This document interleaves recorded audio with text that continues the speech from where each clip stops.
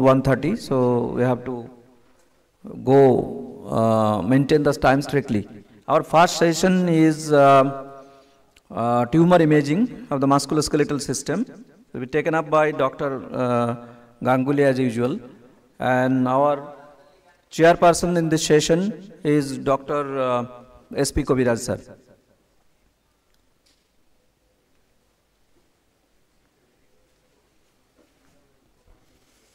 Right. Good morning. Yeah? Okay. It's good to see people have come back after yesterday as well. It, it, is, it is quite uh, rigorous and onerous, but I'll do it a little bit differently this time. Uh, let me show you, let me start by showing you uh, some cases. Um, so this is, this is a young 17-year-old patient who presented with knee pain uh, to our department. Um, just out of interest and to wake you up as well. Can you guys see any abnormality? Yeah? What, what can you see? A lucency? Okay. In the tibia. Are you worried about it? Will you leave it or were you, are you worried about it? We, yeah, we'll probably want to do something about it, isn't it? Um, let me see. It's not set up. So on the lateral projection, I don't know how well it projects, but there is actually a little bit of periosteal reaction uh, at the back. Only subtle, and you can't see the lesion very well, but it shows a bit of periosteal reaction. So what we did was he had an MRI, and I'll skip um, most of the uh, images. So I'll bring up a couple of things.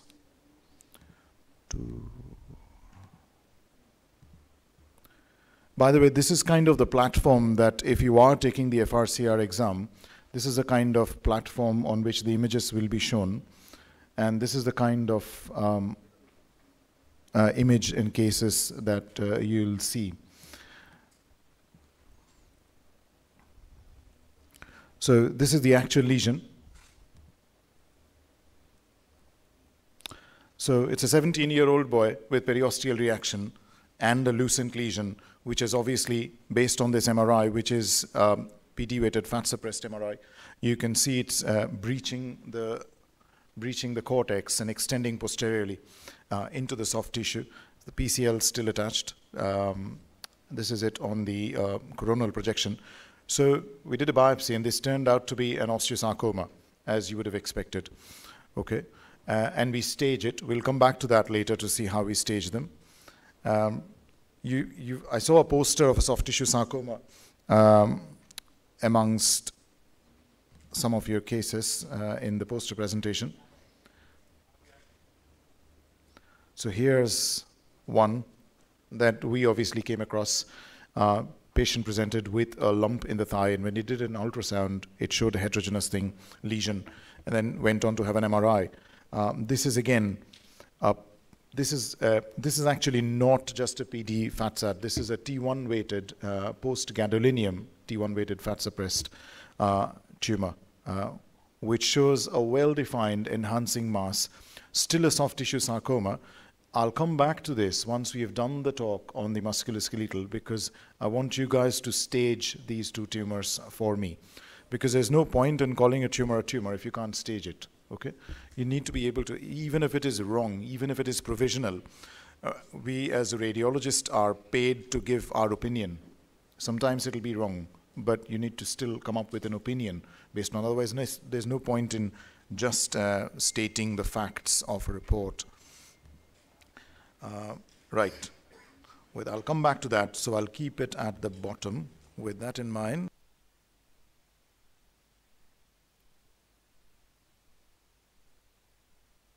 Talk, um, which is, our first set of uh, lectures today, which is uh, tumor imaging.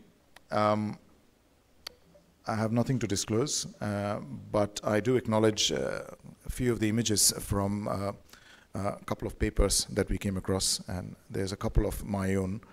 Um, So what, what are we going to talk about? We're going to talk about an approach to tumor imaging. I can't teach you how to diagnose different tumors in an hour's lecture. It'll probably take, you know, forget days. It'll take weeks, months, and years to look at things, okay? So we'll look at a general approach. Since you guys don't stage them, we'll touch upon the AJCC classification and the Enneking classification, a few other things, but I won't dwell too much on the AJCC because if you're not attending tumor boards, if you're not doing the MDT, you probably won't need ever to use them. So it'll all, you know, go over the, um, go over the top. Um, so we'll focus on the role of imaging and we'll review some cases as we go along. So what is, so we start with staging, okay? Staging of uh, bone and soft tissue tumors are mostly done uh, in the UK and in the US based on what is called the AJCCC, AJCC, which is American Joint Committee of Cancer classification, and the Enneking system, which we will look at in a slightly more detail. The Enneking system is actually quite nice, and it feels it is quite useful actually. The Musculoskeletal Tumor Society uh, actually has adopted the Enneking classification system as their own, and I'll tell you why in a minute. So the Enneking system um, was developed quite early, 1980, so far you know before the AJCC classification came up. Um, and uh, it is based on the anatomy, it's based on the radiological appearance, and it also takes into consideration the pathology. They cover both bone and soft tissue tumors, unlike the AJCC, as we will see in a minute. Um, and these are often preferred by uh, the oncologists. So what is, I won't go into the details. So again, you can have this on the internet. I can leave copies of these things. The idea is to show you the principle of um, what we are doing. So this is the Enneking system, which, as I said, applies to both soft tissue and bone tumors, right? So they divide the tumors into T0, T1, and T2, and it's important to understand the concept. So basically, like the sarcoma, we went back and see, and I'll show you examples of all of these. T0 is a tumor which is confined by its own capsule and within the same compartment. T1 is when it has gone beyond um, its capsule, and T2 is when it's gone beyond the compartment. So, um, so I'll go through um, how that's relevant. So surgical resection obviously is sort of, you can think of it this way as a cornerstone or the be all or end all, only curative thing that you can do for any sort of soft tissue or bone uh, sarcoma. It's the, it's, it's the only hope of cure. You can do chemotherapy, radiotherapy, everything, but if you can actually take the tumor out and put it in the bin, that's the best chance of cure, isn't it? So that's why everything is directed towards staging and to see can we operate or can we not, and then find out what we do if we can't operate. So the Enneking system is actually very, very, very geared towards helping the surgeon and helping your surgical decision making. Okay, so when we go to the MDT, we always look at the Enneking classification and we pay more importance to it than the T staging, uh, which is kind of unusual compared to lung cancers and colorectal cancers and other cancers, where the T staging is very important in decision making. Um, but here, the Enneking comes in. That's where the Enneking comes in, and I'll show you why.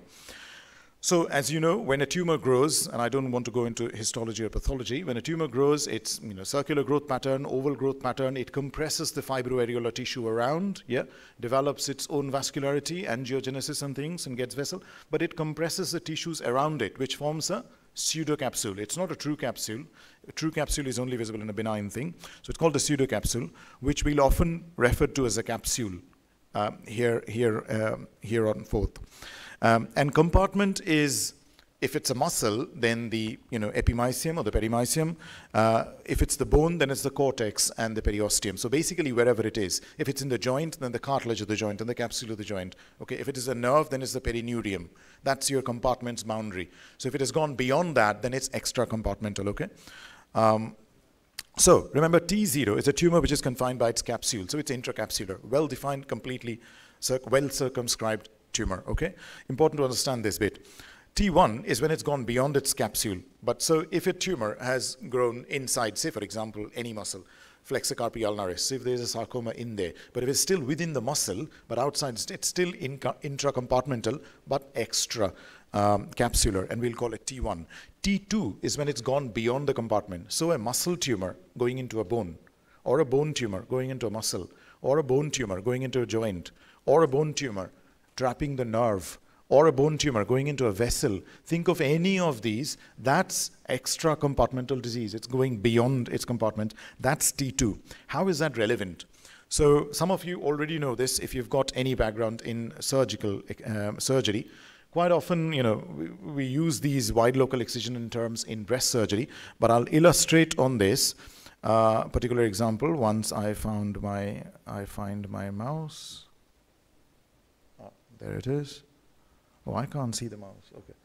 Um, so that is the that is that is the tumor, the yellow one in the middle. Okay. So um, the, cen oh, so the central dot it basically represents a tumor within that yellow. Okay. So if you are actually resecting within that yellow dot, that's called an intralesional resection. Okay, so basically that happens when they can't operate. So you're scooping a bit of the uh, lesion out within the pseudocapsule and leaving it there. Marginal resection is when you go along the margin of the capsule. Okay, still you're just inside. Wide local excision is when you go beyond it and remove a chunk of the muscle around it as well. So the same thing applies to breast cancer as well. Radical resection is when you remove the entire muscle. So you can see if it's a T1 lesion, which is intracompartmental. Keep forgetting the mouse is not visible here. So if it is intracompartmental, uh, which means it's still within the muscle, you can do, you can get away with a radical resection, no matter how big that tumor is. That's where it's different from a colon cancer or a lung cancer. It doesn't matter whether your tumor is 10 centimeter long. If it's all confined within the muscle, it is still excisable. Okay, it can still be removed. So, but if it has gone beyond the muscle, then you're looking at something more dramatic or drastic. Okay, you can't uh, do a wide local excision or a radical resection. Um, uh, here we go. So uh, the most frequently used classification system when we are doing tumor staging is AJCC. Uh, okay. It stages the tumors on a T and M basis, just like any classification system, T for tumor, N for node, and M for metastasis. Um, it also incorporates a histological grade because histology of the tumor is very important because, you know, and generally most tumors, wherever you are in the body, are either low grade, medium, or advanced or high grade tumors, okay? So they tie that with. Now, FNCLCC, don't ask me to pronounce it in French, but that's the actual histological classification system that the pathologists know, thankfully. We don't need to go into that, but they will tell you a low, medium, or high grade tumor based on that. Now, they divide, so the AJCCC we are talking about, um, divides the bone sarcomas into three categories. They look at the appendicular skeleton, or arms, trunk, skull and facial bones in one group, spine and pelvis. Whereas for the soft tissue sarcoma, uh, they keep the trunk and extremity together again, retroperitoneal sarcomas, head and neck tumors, and visceral. So there are four groups in soft tissue sarcoma. I won't go into too much detail uh, again because you will need, there is no point in memorizing these.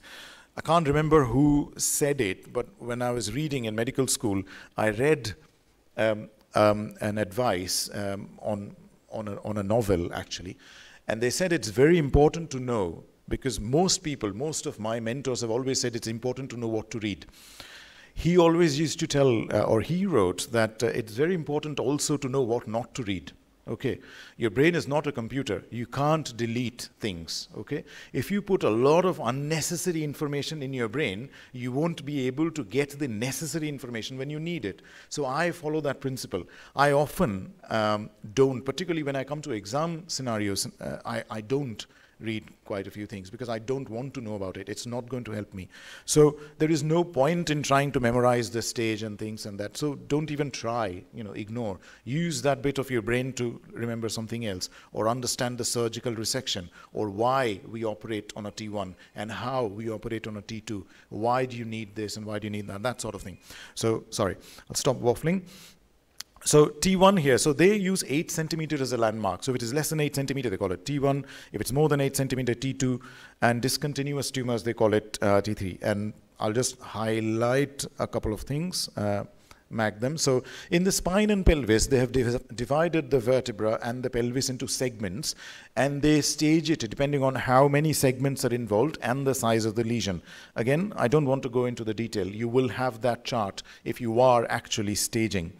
Uh, but generally, as a rule of thumb, anything more than, sorry, anything under 8 centimeter is T1, 8 and above is T2, multiple uh, is uh, T3.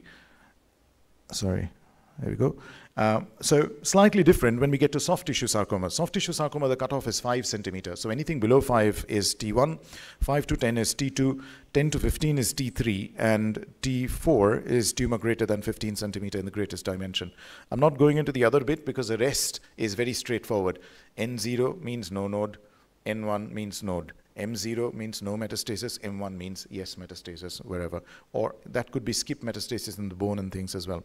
So what is the role of imaging? What is your role here? Okay, one is TNM staging, okay, um, and also to show the true extent of the lesion, okay, to differentiate between the solid and the necrotic areas. Why? Because as you can read, but I'll read it out anyway. So when you see solid areas with varying characteristics and varying enhancement pattern, they all need pathological evaluation because that's the thing about dedifferentiated sarcomas. And we'll see examples of them. Some part of it might look like one thing. The histology from a different part might be entirely different, which makes it a dedifferentiated or an undifferentiated, you know, higher grade tumor than otherwise. So if you see variation, that's where we need to pick that up. We need to report that, okay? Because they need to biopsy all of those separate areas, okay? Um, Variation in intrinsic characteristic in a single tumor suggests variation in histology and hence upstaging of tumor grade, prognosis, treatment, everything is tied together. So that brings us to our first case. 69-year-old lady presented to you with an enlarging lump in the anterior aspect of the left thigh. Even without looking at the image, because of the talk, you know we are going to talk about a sarcoma. Okay, so uh, there's no there's no fun in that, but I'll show you the actual thing. So this is a T1W and a post-contrast T1 weighted fat suppressed image. Now, another moot point, and don't get me wrong, I don't want to criticize it, but a lot of people, and I see that in my country as well, uh, or in the UK as well, uh, where I practice, my country of practice, shall I put it this way, uh, now, that a lot of people say, oh, high T1 lesion and a low T2 lesion. Okay, it's low signal on a T2 weighted. Lesion is not T2, or lesion is not high T2 or low T2 or whatever. It's high or low in a T1 or a T2 or a PD weighted image. That's why it's it's not in its nature to be low or high thing. Okay, so it's a T1 weighted and a post contrast T1 weighted image. Uh, so you can see. Oh, it's a bit annoying because I can't see the arrow.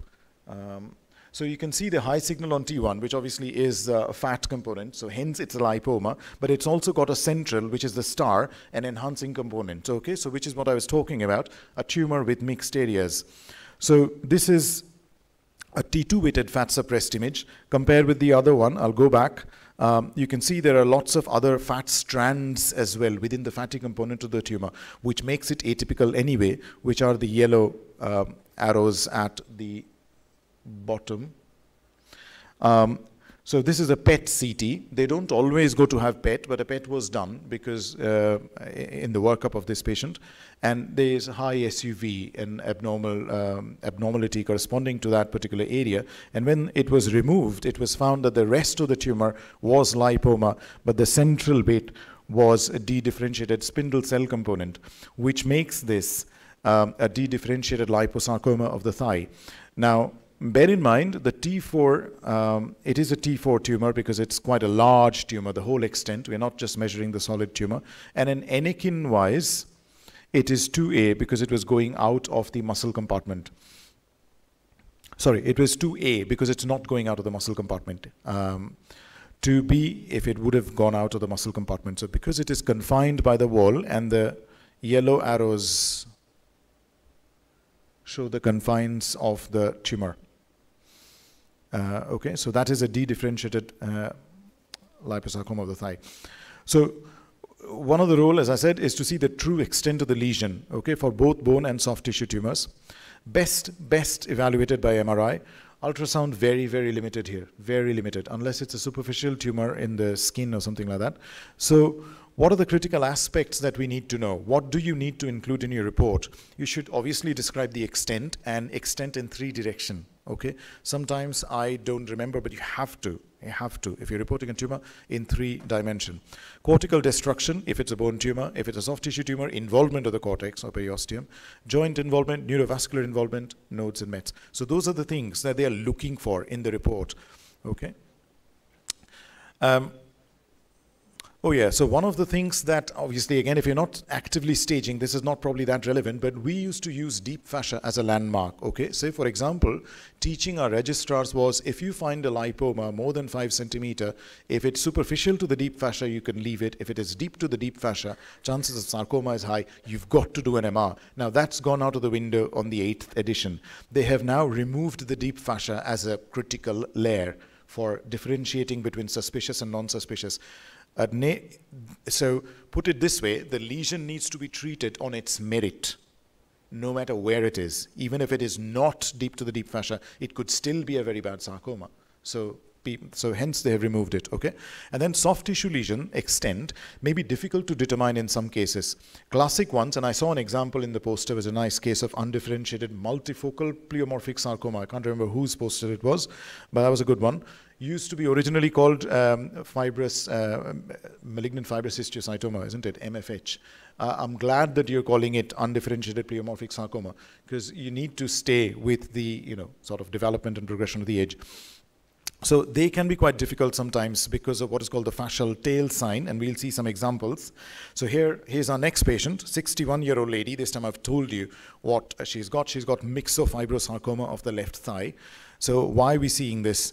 So it shows solid enhancing tumor mass, which is the star on the image, okay, and a long enhancing fascial tail outlined by the uh, white arrow, the thin white arrow, okay? So that is what is a fascial tail. We see it on the post-contrast um, fat suppressed image and the T2 weighted um, image. The image C is a post-contrast um, image. Here's another patient, which is a middle-aged patient with a myxofibrosarcoma of the right leg this time, not the thigh, and he's had radiotherapy. Okay, so this scan, so he's now come to you, and there's a bit of a mismatch. So why is this important? So on your left is the T1 weighted, post-contrast fat suppressed, and on your right is just a T2 weighted. So you can see the T2 weighted fat suppressed is really, really busy.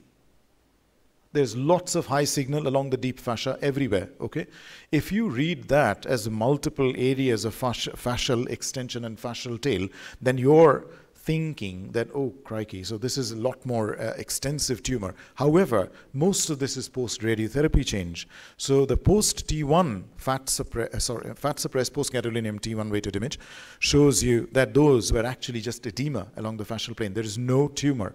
So that's uh, along those fascial plane. So that's actually a significant um, prognostic uh, sign. Some people might stop treatment at that point and amputate the leg thinking, oh my goodness, this is not getting anywhere. It's just getting worse. But you said, no, no, hang on, this is, there is no enhancement. These are all reactive edema, secondary to the radiotherapy. There is no tumor there. You could also achieve that to some extent with diffusion-weighted imaging, to some extent, but diffusion, because of the nature of how we acquire the image, has a lot of artifact, and most people in most places would be doing two point, three point, at most four point diffusion most centers, unless your regional university hospitals don't do multi-point diffusion, it defeats the purpose because it takes a very long time. So as soon as you do two-point diffusion or three-point diffusion, you're basically, think of it this way, if you look at a curved structure and okay, only interpolate two areas and tell somebody draw a line, graph, they'll draw a line like that.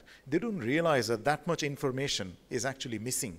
If you do, which is why we do four in liver, we do four. Well, in UK at least, we do four. Some places we'll do, you know, three in brain and other places. So diffusion has its downside. Without going into too much detail about the actual reason for downside, that's why fat suppressed T1 weighted is definitely more valuable and useful from your point of view.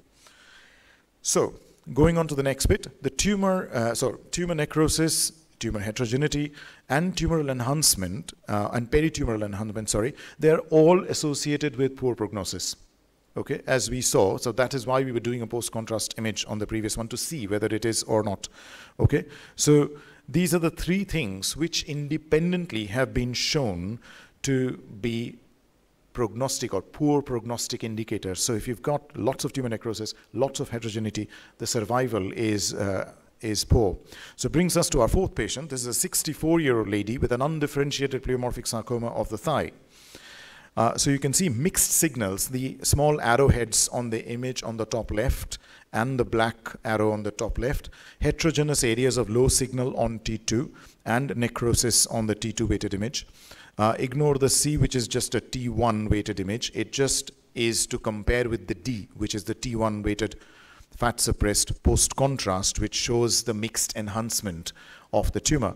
So this obviously is a histological grade 3 with worse prognosis with, as I said, the three things. So there is heterogeneity, there are areas of necrosis, and there is abnormal enhancement, as you notice in the white arrow on the image along the deep fascial plane as well. So all of these are bad prognostic indicators. So here's another patient who's a 52 year old with a myxoid round cell liposarcoma of the thigh. And bear in mind, when we report these, we can't tell what tumor it is, okay? So we always say it's a soft tissue sarcoma. None of these fancy myxoid or, you know, dedifferentiated spindle cell and things, they'll all come post histology, okay? You don't need to call any of it. You will just report them as soft tissue sarcoma. So this patient has a uniform signal on the T2W uh, image, which is the top left, and there is no peritumoral soft tissue enhancement uh, on the T1W post-contrast image, which is the bottom right. Prognostically, this was, well, histologically it was grade 2, and prognostically this was, uh, this was found to be better than the previous patient. And our third patient in this group, our 71-year-old uh, lady with a dedifferentiated liposarcoma, looks quite horrible, as you can see on the image. Okay, so he, uh, sorry, she, she her tumor showed heterogeneous signal on the T2W, which is your middle image, with areas of necrosis, which you can see as high signal, areas of scarring and calcific densities and things, which you can see as low signal on T2 or hemorrhage, blood product, basically heterogeneity. Okay, and on the T1 post-contrast images, uh, you can see enhancement within the tumor and also peritumoral, um, sorry, enhancement within the tumor and minimal peritumoral enhancement as well as indicated on the image C by the arrow. This was a histological grade 2, prognostically supposedly a little bit better. But because of all these three features, so this is from that paper who actually presented that despite of the histology grade, if you see heterogeneity, if you see peritumoral enhancement, and if you see necrosis, they independently say that this prognosis is bad. Okay, it doesn't matter what your histological grade is. So this is a grade 2 tumor. They should have a good five-year survival rate, but they died in 18 months. So the AJCC uh, T staging, they look at size, okay? Uh, as I was saying, we looked at it. Generally, 8 centimeters is the cutoff between T1 and T2 for bone tumors and 5, 10, 15 for the soft tissue tumors. Vertebra, and I, I, wouldn't go into the detail, but just to give you a highlight, vertebra is divided into five segments and the pelvis into four segments, okay? And the focus is in seeing how many segments are involved, okay? Uh, more than one segment, and you can look at your chart and say, okay, so this is T2, or this is T1B, okay, or this is T2B, because it's more than five centimeter, sorry, more than eight centimeter, and it involves two segment, okay? So that's how it works. So if it is less than eight centimeter, involve one segment, T1A. If it involves two segment, T1B. So that's how it, it's mathematical. It, you can work that out once you look at one or two. Um, but what we're trying to assess is how many segments are involved because these have prognostic and treatment implications. Is there involvement of the joint? Is there soft tissue extension? For spinal tumor, is it involving the epidural space? Is it invading the dura? Is there cord involvement? Okay, and determinant and extent of surgery. Um, so this is where you differentiate. So from wide local excision for some tumors which are within the compartment to internal and external hemipelvectomy. Just out of interest, do you know what is a hemipelvectomy and what is internal and external hemipelvectomy? No? So external hemipelvectomy, uh, uh, hemipelvectomy, sorry, it's a tongue twister almost, is also called hind quarter amputation. So that's when you remove half of the pelvis and that leg. So that's how what you do with that lady if you are operating on her advanced sarcoma. Internal hemipelvectomy is just removal of um, the side of the pelvis with preservation of the leg. So this is an example of a spine uh, sarcoma, bone sarcoma uh, so, so in the in the spine. So this is histologically a chordoma, and you can see multiple. Um, so sorry, So this is a 52-year-old lady with a chordoma. So here's the image. Um, of it showing multiple vertebral level involvement. Disc transgression, sorry, forgot about the disc. Also bear in mind that breaching cortex getting into the disc is also extra compartmental spread, okay? Um, and then it's got a huge soft tissue mass anteriorly, which is the black star, um, okay?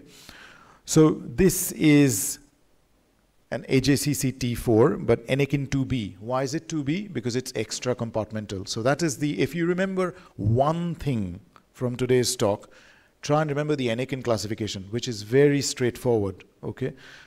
1A, uh, sorry, 2A, 2B, and 1, okay?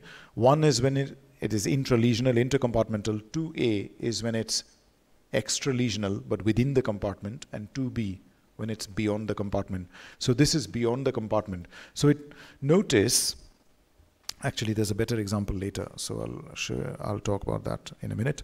So this is the next patient, which is a 12-year-old girl with an Ewing sarcoma of the left iliac wing. Uh, these can be quite aggressive, large tumors, obviously.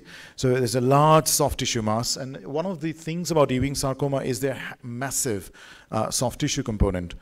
Uh, so there is involvement of the left SI joint and bone destruction. So this is a T4 tumor based on the size and uh, Enneking 2B, again, because there is extra compartmental uh, spread, joint, soft tissue.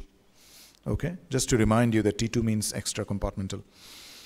So also we want to see if there is multi-compartment involvement uh, so yeah, we should report that, uh, the multi-compartment involvement. And as I said before already, for bone tumors, it's cortex and soft tissue uh, involvement. For soft tissue, it is bone involvement, joint involvement, other visceral involvement. Okay, so bone involvement in case of soft tissue sarcomas, as we saw some example, is probably most commonest in synovial sarcoma, followed by undifferentiated uh, pleomorphic sarcomas. So brings us to our um, next patient, which is a 40-year-old man with a high-grade synovial sarcoma of the right leg. So this patient has a soft tissue mass, and I've just got a picture on the left of the actual muscle compartment of the leg. Um, more muscle mapping, you'll be thinking, after yesterday's. But anyway, it helps you to decide which compartment we are in. So, you know, the posterior compartment, colored in purple, is the deep posterior, which is tibialis posterior group, whereas the superficial posterior is the uh, orange-ish color, peach, which is the soleus and gastrocnemius and things. so there's a big soft tissue mass which is extending anteriorly, which is A in the picture on the right and P in the posterior compartment. So basically it is transgressing the fascial plane going from the anterior muscle compartment to the deep posterior compartment, which makes it an Enneking 2B. Okay, so if you're looking at removing, you can't do a intralesional excision. You can't do a marginal resection. You can't do a wide local excision. This patient is looking at losing that leg isn't it? It's extra compartmental. You can't. But had it been intra-compartmental, you could have dearticulated and removed the muscle and tried a wide local excision, excision of bits of the bone and things, okay?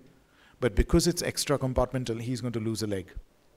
That's how it helps. And that's why the surgeons prefer the Enneking over T. We have to do the T staging for research because you have you need the T staging, but T staging is not very useful. It just tells you T4, T3. How does that help? The Enneking helps you to decide what type of surgery, and if it is beyond surgery, then so be it.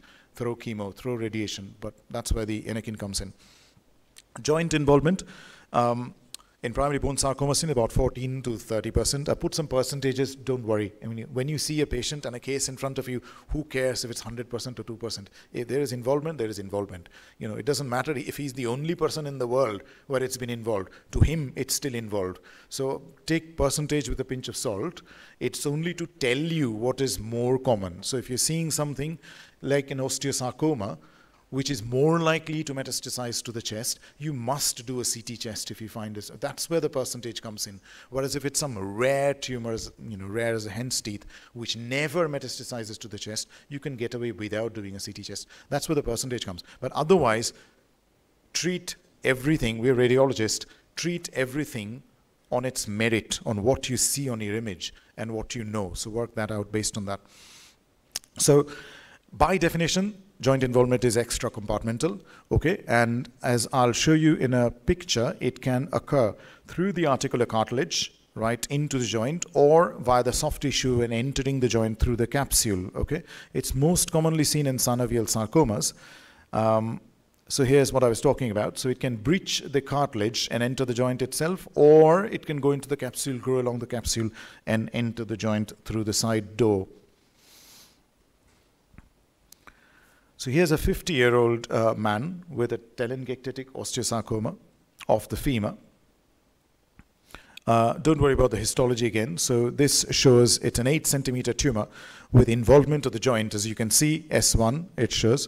Um, it has involved along the ACL, which is S2, and has also gone into the suprapatellar pouch and joint effusion. Note that effusion just like in your lung cancer staging, when you see pleural effusion, malignant pleural effusion, upstages a lesion. I don't know whether how many of you do lung cancer staging, but it'll become uh, it'll it'll go up in T stage. Oh, sorry, it's M1A now, isn't it? Based on the uh, ninth.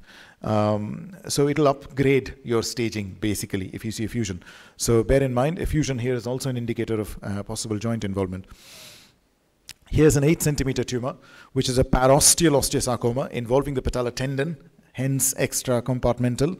So here we go. If you actually measured the length of this tumor based on the 8 centimeter size, it was just it is just over 8 centimeter. At most you'll stage it as a T2 tumor.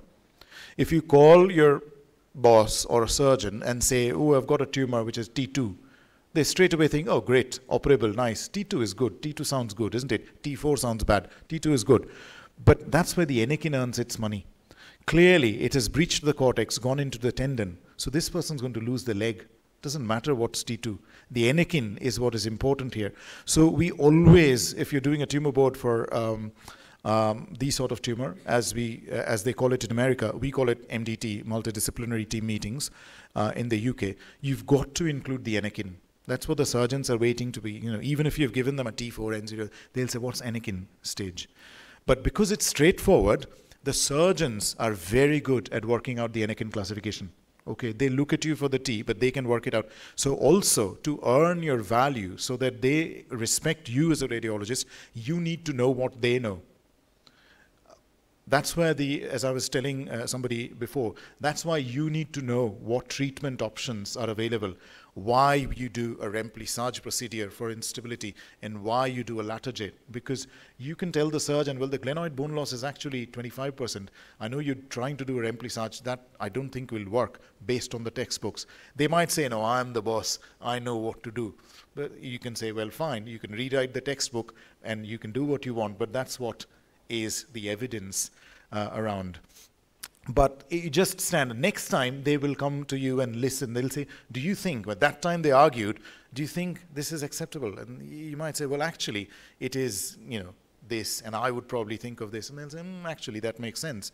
Because they would have kind of learned their lessons. Although it's not about learning lessons, it's about treating the patients. At the end of the day, we should all remember we are treating patients, right, as doctors. And that's our first goal. So, whatever we do to help them, whether it's radiology or orthopedic, I'm digressing. I'll come back to tumors. Um, so the next bit is neurovascular involvement. So uh, again, that's by definition extra compartmental. We need to look at neurovascular involvement in any tumor, okay, soft tissue sarcomas or bone sarcomas. Um, so generally, just like if you do any pancreatic staging, we look at the SMA and the SMV and the portal vein and involvement. And even for esophageal tumor, contact with aorta, it's the same sort of thing. So radiology is like maths. Once you can stage the esophagus, you can stage a tumor in the big toe. You know, it's the same principle if you think of the principle behind radiologic in, in imaging. Um, so more than 180 degree contact or loss of fat plane is a very sensitive indicator. Okay, so we do that on T1W images because that's where you see fat as bright. That's what will differentiate. Uh, that's where it comes in. So it's the same thing with esophageal and uh, you know contact with aorta. Sometimes, obviously, with aorta, I think more than 90 degree contact is what is more important. Obviously, more than 180 degrees, almost definitive involvement, even if you don't see intravascular uh, invasion. So bear in mind, I meant that so when you see contact, I'm not talking about any intravascular extension, okay? So you don't need to see any tumor inside the vessel. If there is more than 180 degree contact along the circumference of the vessel, that's invasion. until proven otherwise because there'll be microscopic cells going in which you can't see, but the pathologist will be able to when the tumor's in the bin and they do a histology of the, you know, or frozen section or whatever when they're doing so this is an example of how the tumor can encase a vessel. This is a 73-year-old man with a leiomyosarcoma or leiomyosarcoma uh, of the thigh, and the, it's hard to identify the vessels because they're all encased in the tumor. So here's your knowledge of anatomy and where vessels and nerves um, comes in. So this has obviously involved the femoral or superficial femoral artery, the uh, profunda femoral um, artery and vessels will be uh, more deeper. So, uh, so this is a 9 centimeter tumor encasing the vessel. This is again a T2 tumor based on AJCC, but Enneking 2B. 30 year old with a synovial sarcoma of the knee. Another example of vessel encasement. Okay, in this case, the total tumor length was about 19 centimeter, so it is a T4 tumor. Again, Enneking 2B. Nodal staging, regional node involvement is not very common, uh, unlike the others. Uh, other tumors like lung and breast and uh, colon and pancreas and things, it is less common. The most frequently seen bone sarcomas are uh, osteosarc and Ewing's. Um, and again, uh, I've given you the percentage, um, but obviously less common even with uh, soft tissue sarcomas. The soft tissue sarcomas that are commonly associated with lymph nodes are synovial sarcoma, and I don't want to go into the histological detail, but in, in bottom line is, uh, if you see a soft tissue sarcoma, you should look for it. Although it's uncommon, you should watch, look at the nodes. But what do the nodes look like? What are you looking for? Some of it is general. Uh, do I go into it? Uh, yeah. Uh, so this is an example of a 13-year-old boy with an osteosarcoma. Okay. While I'm on it, we were looking at examples of osteosarcoma. If you see density in the bone, this is for people taking exam. If you see increased density like this in the bone, what is happening? There is osteogenesis, okay? There is bone forming. There's only two bone forming tumors in the world, either osteoid osteoma or osteogenic sarcoma. Generally, it's two. So bear in mind, if you're looking at a bone forming tumor, that's, you can argue osteoblastoma, which is the sort of bigger brother of osteoid osteoma if it's more than 2.5 centimeter. But often they'll have lytic areas and they'll be in specific places. They'll be in the vertebra, posterior elements and things like that. And they often have an expansile element as well. So purely sclerotic until proven otherwise, as somebody was saying yesterday, osteosarc. So this one, notice um, the, oh, keep forgetting the arrows not visible. So these little things, the black arrows, are uh, osteosarcoma deposits in the bone separate from the original tumor. So these are uh, satellite lesions or satellite deposits. And that thing behind the arrow is pointing to a node which has also got osteogenic material. So this is, this is obviously an N1 tumor. So regional nodes can be assessed on CT and MRI. Uh, and they follow the normal lymphatic drainage anywhere, uh, just you know, uh, based on the same anatomical principles. They generally have similar intrinsic appearance, as we saw in the example before, to the actual primary tumor. Otherwise, you just assess them like you assess any node. Look for hilum, look for um, loss of hilar fat, loss of um, you know circular pattern rather than oval, and size of the node itself. Bring to the last sort of bit, which is a MET. The distant metastasis, again, musculoskeletal sarcomas most commonly is seen in the lung. Okay, Distant mets of soft tissue sarcomas uh, range between 22 to 36% again. Commonest um, osteosarcoma to metastasize are osteosarcomas, which is actually quite high if you think about it. 28% in five years, that's 30%. That's nearly one in three osteosarcomas when you see. What I tend to do is percentage used to annoy me when I was a trainee, and I used to always think of it in numbers. So 30% doesn't sound, but when you say one in three osteosarcomas you see will have bone met, suddenly it's uh, mm, actually, mm. or you know, when I say 20% probability of it being, you know, one in five people you see. Oh, I saw six people yesterday. Does that mean I went, I missed? You know, so you know, th that's the kind that you should have focus on. So that's how you should look at percentage when you're actually looking at it. So bone is the second commonest site for metastasis um, um, of uh, sarcoma, um, of a primary osteosarcoma. And osteosarcomas and Ewings are again the usual culprits. So this is an example of metastatic osteosarcoma. Uh, note the osteoid matrix, as I was saying, same as a lymph node. You can see it on the picture on the left side of the screen, um, obviously, it's a lung window on the other one, and you can't see, it just shows the number. But you can see the little calcific or ossific deposits um, in the other image. So how do we investigate? Now is the nitty gritty. So this is all right, Dr. Ganguly. The patient has come with a lump to me. What do I actually do? Okay, here we go. So we always start with X-rays and ultrasound, okay?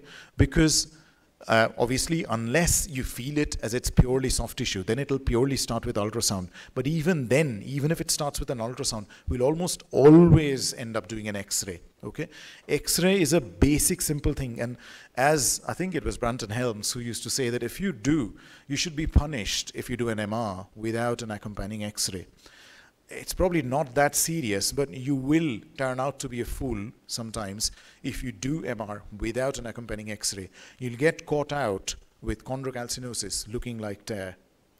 Okay, you'll be caught out with so many different things. Classic example, myositis ossificans. If you biopsy it, it looks like osteosarcoma. People will end up losing their limbs if you had looked at an X-ray, it's clearly myositis ossificans in an area of trauma. It's probably the most crude and gross example of where X-ray wins. We still, we still, every sarcoma, no matter how complex, no matter how, you know, even MR knees and MR shoulders, we often go back to look at the actual plain X-ray. That is the bread earner of all radiologists. That's how it all started. And a lot of textbooks still go by you know, I'm not going into the Lodwick grade and moth-eaten appearance of bones and things like that. Forget all that. But we're looking at gross pathology. Is the cortex destroyed? You know, it, those are the things that we're looking at. So we, we need um, the X-ray for all those purposes. Generally, for suspicious lesions, um, um, particularly above the age of 40, a CT chest and abdomen pelvis is always done. 40 seems to be the magic age. It's, it, it, is, uh, it is quite strange, and some of you and well, all of you will get to 40 at some point. It is kind of a defining. Yesterday I was uh, talking about um, why we do MR arthrograms and where we don't do arthrograms. You know, below 40 and above 40. I don't know what happens. Magically, you wake up one day, um, you know, 40 year and one day, and suddenly you will not get an MR arthrogram. No, it doesn't work like that.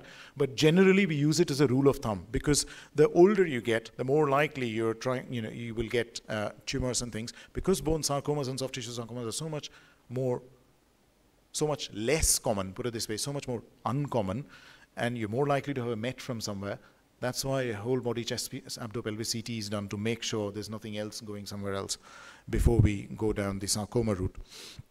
Generally, all of them will be referred, in the UK at least, to the sarcoma MDT to be discussed within two weeks.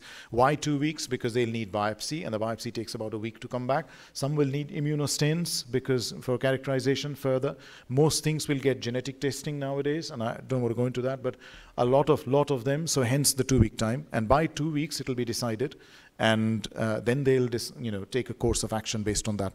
And staging generally includes MRI. And when I say MRI, it's joint to joint. So same orthopedic principle. If you've got a tibial fracture, if your x-ray doesn't show the knee joint and the ankle joint, send him back. You've got to see the joint on both sides of the involved bone. That's an absolute basic must for any orthopedic junior, and that should be the same for us. You can't just not look. So same applies to when you're looking at hip replacement and things. When you see the bottom end of the prosthesis missing, send them back. They need to have the everything visible. You should be able to see it. It doesn't matter if it's extra radiation or a you know second dose. So the coverage is very important for radiology as well. Uh, again, you end up looking like a fool if you've done a small field of view um, and you know trying to be a cowboy and diagnose something on that, um, it, uh, it doesn't help the patient. For distance staging, we do chest CT. We do chest CT. Some patients will get a chest abdo-pelvis, as I said, but most people will get a chest CT, particularly young people. Nowadays, there's a trend towards going towards PET CT. Uh, for a lot of them, uh, surgeons prefer it. So um, in the NHS, uh, PET CT uh, is provided by uh, separate providers, but we're moving more towards doing PET CT. Whole body MRI, more a European standard. You know, if you're in Sweden, Switzerland, Germany, uh, you'll get a whole body MRI. They do whole body MRI, but in the UK, we don't do um, whole body MRI. ESMO is the European sarcoma imaging guidelines. Um, this brings me to my last uh, case as an example in this group. So here's a 65-year-old man, and I can't remember who had that, uh, who had a poster on something similar. So, um, so this is a 65 year old man with knee pain and palpable lumps with iron deficiency anemia, that's IDA, benign prostatic hypertrophy, smoker and hypertensive. That's how it came. That's the history. And this is the finding. Okay? Uh, so, obviously, we are clever radiologists. We look at an MR. There is a low T2 signal lesion. I've not shown the GRE sequence to show you blooming artifact. What's the diagnosis? Sorry? Okay, go on. Very good. Okay. Okay, fair enough. Uh, but with the other two, do you think this is in the Hoffa's fat pad or actually within the joint? Yeah, but it's intracapsular, but is it intrasynovial within the true joint compartment or is it extrasynovial within the Hoffa's fat pad? Because that will differentiate because once you say extrasynovial, your other two differential goes out of the window. So for a hemophilic arthropathy and the other thing, they need to be within the synovium, isn't it? It is the true joint compartment. Whereas if it's Hoffa's fat pad, it's typically PVNS until proven otherwise, isn't it? Such is what we thought. So we completely agree you can come and work for us. That's what we thought. But this is the X-ray. Okay? Um, and the X-ray was at a little interval. I can't remember the exact interval now, so it wasn't that the x ray was done next day. At that time, the x ray was not too bad. This is at an interval. Uh, notice this lesion. Okay, so that's a little bit further away and starts you think, okay, it still could be PVNS. Um, because so far he's been stamped as a PVNS based on the dark darkened things. Um, and you can see the soft tissue swelling around the knee, and they all got worse over time. So we say, okay, maybe time we repeat the MRI because this is quite a close gap as well, maybe a couple of months or maybe less than that, six weeks. Um, while he was waiting for that, because everybody thought PVNS, PVNS is a benign condition, blah, blah, blah, histological blurring. Uh, we'll do our arthroscopy at time, but it's a benign condition. So here we go. So it two months, and then another six weeks until he gets the MRI. So now he comes for the MRI and says, "I have got a you know visible swelling, and he's struggling to walk." And you start looking at this and say, mm, "Yeah, my PVNS thing is there. Well, what is that thing near that you know patella tendon? Are we looking at?" And some clever guy in the department will say, "Oh, I think this is amyloidosis. Look at renal function." This think, yeah, stop that for a second and do a biopsy. So we did a biopsy. Okay. So basically, you were spot on when you talked about hemophilia, spot on. And that is the learning element in this. Never, never, never forget that low T2 means blood product as well. Okay? Any tumor that has bled can look like a PVNS because of the low T2 signal. It's the hemosiderin that's doing the trick. Okay, your your your imaging histology basically, unlike CT and X-ray where it's just radiation going through bones and soft tissue and you taking an image and working out what it's gone through. Here you're actually imaging with MR. You're imaging tissue, isn't it? So bear in mind hemosiderin, anything dark, you know, calcium, fibrous tissue, you know, they'll be dark on T2. Obviously, blooming means either PVNS. If you look at the actual reason why PVNS, that's hemorrhagic and hemosiderin as well in that. But any other tumor. Amyloidosis is actually another example where you get T2 blooming and T2 things, but they'll be intra-articular. You can be periarticular as well. You'll get mixed probably in both. If you get intra-articular, because PVNS can be localized or generalized. So local ones will be within the synovium Hoffa's pad. Generalized will be intra and that as well. So this was actually a lung uh, cancer. So to summarize, um, uh, I wanted to give you an idea of the AJCC and the Enneking classification. Bear in mind, Enneking is really, really important. And it just adds power to your report. It shows you you're in control, which we should be radiologists should be in control. We're the ones who are imaging.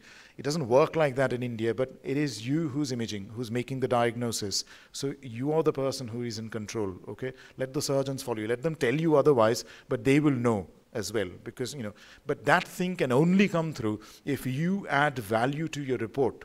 Okay, if you say normal knee, then it, you know, a lot of people have seen people reporting things as normal knee, although it doesn't happen here, or a normal uh, thing, then it doesn't matter. If you if you add value to reports, so that's where Enneking comes in. And just to rephrase the Enneking thing, so remember, if it's extra compartmental, it's 2B. If it's intra-compartmental, it's 2A. And one is within the lesion just itself, okay? So that is it. I've got some references. So let me finish this and I'll take you I'll have a look in between as to oh now I can see the mouse uh, what did I show you? And let me split the screen and show you. Oh. Sorry, I was going to swear, but I didn't, thankfully. Okay, so here we go.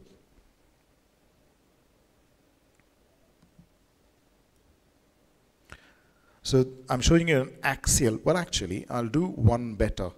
Uh, so you're going to stage, so I'm going to provide you good quality images, the best that we could do. So this is a T1 weighted fat suppressed post gadolinium image. Um, and this is an axial uh, PD weighted image, which looks very dark on your screen actually. But ignore that, let's stick to this one. Okay. So how would you stage this? Enneking 2, B, very good. And if we were to do a T staging, the maximum length of this tumor is what? It says 6.5, so it's actually T1 even, under 8 centimeter. So it sounds like a great, you know, T1, you've got a tumor, T1 osteosarcoma. That should be operable. No, it isn't. It's Enneking 2B. So I was going to show you the axial, so the vessels are involved, breach of cortex, periosteum. And by the way, what's this sign called? If you saw it in the X-ray, what, it's what is it called? This thing that? Uh, the periosteum is elevated and you see this triangular bit of extra osseous. It is Codman's triangle. This is an MR version of a Codman's triangle. If you're doing the FRCR exam, so this is one of my exam films that I show people. So if you're seeing a, if you're doing an FRCR exam, hardly anybody will see a X-ray Codman's triangle. Uh, you might be shown, but you'll need to know what an MR Codman's triangle looks like because that's where we are going. So this is an MR version of a Codman's triangle. Um, so that's that. And let me go back to the previous one. This was yeah, for those who are interested, it is a, this is how it started. So when he came for an ultrasound, I did the ultrasound, and um, this was, uh, so we have, uh, so it's just one image, sorry, which shows a solid lesion. What is, what is, why is it solid? Because A, it looks solid, B, it's got internal vascularity. So we send him for an MRI, and on the MRI, I won't show you all the images, but I'll show you the main one. So here is the MRI, which shows that uh, lesion. And this is a T1 weighted fat suppressed uh, post contrast image. Uh, and again, oh, you need an axial to tell, isn't it? Well, actually, it's not involving the vessels. We can tell from that, right? So you need an axial, do you? Shall I mag it? Because you're staging, I'm not. You tell me what you want. So this is the compressed tissue. Can you see around it? So this is the pseudocapsule that I was talking about.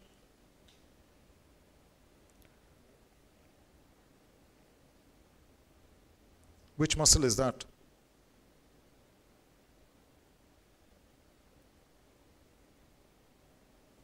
Which muscle is it in? Any idea? Shouts. There's only three or four options. Scroll once more. choices?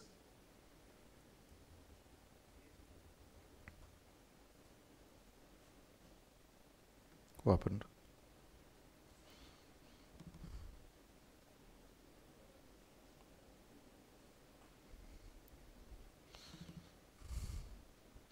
Rudely interrupted. but uh, here we go. So it is sartorius. I was going to give you choices. Uh, but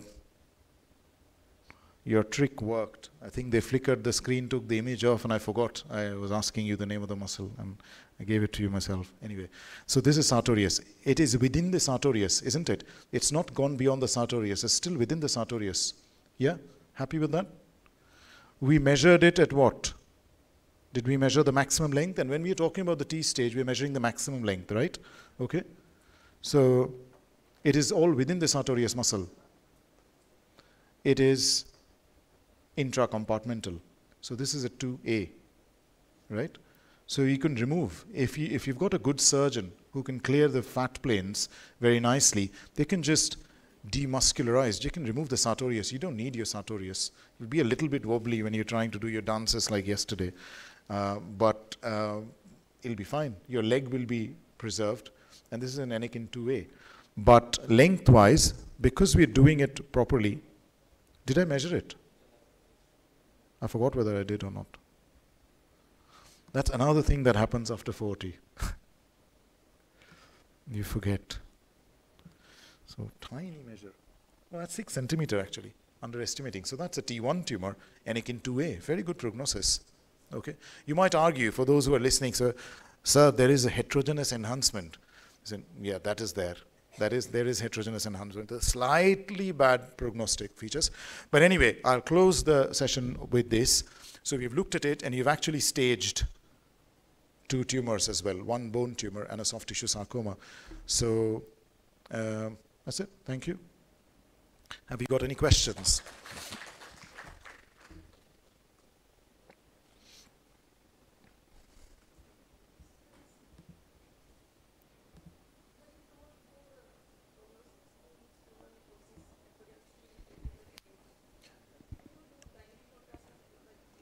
We don't. We not in our center. I know sir, there are bigger centers, and what so there are some. Our local sarcoma center, as we call it, is Liverpool. Okay, but even then, I know all the Liverpool musculoskeletal radiologists. They don't do dynamic contrast imaging. But if you look at some research centers, if you go to Royal Marsden in London, they do. But most people don't do it because NHS is very focused towards um, getting the useful information, what is relevant for the people, and the rest is used for research, which is done in research institutes. So, yes, you can do that, but it doesn't really add anything to what we already know. There are two reasons for doing fancy things. One's because you like, enjoy doing it, feels great, and the other thing is sometimes the orthopedic surgeons and the other, they want you to do it isn't it? But from the relevance point of view, um, you're absolutely right. It, is, it doesn't really add anything. It is not like a prostate cancer. It's not like a prostate cancer staging where your dynamic enhancement actually multi-parametric imaging or a breast lesion and you're doing a breast MR where the dynamic enhancement pattern will help you to decide malignant versus non-malignant. That is, is not that relevant. They, they, look at it, but from our point of view, I mean, with that, for example, soft tissue mass, no matter what your dynamic contrast tells you, it is a tumor, and that is going to come out. So we don't end up doing it. But it's a very useful question. Thank you.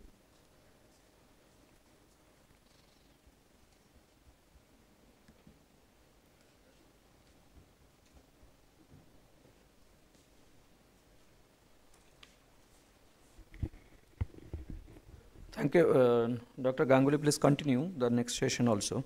Another 20 minutes or so, 20, 25 minutes. But before that, I'd like to declare the result of our poster presentation.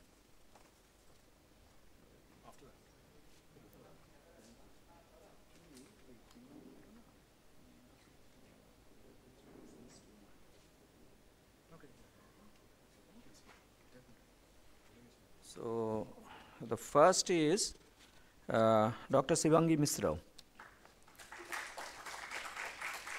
Second, Dr. Amiteshwar Randhawa. And third is Dr. Uh, Rai, ki nam? Oshi, uh, ki Ranjan Rai? Oisarja Ranjan Rai. Okay. Uh, sorry, sorry, sorry. Jiban J is, uh, Oisarja Ranjan Rai is who? You are Oisarja Ranjan Rai. Okay. Uh, but only uh, you will be asked to present your case in the last session, means between 3 and 5. Everybody will get 10 plus 2 minutes. Yeah, 10 minutes should be good enough, isn't it? Just to educate us, because it'll be good to actually hear you talk about it, and that'll help you as well. So, yeah, 10 minutes should be good enough. But uh, another, uh, actually, there is a dispute between third and fourth, frankly speaking. But uh, uh, we have ultimately chosen Dr. Jeevan J. Another good paper was Dr. Aishwaryaranjan Rai. Okay, so he should be fourth. We, because we, we will declare only three, that's why I said three names. But fourth is also good. A.R. Rai, Aishwaryaranjan Rai. ठीक है Yeah, I think I think it- it'll be a bit injustice, yeah, to to not include. There were four which caught the eye definitely. So hence, yeah, thank you, Dr. Karim. So remind me what the next session is. Is it patellofemoral instability? Is that right? Yeah.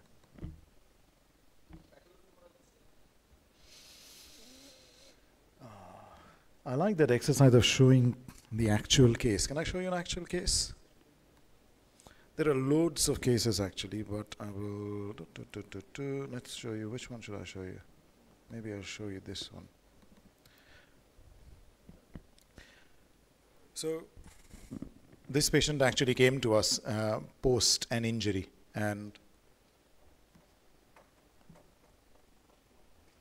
This is just the axial MRI. So our standard sequences you can see on the left.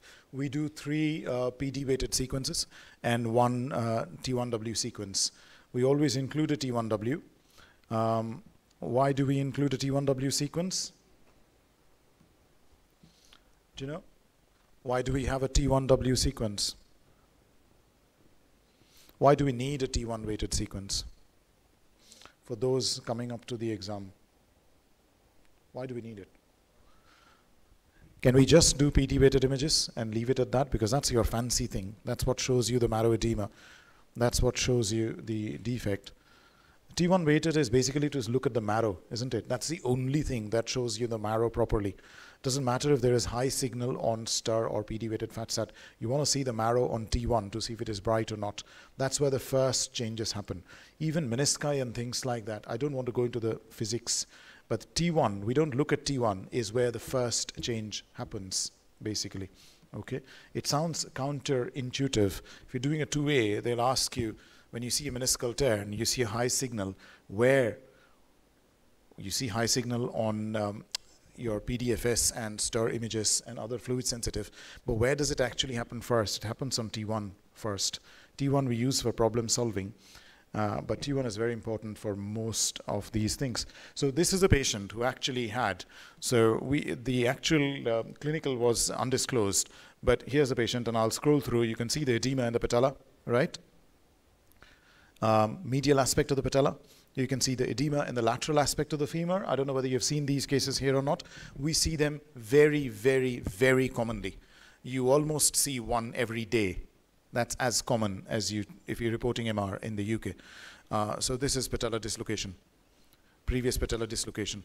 So you wouldn't have. So this is some people call it kissing contusion. I don't generally like the term, uh, but uh, this is edema in the medial aspect of the patella and the lateral aspect of the femur. What does that mean? Your patella has come and hit this part. It's like a Hill-Sachs lesion. Again, as I was saying, same principle in a different place. You know, this is a bipolar lesion like the shoulder. So the patella has come and hit there. So basically, even without looking at the MR, you can say there has to be a full thickness tear of the MPFL.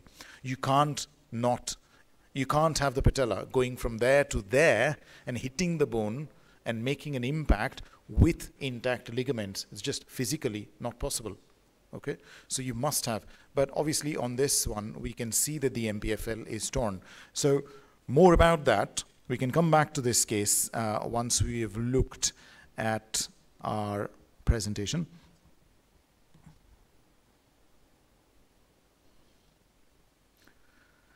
So, I'll show you a different case. 18 um, year old male. Um, by the way, it's more common in women. Uh, most of the ones that we see more common in women, unless it's you know sort of major trauma um, of some sort. Now, this was an 18-year-old who had fallen down a full flight of stairs, and that's what the MR looked like. Okay, so there is zero doubt that the patella is dislocated. Now, this is actually very, very, very, very rare. You hardly ever image with the actual patella dislocated. Okay, you hardly ever. Uh, this is probably the only one that I can remember in the last 10 years where the patella actually is dislocated. Most of the time, it relocates uh, back, and which is why it's often called patella subluxation. And obviously, here there is daylight between the ligament and the patella. Okay, so this is this is full thickness MPFL tear, but we'll have a look at some other examples. This is another patient. This is what we normally tend to see. Uh, well, actually, more than one patient. There are three. These are three different patients. This is what we normally tend to see in our MRI. So we see the contusion in the medial aspect of the patella and the lateral aspect of the femur, which is a telltale sign that the patella has come and hit this part of the bone, uh, and hence the patella must have dislocated at some point in future. Um, just as an in question, how long do you think this marrow edema will stay? if I do an MRI three months later, do you think this would have gone? The answer is actually tricky. It is yes and no. Generally, we expect it to go down at least by six weeks. Okay, but the edema is very slow to resolve. It follows clinical symptoms. So your knee will feel a lot better way before your edema disappears on the MRI. So if you just base it on the MRI, it'll keep looking abnormal, but the patient will say, well, my knee feels better. So bear that in mind. So the edema is a lot slower to resolve. Okay? But as a general rule of thumb, when we look at edema, if I see transient osteopenia in a tarsal bone on a foot MR or a hand or the elbow or the shoulder, I'll ask for them to repeat. Or if I think it's a stress fracture, there are different types of stress fracture, we're not going into it. It's a grade 1 stress fracture, a grade 2 stress fracture. I would say repeat MR in six weeks to check for resolution or improvement or whatever. So that's our general interval. At three months, it should go. The same principle applies when you're looking at vertebral wedge compression fractures as well. You can do diffusion. Diffusion has its limitation, I was saying. The only proof in the pudding, as we say, is when you do repeat an MR in six weeks and the edema is now gone from that wedge compression fracture and you can see the T1 signal, that means it was, sometimes it can be very difficult despite of diffusion and things to decide whether a, you know, whether a collapse is truly metastatic or not. I'm talking about the ones where you can't see soft tissue extension and things. If there is a big soft tissue extension thing, that's different. Right, come back to patella uh, trochlear dysplasia. So this is another example where the MPFL is completely torn. Uh, there's obviously bruising all around uh, the knee. Um, I don't know how you describe it. Over the last few years, we've moved on and we encourage our trainees to do that as well. Often we use the word bruising compared to edema. Uh, because that is what actually is happening. It is bruising of the tissue in an acute scenario, isn't it? If you tear a tendon, if you tear a ligament, tear a muscle, break a bone, you bruise. Okay, so it feels more medical rather than just edema. Edema, you know, edema is just high signal. Uh, so anyway, this highlights the other thing that you can get when the patella comes and impacts on the trochlea. You can get osteochondral injury. Okay, so as we will see later, uh, or actually when we will go to it when we um, when we get there. So uh, the couple of things is obviously yeah, Radsource. Uh, I acknowledge for the some of the images that I will use. Orthobullets is actually really really useful. Um, I started using orthobullets when I did orthopedics. I've carried on with it even when I'm doing radiology because they often give you an orthopedic highlight to a lot of things. And Dr. Kaplan as usual, uh, used to be my mentor. Some of his uh, images I've used. So we'll talk about the anatomy. We'll look at patellar geometry and trochlear geometry quickly patellofemoral alignment and look at cases as we go along. Um, and we'll come back to our case at the end. Um, and I'll get you to tell me what sort of dysplasia we're dealing with on that case that we saw at the start, okay? A uh, bit like we did with the tumor staging. So, uh, I am not going to, for those who feel sick by looking at this, by all means, you can look away. And should I remove the picture? Um, it, the patella is dislocated again, which is also quite an unusual um, way to present. Generally, patellar instability is a condition which is characterized by either subluxation or dislocation of the patella. Both uh, are in the same group. They are a result of either injury or ligament laxity, and which ends up um, with increasing the Q angle. For those who don't know about Q angle, I'll explain the concept of the Q angle in a minute. Do I measure the Q angle? I don't, because it is partly clinical. Physios do it, they're very good at doing it, but we don't. There's a hundred other things to measure, so that's one thing that we leave it to them. Okay, and again, when I say 100 other things to measure, I will focus on the ones that I measure and what is more relevant and what has um, literature backing the um, measurements. Okay, there's a random measurements, and an orthopedic surgeon will come and do do this particular thing. Uh, we don't always do all of them, so I'll go into that in a minute. General treatment principle is management is conservative. Okay, unless you've got two things. You've got a cartilage avulsion or a chondral loose body or a fragment of bone which is avulsed and is floating about. That's the only, only indication for an urgent arthroscopy. Everything else should be managed conservatively in the acute phase with physio um, and you know knee braces and support. Okay. Uh, there are different types of chronic uh, surgical repair that comes into uh, repair of trochlear dysplasia, but we'll we'll have a quick look at them at the end. Um, so Q angle basically is a clinical measure. You can measure my Q angle now by just looking at it. So it's basically from the uh, ASIS, uh, anterior iliac spine, to the middle of the patella, which is the line of force of the quadriceps tendon, okay? And the line of force of the patellar tendon, which is from the middle of the patella to the tibial tuberosity. It's the angle between them, okay? That is called the Q angle.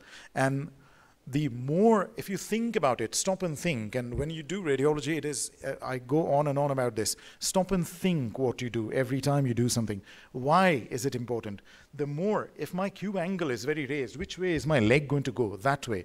The more the leg goes that way, the patella is going to get pulled that way, isn't it? It's like a bowstring. All my muscles and force are going that way. Whereas if my leg was to go this way, the patella will come this way. So generally it doesn't go this way, it always goes outwards. So that's the reason for looking at the Q angle. That's why the physios look at the Q angle, because they get a good idea. Now annoyingly, like J cubitus valgus and what's it called? The bowing uh, of the elbow, uh, carrying angle of the elbow. Um, the the uh, Q angle is different between men and women. It should be less than 22 degrees in extension and 18 degrees in extension in men, uh, but varies, and it's not a very good guide, but it is an indicator all the same, okay? So what are the risk factors for patellar dislocation? One is lax ligaments. Uh, Ehlers-Danlos syndrome, we see that very, very, very commonly in the UK, very common, okay? Um, Previous dislocation, subluxation, just because there is injury makes it prone to get another injury. What's called the miserable malalignment syndrome, uh, you probably haven't heard this term. It's kind of a physio-led term and an orthopedic term. It basically means um, you've got three things increased anteversion of the femur. So femur's rotated that way. You've got genu valgum, so the knee is gone that way, and the tibia has got external torsion, so the tibia is rotated that way. Uh, so it makes the Q angle worse. So hence your lateral force worse, hence dislocation worse. Okay. Again, there is no time, so I will not be going into tibial um, uh, torsion and femoral anteversion measure measurement. When we are doing a full leg alignment profile, they are part of our assessment, but I don't, I won't have time today to go into them. Uh, but so we will stick to the patellofemoral alignment only.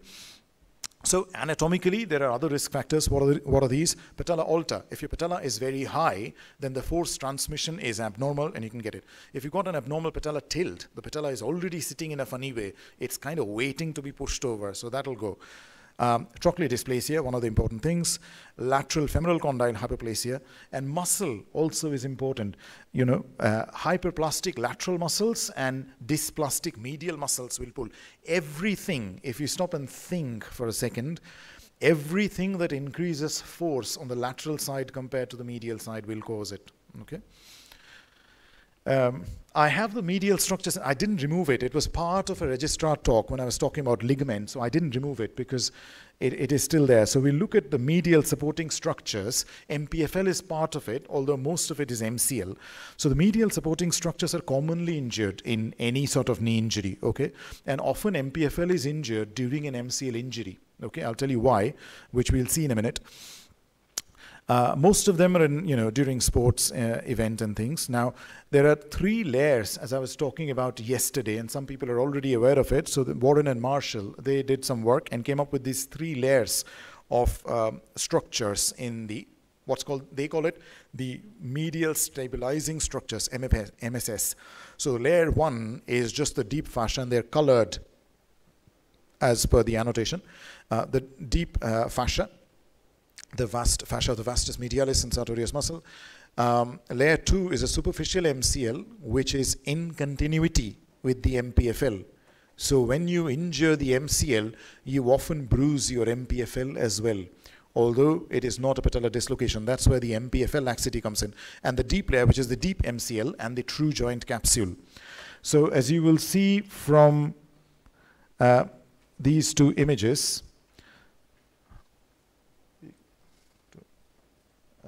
yeah, you can see the arrow. It's, it's quite busy, so it's hard to see the arrow. So where the femoral insertion of the MCL is, MPFL plumps into the same place. Okay it's pretty much same place. So this is an axial um, pdfs image which shows the mpfl as it goes and inserts towards the femoral condyle. And this is the mcl insertion on an axial image. Okay so this is it again in a different slice okay now with mcl injury the grades of ligament injury were all originally described by MCL, okay? Uh, but we use it everywhere. Basically, grade 1 is when there is soft tissue edema surrounding the MCL. Grade 2 is when there is edema around and also within. And grade 3 is when there is discontinuity. So this is edema around the MCL, which is a grade 1. This is edema to the MCL and around it, so this is a grade 2 and this is where it's flapping about in the wing with wind which is grade 3 so complete dissociation of the ligament. So same thing applies to the mpfl as well. So on the left of your picture is a partial tear of the MPL, mpfl there is some high signal around it and within it. In the middle is a full thickness tear of the MPFL from the patella, and the patella is bruised, and there is discontinuity of the actual uh, ligament. And this is a full thickness tear of the MPFL at the femoral end, and the MPFL is floating about there, and there is actual discontinuity in the MPFL. So patella always dislocates laterally, always. It never dislocates in the medial side. And it is because of the Q angle and the risk and the uh, imbalance of lateral force is the right word. Um, and it hits the lateral femoral condyle and hence you get the contusions in the medial patella and the lateral femoral condyle, as we saw. Uh, so this is just another uh, axial image of the of the three structures that's relevant. So MCL and MPFL are quite closely related. VMO is vastus medialis obliquus, which is the lowermost fibers of vastus medialis. Um, so we look at patellofemoral alignment. And again, plain film. We start with a plain film. Okay. Now, I have just shown you four out of interest and also because of lack of space. There is at least 10 other different types, including something called Carvalho's index, which I don't know whether you've heard about. Our orthopedic surgeon seems to be quite excited by the Carvalho's index. Now, I, I can't even remember and I don't even know what they, but I have to look up. The Ones which I use are these two. One is the Insall-Salvati ratio, which is also called the patella tendon height ratio, and it's quite straightforward. And the other one is what's called the Caton-Deschamps.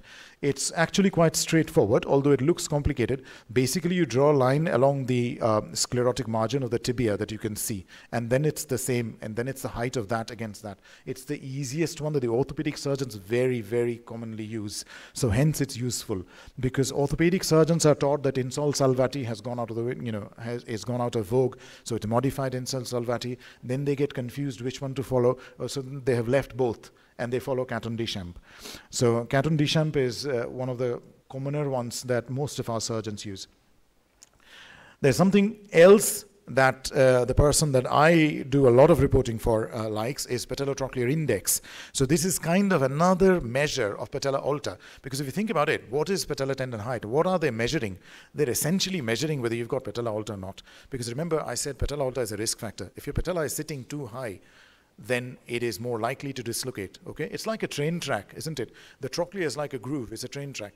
If the patella doesn't engage on the track, then it'll go wherever it wants to go, whichever side the muscle is pulling. That's the principle. If it can engage, that's the whole principle of surgery as well. If it can engage, then it'll stay. If it can't engage, so hence so much importance about the top of the trochlea. So anyway, so if the patella is high, patella alta, then clearly it is not sitting on the track at all. So wherever it's pulling, it'll go that way. So you will have a dislocation every day. So patellotrochlear index is the height of the cartilage of the trochlea covered by the patella divided by the height of the patella as a percentage. Now, the original paper of Biedert, he called uh, patella alta as 0.12, but you know, current based on multiple hundreds of paper, they say if it is less than, I use 20%, I use 0.2, 0.18, I don't like two decimals, so I use 20%. So I'd measure G by B if it comes 20% or less, then it's patella alta okay? Or I report it as there is evidence of reduced patellotrochlear chondral overlap within bracket 15% suggestive or indicating of patella alta. That's how I would word the report. TTTG, very, very common. It was in vogue. That is the one measure that you need to know, okay? Not anymore. So a lot of paper has now come out saying that the TTTG changes with the degree of flexion of your knee.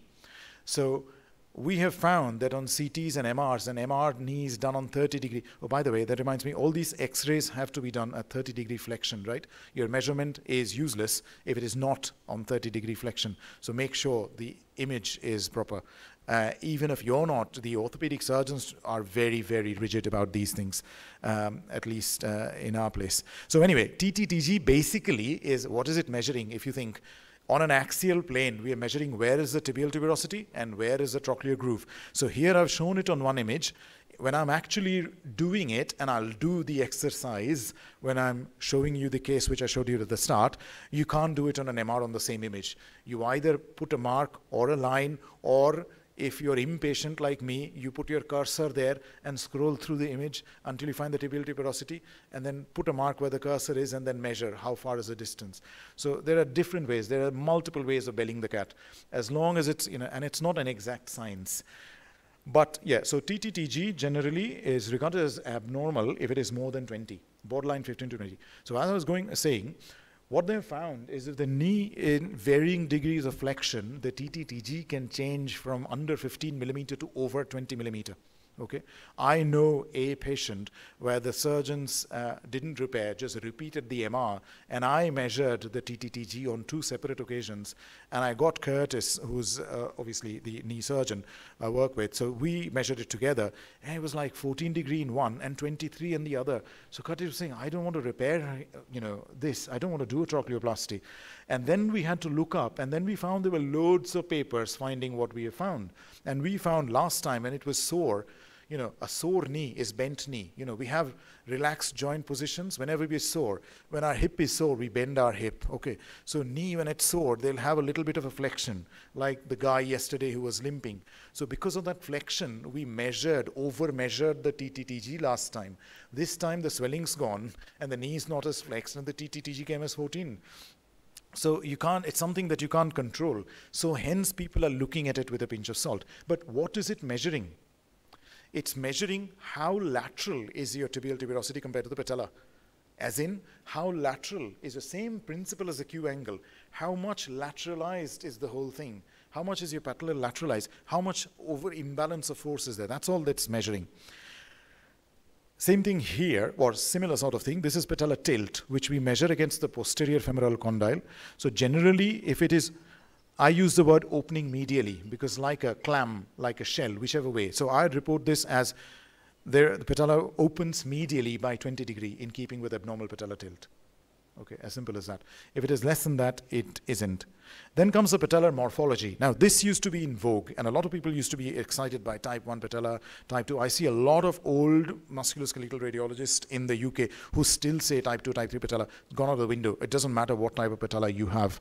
Okay, they are all equally likely or less likely. That is not the primary cause. The primary cause for dislocation is something else, no matter what patella. Okay, if you do a patella replacement, take this patella out and put in a ping pong ball, it'll still dislocate because the trochlea is dysplastic. The force is different. The tilt is abnormal. There are a hundred other things that's important. So it does not play any role in corrective surgery at all. If you feel like you can tell the type, well, we don't. So I don't. Most of us are not interested. What is more relevant is the Grelsamer type, which you probably haven't heard about, uh, which is basically the shape of the patella on the sagittal view. How often do we do patella, you know, axial skyline view and try and look at the patella? We're looking at an MRE all the time. So makes sense that Grelsamer came up with the types of patella. So this middle one in America is called Cyrano nose deformity. Cyrano is kind of an animal or yeah, which has got a very long kind of nose. So it's a prominent uh, inferior pole of the patella, just a normal anatomical variant, but it is called Grelsamer type 2. This is actually the reason why they had to give up and come up with the modified Insall-Salvati, because they found that the patellar length was often variable and not all of it is articular surface. Sometimes articular surface is only half, less than half of the patella if it's a Grelsamer type 2. And some they found is like a round ball, as I was saying, ping pong ball. So they are more likely to have a chance of dislocation if there is patella alta, not just by itself. If there is patella alta, a Grelsamer type 3, which is round like a ball, if you think of the physical principle of it, it's more likely to go this way and that way than somebody with facets. That's all there is to that. Trochlear morphology, this is where the money is. This is where we, where, where we actually assess. So we do traditional axial radiographs. Um, we tend to do Merchant's view, which is shot from the top. Uh, so the film uh, or the digital X-ray or cassette is on the tibial side. You can also do what is called a Laurin view, which is a bit easier when the patient come in acutely. And in this case, you get them to hold the cassette on their thigh, on their leg, rest it on their leg, and the beam comes from top down, okay? Sorry, from down up towards, uh, towards the patient. Now, there's a lot of confusion regarding um, Dejour classification, and I don't know whether you guys use classification uh, of these uh, or not, but mainly because there were two people, Henry Dejour and David Dejour, father and son actually, working in the same hospital over a period of about he's still carrying on actually david Dejour, although he's as old as you know he's he's about you know 12 years older than me. Um, so he's as old as uh, you know that. But they, they they for the last 50 or 60 years they've been working on trochlear dysplasia only you know amazing amazing that they can actually get away with it. But all these original things we're coming up with um, were, were henry Dejour, okay? And then david by that time got used to CT and MR, has come up with a lot of this. So when we say Dejour classification, we use David Dejour's classification, which is ABCD. Fairly straightforward. A is a shallow trochlea. Okay. B is a flat Basically, I used to remember it by B flat as in musical scale for those who you know play the piano or the guitar or sing and things. B flat. That's how I used to remember that B is flat, and that means C is basically you can think of it as convex or asymmetry of the facets. Okay, convex or asymmetry. Uh, and D is when it's like a cliff, when it protrudes uh, entirely. So basically, we often use why is it relevant? A surgeon will easily, easily do a trochleoplasty on a D sorry, B, but they won't on an A. B, they can justify in court and say why they've done a trochleoplasty if everything goes south, if it's a Dejour type B. Uh, and they would sometimes put pressure on us to say, do you not think this is B? And I would say, no, it's a very shallow A. Uh, because B gives them the lever leverage or leverage to go a bit beyond. So we as I was saying initially, it's all about engaging at the top of the trochlea, okay? If your patella engages in the trochlea, it'll stay on track. It's like a rail line. Okay, think of it that way. If it doesn't engage, and all that is at the top of your trochlea. Hence, when Pfirrmann did their paper in 2000, they did all the measurements at 1 centimeter, 2 centimeter, 3 centimeter. And they found that the 3 centimeter measurements were the most representative, specific, and sensitive of trochlear dysplasia in their patient. So if you actually look at it, and I can do that, remind me when I'm actually looking at the case, by default, where we do our measurement, we actually choose 3 centimeter. I never measure. I only start where I can see the trochlear cartilage confidently. And if I now go back and compare with the sagittal image, it is about three centimeter. So, you know, it, it, it, you know, it, it, there's no, you know, special magic in it. So here are the things that we measure, or I measure. Facet asymmetry. So I draw a line of the medial and lateral facet, uh, and facet dysplasia. So trochlear dysplasia is there. This would be Dejour type C, which is facet asymmetry if the medial is less than 40%. So I divide the medial by lateral and see if it is less than 0.4. If it is, then it's type C dysplasia, okay? Trochlear depth, something I measure, and there are another 350 ways of measuring the trochlear depth. People do it in all different ways. This is the traditional way. Some complicated orthopedic surgeon sitting with a cup of coffee with a radiologist came up with this. I tend to do this. Okay, but truly, this is this is what you should be doing if you're doing a paper on trochlear dysplasia. But when you're reporting normally, because uh, don't do you guys use PACS? So we've got a software which is called um, which is GE or uh, Centricity PACS actually. Um, so they have something, a measure called um, midline shift. So if I draw two lines and then put a point on the septum pellucidum, it tells me how much is a midline shift. So I use that for the trochlear dysplasia. I too put two points at the two most prominent part of the trochlea anteriorly, and it tells me what's the depth. And so I use that, which I think is quite reproducible. I've never, yeah, I suppose you could do a short paper on that, uh, of actually using that tail. That's how people publish. If you look at Japanese, Korean papers, American papers, and people in the south as well, southern part of India, very, very, I see a lot of, you know, sort of work that's sort of coming out of there. And that's all they do. They, sometimes things are very simple, but they come up with it and share what they do with everyone else. And you suddenly get, you know, sort of groundbreaking research from that. But anyway, so that's how I measure the trochlear depth. But this is the true way of measuring. You draw a line, draw a line along the posterior margin of the condyle. Then you draw a perpendicular from the highest point of the medial and lateral, okay? And then the highest point from the middle. And then you basically subtract this from them. It is quite a complicated way, or you can look into it, but I don't want to spend 10 minutes trying to explain that. Uh, so I'll move on. So generally less than 3 millimeter is trochlear dysplasia. The other one is lateral trochlear inclination. Now, some surgeons like it. My, the person I work for, the two of them, I do most of these for. And so Curtis Robb is one of the surgeons who actually operates on professional players. So he is very, he's quite a high-end orthopedic surgeon uh, operating on peoples that you see actually on, on your telly, you know, in Olympics and things like that. So he, he doesn't like this. So I tend not to do the lateral trochlear inclination, but if it is less than 11 degree, that is also a sign of trochlear dysplasia. So those are the measurements that I do. Patella alta, so tendon height ratio, patellotrochlear index, okay. TTTG, still do it, although with a pinch of salt. Trochlear grade, okay, uh, sorry, type, uh, the depth, and uh, the, um, the facet asymmetry or symmetry. That's all that I do. Um, so I don't want to give you lots of percentages I was saying. The other measures I'll just go into. So this is people who do these have seen these appearances. So ventral prominence. This is this was originally on an X-ray by Henry Dejour, but David Dejour just confirmed that yes, I agree with Dad. Okay, on an MR you do the same thing. You drop a line from the femoral cortex and you find that it's eight millimeter or more, then it's a prominent ventral, which is uh, which is a sign of trochlear dysplasia, more than eight uh, millimeter. Now, it can, it has been described by some people, people come up with signs wherever they can. So it's called a nipple sign, and you can have a small or a prominent one.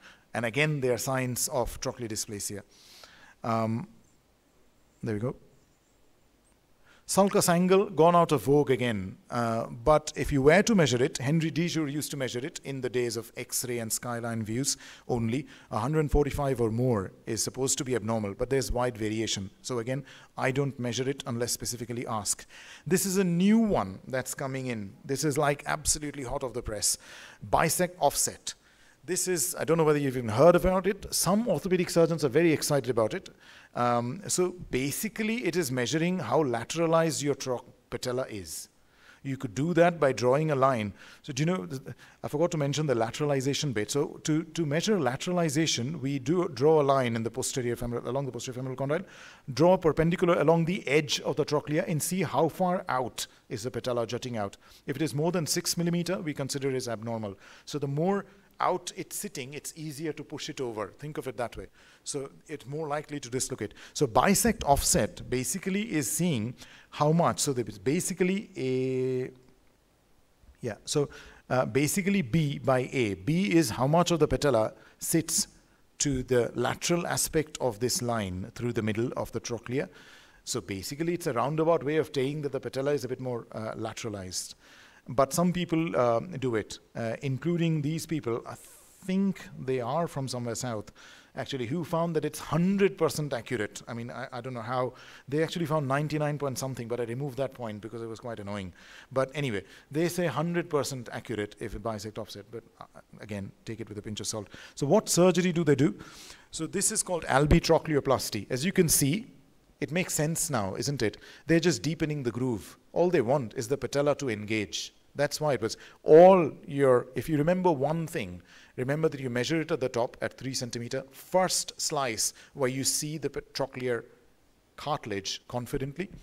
Um, and it's, it's the depth and the symmetry at that level that is relevant. So trochleoplasty is this. You can do a wedge trochleoplasty. This is what Henri Dejour used to do in the 1960s, basically a deepening trochleoplasty. So not only do you wedge on this side, do you wedge on the other side as well. And there are multiple different ways of belling the cat. So this is another way of deepening the groove. When there's a prominent notch, you dig a triangular wedge and cave the bone in to make a groove so that the patella sits there.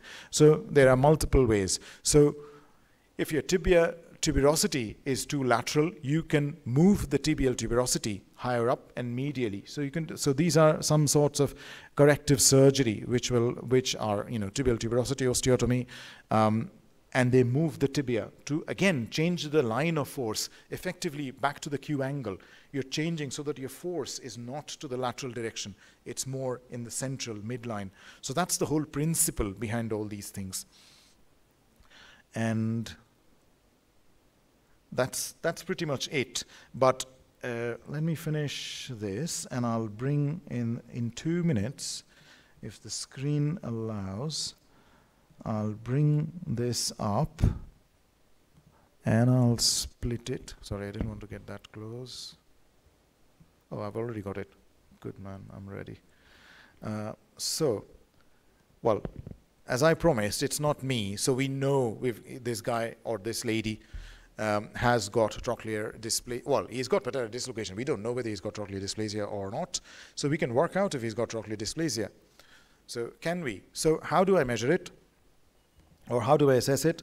Very quickly. So let's stop in the midline sagittal. Okay. So notice, let me see whether it's projecting well. So notice, which way am I going? I'm going the right way? Yeah. So if I go up, That's where I start seeing the trochlear cartilage a little bit. Where's my arrow? On this side, I can see the cartilage, but I can't really see it confidently on this side. So I won't be doing my measurement here. Okay? I'll wait. Sorry, wrong way. I'll wait till I can confidently see it. Okay, don't get too confident because then you're way down. Okay, so first slice where I can confidently see it, I have to look at this image. But this is where I can actually confidently see it on my workstation. Okay, it might project differently to you. At that line, I mean, this is not a PACS workstation. I'll drop a dot and a line to mark the surface of the patella, and then I'll see how deep is it. That's two millimeter. So what have we got? We've got a trochlear dysplasia as the cause. What type? A, at least. It's not B, B flat. Okay, I always remember the B flat bit. So A um, for sure. Uh, now, at that level, I need to get rid of all of them. Think backspace, backspace. If I now, now, unfortunately, it won't let me, you can get your calculators out. From the middle, if I measure the medial facet, and I measure the lateral facet, okay? So that's 7. so 2.5 and 7.5. Basically, straight away, 2.5 by 7.5, 1.3. So that's 33, so less than 0.4. So actually, not only is this shallow, there is facet asymmetry. So this is a type C, right? B flat. That's what I remember. I always remember the B flat and then I go this way, which is just shallow A, and go that way in my mind because you need to be able to see. If you don't visualize things, you won't remember things. So this is actually type C. So I'll say there is Dejour type C dysplasia. I don't need to tell them the asymmetry. I'll say it's a Dejour type C, trochlear dysplasia with a maximum depth of 2 millimeter. And notice what? Where was I doing my measurement? As if by magic, let me see from the knee joint, where am I? Oh, crikey. Sorry. Okay, let's remember, I'll, I'll start from that direction, okay, so that uh, I'm not cheating then. So from there, oh, it doesn't, oh, because I'm on that line, it doesn't recognize the line. Okay, so I'll have to remember, keep my mouse there and move one slice, so it's just above that slice, even roughly. Why wouldn't it measure?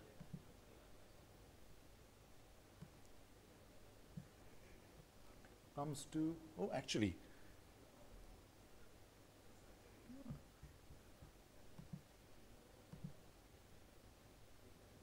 Thank you for waiting.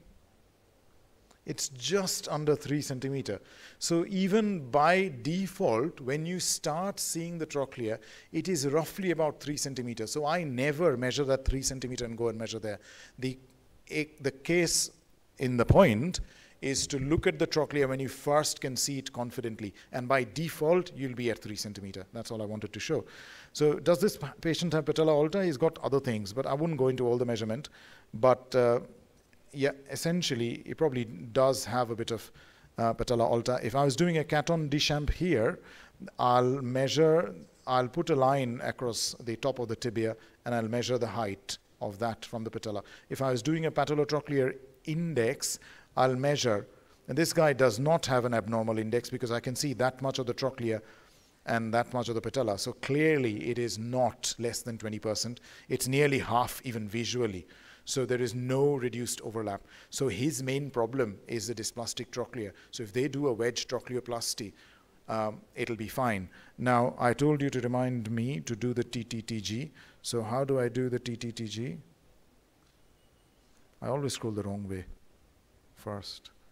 I'll put my marker there, which is in the middle. So here, you don't have to be at the top. You stay at the deepest part of the groove, okay, for TTTG. I put my marker at the deepest part of the groove, and then I go down where the clearly our MR technicians haven't done a good MR and we should have brought the patient back. So I should be doing what I preach, but clearly I didn't.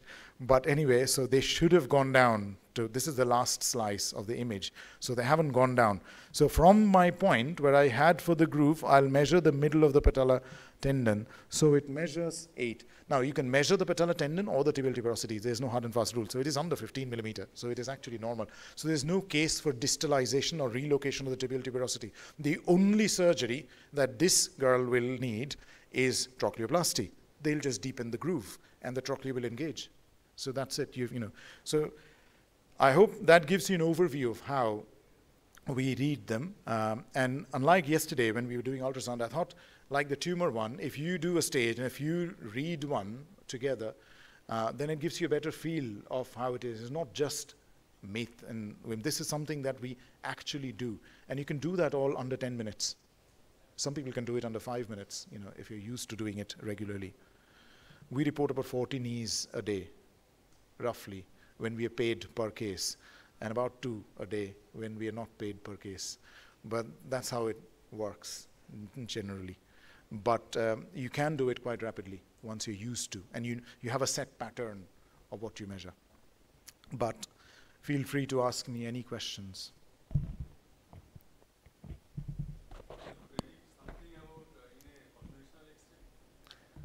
Uh, you can, you can. So I didn't go into it because again, it expands in, you know, 30 minute, we are still already way beyond 30 minute. But yes, we look at crossover sign and we look at, A, we can see the lateral edge. So if I go bring back one of the x-rays, um, where's the x-ray? Oh, there. So if I bring that slide up for a second,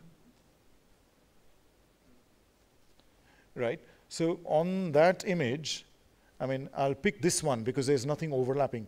So obviously here, you know, this is trochlea, right? This deeper bit is a line of the trochlea. That is the depth of the trochlea.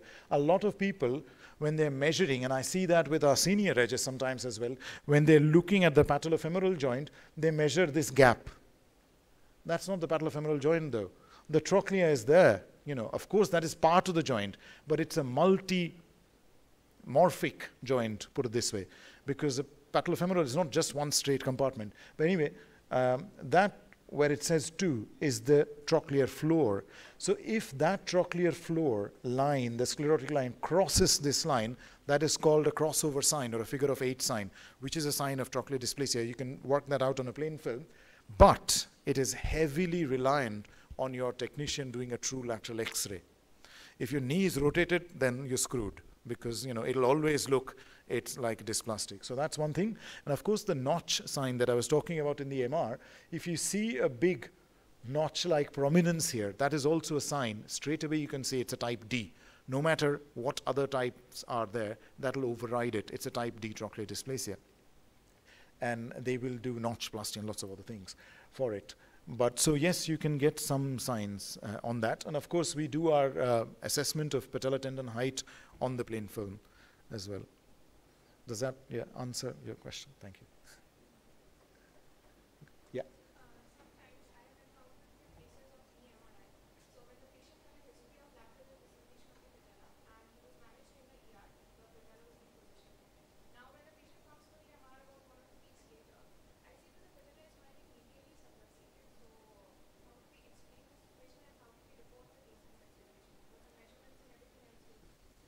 Okay, so I'll answer one thing at a time. Um, the measurement side of things, most of the measurement are related to the trochlea. Okay, so whether your patella is sitting medial or lateral will not affect your trochlear measurement, right? If you think about it. Without actually looking at a specific case, and I'm more than happy to look at it, uh, it's hard to say. Generally, if your MPFL is torn, you should dislocate or expect it to move laterally unless something else has also injured at that time on the lateral side.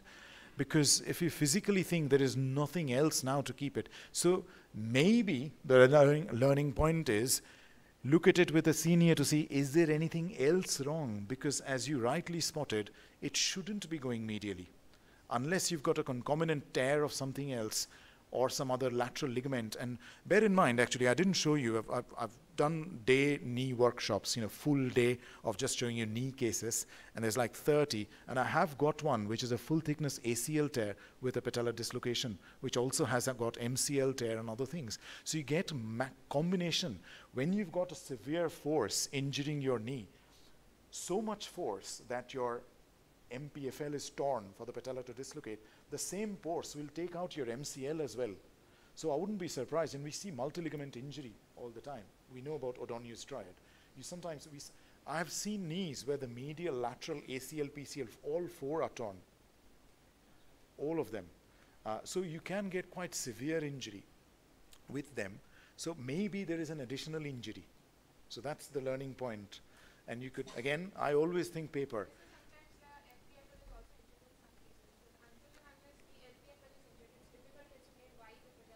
Very, very correct. So, so that is the other thing. In fact, I'll give you, I'll raise you one more.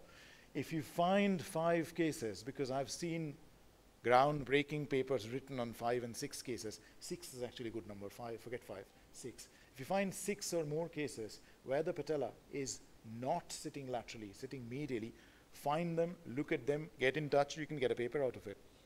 Because all your learning point is look at something else don't stop at just the patella. That's all your learning point. I always think that way, think paper. If you think paper, you'll, you'll be thinking because that's how, that's how, you know, it'll feel good as well. So yeah, by all means, on a serious note, get in touch, get the number, get in touch with me or other interested local people. Okay. that's that's the good thing about all these didactic, which you don't get uh, with hybrid and virtual lectures people do ask questions, but the interaction is not the same. I do teach um, online as well at some point, but it does not have the same feel. There is a different feedback when you make eye contact with people you're talking. Yes, you can see some of them are nodding and dozing, then you look somewhere else.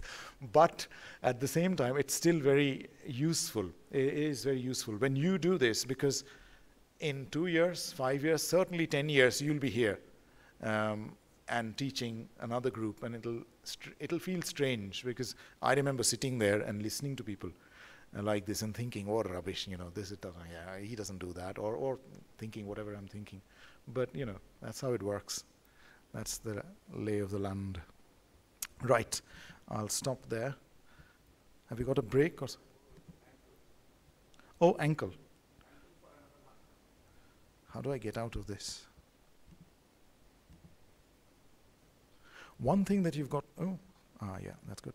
One thing that you've got to be very careful about whenever you're presenting anywhere outside UK, of course, it's not allowed, but swearing, I see that sometimes in people um, in the UK presenting because particularly when the slide is stuck and they'll say something and then obviously they'll try not to. But uh, have to be sometimes, particularly when you get an Irish presenter, they can't, they can't complete a single sentence without using a swear word. Um, so swear boxes, we call them. Uh, so ankle, where's ankle? Ankle.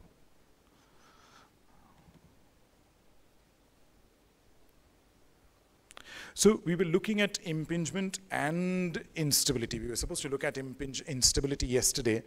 What I'll do, uh, do you want me to go through, uh, probably useful going through the anatomy anyway, isn't it?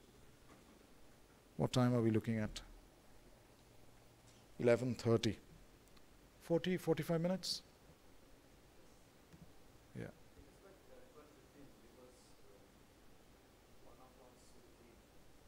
Uh, by 12.15. Okay, I'll, yeah, chop, chop. I'll try and go through the bases. There's no point in, see, the other thing is there's no point in going through things in a very quick pace because then there is no engagement and no following, no understanding and things as well. So I'd rather do it slowly, but Okay, so you know that's a cue to stop talking and start doing the presentation. Sorry, I understand. so, um, so basically, we'll we'll we'll carry on, but I'll digress from time to time um, to keep you um, guys uh, uh, eyes on the ball as well. So this, how many of you report ankles? And the rest don't. With with somebody else, or do you look at them at all, or even? even for fun? No. Okay. So ankle, here we enter. So knee traditionally is often reported by general radiologists, right? Certainly in the UK, um, if you work in a small DGH, spine and knee is reported by general radiologist. If you move to a bigger place, knee is part of musculoskeletal system. We don't trust the general radiologist to be doing justice to the knee. They have no idea what a trochlear dysplasia is. Okay, so, so general radiology, that's how we look at it in the UK, right? So they'll be reported. If you go to an MSK center, spine is reported by MSK radiologists as well. They will tell a general radiologist wouldn't know. But it's reciprocal. So when somebody comes with trauma, CT head and spine, the CT head is reported, the, and the CT spine will be read by the musculoskeletal radiologist and will tell the reg, go and find a general for the head. They won't look at the head they leave it. And so uh, we as Reg said, oh, you know, there's no head, you know, person on call today. Can you not look at it? No, we are musculoskeletal radiologists. But ankle is the first proper, also shoulder, we talked a lot about shoulder. It is a proper MSK territory MR. So it is a bit busy, but it is interesting because again, you have to have a systematic approach. We look at bones, uh, so how many of you actually do standardized uh, reporting template or template-based reporting? Or do you just look at it and make your own call? Just There is, okay, sorry.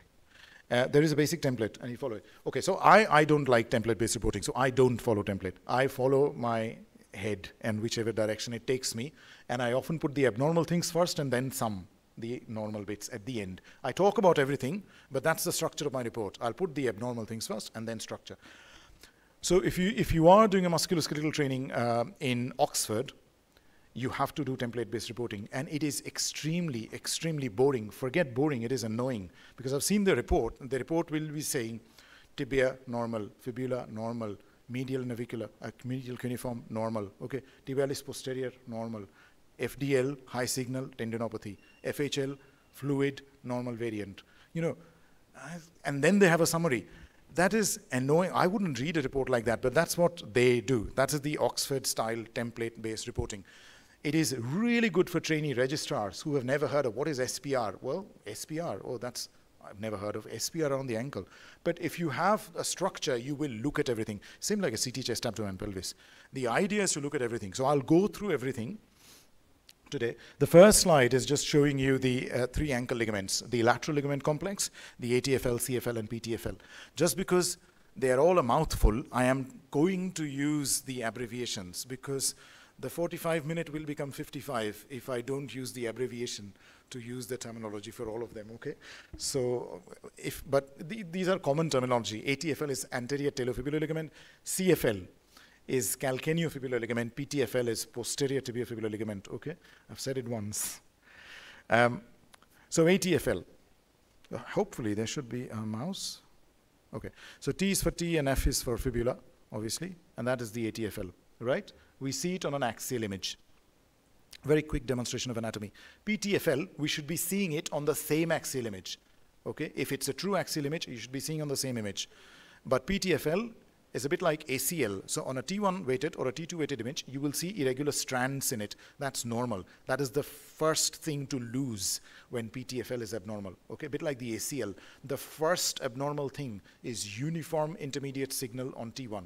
Same here. Intermediate signal on T1, uniform, is the first abnormal thing. If somebody wants to know why T1 before other things, I'll tell you later at lunchtime because it's, it's, it is physics but it's slightly, you know, once you understand it, you understand. But anyway, so changes happen on T1 first. But anyway, so ATFL and PTFL on the same axial slice. Then we go to the coronal, and then I go to the coronal to look at CFL. So I look at things at a time. So I'm looking at the ligaments first, okay? So CFL, calcaneofibular ligament, okay? Um, so it, uh, here we go. Here's our arrow. Um, described as a boomerang shaped ligament by the Australians. It is a curved ligament, so it's very difficult. So when I do ankle ultrasound, I actually have to invert the ankle a little bit to see the CFL, otherwise, I can't see the CFL.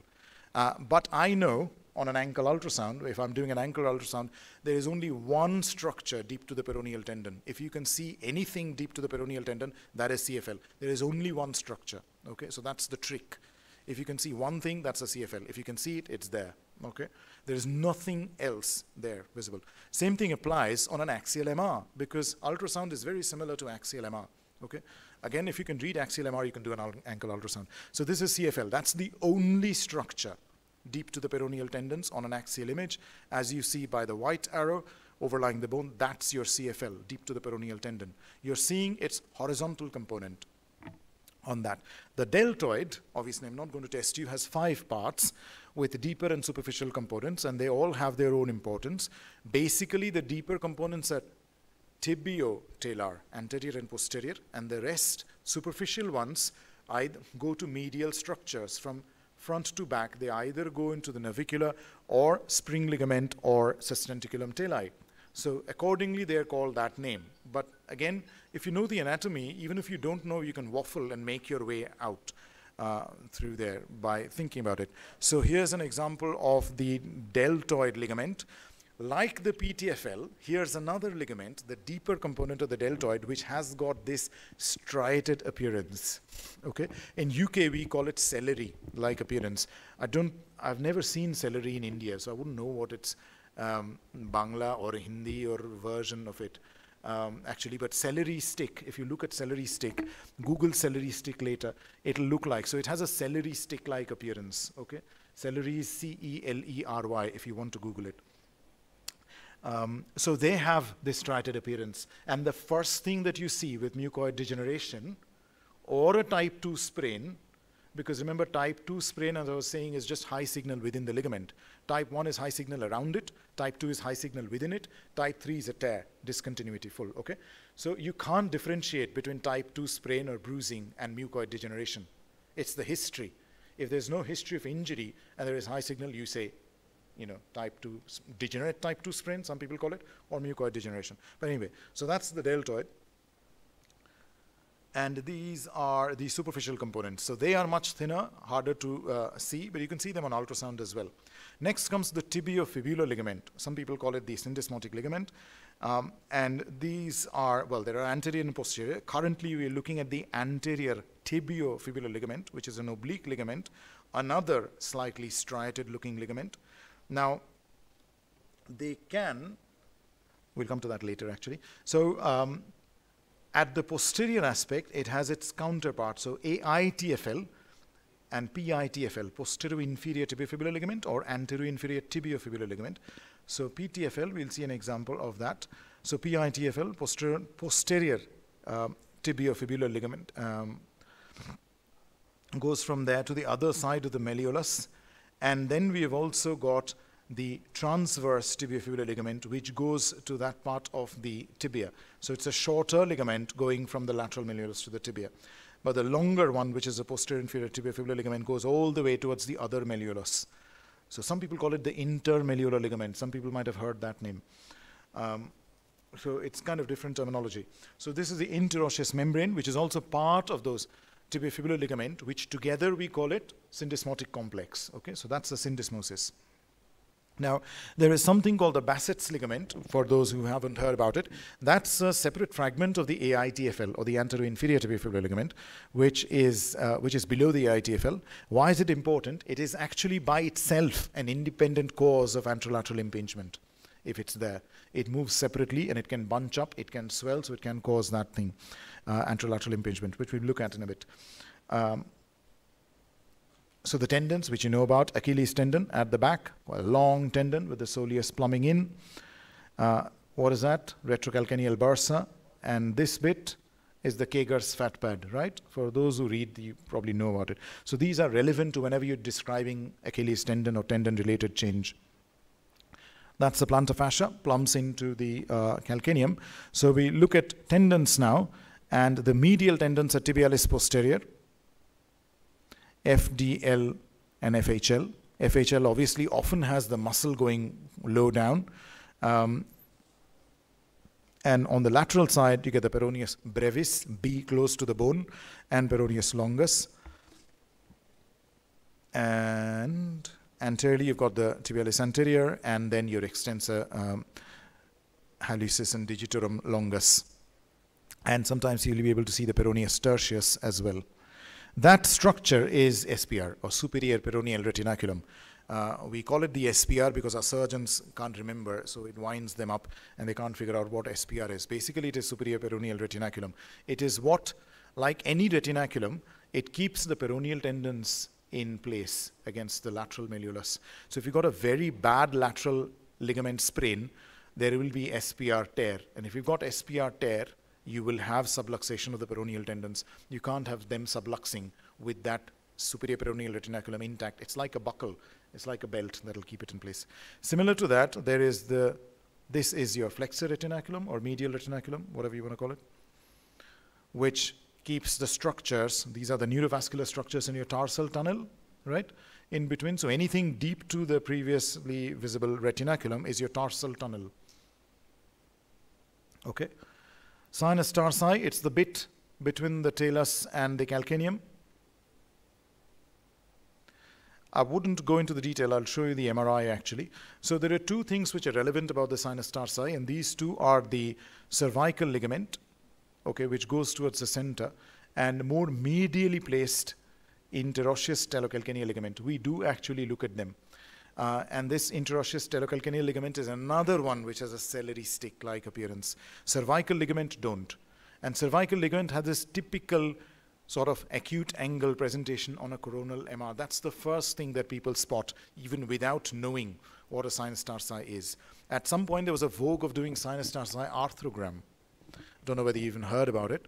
Uh, but that went out of the window because we can see them on a 3T MR quite nicely, so we don't do any arthrograms anymore. Um, the joints, obviously ankle and subtalar joint. You can see lots of other joints. So the subtalar joint is made up of three joint, yeah, right? This, the first arrow at the back is the posterior talocalcaneal joint. This is the middle talocalcaneal joint. And often you've got a small facet of the anterior talocalcaneal joint, which is inseparable from the talonavicular joint. So it kind of merges into that one C-shaped thing. Um,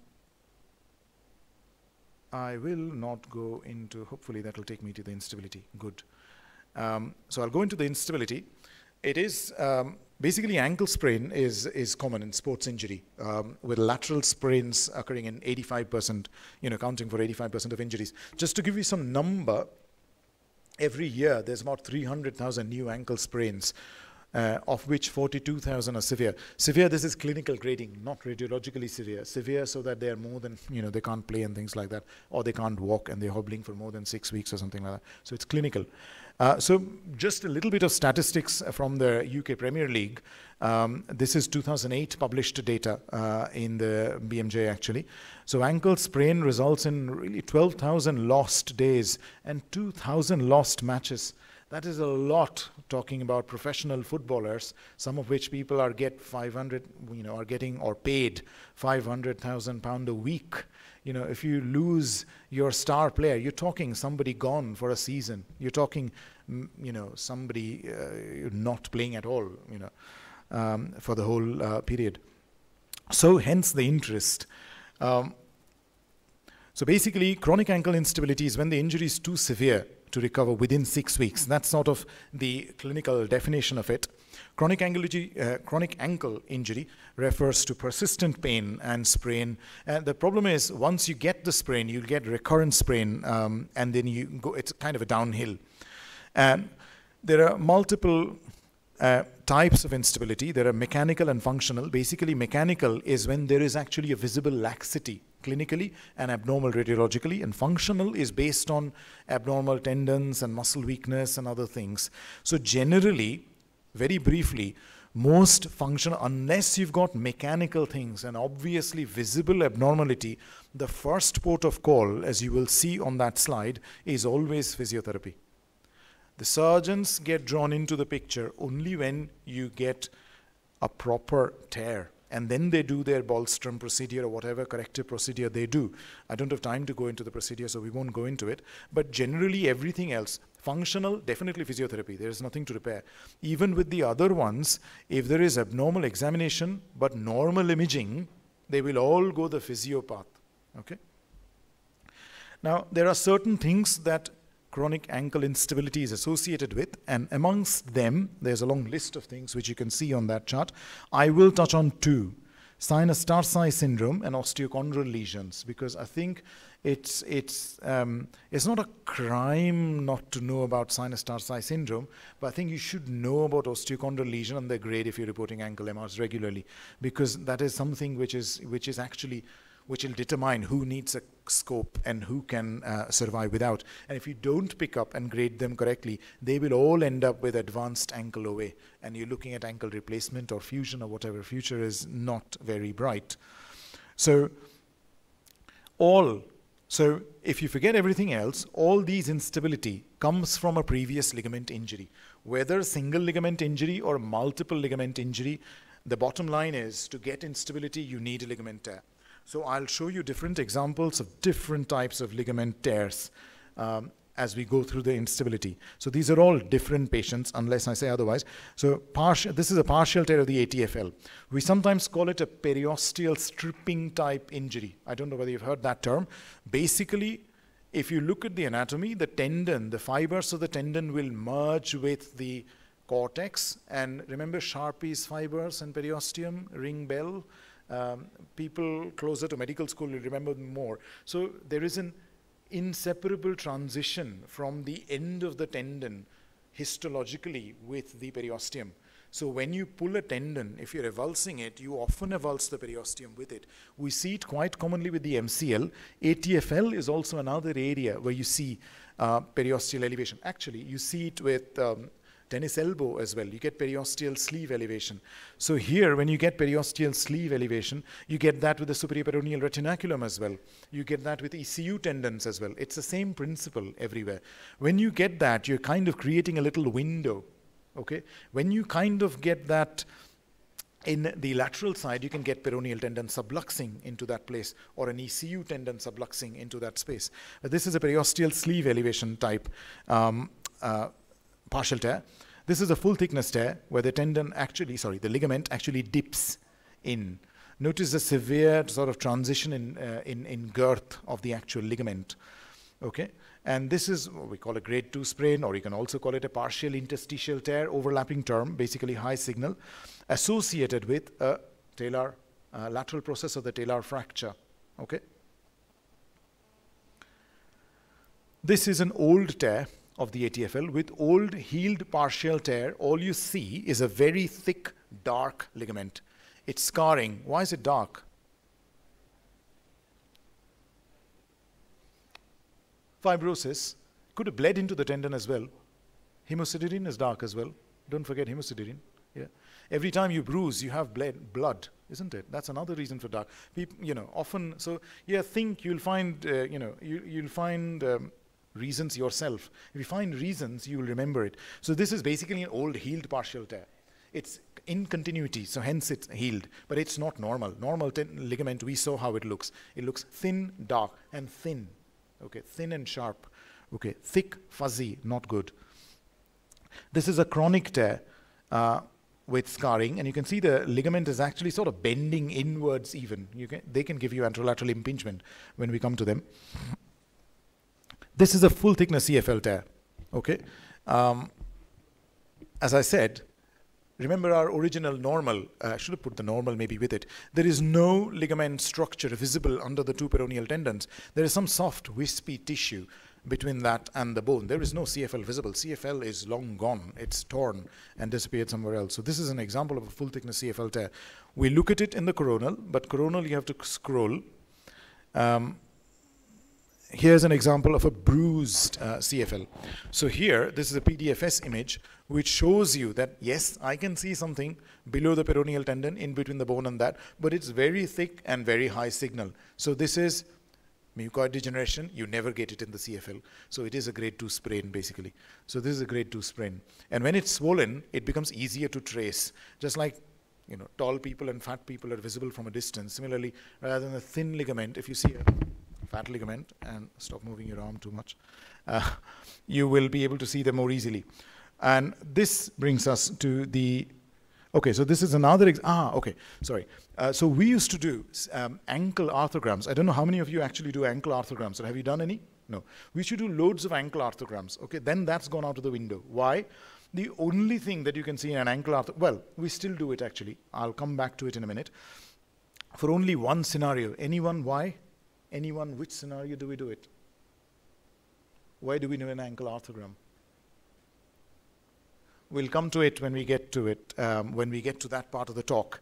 Um, there is one reason where ankle arthrogram wins. You, nothing can replace an ankle arthrogram for that. Uh, similar like a knee arthrogram. That's the only scenario where we do a knee arthrogram. Um, there is nothing else that will give you that answer. Um, I can ask you that, remind me if I forget. Um, but with an ankle arthrogram, the only thing that was visible, and bear in mind, if you go back 20, 20 30, 40 years, people, MSK radiologists did arthrogram and read the arthrogram, the X-ray, which we don't read now. All we see, yeah, is it visible? Yeah, go, send him to the MR. But they used to read the actual arthrogram. And in them, and that's how the ankle arthrogram is useful, in them, if you inject the ankle and you see fluid in the peroneal tendon sheath, you've got what? CFL tear. That's a full thickness CFL tear. Because remember, now it makes sense. Oh, yes, Dr. Ganguly said that's the only structure visible between the bone and the peroneal tendon. When that's gone, the cushion's gone. So when you do an ankle arthrogram and you see fluid in the peroneal tendon sheath, you've got a CFL tear. You don't need to do the MR. If you've got a CFL tear, you've got bad ankle instability. Why? You can't tear the CFL without tearing the ATFL or the PTFL. PTFL, it doesn't go very much. It's the ATFL which goes first. That's what we learned in medical school. Of course, you're right. ATFL goes first. So it must have gone for CFL to go. You've got two ligament injury now. You don't need any, anything else. Stop now. You've got ankle instability. See the surgeon. You know, you need a scope. That's how the thinking should move. But that's, that's, that's the whole idea. So nowadays, we are good at picking up CFL tear, so we've done away with ankle uh, arthrograms completely. The only case, only scenario when I do an ankle arthrogram is when a surgeon comes and tell me, tells me, you've got a grade 2 or a grade 3 osteochondral lesion. Can you for sure tell me whether this is loose or not? Is it going to dislocate? Is it going to become a loose body or is it stuck onto the bone? I inject the ankle. I inject with pressure. I inject ankles. What is a normal joint volume for ankle? 3 to 5 ml roughly. I inject 7. I'll go 2 3 mils up to stress the joint to see if any fluid goes in. Okay? If it does, it'll tell it'll tell me. That you can argue that's another place where gadolinium comes in handy. Because remember, one of the T2 high signal is also part of osteochondral lesion. How will you know? That's the fluid that you injected and not that. Okay, even if you do a control type MR first and after saline injection, you still can't tell. T2 is high T2 is high T2. Fluid signal is fluid signal. You can't. The only way you can differentiate is that's another place where I, the only place where I use GAD, because that's the only way. Unless, well, actually nowadays I don't use GAD. I do a CT arthrogram. Use a bit of iodine and CT. Shows you. It doesn't show you anything else, but it shows you 100% proof whether that fragment is loose or stable. Same with meniscal tear. That's the only place where I do a CT guided um, arthrogram of the knee. If you see a crevice, high signal on an MR, how do you know it's not a recurrent tear? If he's had meniscal surgery, how do you know it's not granulation tissue? Granulation tissue is vascular and high signal. So the only way is a CT uh, uh, arthrogram of the knee. That's the only place. So this is an example of you know chronic CFL tear. Now, one important thing about the CFL, that's the only ligament, if it hasn't struck you already, that covers the ankle and the subtalar joint. Hence the importance of CFL. Okay, pause and think from a moment. That is the only ligament which is traveling. On the lateral side, I'm talking about, and most instability. On the medial side, you can argue there are, yes, there are tibionavicular component of the superficial spring ligament does, but on the lateral side, this is the only thing that covers two joint. Hence, it's so important. Once you lose the CFL, A is bad. You're going towards OA, replacement, fusion, that way. Okay. Hence, the importance of looking at the CFL.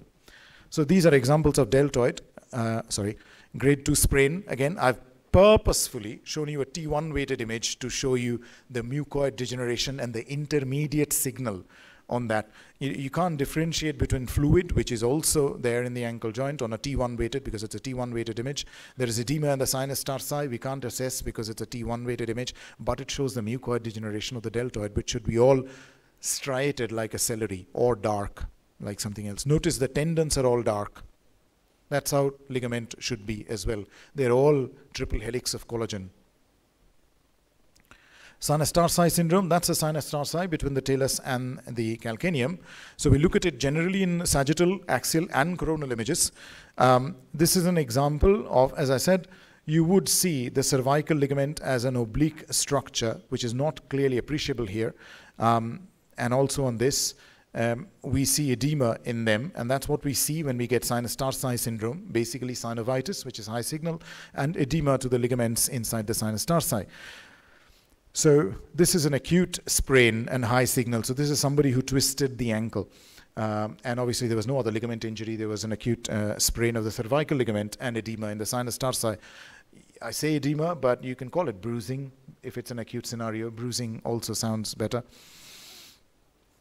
So this is another um, example. This is a sinus tarsi ganglion. So this is also sinus tarsi syndrome. So any sort of inflammation or process going on there will give you sinus tarsi syndrome. It's pain coming from sinus tarsi. And again, you can use your own um, differentials. You don't need to listen to this talk or read a book for it. There are ligaments there, there are areolar tissues there, there are nerves there, and there are structures there. So anything related to any of them, an osteophyte, you don't really listen to any of this. An osteophyte from a bone can give you sinus syndrome. Edema there can give you sinus syndrome. A sarcoma there can give you sinus syndrome. A hemangioma, never seen one there, sir, but yeah, can give you sinus syndrome. So anything there uh, can give you sinus. Of course, synovitis from any of the adjacent joint. Gout, you know, I haven't, I might actually have an example of gout. So basically what I'm saying is think when you read images. That's what makes radiology interesting. So this is, this is a ganglion with associated edema in the talus. This, ah, there, we go, large cystic areas with lots of edema and synovitis. It's the cysts that give it away. This is actually gout, and there is tophaceous deposit, which will look the same at the end of the day, this is just an image. It'll look the same as any sort of other type of synovitis, but the cystic change around it makes me think it is gout. Uh, and obviously there is history of crystal deposition disease and things. This is sinus tarsi syndrome with heterotopic ossification of the cervical ligament, basically. So, you know, chronic injury, heterotopic ossification like myositis. Technically, this is not myositis. This is this is ligament uh, ossification. So you can't, you shouldn't call it myositis. Myositis is muscle, but so hence the word heterotopic ossification. Um, This is another example of sinus tarsi syndrome where it's sort of chronic thickening. Notice how thick and low signal the cervical ligament is. We've been seeing it as a thin structure so far. So it's just thickening. And synovitis is just a high signal. Why am I calling it synovitis? Uh, just because there can't be anything else there. There is synovium and fluid. It doesn't look clear fluid like, so hence I'm calling it synovium. There's no other special magic in it. Um, so this is Okay, yeah, forgot about this one. Uh, so this is a malunited anterior process of calcaneum fracture. Again, the shape is not right. It's deformed, hence pressure effect, reactive synovitis, sinus tarsi syndrome. So just to highlight, oh yeah, this is a nice one actually. This is a nice one. This is talocalcaneal fusion. Naturally, inherently, these guys or this person, sinus, I can't remember it's a boy or girl, um, sinus is really, really tight with sclerosis from chronic abnormal loading and things. He's got sinus tarsi syndrome because it's kind of non-existent sinus really. Okay, see that with talocalcaneal um, fusion. This um, we will see later. Very abnormal. Look at the calcaneum. It's tilted over, marked calcaneovalgus deformity. This is basically something that we'll see later. I won't talk about it. But you can get subfibular impingement because of the abnormal calcaneovalgus which will also squash the sinus tarsi and give you sinus tarsi syndrome. We'll look at it uh, in a bit. I'll quickly go through the important bits of the osteochondral injury. It, it is a loosely used term, and often if it's degenerate, we just say osteochondral signal change. If it's trauma, it's the same thing we say on osteochondral defect or osteochondral um, uh, injury. Uh, we don't use the word osteochondritis dissecans ever. Um, but bear in mind, you can get them if you're reporting ankles, you would have seen in the superomedial and the superolateral talar dome. So it depends on which ligament is torn. If your deltoid's torn, the ankle goes laterally and you get a superolateral talar dome osteochondral lesion. If it's the lateral ligament which is torn, inversion injury, you get a superomedial talar dome osteochondral lesion based on which type of instability. Hence, they are tied together. Now, Berndt and Harty when they originally described this, they kept it simple. Uh, type 1 is subchondral compression fracture, you don't see anything. Stage two, 2 is when you see a partial defect. 3 is a complete defect, but the fragments undisplaced. And 4 is um, displaced fragment. This is the standard classification that everybody uses. MR obviously creates problems because you can see too much and which is why sometimes we limit uh, our MR. With MR, the most annoying thing is subchondral cyst. Now, it doesn't fall in any classification system. What do we do about these? How does that help? So the MR, Anderson came up with an MR version. Uh, type 1 is subchondral edema, and this X-ray is normal. Type 2A is a cyst. Okay? And type 2B is the partial separation, which is the partial separation of the Berndt and Harty type 2. Okay. Part three is complete separation, undisplaced, and type four is the same, complete and displaced. Okay, you get that? So the cyst has been introduced here in the Anderson as a type 2A. So if you just see cysts there, it's a type 2A lesion. Okay. The rest is similar to the bone. Only edema, partial tear, full tear, undisplaced, or full tear displaced. Those are the basic. The additional 2A is the subchondral cyst, if you're reporting them. So here's one in the superomedial aspect of the talar dome. Ah, good. I forgot I had done these because this is one of the first talks I prepared when uh, Dr. Karim uh, called me. Uh, so this is edema in the superolateral. So this is Anderson stage one, right? I'm not going to test you on the stage because of sake of time. This is a cyst. What is it? This is stage 2A. Oh, it's 12. That's great. I've got 15 minutes. That's plenty of time. I can digress. But uh, so this is a cyst. Okay, with edema, forget that. There is a cyst. So this is 2A. Thank goodness I agreed with myself. I, I, I, said 2A before flicking. Sometimes I, I, generally I cheat. I'll do that and then I'll say it looks clever, but also I don't want to get caught out. So I was ahead of myself there. So this is 2B. So this is a partial separation. See a CT arthrogram. Okay, shows the defect really, really nicely. That's another place where we would do CT arthrogram. And CT is so good we forget how good CT is for cartilage lesion. you name it. Delamination, I was talking about yesterday. I was taking, talking about delamination in the tendons for those who are still there and not sleeping. We get delamination in the cartilage as well because cartilage has, how many layers does a cartilage have? People are thinking, why do I care? We don't need to know. You know, well, you don't need to know when you're reporting an MR, but a cartilage has seven layers. You'll be surprised, okay? It has seven layers. Why is it important? Because the bottommost layer are perpendicular layers stuck on to the Sharpey's fibers on the cortex and periosteum or underlying bone. They, you can't do anything to them. They will be there. You can't budge them unless you scrape them off. Even then, you can't. Then you come the disorganized layer, and then you get the horizontal layer. They all have two, three sublayers. I'm not going into the detail of the sublayers. And on top, they have um, capsule-like layer, which is layer 7. But the bottom line is, in between those really tight vertical layers, and the horizontal layer, there is an irregular disorganized layer in between. That's your delamination layer. So when you see a tear going through the top, your fissuring of the cartilage in knee, patellar cartilage anywhere, cartilage is the same. It's hyaline cartilage, wherever it is. It's the same structure. Beat your finger, if you can see, if you've got a 7 Tesla MR and you can see your MCPJ, it's the same principle. It'll go through those top layers until it hits the disorganized layer. Then it can't go anymore because there is bone and the deepest layer, which is really tight. Then it finds horizontal track, a bit like you know overflow traffic, and that's how you get your delamination. It's the same as a chondral flap. People used to call it chondral flap when you get a horizontal cleavage. Okay, the same thing here. So here on a CT arthrogram, you will see them really nicely because the contrast will go, if you mag them sufficiently enough, will go vertical and then go along the surface of the bone. So you'll get a chondral flap or a delaminating chondral tear. So this is the partial tear, Anderson 2B. This is Anderson stage 3. See how the MR and the CT actually is a true stage. This is the same patient, I swear. Um, so MR, we would understage it often, isn't it? We would sometimes say it is a 2B. We would think mm, maybe there's, it's partial, you know. But a CT clearly shows you because bone for CT yeah, okay, so you see bones so well. Hence the CT arthrogram comes in. Okay, here's another example.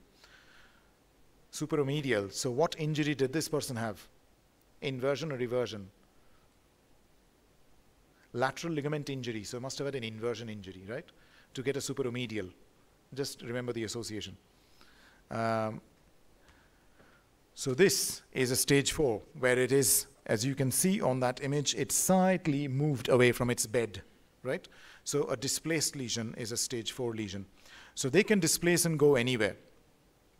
So why, why is this important? The most important bit about this is um, the stability of the fragment. That's what the surgeon wants to know. Is it a stable or an unstable? Now we evaluate them on fluid sensitive MR. Sometimes we, as I said, we do CT arthrograms. So the MR criteria of instability, there, this is unfortunately, unfortunately not an exact science. So I'll tell you what is relevant and how I report them. So generally high signal is granulation tissue, okay?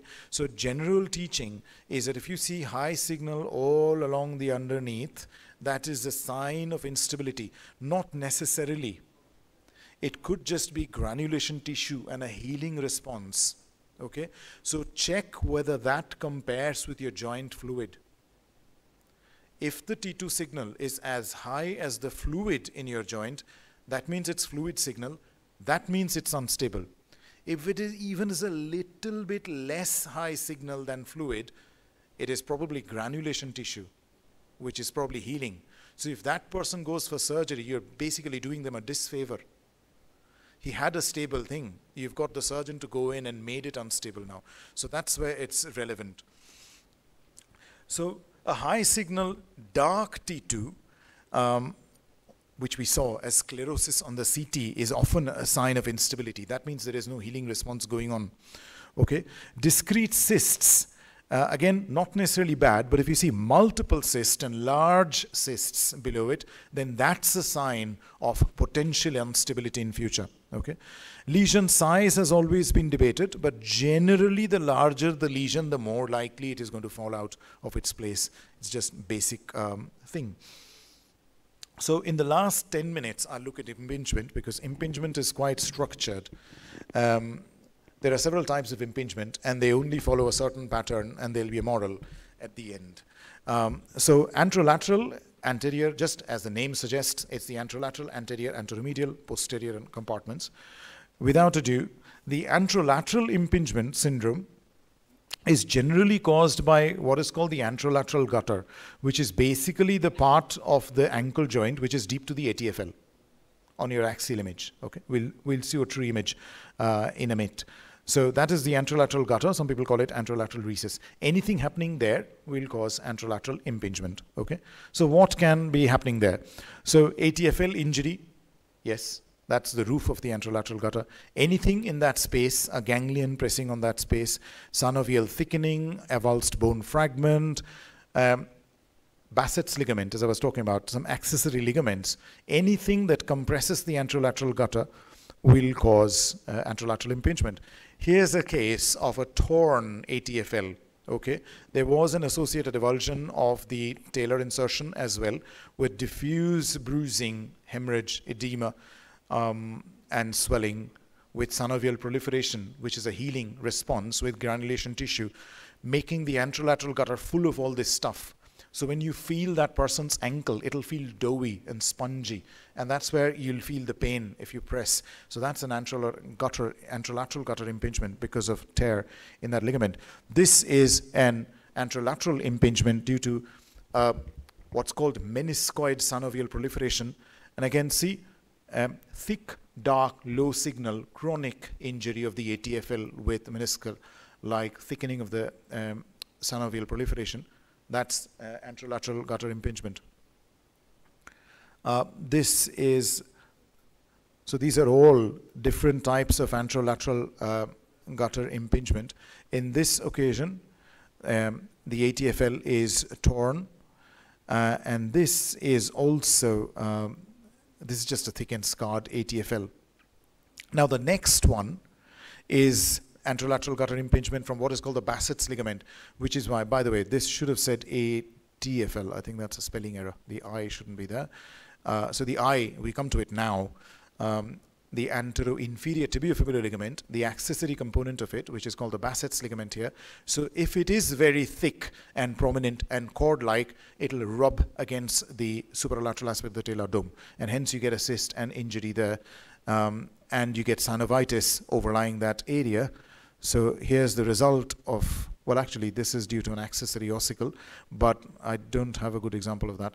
But you end up having anterolateral gutter impingement because of that um, ligament thickening. And often the osteochondral change is just an associated finding. This is anterolateral gutter impingement due to an accessory ossicle, and this is anterolateral gutter impingement due to large osteophytes related to OA in the ankle joint. Okay, Anterior impingement is relatively simpler. This is purely due to osteophytes and mainly because of OA. It is, as the name suggests, impingement at the anterior aspect of the ankle. Okay, originally described by Morris and Murray as athlete's ankle. I don't know whether you've heard the term. We use that term quite often. Athlete's ankle. Actually, we use the term footballer's ankle more often. Okay, it happens because of exactly that.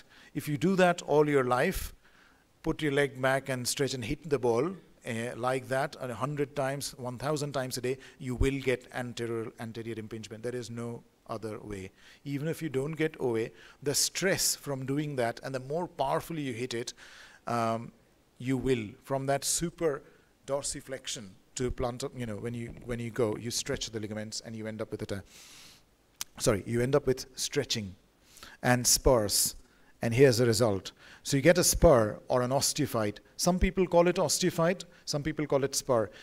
What I do is generally if you've got other OA changes, I call it an osteophyte. If there are no other OA changes, then I call it a spur because essentially it's a traction spur, isn't it? That's where the capsule and the ligament attaches. You've been pulling at it for too long, hence to support the body, you've got subperiosteal bone formation along your sharp Sharpey's fibers and you've developed a spur. So it is a traction spur. But if you've got away, we call it an osteophyte. There's no, it's the same thing. Um, so this is an example of anterior impingement. And, and, the spurs obviously come in all shapes and sizes, just like all of us. This is a massive spur. Okay, this is a huge spur. When it comes up, yeah. it's trying to keep you awake. If you miss the flicker, you miss the image. So by that time, by the time you wake up, the next image is here.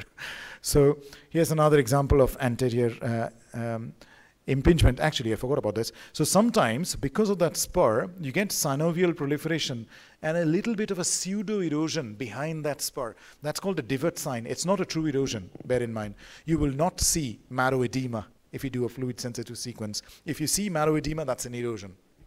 Okay? Otherwise, it's called a divot sign. Anteromedial impingement, also very simple. Again, it's related to injury to the medial structures in the anteromedial gutter, deep to the deltoid ligament, just like the anterolateral gutter, which is deep to the ATFL, deep to the medial ligament is the anteromedial gutter. And the same things apply. Injury to the ligament, a ganglion, a tumor, uh, bones, loose bodies, cartilage defect, anything that can happen there. Okay? Again, classically described in footballers, runners, cross country runners, um, for some strange reason. And yeah, this is, uh, this should be anterior tibiotalar ligament. Yeah, that's it. Uh, so basically injury to the deeper component of the deltoid. We're not concerned about the superficial one. The superficial ones are sometimes torn. They don't have as much of an impact. It's the deeper ones which we are concerned about. And again, that chronic flexion and inversion and repeated microtrauma, same as the footballer's ankle and the anterior impingement, that leads to chronic traction or ligament injury uh, and anteromedial impingement. Here's an example. So you might argue this just looks like the anterior impingement that you saw. Yes, it does. It's just more in the anteromedial aspect of the ankle. It looks exactly the same. So on your sagittal MR, if it's right in the midline, it is anterior impingement. Uh, if it's off to the medial side, if you look at the axial, you find deltoid and medial ligaments to be abnormal, and this is anteromedial impingement. Okay, what's called a talar beak sign sometimes, talar beak-like osteophyte. Um, so this is just an example of uh, somebody uh, 8 and 24 months, so it's an interval uh, of, uh, of a year nearly uh, with anteromedial impingement. So the, in this case, there is ligament thickening and associated synovial proliferation, very similar. There are two different patients, but you know this is like, like the meniscoid synovial thickening in the anterolateral impingement. You get the same principle basically. Um, so once you see one, you can, you know, you can, you know, you can read the next one. Posteromedial is probably the least common impingement type. Okay, it is generally caused in the posteromedial gutter, which is deep to the posteromedial aspect, neurovascular structures and FHL um, behind the medial malleolus. It is one of the least common types, as I said. Essentially happens from repeated plantar flexion when you're squashing the structures in your tarsal tunnel. And of course, trauma to the posterior part of the deltoid ligament. Um, so here's some examples. You see bone marrow edema in the posterior aspect of the talus, not in the anterior part. Okay, this is a sagittal image. And of course, you see edema in the deltoid and things. So it's just that you're putting it together. Whereas posterior impingement is something that we see quite regularly, the classic famous os trigonum syndrome. Who gets it? Footballers and ballet dancers is the textbook teaching. Anybody who does um, a lot of uh, ankle plantar flexion, we'll get it. Because the os trigonum, if you've got one, or the posterior process of the posterior Stieda process of the talus, if you don't have an os trigonum, is being squashed between the tibia and the calcaneum as you plantarflex, right? That's exactly what is happening. Now, if you happen to have an os trigonum, let me show you some examples of that. Well, as I said, the two main mechanism is again kicking, you know, obviously in footballers, plantar flexion and that motion of follow through. And actually, not only the follow through, the sudden stop, because you, you don't go, it, the, the, the movement of the ankle comes to a sudden stop when you've actually kicked the ball. You do follow through with your leg, but the ankle movement stops. And, and with the ballet dancers, it's just chronic maintaining in that position again and again and again. Okay, so essentially, what happens is either you get this, so this is posterior impingement where you've got an os trigonum and you get edema to the os trigonum, synovitis, fluid all around it. This is your os trigonum syndrome. And you can also get this. Okay, no, so that should come later. So this is, um, this is actually not uh, syndrome. This is just thickening and edema to the posterior uh, ligament. So this is posterior impingement due to thickening of the posterior inferior tibiofibular ligament or also called the intermalleolar ligament, as I said, or the transverse component of the ligament. If they are thickened in edematous, they can give you posterior impingement as well. Okay. This is posterior impingement. Another ancillary finding that you get with it is FHL, uh, tenosynovitis. Here's an example of posterior impingement which is led to a yep, posterior Stieda process fracture. So this person does not have an os trigonum. Here they have a prominent posterior Stieda process or posterior Stieda process. So when they impinge the tibia and the calcaneum, in between the bone gets squashed, you get a fracture. This is the biggest posterior Stieda process I've ever seen, obviously, and it causes osteophytic lipping and thing. What do you get? Posterior impingement. So once you know your anatomy and the structures that are there, you don't me, need me to tell you what causes impingement. You can work it out. I'll go into one lateral, uh, sorry, lateral hindfoot impingement. I'm going to one last one, which is actually very important, and we see it regularly and we see it very commonly in the UK because it is heavily associated with flat foot.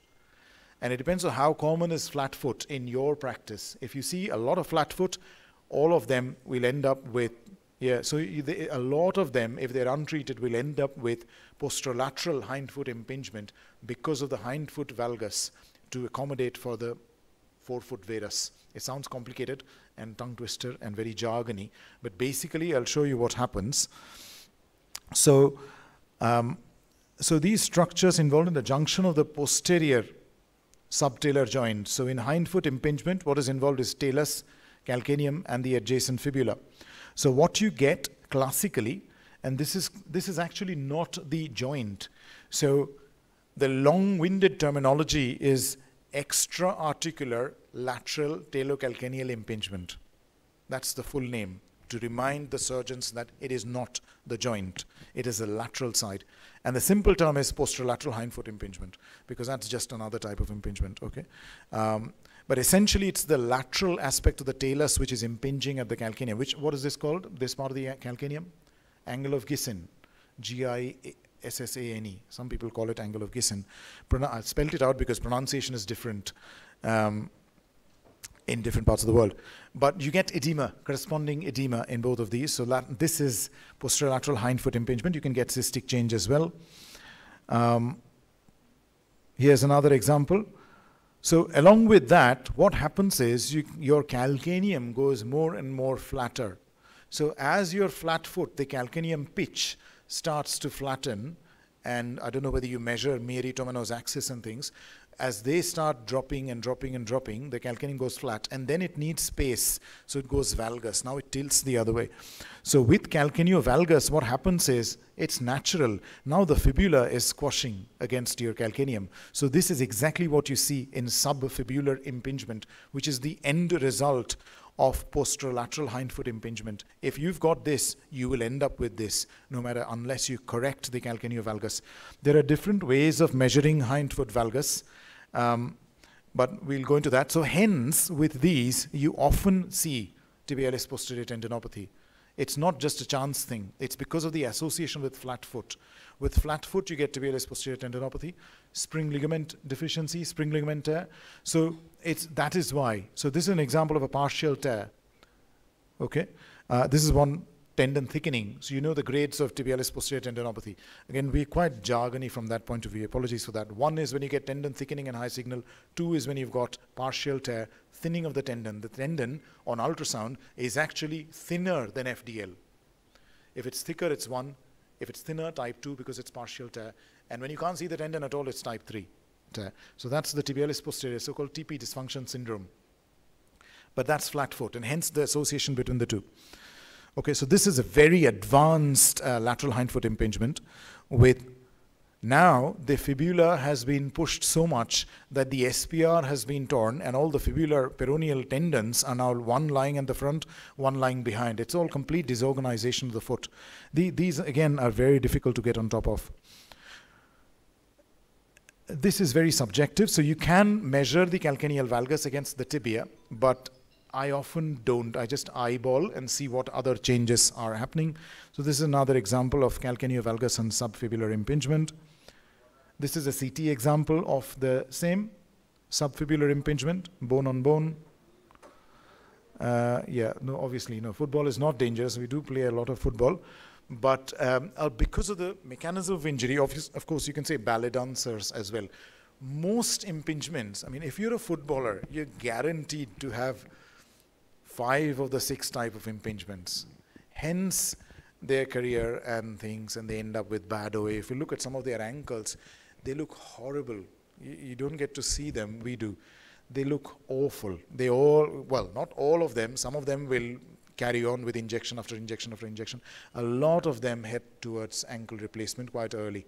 If they're a good footballer, obviously if they're a goalkeeper not kicking the ball as many as much as a forward or Messi or you know Neymar or or uh, Fernando Torres as I was talking about the other day, then you obviously you know you don't have that kind of injury. But if you are a frontline footballer scoring goals, it's going to come back and bite you later. No, as in like you have to. There is no other way no exercise, no strengthening will stop it. It's just the chronic stress on the capsule and the ligaments. It's, it's a professional hazard. They're all nowadays, when if you go to the academy, they get talks. So Everton Academy, they'll have a radiologist talking to them and explaining these things. So a lot of people change careers. Oh, I, will do. I'll become a javelin thrower and then they go to that academy and they say, oh, you'll get throwers exostosis, Bennett lesion, shoulder dislocation, and you know, basically you're screwed with any sort of sport. So, no, well, not. You, you, need to stay fit. So, you know, but uh, that's that's it. So, essentially, have any questions? We've overrun by six minutes or seven minutes actually, but should be okay. Yeah, go on.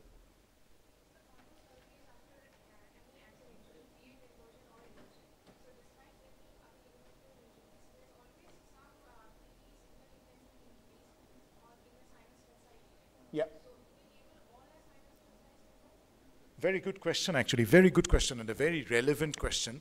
So I will only call something as sinus tarsi syndrome if that is the isolated abnormality, because it is like the junction, if you think of a tube station or a central pivot fulcrum point of all these structures. If you've got lots of edema in the, say, posterolateral hindfoot impingement, you will of course get secondary changes in the sinus tarsi. If you get ligament injury, generalized soft tissue bruising, of course you'll get part of everywhere else. So you're absolutely spot on.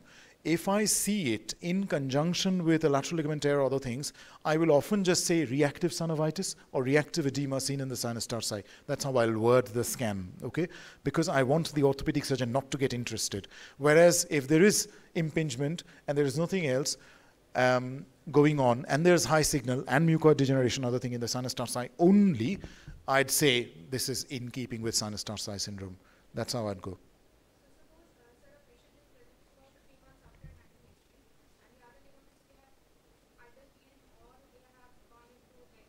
Yeah. Yeah. Yeah. Yeah you can call it sinus tarsi syndrome. It's basically reactive to those ligament injury, but it is now sinus tarsi syndrome because everything else has settled. That's the only thing that's there. So when it's there in isolation, I'll call it. Otherwise, as you said, it is often a sign with other things. But yeah, if he's persistently, again, is the person painful? Always there's, you know, is the person in pain? That's something. So we don't inject, we do inject, I do a lot of sinus tarsi injections actually, but I don't unless they're in pain. Because sometimes you'll get residual edema, reactive synovitis, and a lot of other things. I don't inject all of them. Only if they're in pain. And when I press the anterolateral gutter, if I dig my finger in front of the fibula and go in, and I can feel doughy, that, that's only when I inject. Uh, otherwise, I won't inject. But yeah. Any others? Thank you. Oh, sorry, didn't realize you were behind me. No issue. Actually, uh, we have a question answer session also at the uh, during three to five. I am slightly in a hurry because uh, one of our colleague will leave us. Uh, will leave for Patna um, uh, in half an hour, so we have to give her. Um, so I am calling Dr. Upasna uh, to present uh, cases She is a musculoskeletal radiologist in uh, IGIMS. And the session will be chaired by Dr. Umakant Prasad, who is an additional professor of IGIMS, and Dr. Sanjeev Dwivedi, who is a radiologist in Patna.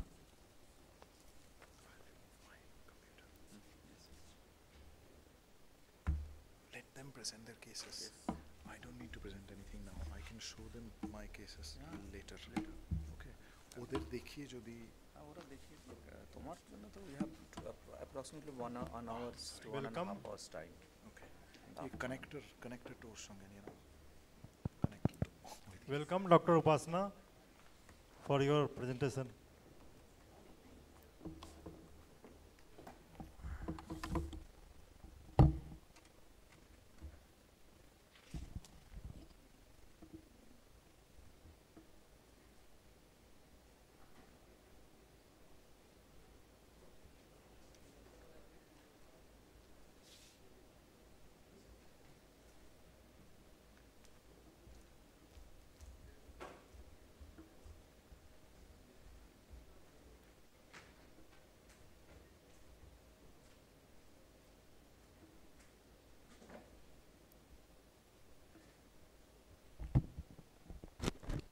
Good afternoon, everybody.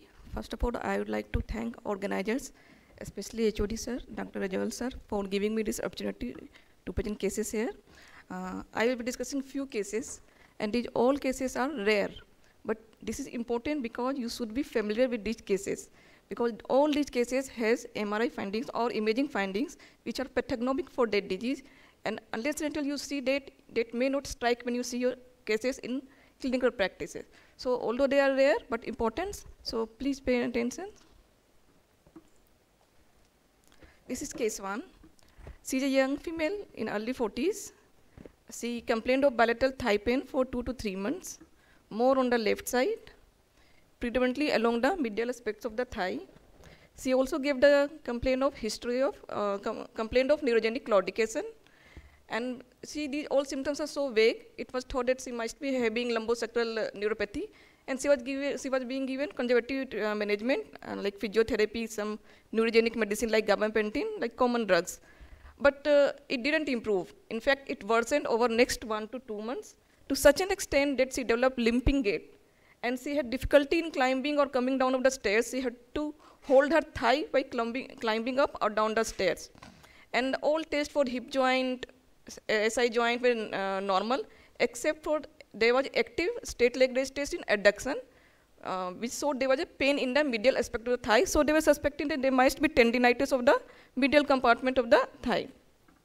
So now they advi- advise for the MRI of the spine, sacroiliac joint, as well as hip joint.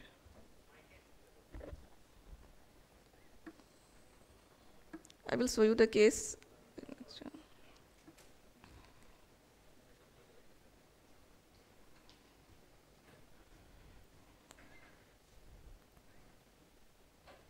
So this was her spine, which was perfectly normal. There was no nerve compression, no spinal canal stenosis, no foraminal stenosis. So spine was perfectly normal. SI joint, hip joint, everything was normal. Okay, no hyperintensity along SI joint. Both of the hip joints were also normal. But on axial image, and this was reported as normal, normal SI joint, normal spine, normal uh, hip joint. But when I reviewed the case, I got something.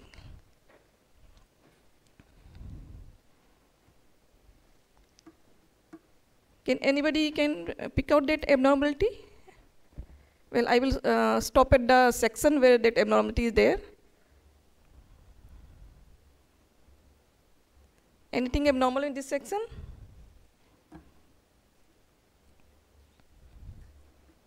I'll show you T- T2FS. This is normal, normal, normal. Is abnormality over here. I know it's difficult. Now let's go back.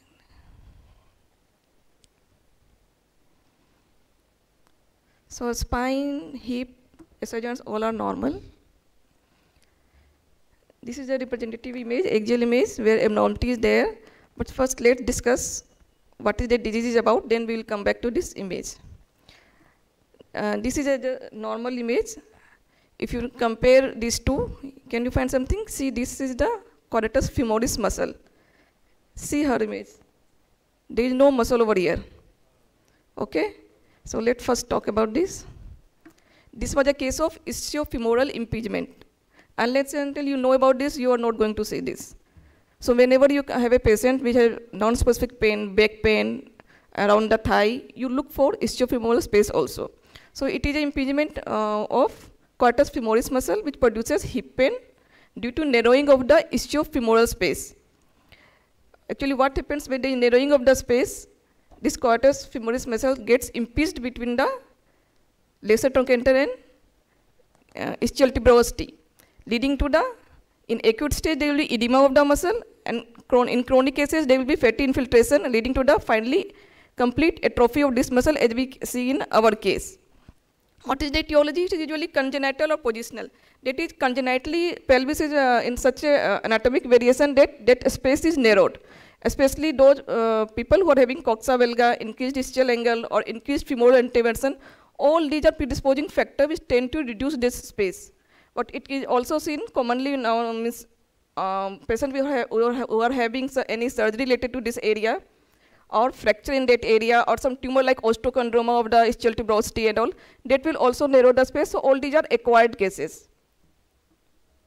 So how they present, they usually seen in the elderly female, but nowadays cases are being reported in the children also. About two decades uh, before, they used to think that it occurs only in the young female, but now it is being um, reported in the children also. So why female are uh, more predisposed to such uh, impingement? Because their pelvis is wider and shallow, with more prominent lesser trochanter, which results in smaller ischiofemoral space. And they will present with non-specific pain, like atypical groin pain, hip pain, thigh pain, uh, they, they, can also have a, a, snapping sensation in the hip. So uh, they can also present chronic low back pain because your sciatic nerve is just posterior to quadratus femoris muscle and it might get irritated which will produce uh, which will produce a chronic low back pain. So you see all these are non-specific symptoms and you cannot uh, get the definite diagnosis. You can have bilateral hip involvement also in few of the cases. So how you will diagnose this? Clinically you can't diagnose. X-ray can't diagnose. So you can diagnose it on the MRI. So MRI is the imaging modality of the choice. And what you have to look for, you have to look for these two spaces, ischiofemoral space. It is the distance between the lateral cortex of the ischial tuberosity and medial cortex of the lesser trochanter. Cutoff value is 17 mm, about 17 to 20 mm is the cutoff value. And the next thing is quadratus femoris space. It is the distance between the superolateral surface of the hamstring tendon and the posteromedial surface of the iliopsoas tendon or you can take the lesser trochanter. Cutoff value is about 8 mm. Okay, now first let's go back to our case. So what do we uh, see here now? Now you see, this space is so, so, much narrowed. This is not going to be more than 7 to 8 mm. And it's very narrowed. And there is on the left side especially, there is complete atrophy of the quadratus femoris muscle. This is T2 FS image, this is T2 image, and this is T1. So there is no quadratus femoris muscle on left side. Uh, in fact, on the right side also, it's a partially atrophied. So this was a case of ischiofemoral impingement. From next time onwards, you see all the uh, all the pelvis cases. You also see this space. Okay. Uh, recently, in 2023, they have written a paper where they are telling that they can see the ischiofemoral space on the ultrasound also. And they've also described about a dynamic ultrasound where you see the ischiofemoral space on flexion extension of the hip. And they have shown that on the flexion, this is quadratus femoris muscle, and this is the space. On extension, there is a muscle, buckling of the muscle or compression. But of course, it's a cumbersome and you need experience and time to do. So MRI is better than ultrasound, but those who are experienced, they do ultrasound also. So to take home point, if you, if you, if you have any patient with non-specific back pain or thigh pain and you don't find any etiology, look for ischiofemoral space. Now coming to the second case. He's a young male in 20s. He is physiotherapist by profession.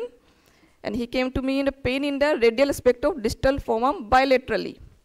Since he was a physiotherapist, he was taking some physiotherapy treatment on himself. He was taking NSAIDs and some ultrasonic you know, heating treatment and all. And gradually, he, um, this pain doesn't improve much, only temporarily he used to get in between. And then he noticed there was also thickening on the uh, on palpation at the site of the pain. So first I did ultrasound. On ultrasound, uh, I will tell you the muscle. This is a muscle of first compartment of the extensor compartment of the wrist. You know there are seven compartments on the dorsal aspect of the wrist. This is the first compartment.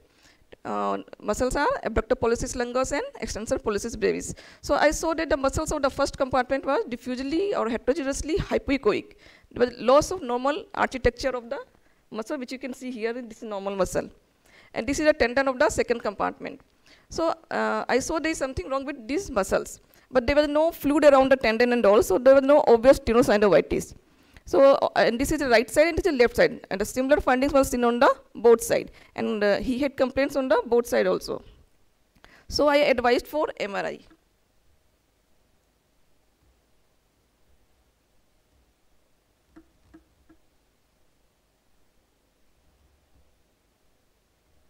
So this is a MRI.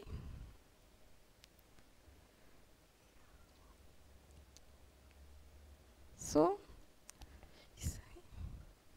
this is first compartment muscles. It will uh, form the tendon, abductor pollicis longus and extensor pollicis brevis.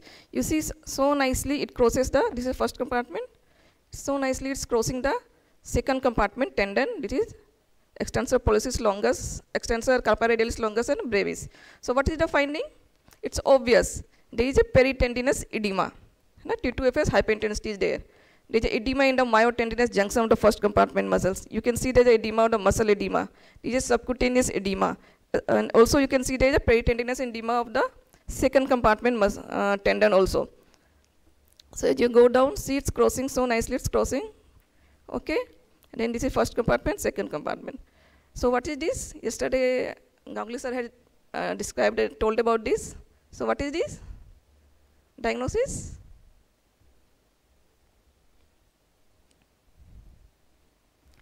Same images are here this is proximal intersection syndrome so what is this this is intersection syndrome where there's a non infectious inflammatory process at the intersection of first dorsal compartment and second dorsal compartment tendons of the wrist and it, this is proximal to the Lister's tubercle, about 4 to 5 centimeter proximal to the Lister's tubercle. This is called proximal because you also have distal intersection syndrome. And why did it occur? Any overuse of the wrist which, uh, which occurs due to repetitive flexion extension of the wrist will cause friction between these two tendons. Okay? And does the pressure present with pain over the dorsal forearm and, and on the wrist on the radial aspect. So diagnosis you, you can make clinically, but it has to be supported by ultrasound and MRI. And what do you get on MRI? You will get peritendinous edema, muscular edema, tenosynovitis, fluid around the tendons of the first and second compartment, subcutaneous edema like we got in our cases. We had all the three except for tenosynovitis. Maybe he will gradually develop now fluid around the tendon or maybe it is resolved because he was in long-term treatment of NSAIDs and all. So treatment is mainly conservative treatment you have to give. If he doesn't respond, like he has to modify his activity and all, uh, put on splinting. But if it, if it, it doesn't improve, then you go for uh, corticosteroid injection and very rarely they may need surgical uh, release of these tendons to relieve the pain.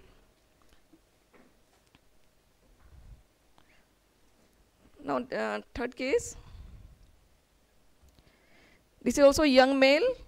He has swelling and pain in the palmar aspect of the wrist region. And he gave history of amputation of the digit long back, but he himself didn't know why it was done. Although from the imaging we can make out, but that time he didn't know why amputation was done. And outside he was diagnosed as low flow vascular malformation of the uh, at the site of swelling on the wrist. And he had also received two cycles of sclerotherapy, but it didn't respond. And this swelling kept on increasing, and his pain also kept on increasing. So he was directly referred for MRI at our center.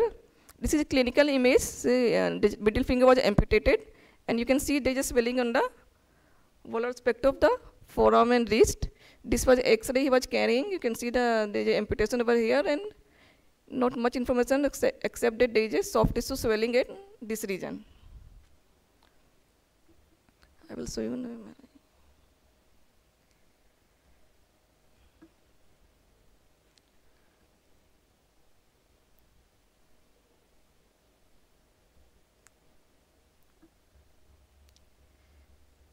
this entity was also touched upon by the Kas sir yesterday. So, anybody, what is there?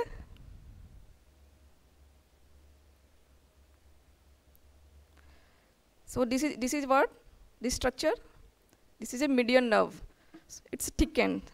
You know, as you go down, you say it's further thickening. There is a this is T1 image. So this is a, these T1 hyperintense things are fat. There is a fatty hypertrophy, and these small small things are nerve fascicles. You know, it's getting thickened. You know, so this thicken as you go down in carpal tunnel also this is carpal tunnel region and you see that this is further this uh, thickening of the nerve with fatty hypertrophy and, uh, and nerve vesicles fascicles thickening can be seen extending along the branches of the median nerve even in the fingers okay on this pdfs image you can nicely see the bundles of nerve fascicles you can see this. है ना so nicely. So this is called coaxial cable appearance. So again this mri finding is pathognomic of diagnosis fibrolipomatous hamartoma of the median nerve. So now safely you should not do biopsy in this case and he has been receiving sclerotherapy for this which was wrong treatment and that's why he was not improving so on axial image, uh, just now I showed you, you can see the round round thickened nerve fascicles which is called coaxial cable appearance. And on the coronal images, you can see the fusiform thickening of the nerve with multiple serpentine or cord-like thickened nerve fascicles in the longitudinal manner which, is, which gives a spaghetti string appearance. And also one thing, uh, he was also having progressively increased pain in the fingers and all. It was because he was also having carpal tunnel syndrome. You can see there is a bulging of the flexor retinaculum. So this was the case of fibrolipomatous hamartoma of the median nerve with probably carpal tunnel syndrome. Okay, although he didn't give the history of why the middle finger was amputated, but now we can think that maybe because he was having enlarged middle finger, and that is called macrodystrophia lipomatosis. And then I did ultrasound after MRI, just uh, to keep the images. You can see these are thickened neural fascicles in axial section, and this is longitudinal section. So fibromatosis, uh, hamartoma is a benign tumor which composed of hypertrophied fibrofatty and neural tissues. And most common nerve involved is uh, median nerve, but it can also affect the other nerve like ulnar, radial, or even the nerve of the dorsal of the foot. And it usually presents as a slowly enlarging mass on volar aspect of the wrist and forearm. It usually in the beginning it's asymptomatic, but slowly as it enlarges and cause compression, you, you will have the symptoms of neural compression. And if it's median nerve, you will have features of carpal tunnel syndrome. And uh, these patients, in, in about 20 to 60 percent of cases, you can see macrodystrophy lipomatosa, that is proliferation or overgrowth of the osseous structure as well as soft tissue structure, like you can see here, no, bony overgrowth in the distribution of the median nerve. And the skin, subcutaneous uh, tissue, all will be thickened, bone will be overgrowth. So how you will diagnose it? In imaging, you may see the features of macrodystrophia lipomatosa in this case. This is taken from the net. This is not my picture. Okay. On ultrasound, uh, I think in ultrasound, if you see anything like this on the anywhere, whether the dorsum of the foot or hand, you must trace it proximal and distally. You know, don't, just don't see there and leave it. Maybe the uh, person who did uh, ultrasound in first setting gave it a vascular malformation because he would have not traced it. So any lesion you trace it till it ends. If you would have traced it, he might would have seen that this is arising from the nerve. And there will be no flow on the Doppler. And of course, MRI will be pathognomic so that you can avoid biopsy. Um, just to describe once again, there will be fusiform enlargement of the nerve with T1 and T2 hyperintense fat signal, which I have already shown in our case, surrounding the cord or spaghetti shape T1, T2 hyperintense bands of enlarged nerve fascicles and fibrous tissue. And differential diagnosis, vascular malformation, nerve sheath tumor, and same DD we had in our case also, vascular malformation. Okay, so all these were rare cases, but you should know. This is Potter. Anybody? This is very simple. What is this? See, first uh, we did uh, plain MRI of shoulder, and I saw there is a this hypointense structure. I thought it's a anterolateral tear but nowadays I do ultrasound guided arthrogram in all the cases. So I did ultrasound arthrogram, uh, ultrasound guided arthrogram, and totally my diagnosis was changed. So you see that the anterosuperior labrum is not there, and there is another thick hypointense structure, and this is thickened cord-like middle glenohumeral ligament. Sometimes you may have problem whether it's a ligament or labrum, so but you trace it. MGHL on going down will mix with the subscapularis tendon because it's going toward the capsule, where, where the labrum, as you go in further, will go towards the glenoid. So although on the plain film, we, uh, plain MRI, we as a labral tear, but we changed the diagnosis after arthrogram. So see, arthrogram is important. So wherever you're suspecting labral tear, tendon tear, better do uh, arthrogram. And nowadays, ultrasound arthrogram, ultrasound arthrogram hardly take five minutes to do. Okay, so this is a congenital glenoid labrum variant. There is absent anterior superior labrum with cord-like thickening of middle glenohumeral ligament. What can be DD? Where else you get absent anterior superior labrum congenital? Sublabral foramen. ना? But again, you trace that hypointense structure, it will end, it will meet towards the glenoid, whereas in, in the Buford complex, it will go towards the subscapularis tendon. So all these, uh, just I gathered some few cases, and these were rare cases. Remember it; it will help you in the diagnosis. Thank you.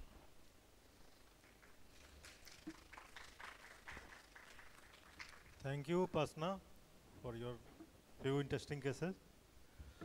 And uh, I one thing I like to know that any his, history of overuse in your second case, intersection syndrome.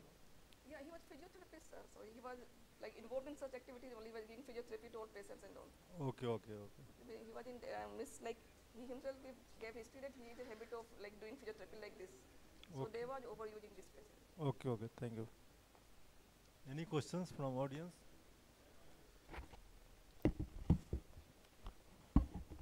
So really nice. Really nice presentation. Uh, working. You can hear me anyway. Yes, sir, yes. sir. So basically, uh, it is the first impingement. Yeah. Uh, it it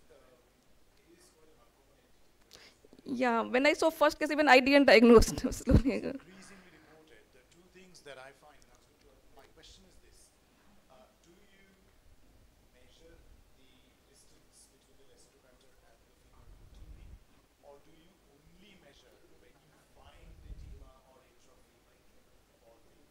Are you driven more by the size or the actual MR appearance of abnormal? Routinely, I don't measure, sir. Yeah. Only when I see grossly there is something abnormal in the muscle or space is looking smaller, then I measure. Otherwise, routinely I don't because Yeah. it obvious ten, um, this muscle will appear bulky in normal patient. sir. Yeah, exactly. That's what I do. It's just the.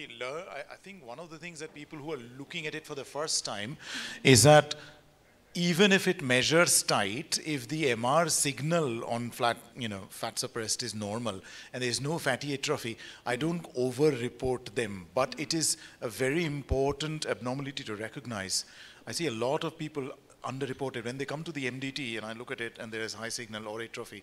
Um, they they are all because of ischiofemoral. So it's a very good thing to pick up, you know, and and in for the case. Especially in this case, now, uh, like she um, progressed to such a this, uh, bad level that she has to hold her thigh while get, um, climbing up and down. But after diagnosing this, they gave some special like ultrasonic wave therapy, postural um, improvement and all, and she's now walking normally. Yeah. I know about this case because it's my relatives. Okay, fair enough, fair enough.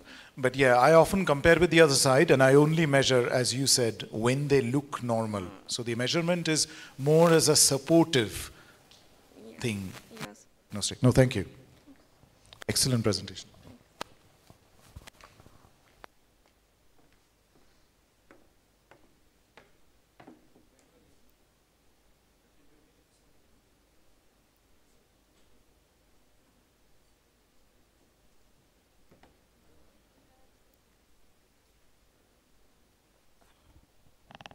Uh, the chairpersons remains the same. I call upon Dr. Uh, Selin for presenting his cases. He is a senior resident of our department.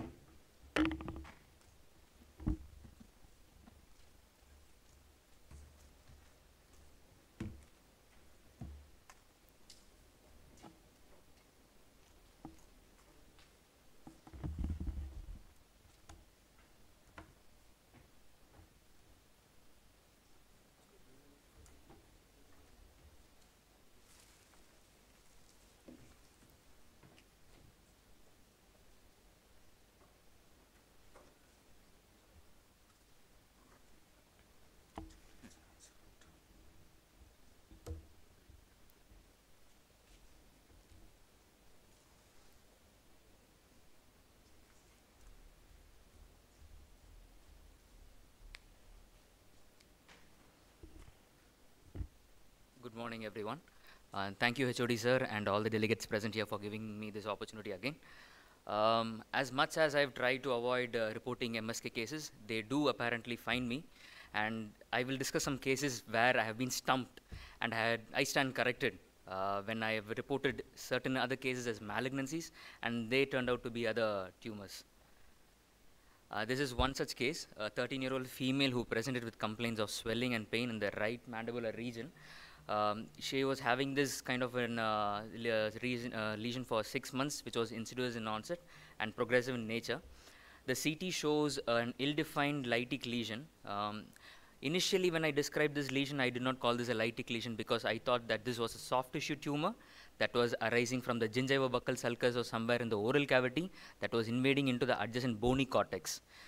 The age is 13 years old, so I did not convince myself uh, it was a malignancy or a CA of the gingivobuccal sulcus. And um, then I, uh, I also did a contrast CT. I didn't add it here. In the contrast CT, it had homogeneous enhancement. Unlike um, gingiva malignancy, it will have heterogeneity, which will have a lot of uh, dangerous features. And on the MR, we are seeing, uh, just a second. This is a T1 post contrast, T1 non contrast, and the diffusion image. It was striking that uh, the lesion was also homogeneously enhancing on the MR, and on non contrast scans, it was iso intense. So, over the years, I have picked up, and it, I, uh, it is correct also. If we say hyper or hypo intense, we can clearly understand because uh, we are able to see it and anybody is able to see it. It is not subjective. But when we say iso intense, we should make sure that we specify iso intense to what structure. Iso intense to fat or iso intense to muscle or what it is. This lesion is iso intense to the adjacent musculature. It is mildly hyperintense maybe on the T1, but shows homogeneous enhancement and also diffusion restriction. This lesion is causing extensive erosion of the adjacent cortex. So that is how I drafted it first. Then it underwent, uh, the patient underwent a wide local excision and then it turned out to be a desmoid type fibromatosis. Initially, uh, um, after seeing this, I still did not convince myself that this can be some kind of a desmoid tumor. So I thought it might be an odontogenic tumor. Uh, but there was no association with an uh, impacted or a malrotated tooth. Uh, or uh, I, we had seen one case of Langerhans histiocytosis that was similar to this, that was extending into the base of skull, um, but it did not turn out to be that. And histopathology uh, happens to be true. So in desmoid fibromatosis, it is a densely fibrous tumor. And when I went back to the literature, it seems to be very rare, and it is a very aggressive benign tumor. So, however we, whatever we do to treat this, especially if the surgery is not adequate, a few cells are left behind, this is going to come back with a vengeance and it's going to be aggressive. At initial presentation itself, the lesion was picked up because the patient had a palpable lump and some pain.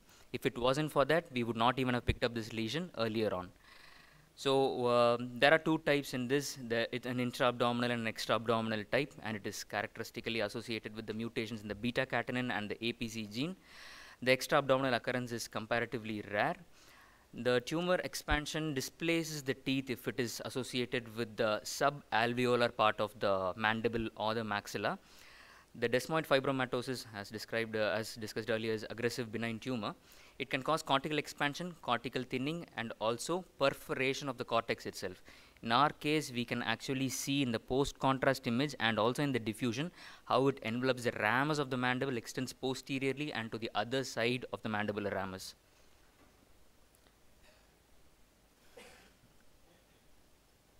So this patient, the 13-year-old, uh, we couldn't give her the full dose of the highest possible chemotherapeutic agents. The anti-cancer drug was uh, uh, toned down. So this is what we call the metronomic chemotherapy, where you give low doses of chemotherapeutic drugs for a prolonged period of time in anticipation that this will uh, prevent the recurrence of the lesion. We'll move on to the next case. This is a 59 year old gentleman that presented with nasal block, excessive snoring. He went to the ENT and uh, they had uh, done a dia- diagnostic nasal endoscopy. It, they saw a huge mass and they couldn't negotiate uh, beyond the nasal septum. They ordered a uh, CT of the PNS. When we were, uh, I was in the console when this was being done, it was done somewhere else. And I had extended the um, field of view a little bit further up and I could see that most of the lesion was invading into the skull. So I thought maybe it is going even further up and some other lesion that is extending into the maxillary region. But most of it was predominantly involving the base of the skull, the sphenoid parts of the bone. The posterior paraneals, that is the sphenoid sinus, was completely opacified. And we have a characteristic appearance of the lesion on the CT. When I came back to the reporting room, um, can somebody pick up the appearance on the bone sections, the bone kernels? This is also kind of a lesion of the jaw. So we can think in terms of odontogenic cysts, we can think in terms of ameloblastomas, but they have characteristic appearances.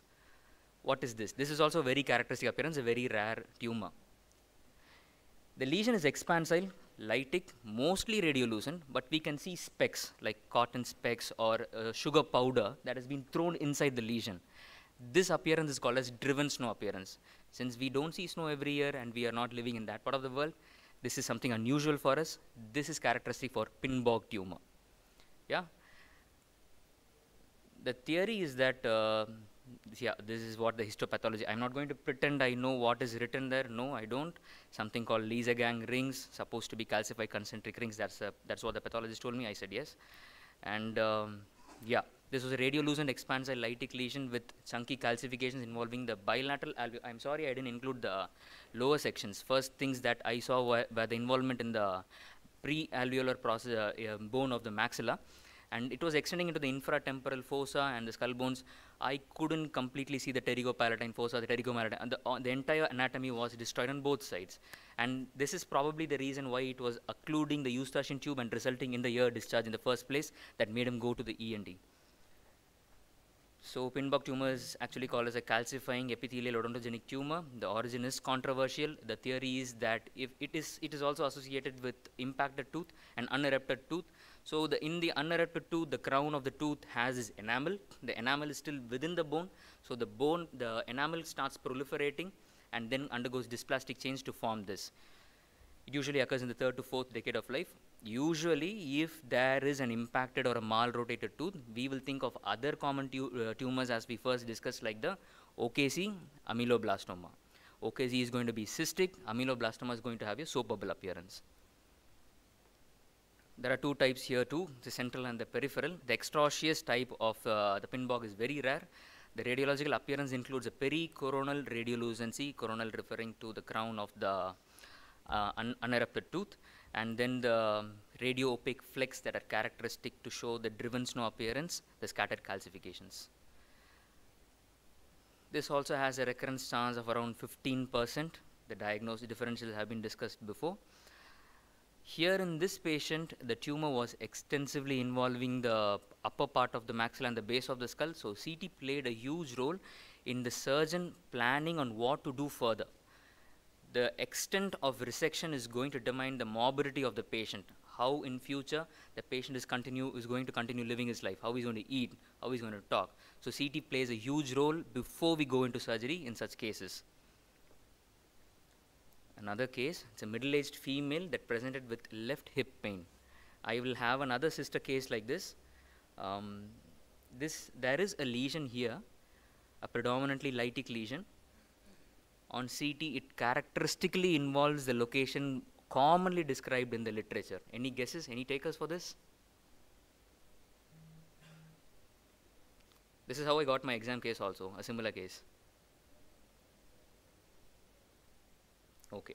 In the CT, we are able to see some uh, endosteal scalloping, there is cortical thinning, and first uh, I had failed to notice this. I was uh, suggested, uh, I, this was picked up by my colleague, and uh, there is a focal cortical breach on the lateral part of it. So we went ahead and did an MRI. Sorry, I didn't include the contrast images here. in this, we are able to see on T2. On, uh, on the CT, I thought the soft tissue was actually extending outside through the breach in the cortex into the joint cavity itself, causing some expansion in the joint cavity. But I was proven wrong here. That turned out to be joint effusion. So she must have fractured this bone. This bone is already diseased and that part is weight bearing. So it is prone to fractures and that is what brought her to us. So this focal cortical breach, even though the bone is diseased and thinned out, is not a malignant transformation, but rather it is a fracture, a pathological fracture, and the joint effusion seems to be reactive. So the diagnosis would be fibrous dysplasia. Liposclerosing myxofibroma was the term that was used previously. It is all dropped, not, not anymore. So it looks like a geographic lytic lesion with sclerotic margins. The MRI, the problem with fibrous dysplasia and the MRI is it is an intramedullary lesion and it is going to be T2 hyperintense. Just like our headache, nausea, and vomiting, the common side effects in pharmacology, T2 hyperintense is what we go to. Every time somebody asks us something, we will say is it T2 hyperintense lesion. So fibrous dysplasia also behaves the same way. It is going to be T2 hyperintense, and your other tumors are also going to be T2 hyperintense. So that is the problem when you land up with an MRI for the first time with the fibrous dysplasia. So you go back to your plain films, that will give you the diagnosis far better and far faster. And uh, sorry, this enhancement pattern of the fibrous dysplasia is also akin to other malignant tumors. It has heterogeneous hyperenhancement. Go to the next case. Yeah, there is a possibility since uh, I was considering that this can be malignant. Fibrous dysplasia in itself has a chance of turning malignant, uh, malignant in 10% of the cases. And the most common malignancy to occur in fibrous dysplasia would be an osteosarcoma. A sarcomatous change is what we should expect. So in this patient, um, the cortical breach turned out to be a pathological fracture, God forbid. Uh, if it was a malignant the, um, change that I'm suspecting because of the extensive cortical erosion in the focal thinnings, I will have to follow this patient up, do an MR every year to see for any proliferating soft tissue, if that joint cavity is getting infiltrated or not, and all these things. Okay.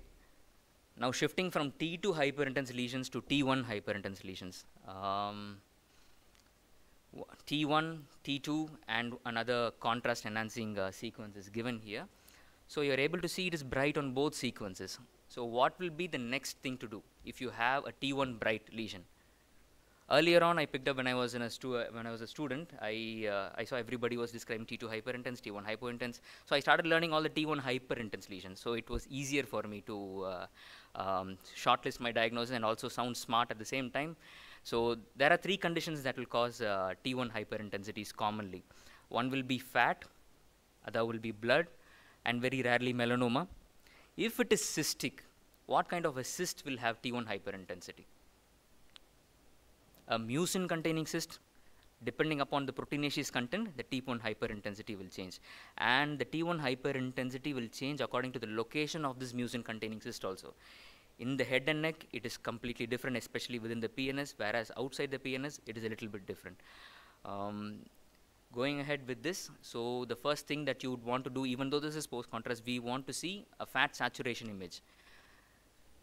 You are able to see in this contrast, there are some, uh, so it is completely satting out. So the entire lesion is um, become null. So what is the content of this lesion then? A T1 hyperintense that is fat saturated, a fat T lesion. So the diagnosis would be a lipoma, right? That is what I gave in ultrasound because it looked very echogenic. But then the pathologist went inside with a needle, randomly poked somewhere, and then found it to be malignant. So they didn't trust my report again. So they sent it back to me. They said, You're wrong. You go ahead and do something else. Okay. I, we did the MR, we discussed together, and then I couldn't figure it out what was. Then we went back to the literature, and there was this thing about the histopathology. You can never be able to differentiate an atypical lipoma from a low grade liposarcoma. So in histopathology, they will be stumped.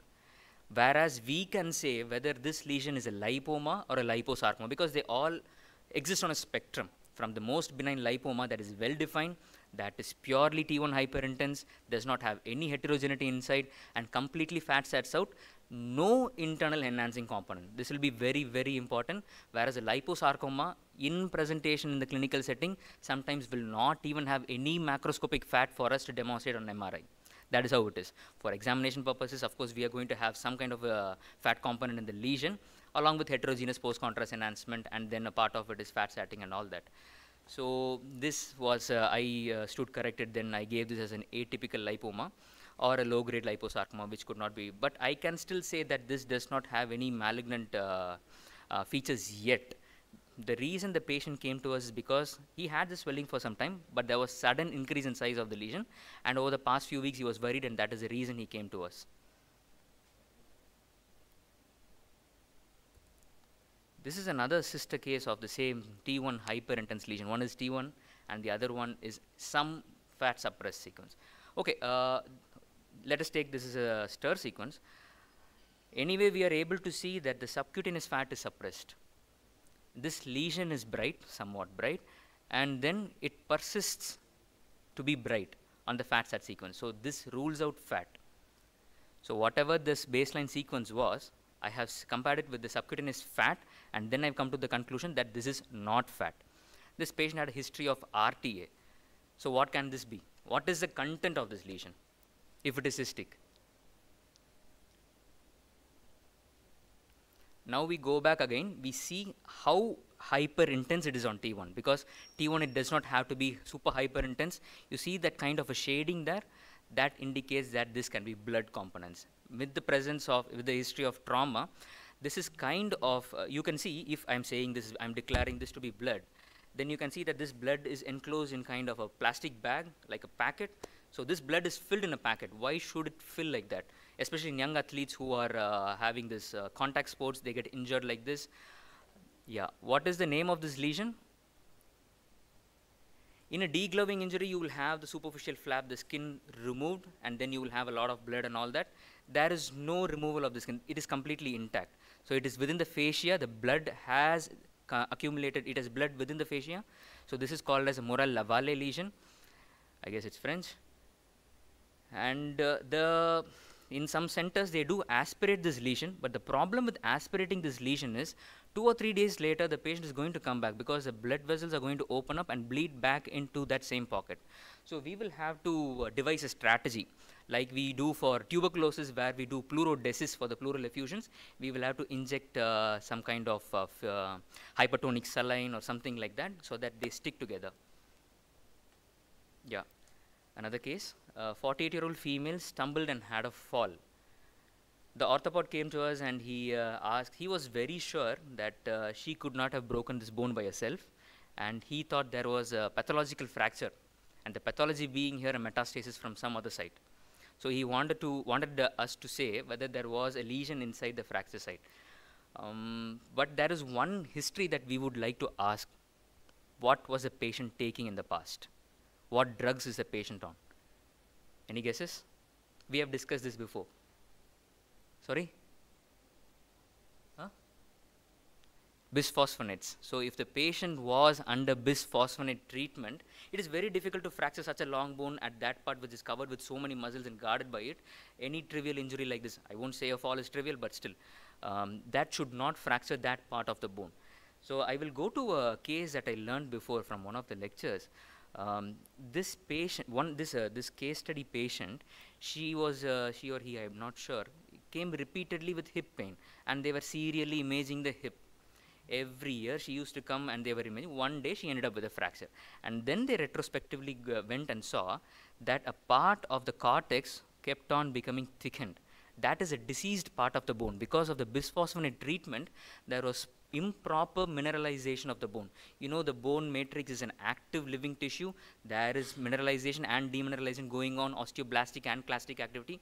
This improper, this imbalance sometimes results in osteoporosis as we age and some things like that, right? So here, this osteoblastic activity, even though the cortex appears to be thickened, is not strong. It's not as what God made it to be. It's not the natural uh, uh, normal architecture. So this is the point of weakness. I know it is it is kind of rare to get it on the lateral cortex. Usually you would expect it in the medial cortex, but this patient in this uh, lecture had this on the lateral cortex. Eventually it went into a pathological fracture. Can I continue time? Okay, sir. Okay. Um, skip this then yeah, I'll just uh, finish with this. What do you think this is? Patient has pain. It's a fracture? Yeah? I thought it was a fracture. I have reported several times when I was in the residency as a fracture, but this is not. Yeah. This is actually the proximal apophysis of the fifth metatarsal And mind you, this is an unfused skeleton.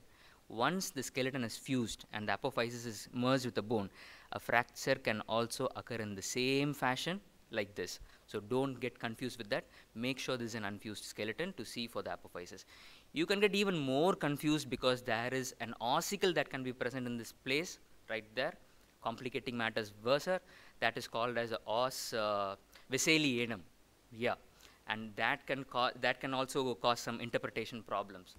So, this is how a fracture looks. How do I differentiate in the presence of an unfused apophysis? How do I differentiate it from a fracture? The fracture will be across the long axis of the bone, whereas apophysis will be along the long axis of the bone more more commonly. Yeah.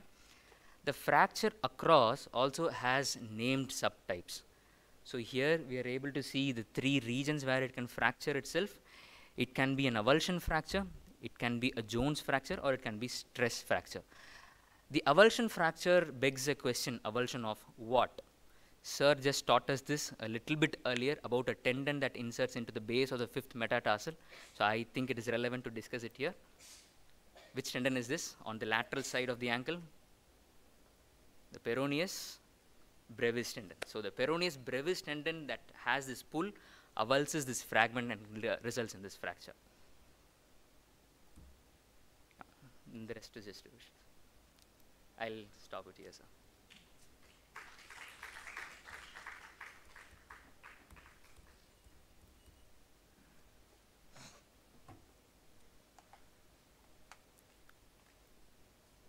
Thank you.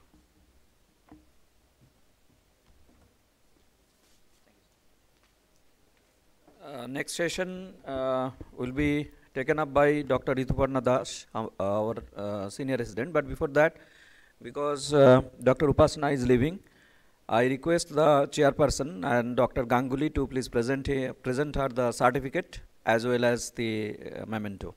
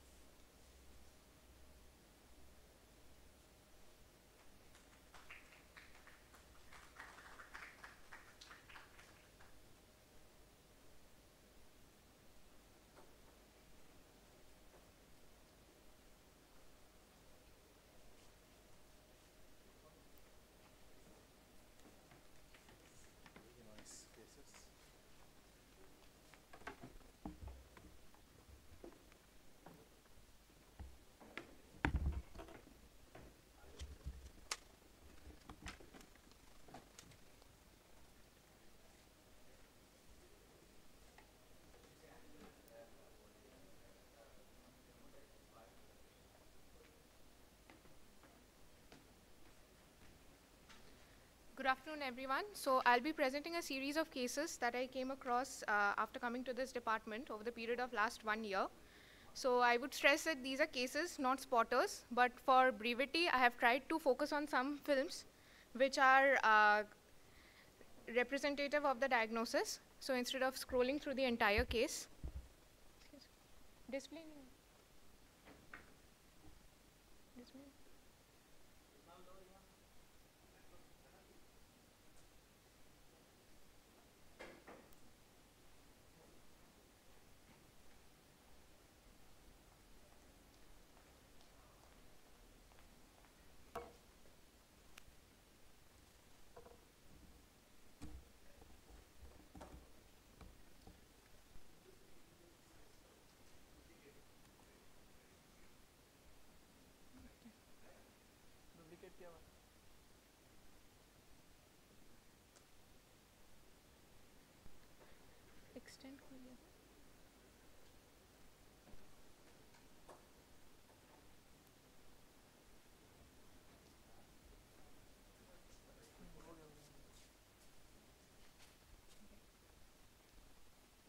So I think we are sorted now. So I'll quickly move on to the cases. So. So first up, we have a 12-year-old boy who had presented to the orthopedics OPD with a history of arm swelling and pain for last six months. So this is the uh, sagittal CT image of the humerus. So you can see that there is a lesion within the medullary cavity of the humerus which is causing expansion of the bone. It has a ground glass matrix with some area of lucencies within it and it is also causing cortical thinning. And at some areas, we can see that there are areas of cortical breach, though the lesion is not uh, kind of uh, extending outside the bone. So we did a MR for this patient, and this was the MR appearance. So this is a T2 coronal image of the same lesion. So you can see in the proximal metadiaphysis of the humerus, there is a heterogeneous lesion, so which is uh, hyperintense on T2 with some hypointense lines, and basically it's a mixed heterogeneous appearance. It is causing bulging of the cortical margin and also cortical thinning. If we see closely, another similar lesion is seen here on the superomedial angle of the scapula. So now we move on to the uh, STIR image. So we see that the lesion has multiple locules. There are apparent some bony septa within it. And uh, some areas are suppressing and some areas are still hyperintense. The same lesion on a uh, PDFS uh, sequence. Okay. So this is the post-contrast uh, T1FS image of the lesion. So we see that the lesion is showing heterogeneous enhancement, predominantly centered around the periphery of the lesion. Some enhancement is seen around these trans and uh, rims of the lesion. So even in the humeral lesion, we can see that there is heterogeneous enhancement. So any uh, opinion, anyone, what this could possibly be? multifocal osseous lesions in a young boy who had presented with arm swelling, giving this appearance. The CT itself was diagnostic. I told you it had ground glass matrix, it had areas of lucencies. It is fibrous dysplasia, polyostotic fibrous dysplasia. So like Siddhant correctly pointed out immediately before, everything is T2 hyperintense. So sometimes you have to look back at the x-rays and CTs to make a diagnosis. Okay. So the second case is of a 24-year-old male patient. So he is a runner. So basically he is a defense personnel who is a runner and he has been complaining of chronic pain and swelling along the anterior aspect of the legs. So these are the axial CT cuts in bone window and the abnormality that we see here is see the anterior subcutaneous or the shin border of the tibia, there is diffuse hyperostosis of this border and it's bilateral. It's seen on both sides. And if you closely see that there is cortical thickening also along the entire tibial cortex. Same thing on a sagittal image. Why this image was put separately is I wanted to demonstrate the hyperostosis along the anterior border. And the second thing is, if you observe the trabecular pattern within the medullary cavity in this part of the tibia and in the involved segment, you observe that there is an absence of trabeculae and empty or hollowness within the medullary cavity in this involved segment. So MR was done for this patient. And again, we see the cortical thickening, the hyperostosis. Interestingly, another thing that we picked up on MR was the presence of these subtle stress, stress fractures, so which was present in the tibial shaft in the involved segment. So I told you the patient is a runner by profession. So we made a diagnosis of chronic tibial stress injury with chronic sclerosing osteitis. The, the stress injury involves the stress fractures as well as the diffuse cortical thickening and the osteitis component being represented by the diffuse hyperostosis of the shin border of the tibia. So third one is a 27-year male tailor who presented with a gradually progressive painless swelling in the forearm for last three years. So first thing is uh, the occupation doesn't have anything to do with the diagnosis. It was just incidentally mentioned. So he had a progressively increasing painless swelling in the forearm. So we did an ultrasound for the lesion first. So we see here an intramuscular heterogeneous lesion, so which has some hypoechoic areas or some uh, hypo hypoechoic areas and some anechoic areas. So on ultrasound, we did, uh, and after putting the color Doppler, we found that these areas showed vascularity. So our provisional diagnosis was that of a vascular malformation or a vascular tumor because of the extensive soft tissue components other than the vascular areas. So a diagnosis of hemangioma was made. And the same thing we uh, saw on ultrasound, uh, sorry, we saw on MR. So this is just for the purpose of showing the appear typical appearance of an intramuscular hemangioma on MR images. So this is a T2 sagittal uh, image where you see that there is a uh, predominantly T2 hyperintense lesion with some locules inside, right? And this is the GRE image which demonstrates the vascularity and small areas, these rounded bodies that you see within, these are phleboliths. So these are characteristic of any hemangioma or any malformation which has a slow flow. So ideally, slow flow vascular malformations will demonstrate these phleboliths. So this was the T1 image. So, and this is the post-contrast image. So post-contrast image demonstrates the uh, vessel pools and uh, the abnormal vessels within, along with the heterogeneously enhancing soft tissue component of the lesion. So the diagnosis was of a hemangioma in flexor compartment of right forearm. Actually, the ultrasound was done retrospectively. Initially, the patient had come for MR, and then we did the ultrasound. Uh, then we have a 28-year-old leprosy patient who had presented with foot deformities and pain, and he has been having this since one year. So these are the coronal CT images. Few things that we can see over here. There were multiple features in this. Firstly is uh, for a 28-year-old patient, the bone is very less dense, so there is loss of the normal trabecular pattern, so there is osteopenia diffusely involving the uh, lower tibia, fibula, and the uh, visualized tarsal bones. We also see that there are some areas of irregular marginal erosions. So this is the calcaneal erosions.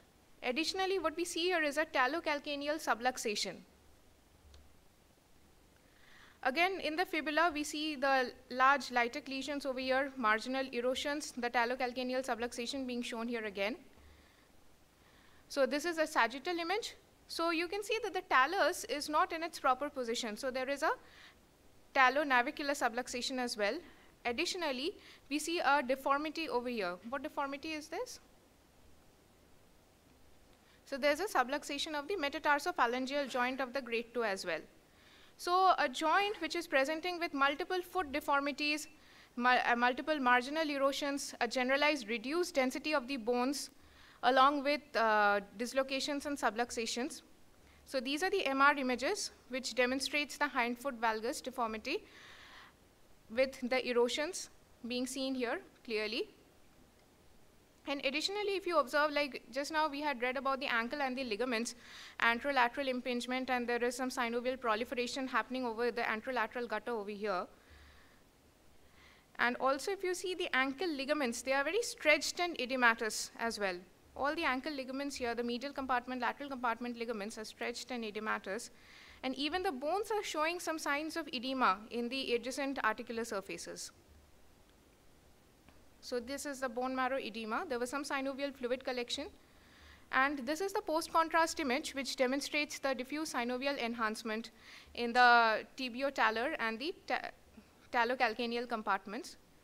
So based on all these features, classically, we read for one arthritis, that is neuropathic arthritis, so which is associated with the 60s that we all know, right? So density change, debris, dislocations, deformities, Okay, so the final diagnosis was of neuropathic arthritis.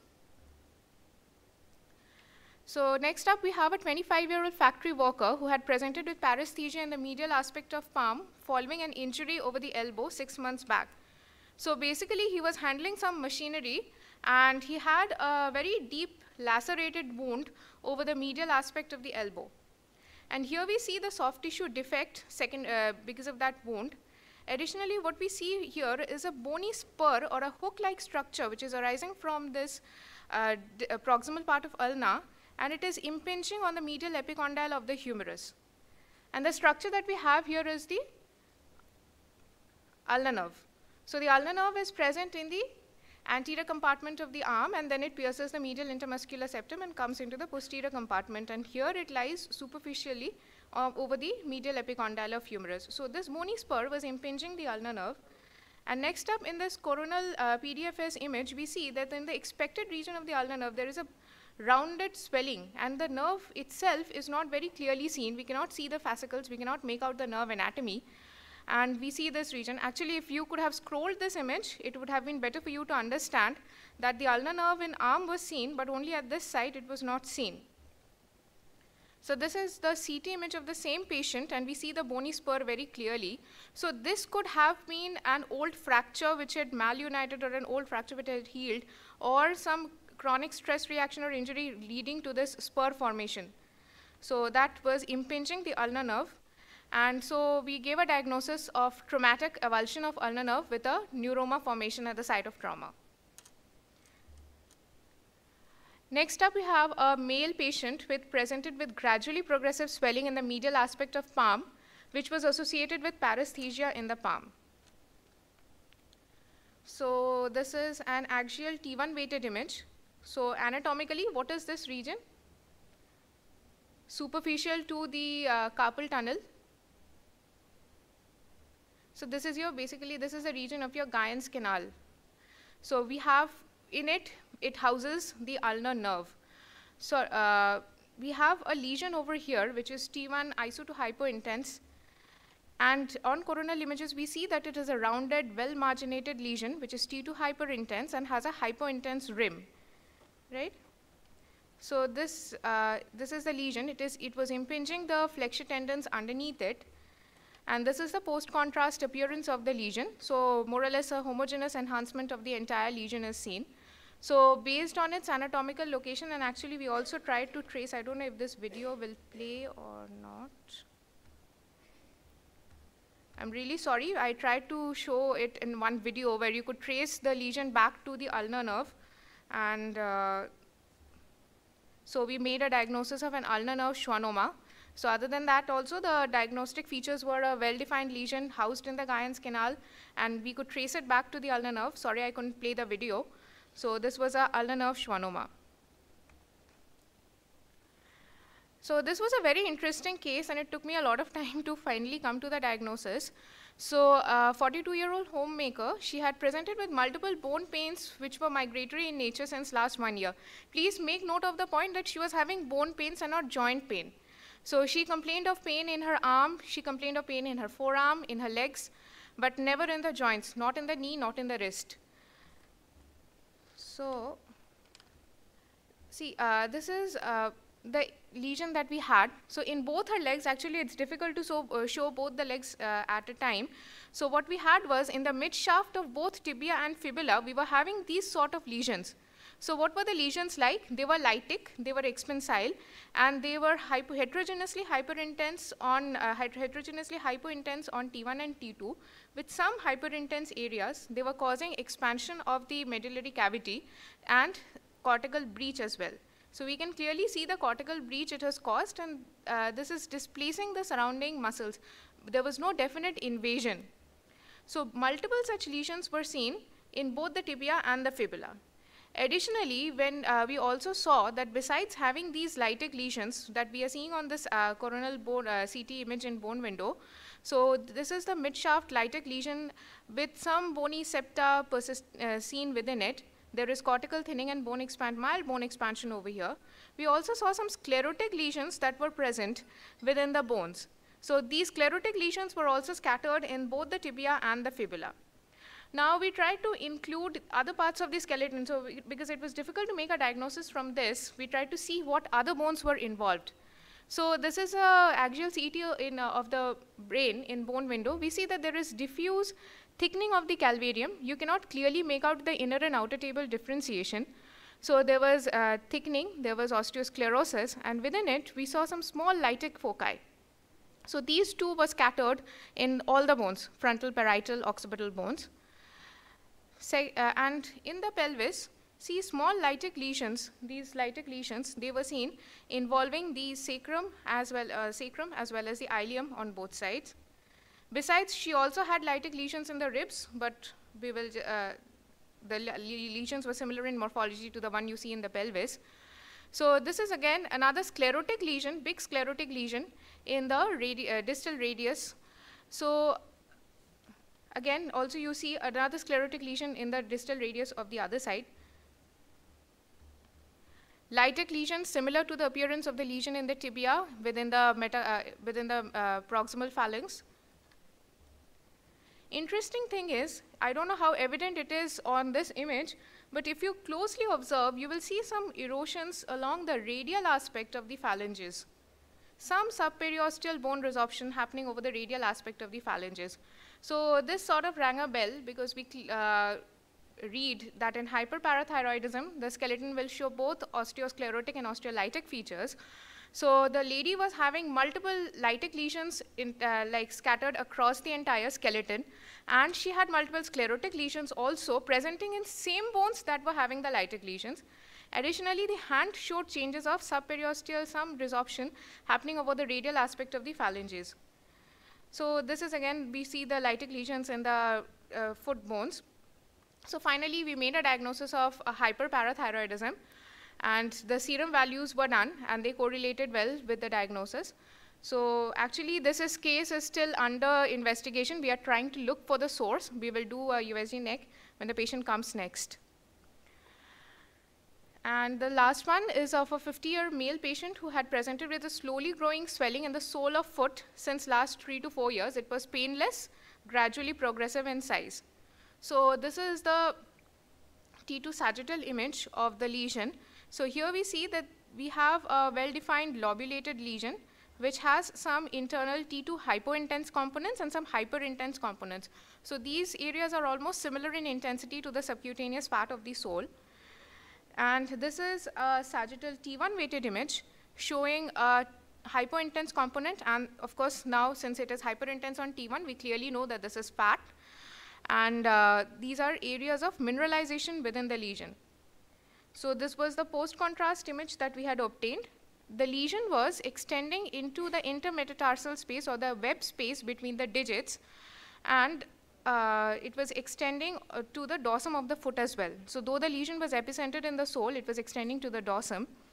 And it was causing some pressure erosions of the adjacent bones, which I'll demonstrate on uh, this uh, on CT.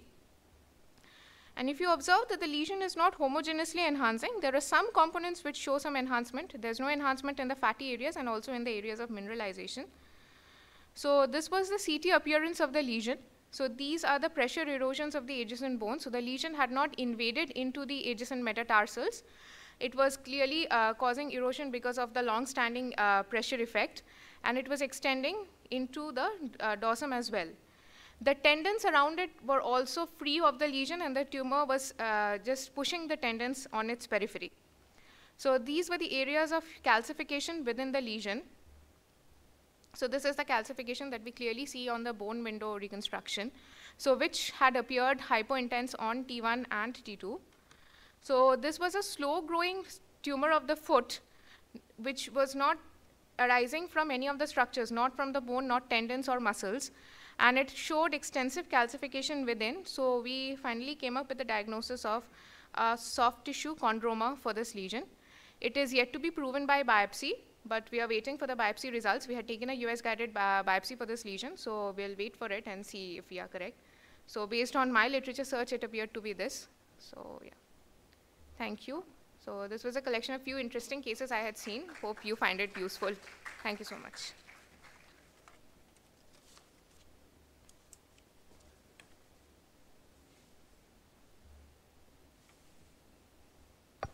Yes, very good collection of cases, few rare cases. Any questions from audience? No questions.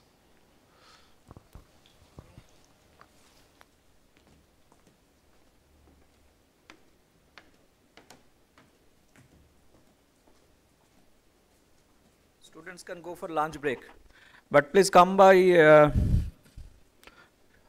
45 minutes, within 45 minutes, come back within 45 minutes, okay? After that, we'll, uh, uh, we'll have a live demonstration of uh, ankle joint and then uh, our regular program, okay? So, uh, all are requested to please leave for, there is a VIP patient who will be examined uh, separately. So please, please, um, actually a lady patient. That's why uh, we do encourage our students to remain here. Uh, please go for lunch. We are coming within 15 minutes.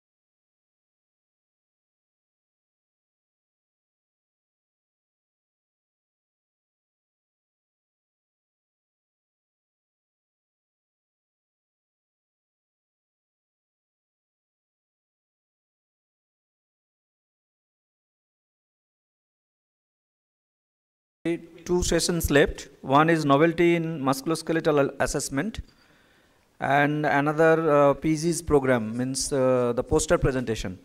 But before that, I'll request Dr. Ganguly to demonstrate uh, ankle joint. Okay, because I am having some ankle pain. I am going there to be examined by him. So everybody will be able to see.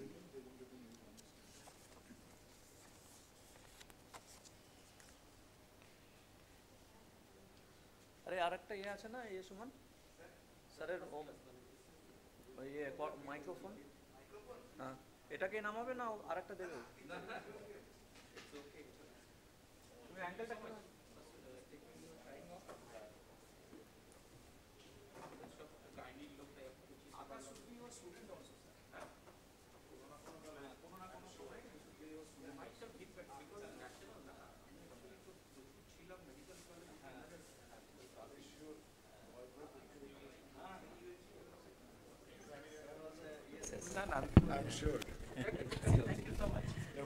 আচ্ছা তুমি অ্যাঙ্গেলটা কিভাবে দেখবে Oh, so who's the? I am the patient. No, tell me, sorry, question. Ankle pain.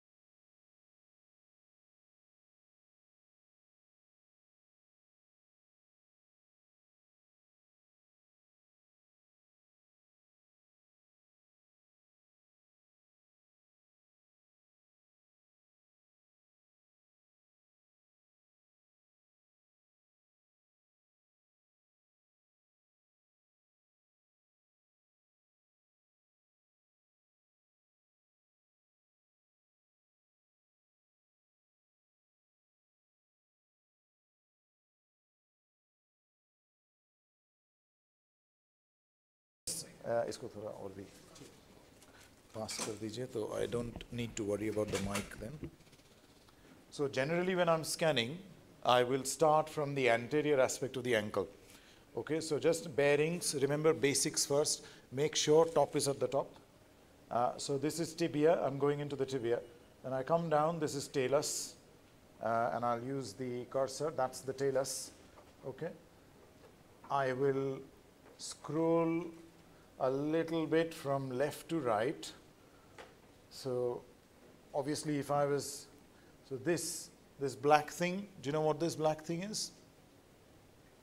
Anyone? Cartilage, okay? So that's the cartilage on the talar dome. So I can see if I was to uh, move the ankle, I'll be able to see a bit more of the cartilage. So there's a little bit of thinning of the cartilage, but you expect that on anybody on the other side of 40, so that's not a problem.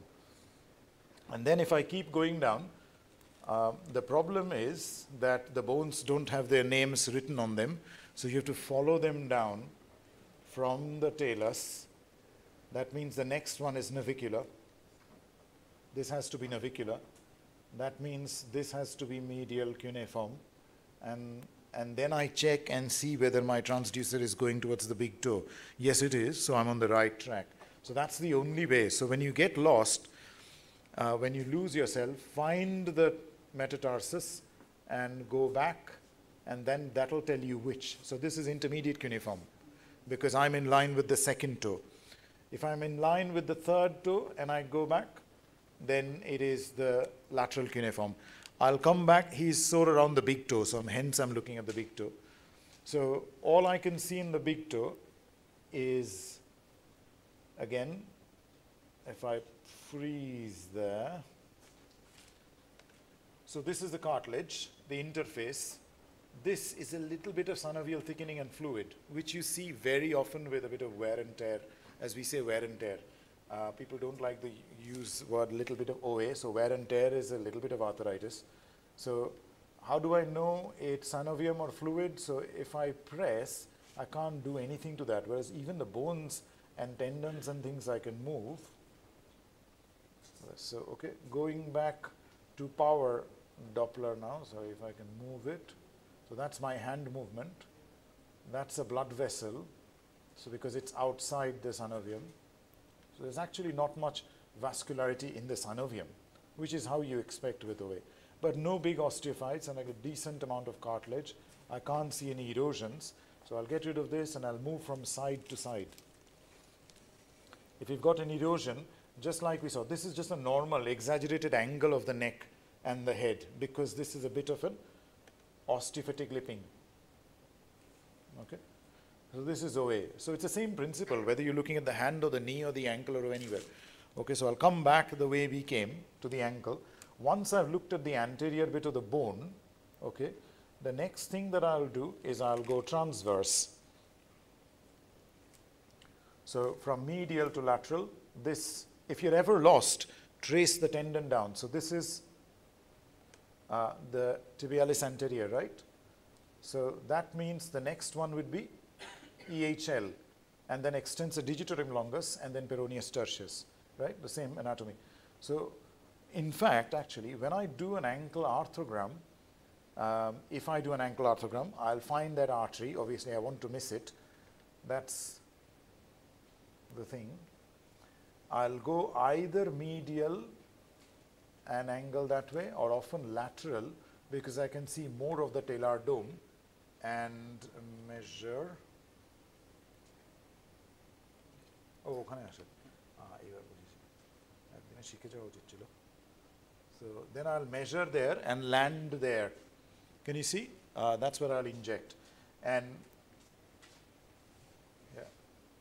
we'll come to the gutter. We were talking about anterolateral gutter. Um, so we'll come to that in a minute. So I've seen something in the anterolateral gutter a little bit of fluid. So I'll stick come to that last. Generally uh, we tell the registrars, hold your horses. Whenever you see an abnormality, keep an eye, mark that, but go to that last. Because last thing you want is to press and irritate a patient who's already sore in an area, and then he won't let you look at anything else. So look at everything else that looks normal and come to that last, right? So I spotted a bit of fluid, so I'll go right to the medial side now, okay? So my transducer position is transverse. There's no hard and fast rule. The idea is find it ki highest resolution. resolution to that too. Okay, that's good. That's good. So this is medial malleolus, right? Okay, so this is tibialis posterior tendon. Anisotropy, that means it's normal. Shape, normal. Next one, FDL, normal. Size-wise, tibialis posterior should be less than double the size of FDL, right? So it is, obviously I'm not measuring it, but it looks less than double. So he does not have TP dysfunction. So that's fine. Um, next is the tibial artery and its vein. And I'm trying to anisotropically identify the nerve. So the nerve is sitting just here, just below if I, to see the FHL, don't confuse that with the nerve, okay? FHL is much farther back. If you noticed my hand movement, I was here when I found the nerve. There's the nerve again, just deep to, they'll often be running just deep to the artery, okay, and the vein. If, we, if you go further back, only then do you start, sorry, seeing the FHL tendon, which is actually this. Now I'm behind the artery and things. Previously for the nerve, I was below the artery.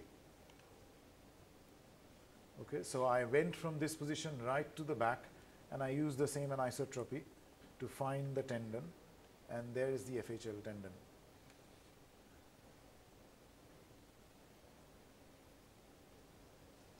You can always go back up and find the muscle if you want. He doesn't have any fluid in that. With regards to the ligaments, so a little bit of fluid around the tibialis posterior tendon, as you can see here, is normal. As long as it doesn't envelop the whole tendon, if somebody holds their leg in one position and things, often you will find a tiny bit of fluid. I, don't, I wouldn't get excited if the tendon looks normal and the fluid doesn't completely surround it, okay? So now I go in a longitudinal section. So these, let me see what I can see. So this is obviously so the deeper components of the deltoid is just here. It's the triangular bit. You can't see much at the moment apart from a feel of striation. Some of the superficial, if you angle them correctly, so this is one of the superficial ligament components which is going down past the deltoid. And then if you trace, depending on where you're going, we don't necessarily interrogate the specific tibionavicular, tibio spring, tibiocalcaneal ligament. The other thing that we look at here is the talar head.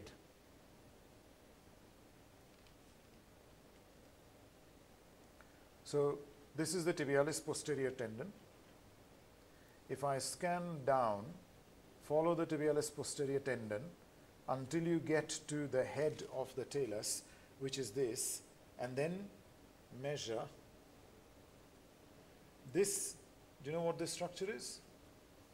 So this is the superomedial component of the spring ligament. So again, it measures 3 millimeter in, uh, in Dr. Karim's case. Um, normal is up to about 5 millimeter. So when you see pes planus or flat foot deformity, there is a theory that the TP tendon goes first, followed by the spring ligament, and the foot goes that way. Some people will say the foot is inherently that way, that will stretch the spring, and so it's all sort of interconnected, but it's part of the assessment that I do. Particularly important, just like we were looking at that uh, femoral, you know, femoral impingement, uh, ischiofemoral impingement, I only do this when the tibialis tendon looks abnormal because they are associated, spring ligament thickening. So I'll do that again. So find the tibialis posterior tendon in cross section, go down, down, down, down, down until you see the curve of the talar head. And then the only structure, just like the lateral side here, the only structure that is there, yeah, sorry, in between, that is the spring ligament, the only structure between the tibialis posterior and things. So we can assess the spring ligament there. So now we come to the lateral side, and by this time we run out of jelly.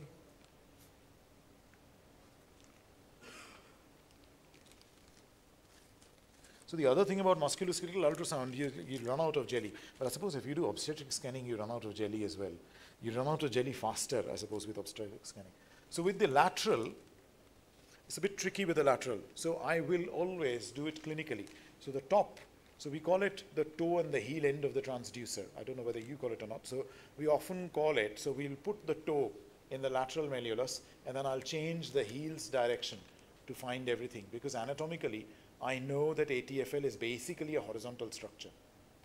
Once I find that, I will go up and find the anterior tibiofibula, because that's also horizontal-ish structure, or although on MR it is oblique, on ultrasound it's largely horizontal.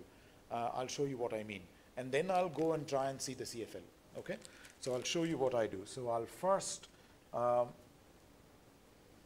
look at the lateral malleolus. and find and the ATFL well it's quite thin অন্য পাটা কি একই রকম না So normally, আরেকটা কারোর ATFL দেখলে you could have seen, normally ATFL is a very nice thick trapezium of a ligament. So in your case, I can see it, but it's a little bit sort of heterogeneous in texture, tiny bit of fluid superficial to it, suggests a sort of either degeneration or an old injury related thing of the ATFL. And it is a little bit lax as well. So when I say lax, that's because it's sort of caving in. Um, if you turn your leg, yeah, এরম ভাবে, oh, sorry. So this structure is AITFL. This thin ligament, this, if you keep an eye on this structure, this is anterior tibiofibular ligament. Okay, I'll skin it again. It's a really thin structure because it's a flat structure. So we can't, on an MR, we can see the flat band on a coronal image. Here we can only see the axial bit of the flat band. So it looks like a very thin structure. It is actually like a flat band. So when you see that, the only structure below that is ATFL. Now in an ATFL is normally visible very easily. In your case, it looks as if you might have had a partial unrecognized tear and a bit of scarring, and this is a little bit of synovial thickening and the meniscoid bit that I was talking about. It's not meniscoid bit, but this is a bit of inflamed fat and a bit of tissue in the anterolateral gutter. So ওইখানে যদি ব্যথা হয়, if you've got pain there or swelling or you get there, so that is a soft sign of anterolateral change, and that's why we saw the fluid. So now that your leg is in a different position, the fluid is gone from there. It's gone that way now somewhere. You can see this. So the next important bit is obviously once you see that the ATFL, thi- oh actually this is the ATFL, but it still looks a bit uh, abnormal. So see it's a, this structure. Let me measure it so you will see what I'm talking about. It is this whole structure. And you see it's like a trapezium going from here. So imagine this is the side of the trapezium, this is one surface, that is the other surface, and this is the other end. So it's almost like an inverted trapezium.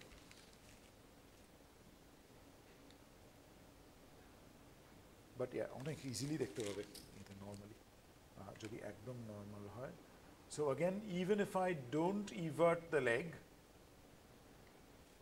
going back to the principle that I said, these are the two peroneal tendons, okay? The only structure that you can see deep to it is CFL, so it can't be anything else. So, so you can see the fiber structures here a little bit. Because it's like a boomerang, unless I actually evert the leg, I won't be able to, even then I won't be able to see the whole bit of it. But this is the CFL. This is the vertical portion of the CFL. After that, it comes up into it like this.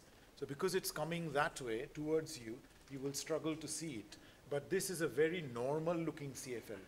If it was abnormal, thickened, swollen, fluid or edematous, then I would try to evert his leg and try to see the rest.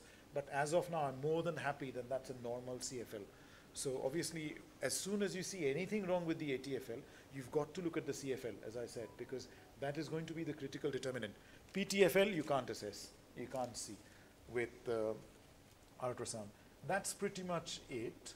Uh, we can look at the peroneal tendons as you go up. These are the two tendons, brevis closer to the bone. Okay. Um, if,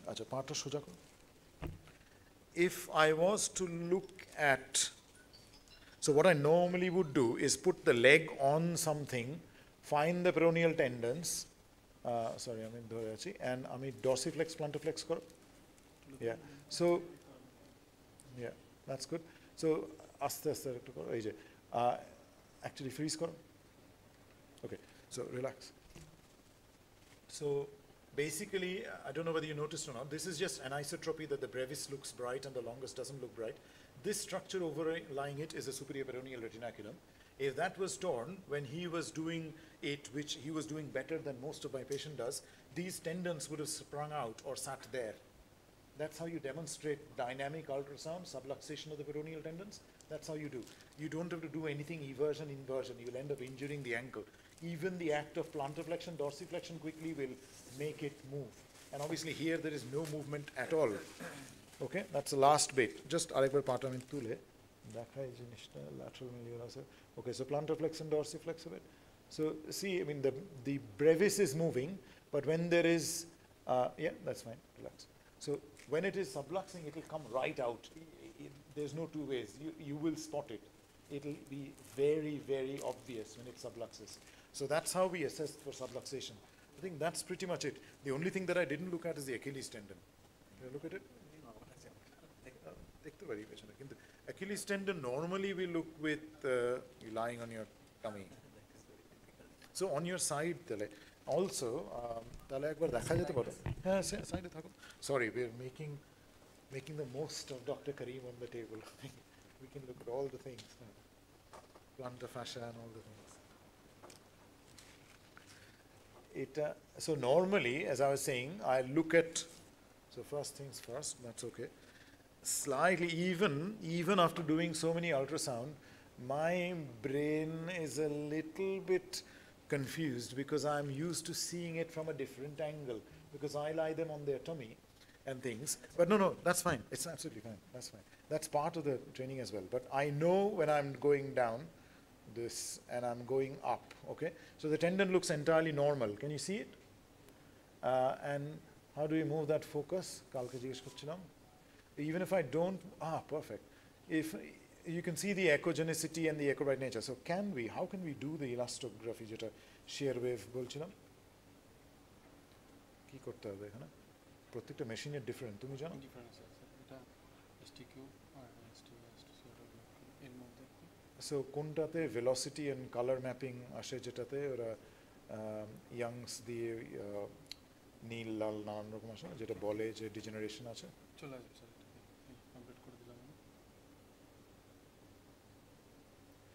বক্সটা টেন্ডনের উপর লাগবে না বক্সটাকে আপনি বক্সটা করে দাও উপরে দাও আই ওয়ান্ট দেয়ার আপডেট হয়েছে এখন না আসুক ওটা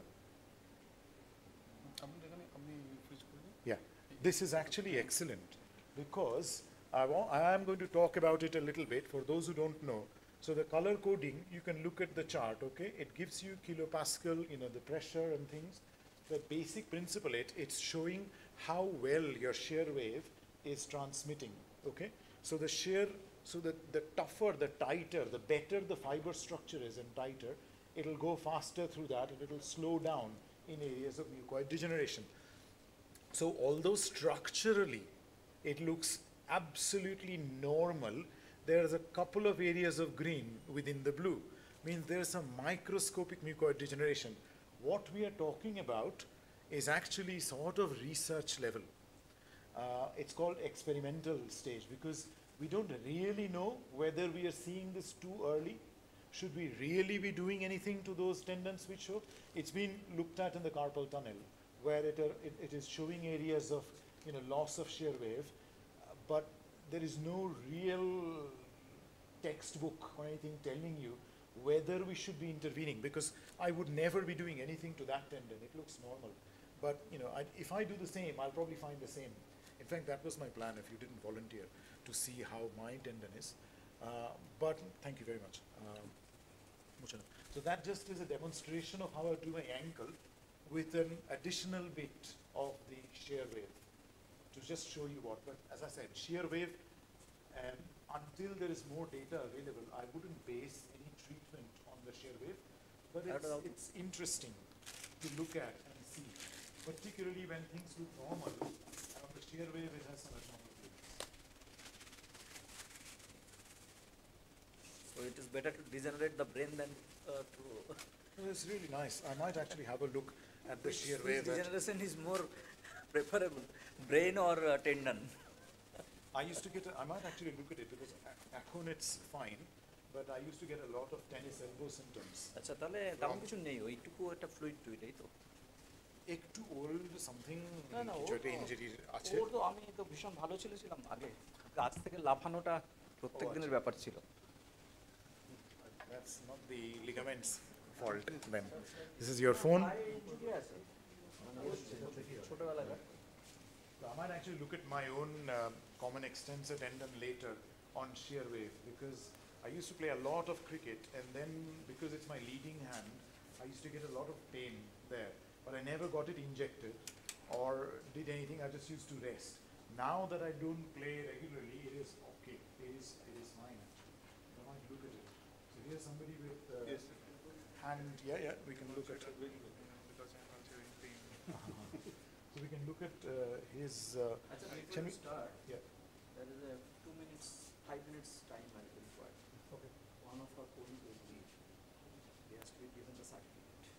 Okay, certificate देना?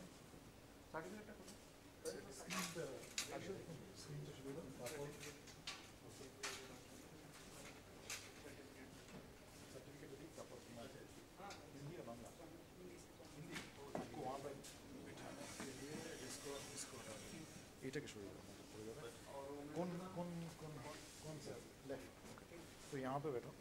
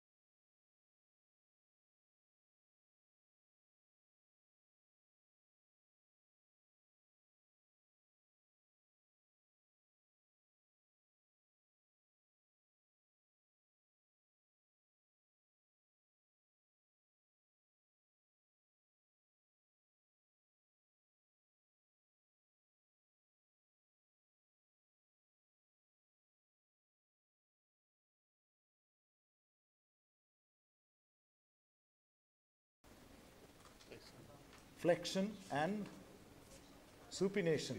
So what's the antagonist of supination? Pronation. So if I pronate my hand, So this is the way to find. You don't flex and extend to look at the integrity of the biceps tendon. All you do is uh, you hold the hand. Sounds great when you say hold the hand of somebody. Uh, and you pronate and supinate to see whether the tendon, can you see the tendon gliding? Yeah? So that shows it's normal. So, yeah.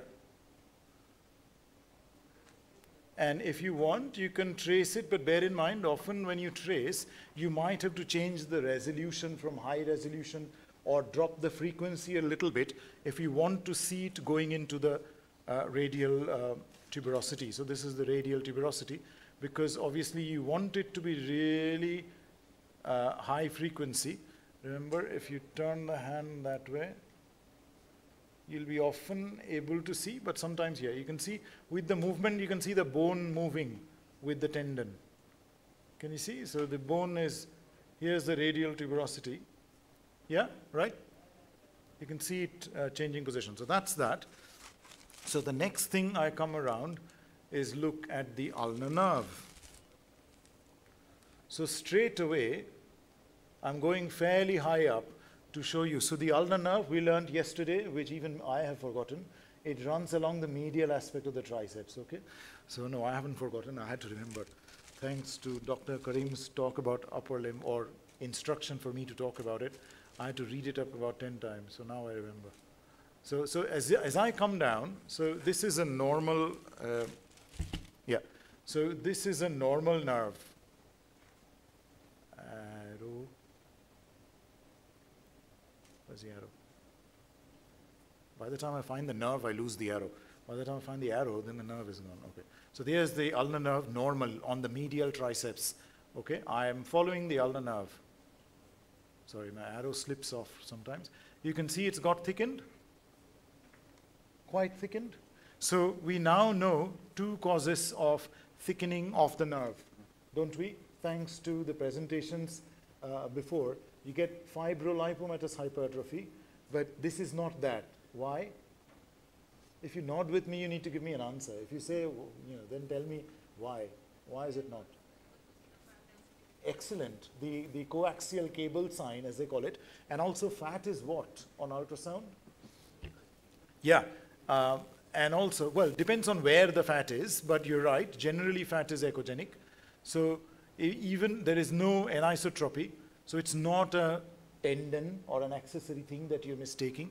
And if it was multiple, if it's fatty, you would have seen the coaxial cable, fat, and the dark areas of nerve fascicle in between. So very well done. So this is basically thickened nerve. Um, at this point, obviously in India, it's a common diagnosis of Hansen's of whatever type. But if it is uh, UK, then you'll be talking in terms of autoimmune neuropathies. Okay, which obviously if it's the spine, it'll be Guillain-Barre as they call it. Uh, in India, we used to call it Guillain-Barre. We used to call, you know, এখানে Guillain-Barre বলতাম, Guillain-Barre is what they actually call it in French. So, so it's GB syndrome. Because of the confusion, we used to call it GB syndrome. Because sometimes they don't understand. But anyway, this is that. I'll demonstrate something else while we are at it. Behind the epicondyle, uh, हाथ थोड़ा ऊपर कीजिए इस बार और resolution high resolution এটা কি high আছে না তো ওকে আই অ্যাকচুয়ালি স্টপ এখানে freeze relax. So sometimes if you keep an eye, you will see little bits of the Osborne's fascia, as I was saying. It's basically, like the SPR, which is an envelope which keeps the nerve in place. So what I'm going to do is what I do for dynamic examination. So isba kya karenge? Abhi se karna nahi. मगर इस बार मैं करूँगा मैं वहाँ पे देखूँगा आप धीरे धीरे इसको ऐसे कीजिए हाँ ठीक है मैं बताने के बाद पहले नहीं So find the medial epicondyle, find the nerve. We'll find out for real if it's subluxus or not. Sorry, here.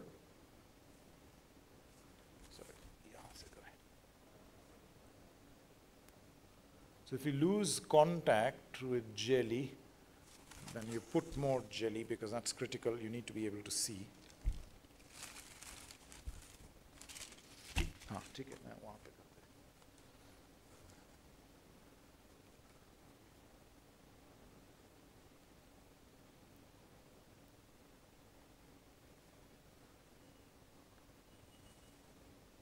up. Oh, that's why. And straight, see that?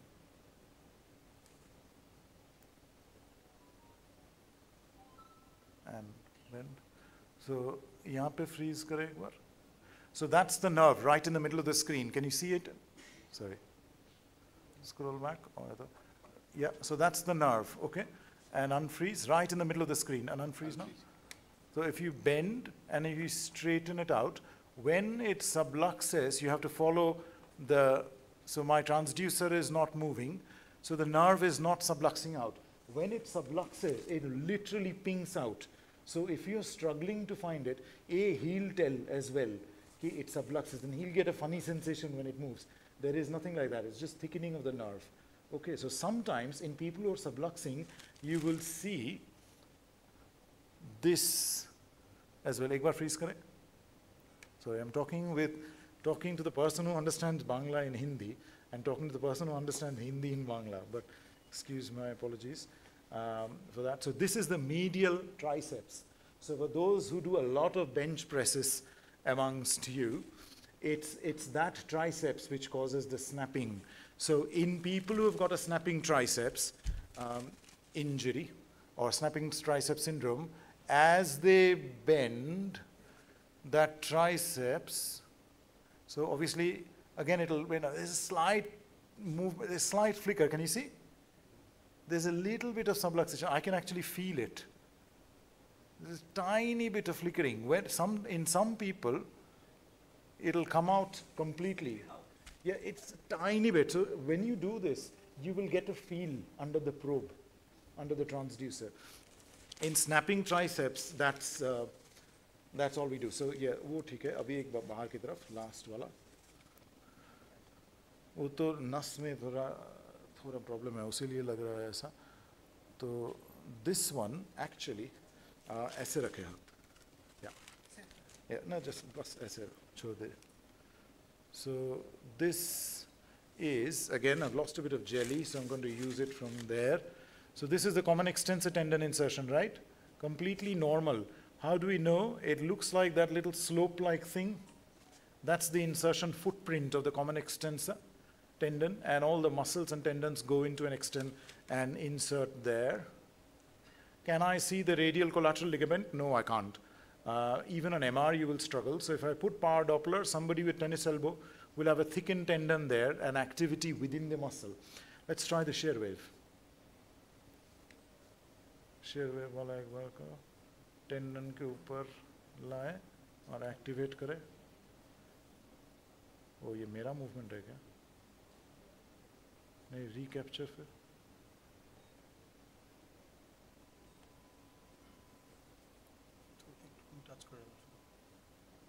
ও এটা কি বেশি আমার হাতটাকে আচ্ছা আচ্ছা হাতটা আন্দার কি যে থোড়া এক সেকেন্ড ওটাকে কার্সারটাকে বা বক্সটাকে সরাও একবার তাহলে আমিও রেস্ট করি তাহলে আমার হাতের মুভমেন্ট হবে না ইয়া এখন দেখি ওই ওপরটায় চলো ওপরে টেন্ডনের কাছে চলো আর একটু পিছু আর একটু ডান দিকে। ইয়া পারফেক্ট একই লিস্টে দারুণ আসছিল এইটাতে অতটা আসছে না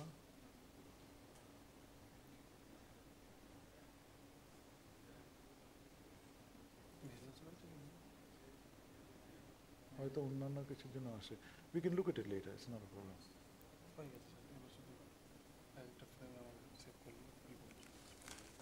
তাই তাহলে সে কি কি টিপলে চোখ চলে আসবে এটা রিপোর্ট হ্যাঁ হ্যাঁ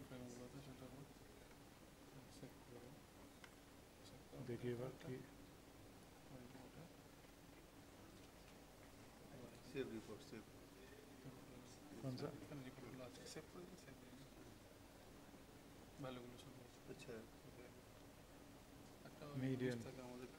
ইয়ে না হ্যাঁ ওখানে কিন্তু রেজাল্টের সময় যেমন গ্রিন অ্যান্ড ব্লুগুলো দেখা যাচ্ছিল একটু একটু সেইটা এখানে maybe it's not a big area or because there are bones and other things in the area in so that's one of things but that's fine so ঠিক আছে আবার পরে দেখবো সেটা তাহলে তাহলে এখন ইলাস্টোগ্রাফিটা বন্ধ করে দাও And the last thing I look at is at the back, which is the triceps tendon, right?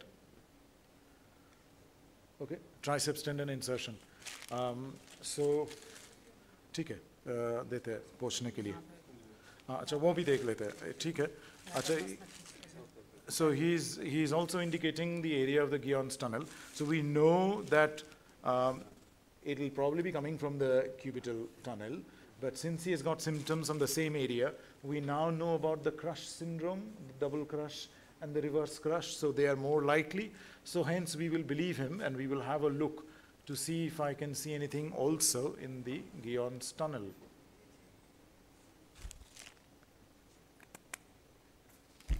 And relax दिख जाएगा टॉर्च की तरह है घुमाने से ही दिखता है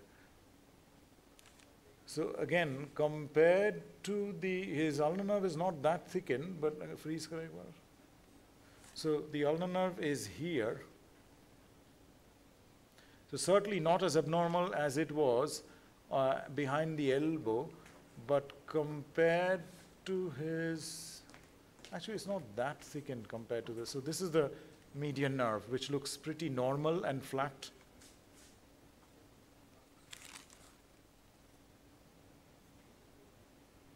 It's, it's, it's pretty much normal in this part actually. Here's the ulnar artery and here's the ulnar nerve beside it, right? In the Guyon's tunnel. Superficial, it's in that little triangle, superficial to the flexor retinaculum. Here's your little triangle of fat. And this is either the hook of hamate or pisiform. It's probably pisiform based on where I am. If I come further, I'll find the hook of hamate. That is more the hook of hamate. And you can see the nerve here. That's the nerve. If you want, you can trace It's a little bit more thicker here, right? Little bit more thicker, certainly, compared to previous And I'm going the other way. So this was the ulnar nerve dividing and the cutaneous branch coming off there. And as we go that way. So a little bit thickened, not as bad. ठीक है वो नस का ही uh, है तो बस हम दे देंगे पहुंचने के लिए so that's basically it. So we look at the nerve, you can trace it back or forth, whichever way. I just demonstrated how I'd look at the elbow as well. And uh, did you want to see anything else? Any other structures or anything else around the region? Which one? Yeah, I didn't show the elbow joint, but if I'm aspirating the elbow joint, two things. First of all, if I can see fluid somewhere, I'll go into the fluid from wherever I can see it. It doesn't matter where I can see it. Obviously, I'll try and miss the brachial artery and things, but I will, if I see fluid, I'll go for the fluid, okay? If I don't see fluid, then my place is under the triceps tendon in between the bones and the fat, okay? So the s- fat behind the tendon, yeah. Okay, sorry. Any demonstration is required, maybe. Yeah, we can do it during catch-up and questions and things as well, yeah. Absolutely fine. Um, so, there is another session of Dr. Ganguly, novelty in musculoskeletal ultrasound Oh, I forgot about that. assessment. Actually, this was ordered by me particularly because every day the science is developing and there are many newer issues that comes up. And because he is working on this field for uh, close to two decade so he has immense experience on that. So we like to hear uh, about novelty in musculoskeletal assessment. After that the pg program will start and valedictory session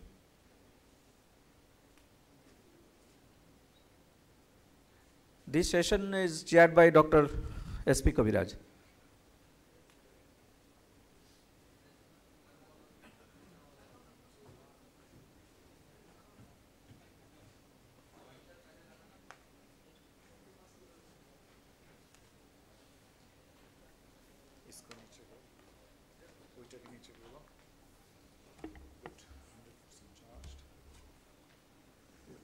My theory is all teaching is good teaching. Any teaching is good teaching, whichever you look at it. So, we got additional. We weren't planning to do the ankle and elbow, but it's always nice. I don't, you know, mind. So, although we are an hour back behind,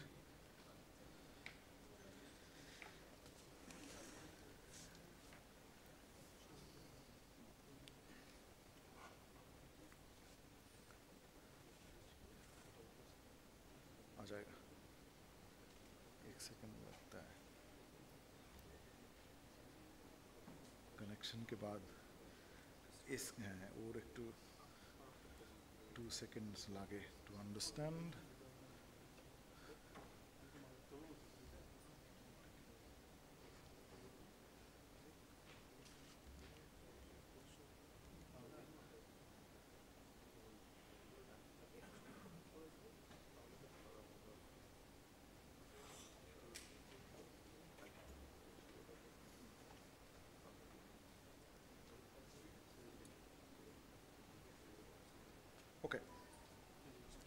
So where's my phone?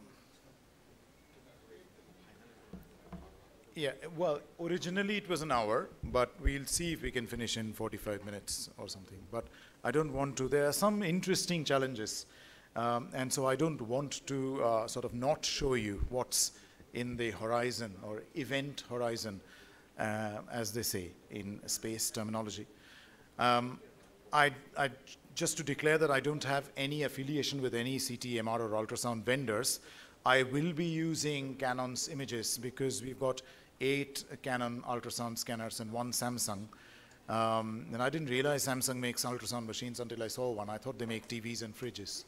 But they do make ultrasound machines as well, and very good ultrasound machines. So I do like their machine as well. But we've got eight Canon. So a lot of um, imaging demonstration and things are from my Canon reps in the ultrasound section.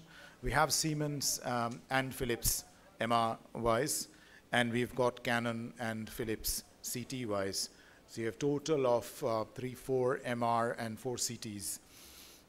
So um, it is so the event horizon of MR and CT and the development and innovation is, is immense. The things that we can do, obviously not not not as much as that, but we can do quite a lot. And I'll divide this talk into MR, CT, and ultrasound. So I'll start with MR first. Um, so generally, the basic principle for any uh, ultrasound or any advancement is even your directors and you know uh, certainly our directors want everything to be done quickly if it takes 10 minutes do it in 5 if it takes 2 minutes do it in 1 and more scan quicker scan more economical better patient friendly so all of these is to do with faster scans right? So the focus generally about improvement and innovation is always going to be there's no there's no magic in it. It's going to be towards making it faster better more economical easier available. And of course it has to be realistic as we were talking about. I mean we, we can't do 10 point diffusion. We will have to do 2 point diffusion because we can't put the patient in the mr scanner for an hour. We don't so obviously faster imaging is about imaging quickly that doesn't mean we image two patients at once that doesn't happen there used to be this theory in uh, in america at one point used to be called the mr tunnel of love so you can go into the MR tunnel with your friend, all hugging, and you both get your MRs together.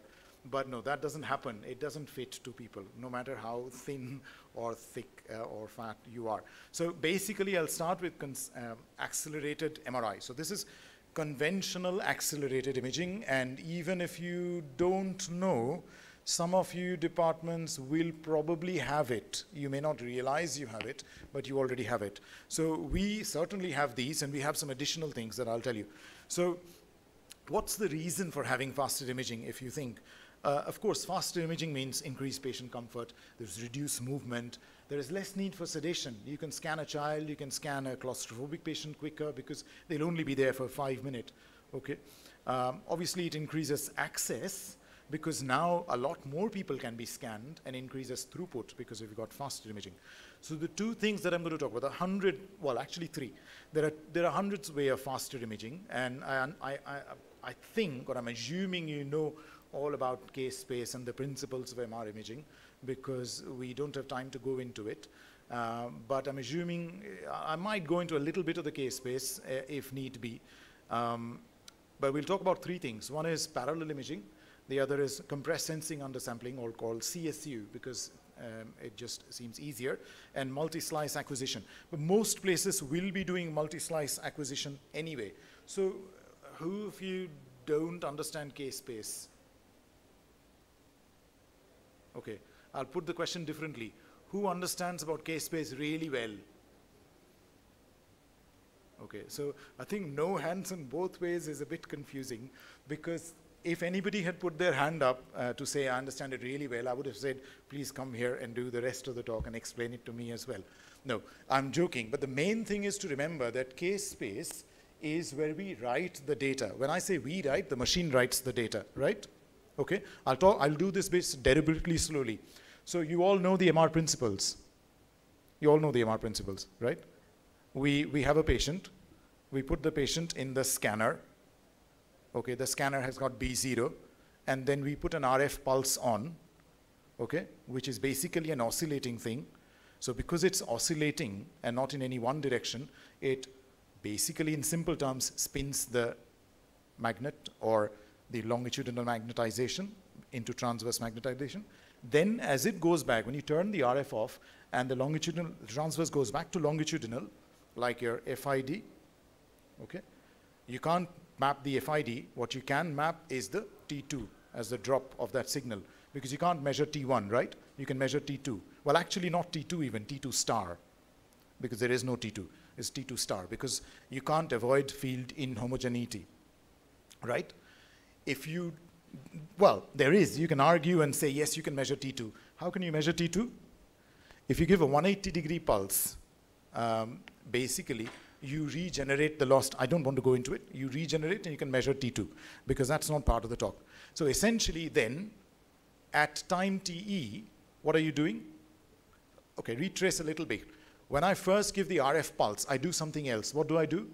Switch on slice selection gradient because I want to image a single slice, right?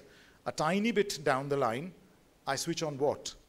Phase encoding gradient. Why? Because I want every line to be at a different frequency, okay? When I want to collect the sample at time TE, what do I do? I switch the frequency encoding on. Okay, so there are three gradients. The frequency encoding, what is that? That basically is segmenting it into longitudinal. So think of it like latitude and longitude. That's what I tell my trainees. Okay, so these are the, like the longitudes and those were the latitudes.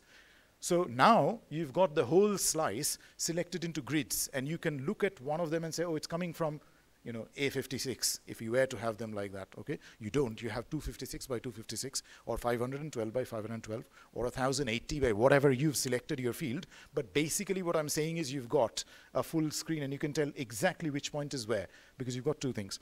Now, all this, where is this data going? The machine storing the data. I don't know much about it. I just look at the image. Y yes, you do. But how did it get the data? When the machine, remember this, and this is a very basic point that a lot of people don't understand. When I, at that point, at TE, if I have a voltmeter, that thing, the transverse magnetization swings back to longitudinal, okay? Basic high school physics, Faraday's law. As magnetization changes direction, it introduces what? Electricity in the voltmeter. That's a signal. That's what we measure. That is MR. We do that 2,500 times to get one slice or two slices or whatever, okay? But that is what is actually happening in the MR. So we flip the magnetization, we switch it off and watch as it falls. In the meantime, we switch on the phase encoding to get our longitude lines, uh, sorry, latitude lines, and then we get the frequency encoding when we are sampling. If there's no point in switching it on when you're not sampling because you'll mess everything up. So you now got the latitude lines and you write that data. Bear in mind, where did that data come from?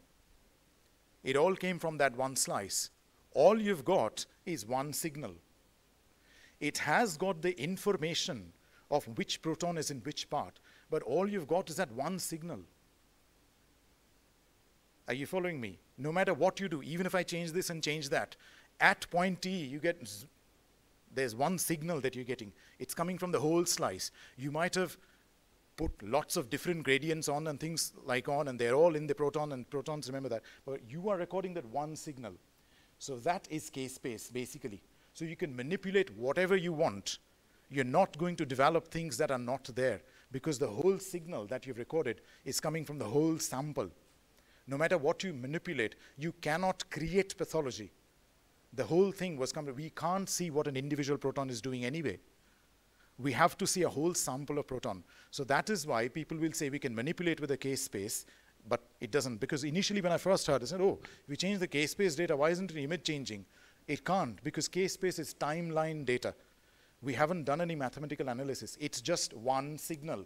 You can put up 256 gradients or 380 or 1 million gradients. At the end of the day, the signal you record is one. That's come from that slice. That's a zzz as it loses, okay? It has all the information, but the signal is one. Hence, we can change the K space.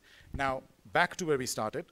If we, so K space, you remember of multiple lines. So makes it simple that if you lie, if you write the first and the third and the sixth and the eighth instead of every K space. And by the way, how do we write every K space? We have to go back at TR and do the whole thing again. RF, this gradient, that gradient, T, signal. TR, again go back. So we do this every time to write a single line of K space. That's why MR takes its time, okay? So if you have in your field of view 12 slices, if you go to the technician and say, can you extend it a little bit lower? I want a little bit more of the knee. They'll often say no. Why? Because to write that another extra K space, you'll have to do another 12 iteration. You can't just increase it by once because it's in your Q direction unless, I won't go into that, you switch your frequency and phase direction. During your frequency direction, you can get as many lines as you can because you do switching that on when you're collecting the signal. But for the phase, every time you change the phase. That's why the picture will have multiple lines in that.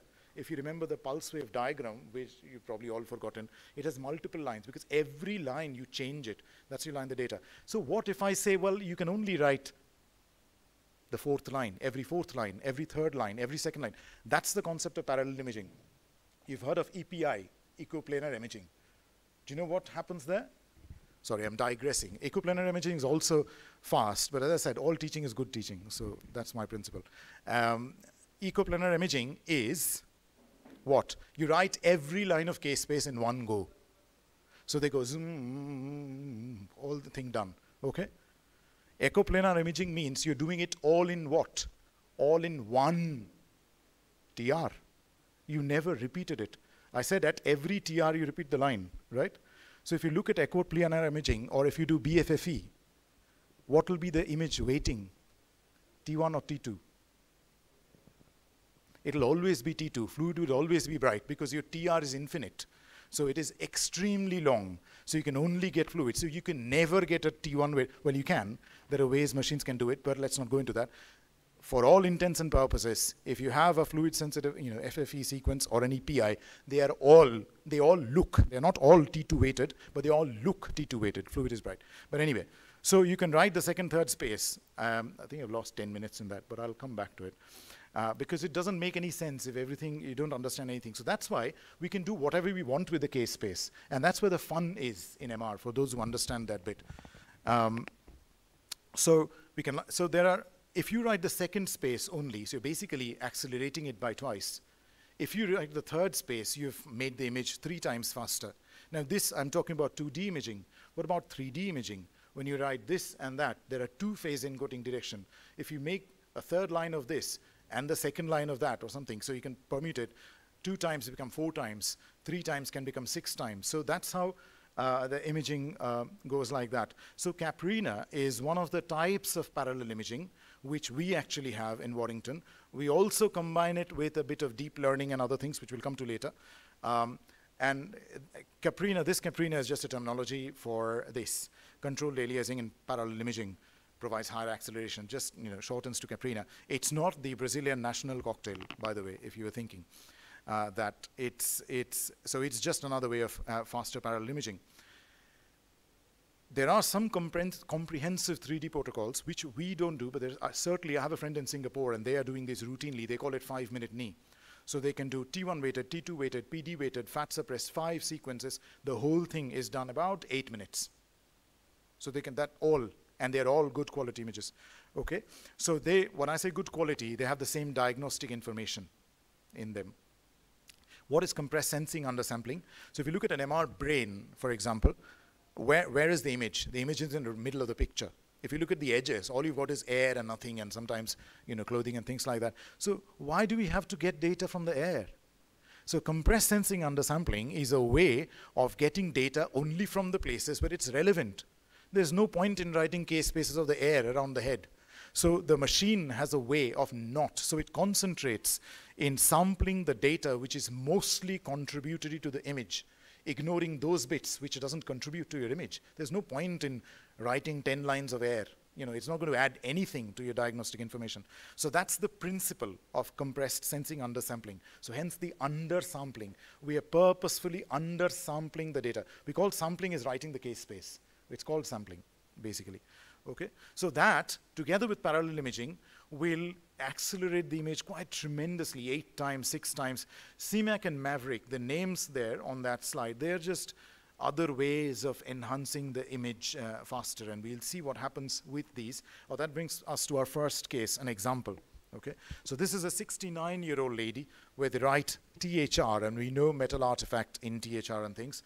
So this patient has had uh, traditional uh, two-dimensional, 2D PD-weighted TSE's turbo spin echo, and used a high receiver bandwidth and things to reduce metal artifact.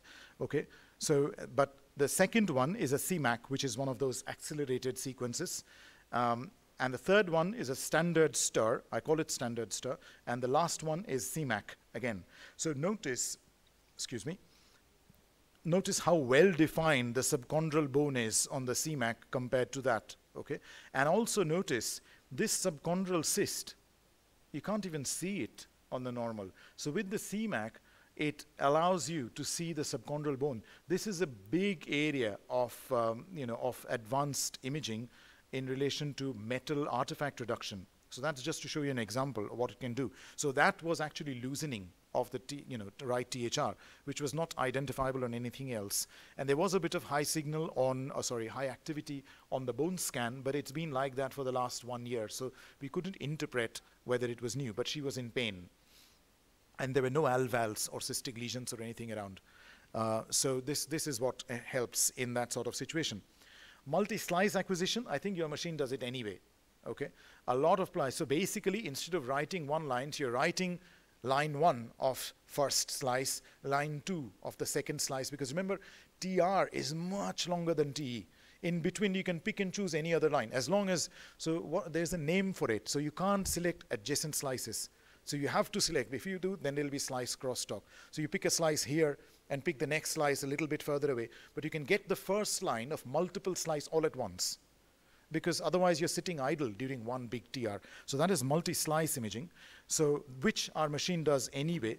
The advantage over parallel imaging is that it has no signal to noise sort of loss. It is near neutral signal to noise. With parallel imaging, because we are writing less data, there will inherently be a bit more noise because the data is less. Okay, the image will be noisy. Um, so the disadvantage over this is because we are doing the RF pulse multiple times during one TR, do you know what SAR is, specific absorption rate? That's the amount of energy deposited on MR. So, okay, we, we look at it particularly. We don't really look at it much unless we are uh, imaging somebody in their first trimester or something like that, because we don't want to, although that theory is going out of the window now, but we try to reduce our SAR um, during certain types of MR scans. Now, as I was saying, combining the multi-slice acquisition with parallel imaging will obviously then increase. So you're not only doing multiple slices at once, you're only writing the second line or the third line of the K space. So this is just maths. So it'll, it, you know, it'll, it'll significantly reduce your scanning time. So this is a 33-year-old uh, uh, man with knee pain. And this is just an example of um, multi-slice. This is a simultaneous combined SMS is multi-slice imaging and parallel imaging. It shows that the image quality is actually very good. There is no loss or drop in image quality. These are, I'm not comparing with anything, I'm just showing you the images to show the cartilage. And these are, by the way, from multiple papers. We are not doing that level of research. I'll show you the ones that we are doing in a minute. But a lot of these are from multiple papers across the, across the globe, literally. And you can see the meniscal tear very nicely as well. This is just a PD weighted image. These are our images, okay, just as a test. Do you know which one? Do you know which one is the actual T2 weighted image and the other is a T2 weighted but fast sequence? For this one, I'll show you. The scan on your left is the T2 weighted image, which actually takes as long as it takes. The one on the right is a combined, so we used combined parallel and compressive sensitive undersampling. Okay, we also have a bit of a deep learning software in it, which tells the image which bit not to sample. Okay, so there's a little bit of a deep learning element in it. So this image on your right is three times, uh, if the left, I can't exactly remember, if the left one takes 4 minute 20 seconds to acquire, the right one is acquired in 1 minute 30 second or something like that. Okay, so significantly, to me actually, the faster one looks better. I don't know about you guys, it looks crisp and brighter to me. So these are some of the examples from our own. Any guesses? Which one's the faster one? On the left, yeah, very good, actually. You're paying attention, that's good. So these are all our examples now. So this one uses deep learning more. The image on the right is faster. Um, those were ours. So I've used one from the deep learning because I just wanted to show our examples altogether. So they are visible, and obviously we got this 100,000 pound grant from Northwest Deanery to do this experiment. So we have two sessions every week for the last six months to do accelerated imaging which I was supervising because obviously we have to look and see that you don't come out with a fuzz spot that you can't really diagnose. You've imaged the knee in two minutes, but it's completely non-diagnostic. So that shouldn't be the case. So for two months, well actually three, we did standard and the thing. That's where I got all these images from. Um, but obviously we now have stopped doing the standard. We only do the faster one because we can now, the scanner which was doing 20 knees in a day can do about 35, roughly. So most DL-based reconstruction are basically supervised model training. Again, I don't want to go into that because there's a lot of detail about how you train, but basically it's deep learning. Deep learning is when you train the computer to pick up an abnormality. How do you train it? By showing it 1 million normal or 1 million other cases. Once it's seen 1 million, it learns at every level. It's called a UNet network for those who are interested in it. Uh, it learns at every level at a point, after you've trained it with 1 million, it'll tell you what, what is abnormal, what is normal. But it is limited by how you've trained it. So if you've never showed it something, it'll never pick that up. That's always a limitation. So AI, for those who think will surpass us, that won't happen. It'll come and it'll come to our aid. I wouldn't have to spend so much time picking up. It'll give me a printout of what is going on, and I'll quickly check and make sure they're all correct and then I'll pick up something new that they haven't picked up or something like that, or I'll confirm. So that's how it'll work. Uh, for those who, because you know, my son is actually doing medicine fourth year, or he'll be fourth year in UCL in London, and he was saying there's no point in doing radiology because you know by the time I do radiology, there won't be any need for radiologists. I said, don't pay that. I'm paying your salary, so there will be a need for radiologists. Shub shub bol, you know, as they say in Hindi. Um, so uh, basically, but that's not the case. So they don't understand it, and there's a bit of scaremongering. So there's no need for scaremongering in it. It is there. It is there to help you. It's not there to replace you. It can replace the technicians and sonographers and reporting radio. It can't replace the doctors. Okay. So that's the bottom line. So I'll show you some examples of deep learning based because I want to show you examples more and to show the real groundbreaking stuff that's happening around the world at the moment. So this is a 51 year old lady with anterior knee pain. And this is deep learning algorithm. Okay, so the scan on your left is a conventional um, you know, sort of uh, fast imaging, uh, two times faster. The middle one is about four times faster. But you can see that the image has dropped. It's more noisy. We are using parallel imaging and things. It's more grainy, not as crisp. But the one on your right is deep learning, reconstruction based on a UNet sort of model um, based. Um, so this is four times, but it maintains the signal resolution just like this two times faster. So you can actually scan four times, but not lose the image resolution. Same guy's counterpart, T2 fast, fat suppressed. Same uh, understanding again. Marrow edema, the ligament and the bone, and the general feel. Radiology is very aesthetic. If you don't like the image you look at, I've seen people look at dark rooms and MR images and ultrasound images. If you don't like the image, you will often miss things. So it has to aesthetically feel, feel nice as well. Hence, it is hence the reason for looking at these. Next comes the super resolution MR. So we're talking in terms of, so this is investigational. So one of the things that we use is a DESS sequence, uh, which is a double echo steady state, okay? Uh, so it's kind of almost like a double inversion rec recovery. It looks really crisp. It's like you've taken a picture on your iPhone or Google Pixel 9 or whatever, and then you go into image manipulation and put this, you know, the sharpness to maximum. your image will look really sharp and grainy and crisp and things, and that is what a DESS looks like. For those who do any cardiac MR, you'll recognize DESS because a double inversion, unlike single inversion, is when we invert two things. So we invert not only water, we've also inverted blood and other things. You get a black blood sequence in cardiac imaging. That's a double inversion. With a single inversion, you invert fat. That's STIR. You invert the fat signal, you get a fluid sensitive sequence. If you double invert, you get the black blood of cardiac MR without going over. So it was there. So you can use these to do your chondral mapping as well. So they're equally good at this sort of thing. The next level advance is deep learning MR synthesis. What is this?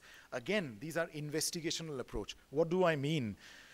They are not mainstream practice at the moment. It's not mainstream MR. We are not doing it. I'm not aware of a regional center in the UK, but if you look at Japan, Korea, Germany, Switzerland, Sweden, and a lot of American places, they are doing it as an investigational approach. So basically, this is creating MR scans with a tissue contrast, for example, PDW, okay, from images acquired from different modality or different tissue contrast. So either you're creating an MR image from a CT or you're creating a PD weighted image from a T2 weighted image. So the data is there. Again, as I said, why is the manipulation possible? Because a signal that you recorded came from that slice which has all the information in it. So you can do whatever manipulation if you're clever enough as a mathematician to work out the, okay, if it does this to the T2 time, what will it do to the other things? There is a mathematical way of working out the other. So that is MR synthesis. So you're synthesizing a PD weighted sequence from a T1 weighted sequence. Okay, so you don't need to do. So that, again, if you're doing faster imaging, plus that, you only need to do two. So that's where the five minute MR, you only do two, T2 weighted and T1 weighted, and you end up getting PD weighted, PD fat sat, T2 fat sat, everything from that. You can also do it from CT. So here's an example of, uh, sorry, go back to the discussion. So this is 23 year old man with a recent trauma to the knee. There is a downside to this, which you will see. So this is conventional, you know, uh, fast uh, acquisition space. Uh, don't go into the terminology. These are ways of uh, making images faster. So it shows bone contusion, right, in the posterior aspect of the tibia. This is a deep learning MR synthesis. So this MR is a synthetic MR. It never imaged the patient. It has just been reconstructed, this PD fat sat, from a T2 fat sat and a PD weighted image. Okay? You can see it doesn't look good. It, it, it doesn't. It's very pixelated, grainy and things, but it does show you the marrow edema. Okay? So imagine what will happen in research in five years' time. You will, you know, it won't look as bad. Okay, so that's another. Same patient, yes, it looks grainy and doesn't look nice, so I don't want to see it, I want that. That's what I'll tell my tech and the researcher. But they know that it carries the information. It's showing the information. So you can do an MR. So this is an example of where the MR has been created from CT. So this is a CT reference, and this is the T2 weighted, and this is a T2 weighted synthetic MR at a level showing the, uh, showing the images.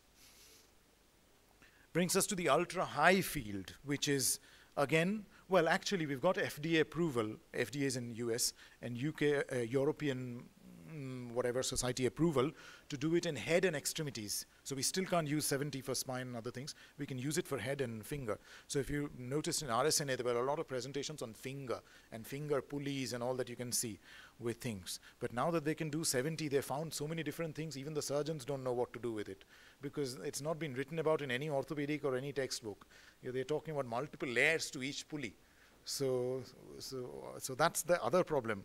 But anyway, so the main issue with a 7T, it's great because if you, I won't go back to the physics again, but the higher the field strength, the more magnets, sorry, more protons you have in play. That's creating your signal. So your signal strength is stronger. You can play a little bit more. But the main problem of a stronger magnet is increased field inhomogeneity, okay? Increased chemical shift artifact, increased susceptibility, increased power deposition to the patient.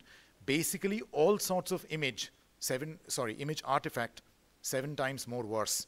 So your image might be extremely sharp, as you will see in a minute. It's mainly used for cartilage imaging.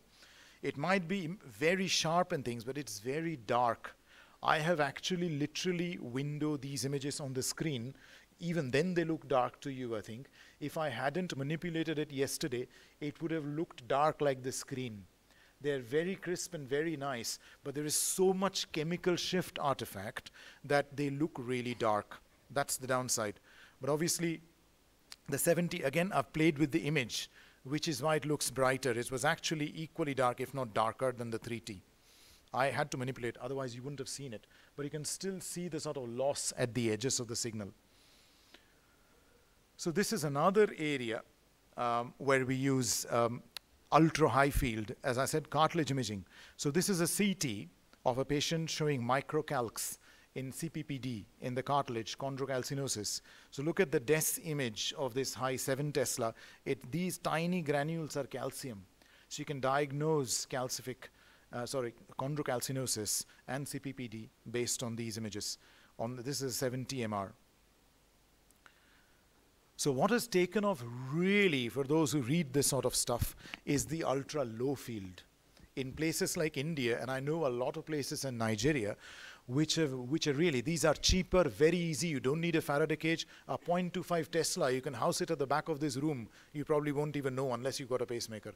Uh, you know, it don't need doesn't all these protections of, you know, lots of strong Faraday cage. It is much cheaper, much easier, um, much accessible and much cheaper to run. Okay, so that's where don't like using the term third world countries or developing countries, but a lot of countries which has a big section of people who are poor, who can't pay, can't afford a very expensive can, this is like gold dust to them. And I'll show you some examples.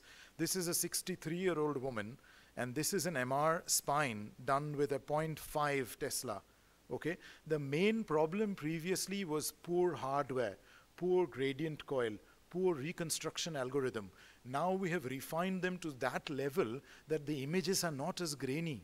They're not as bad if you're imaging the head and spine. Yes, you will struggle with finger pulleys and other things, but bog standard head and spine, this is the quality that you'll get. I'm happy with it, and I'm sure you will be as well. So this is point, so I'll show you what 0.25, this is down to 0.25, okay? Anyway, how, how, uh, just, just remind me, what is one Tesla compared to the Earth's magnetic field? How strong is it? Yeah, exactly. Okay, so it is very strong. So we are still talking in terms of a very strong magnet, but significantly less strong. My Regis always used to say that, okay, sir, if there was no Faraday cage, I've just parked my mark outside. Will it get pulled towards the magnet? I said, no, don't worry. it won't get pulled towards the magnet. It's, they have a gauss uh, map have you ever seen an MR being installed? Yeah? If you haven't, eh, haven't seen an MR being installed, it's actually a brilliant experience when the first machine goes in and they set up the gauss map and they're creating the Faraday cage. It's, it's an amazing. And they're shimming because the first time they'll shim. Do you know what shimming is? For anybody who was, in simple terms, in simplest terms, if you've ever got a wobbly table in a restaurant and you fold a piece of paper underneath to make it stable, that's shimming. So you did shimming without knowing you were doing the shimming. So that's what they do. They put bits of metal here and there and some in the body, some there, and there are different ways of shimming it. There are coils now which shim, so shim coils and things, and we switch them on. So that's basically different, you know, I'm just talking about uh, different advances in hardware which allows us to do these things. But this, going back to this 45-year-old, you're not going to like the images, but I'll tell you why. Uh, this is 45-year-old woman with wrist pain and inflammatory arthritis. And today's, uh, you know, so there is nobody to do musculoskeletal ultrasound in the department, okay? So we have done a low field MR. So it is grainy, I'll give you that. But it is still in the investigational stage. Look at the synovitis and the high signal compared to the T1 uh, uh, sorry, this is the 3T, and this is the 0.25. Of course, when you see the 3T, you can see the difference in signal increase. So this is the patient in the 3T. The signal increases from there to there on the fat suppressed uh, sequence on a 3T scanner. But if you look at the 0.25, forget how grainy it is, this is still increasing. This is the signal on the first, and this is the post-contrast one, you can still see the increase in signal. So you can still diagnose a synovitis, and you can use it for mapping as well. The advantages I was talking about. Somebody was asking me yesterday, she's gone now, about MR neurography. Uh, so this is another field where there's a lot of technical advances, mostly to do with uniform fat suppression in large field of view. The main problem with large field of view is having, you know, uh, uniform fat suppression. So these are examples of STIR, okay? This is a MIP image, by the way. Okay, so it's a MIP like a CT. You can do a MIP with MR as well. This is a STIR. This is another SPAIR, which is not a fluid inversion recovery. But notice there are still artifacts there. Compare that with a MIP Dixon water-only image, which is which is obviously this patient has to be still, and there's other downsides to it. But they give you much much crisper. Uh, to the point that you can see the cords and trunks of the brachial plexus and you can trace them uh, quite a long distance. Obviously, we are only diagnosing nerve-related uh, things here. You're not seeing the muscle. For muscle, you'll have to still do cross-sectional MRI. Brings to nearly towards the last bits of our MR, which is synthetic MR. So we've already looked at MR reconstruction of from a different, uh, what's called MR synthesis. This is true synthetic MR. So it generates morphological images, which means the image that we see with different tissue contrast, T1, T2, whatever you want, just from the tissue relaxation property. So we don't get to see the relaxation property unless you want to do, say, for example, iron loading. Okay, you're looking at iron loading of the liver and it, it'll do your R2 maps and things like that and it'll tell you. So the machine does all that in the background before it creates the image. So we are saying that with synthetic MR, don't let the machine create the image. Stop at the point where it's got all that R2 data, relaxation data. Stop at that point and then let the patient go. And then at its convenience, it'll create the MR image from that R2 data. We're not creating the image directly here. Okay, it sounds a bit confusing, but it basically, we don't get to see what happens before we see the image. There's a lot of steps with that signal collection, K space writing, and a lot of mathematical things until it becomes the image. We don't have to do all that. We can just get the data, get the signal, and don't create the image and let them go, and then mathematically reconstruct the image, which is what we're doing later anyway, but just from that relaxation data. The advantage is because it's K-space data, we can manipulate it to do whatever we want. So I'll show you some examples. So this is a synthetic MR performed before and after exercise. I think this journal is, this is from somewhere in, this is somewhere in Japan. Uh, so anyway, uh, so this is pre and post exercise. So it shows the ECRB, ECRL go, go getting edema 10 minutes post exercise, and it shows the higher signal on the T2 map. So this was all the data that we acquired, and we reconstructed the image from that. When I say we, not we, whoever presented that paper did. I'd love to be able to do these, but we're not at that level as yet. So this is a 51-year-old patient with knee pain. It shows a little cartilage defect where that arrow is, and the top is the reference real MRI that was done, and the bottom is a synthetic MR, which was just created from the relaxation data. This is a T2 map, which would have been created from the data anyway. That is where the map comes from, but we have created the image from that as well. Okay, this is another patient. So it has gone to the level that we're actually creating images that look like an enhanced image so the top one is a T1 post-contrast image. The same patient has been imaged with a double inversion recovery synthetic MR, where it shows the high signal of the inflammation of the synovium, which matches, maybe it is not as nodular enhancement as the T1 postgad. There will be some data loss, but it is sufficient to help us diagnose that there is active synovitis in this. And we never MR'd this patient, never in the sense we talk about now. We just put him somewhere, got the data, and let him go. Uh, just got the relaxation data. Okay. So then comes the advanced 3D MR representation. This is another fascinating and the last bit of the MR segment. So this is a 53-year-old with lateral ankle pain. So this is magic angle high signal, which is a problem with a lot of tendons because annoyingly all the tendons bend around somewhere or the other, okay? So this is a curved planar 3D reformat of an MR showing that same tendon with no loss of signal, no magic angle thrown out of the window, no question. It's a 3D. So these are all volumetric, uh, you know, uh, imaging where you're creating a 3D data set and then manipulating. This is a 46 year old with a schwannoma behind the knee. This is cinematic rendering. This is 3D volume reconstruction like a CT. This has been done from the MR. So this is volume rendering. Okay, it'll show you where the sarcoma is. So you don't need to look at my scan. You'll remember your Enneking 2B, 2A compartment, whatever. So you can do your 3D uh, from that, and you'll be giv giving the surgeon a 3D diagram. The next bit will come when you can actually do 3D printing of that, and you'll go to the surgeon with this is what your tumor should look like. Get yours out and match. So, oh, doesn't match. I've left a little bit behind. I'm joking, it won't happen, but that's how 3D printing is going as well. You will be able to go. People print out hearts, don't they? In RSNA, they came. I've got actually a printed out heart in my office in Warrington. I could have brought it with me. It's a printed out 3D heart.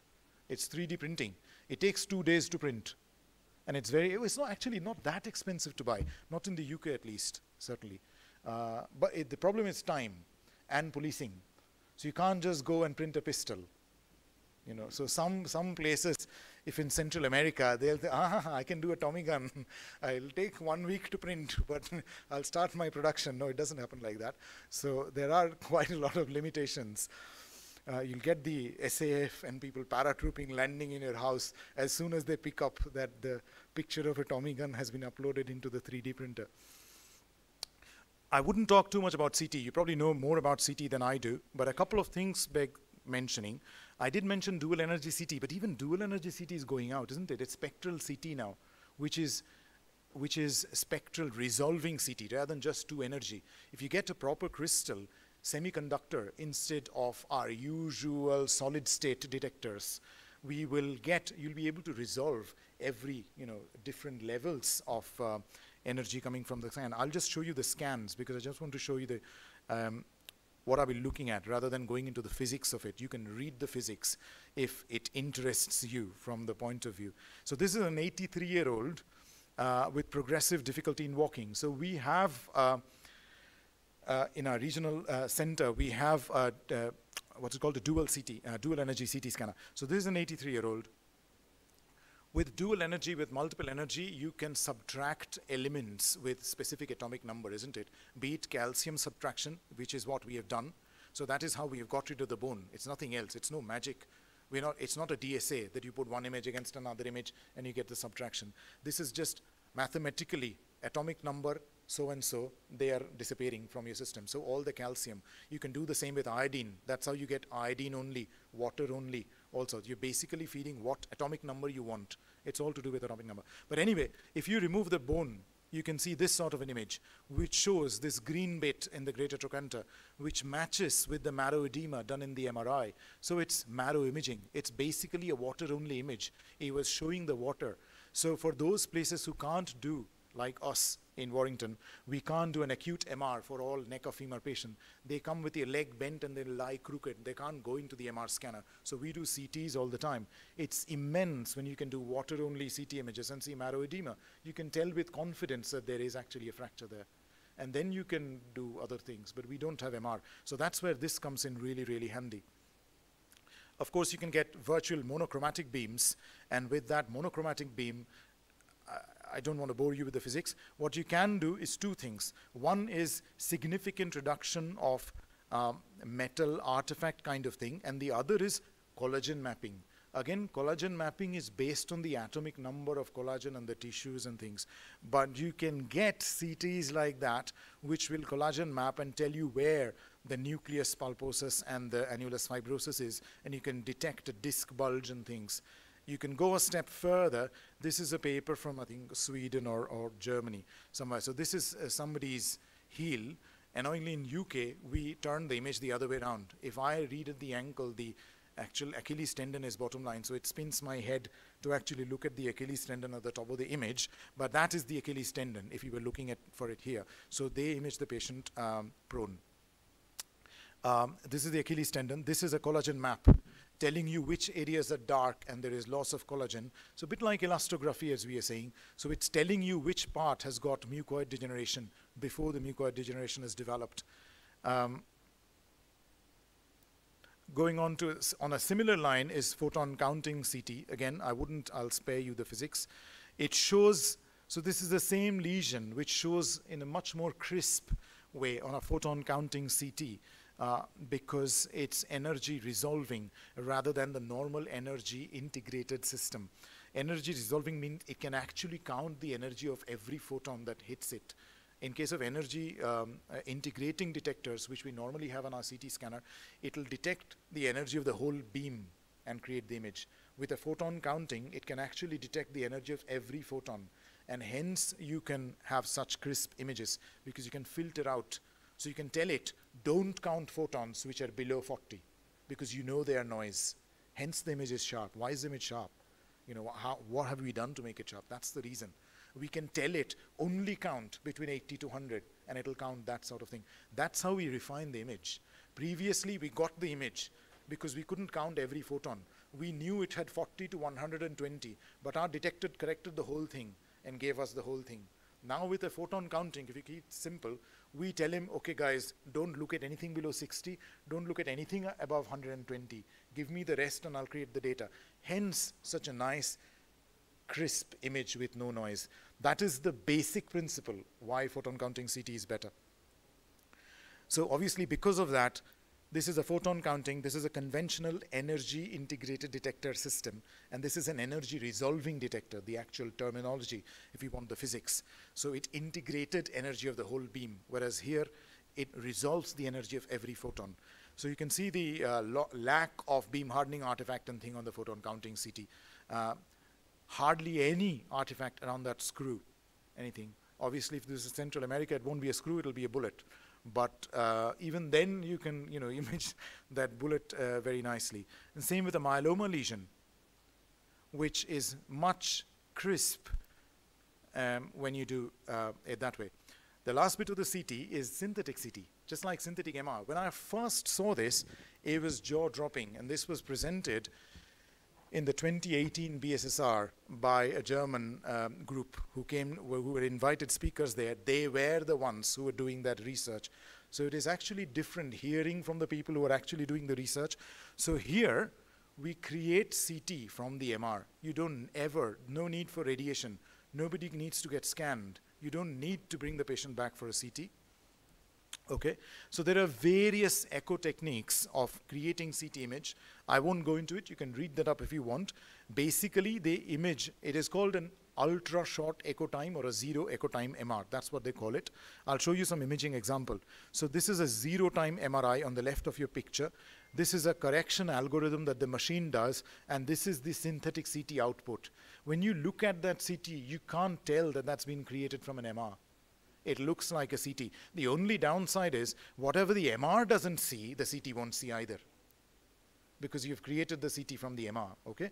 But you don't bring them back. So this is a conventional CT, and this is the same patient's simulated CT, we call it, from a zero-time echo, MRI. Okay, so you can do all your angle and glenoid retroversion and all the different things that Dr. Ganguly taught me, which I've forgotten. I can do all of that from that, you know, zero echo time CT you can do 3D volume rendering from that because you've got the data. Okay, so this is actually, this is not from a CT. This is from the synthetic CT which we created from the MR, but it looks like a CT. And we can see the little anchor holes for the Bankart repair as well, okay? So this is the traditional T1, this is the traditional T2, and this is zero echo time CT. You can see the calcium which was hidden. Okay, the main one problem with MR, which you have picked up already probably, calcium, very hard structure, fibrous, soft structure. They're both extremely dark on MR. So that's where the zero echo time comes in, because now you can differentiate, and this is the um, this is the Achilles tendon. So it can actually show you the tissues as well as the calcium, because you've done it in zero echo time. I wouldn't go into the detail. This is a stress fracture on a synthetic CT. This is the actual CT but you can do the synthetic CT from the MR, and you don't need to bring them back to diagnose, okay? This is equivalent. This is somebody, conventional CT and MRI. This is a synthetic CT made from the MRI, and it shows the erosions even better than the original CT. Okay, this is sacroiliitis. The last section is on ultrasound, and obviously lots of different technology, as we have seen here as well.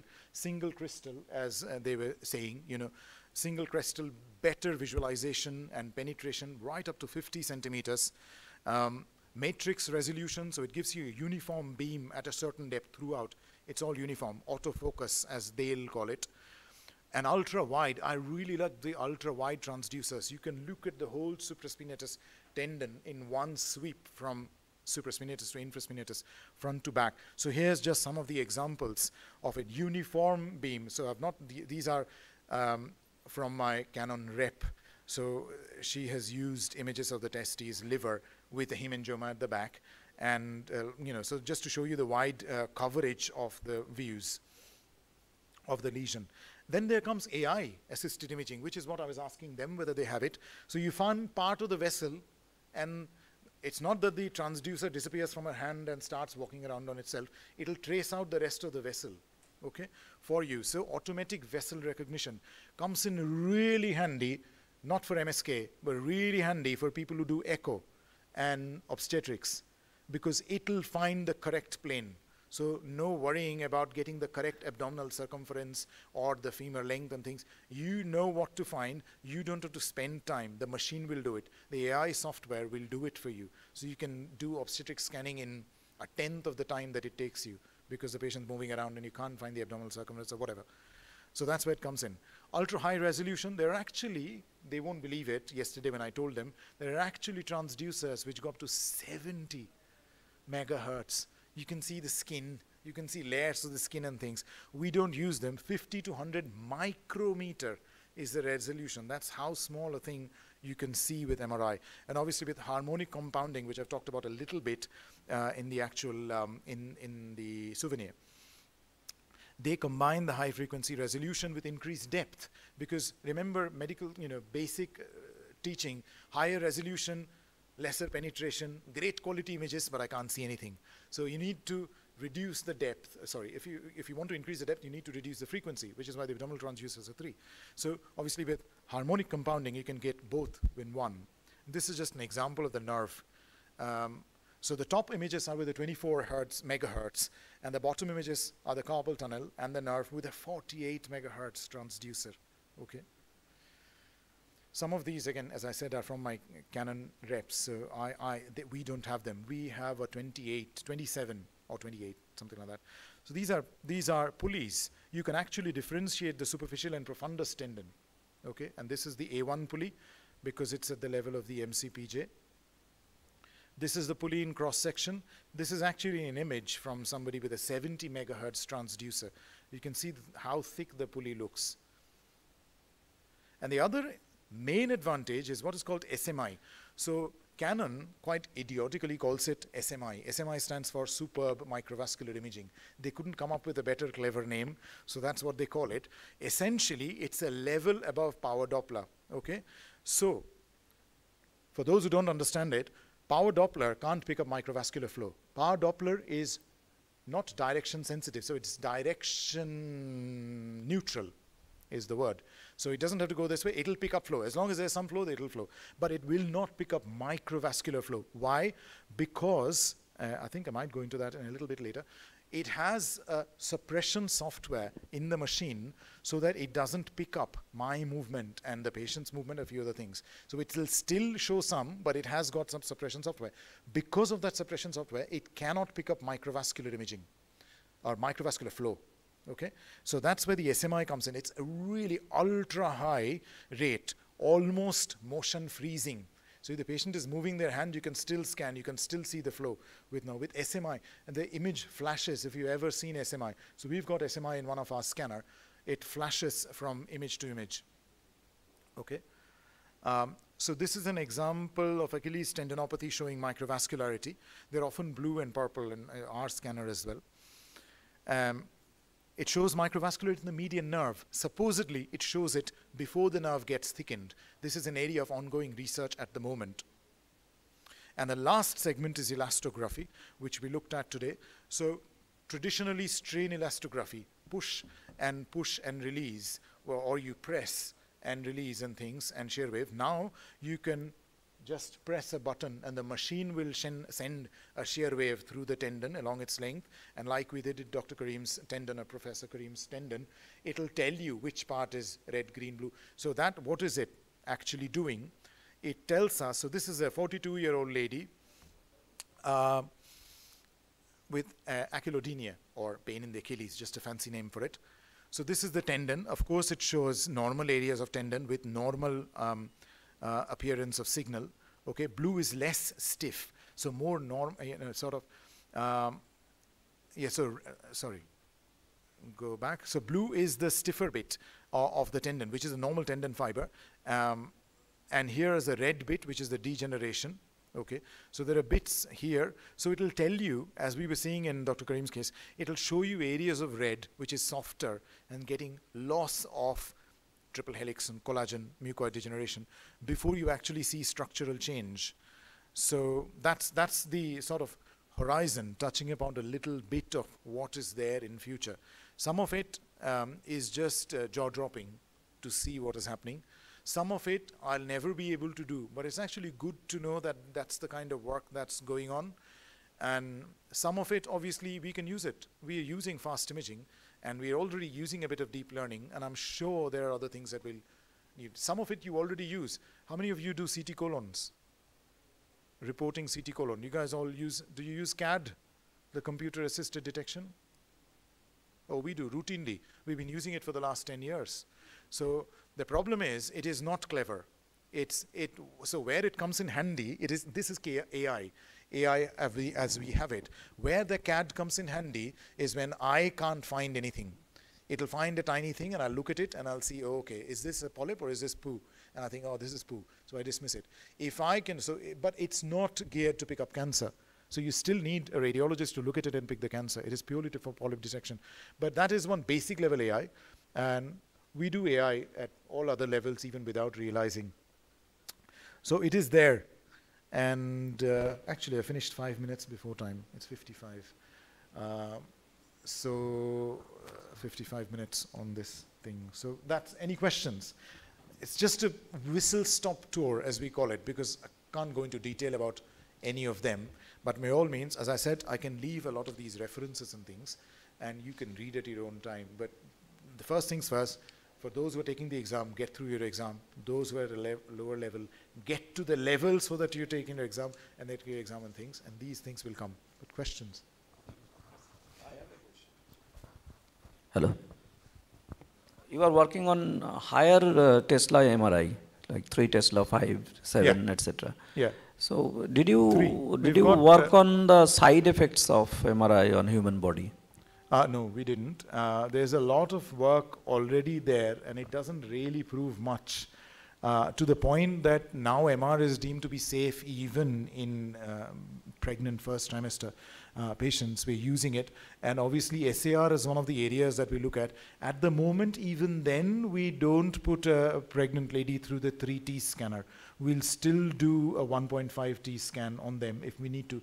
Just two days before I flew, there was a very acute appendicitis, and we had to do an MR uh, on somebody because they can't wait till the baby is delivered. You know, obviously they don't know what is going on. Um, so we did uh, it on a 1.5T, but we limit what we do uh, scan. So again, we control our scanners, but uh, no, we don't do any work on the side effects. We just go by the literature. And Particularly because we are now concentrating on fetal MRI also, an early trimester MRI. yeah, Those things are actually, um, there are uh, cases where they send us, at least ask us what, what should be done. Yeah. And these, courses, in the, these cases, it is very important to know the side effects. Very, very. So obviously, because we don't do any fetal imaging at all, so because UK work as regional center, so all our fetal MRI is done in the local sort of women's hospital, as we call it, which is in Liverpool, which is a local center for all gynae, so all obstetric cases, and the pediatric uh, Alder Hey. Alder Hey is after Great Ormond Street, London. It's the second biggest pediatric hospital in Europe. So i they have a massive department and massive MR. So they look after, they take all our patients and, you know, thankfully, and they are interested, they have regis who do this all the time. So we don't get involved at all. You have Uh, not mentioned about portable MRI. So low field comes with low-field portable, MRI. There So had there- been research in that field. in- There is. So as I was saying, one of my friend who's a Nigerian who was telling me there's somebody who goes around on his van with a 0.25 Tesla doing spines and heads and things like that. He's apparently a, a clinician. He's not even a radiologist. He says, I'm going to invest on an AI software. I know where it hurts. I'm going to use that AI software on my van. No, I have a student. I have a student in Berkeley University actually, Okay. And she is working on that field, and she was uh, she last year and saying that they are in the process of developing a portable MRI. Yeah, so it, it'll be there, but obviously with low field, the main reason why the downside will be the gradients and the coils and things like that. Because if you've got a portable, you can't have a very expensive, unless the technology gets to that level. Okay, in the old days, we wouldn't even know about nano chips and things like that. So once you get to that level and technology, yes, there might be. At the moment, the main limitation is the bigger the MR machine and things, you, the, why is MR so expensive? It's because of the expensive gradient coils. The better your gradient coils, the faster your imaging and faster everything else, okay? So with portable MRI, you can't have those things. So that means you're limited to extremity scanning, mostly, okay? You can extend it a bit more, but the quality drops until more research uh, makes the technique better. But yes, there are portable MRIs. Um, and certainly in other countries, I know they're using it in Africa for sure. And they might be using it in India as well. Uh, in some parts, I don't know. Okay, do you use uh, uh, small foot transducers in MSK imaging? For- for small ultrasound? Foot, uh, MSK, small foot transducers. We use, so when you say, so we, we use something called a hockey stick. Uh, so, because it looks like a hockey, it's not the in, you know, Indian style hockey, it's ice hockey. Uh, so it looks more like a Canadian ice hockey stick. I do use it, and we have one, but we now have a flat transducer, which is 28 megahertz, as I was saying, with matrix resolution, which actually performs better than my 20 hertz um, hockey stick. So we hardly use the hockey stick unless we are looking at small areas. But even as I say, now with matrix resolution, I can get a picture of the whole finger with that. So my use has reduced. And when I'm injecting that pulley, the hockey stick gets in the way. So I end up using the other transducer anyway. But yes, you can use it. Okay, thank you. Thank uh, you. for a wide horizon of uh, newer imaging techniques. Uh, now we are coming to the uh, concluding session of this conference. There is a open house for PGs for oral paper and poster presentation. I would ask, request uh, Professor Yaul Korim and Dr. Bhapna Prasad to chair the session.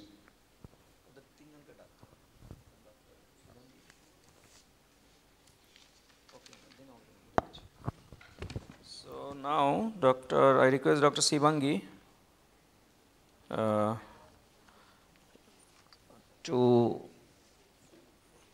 8 plus 2 minutes, 8 minutes presentation on your topic and 2 minutes per question answer.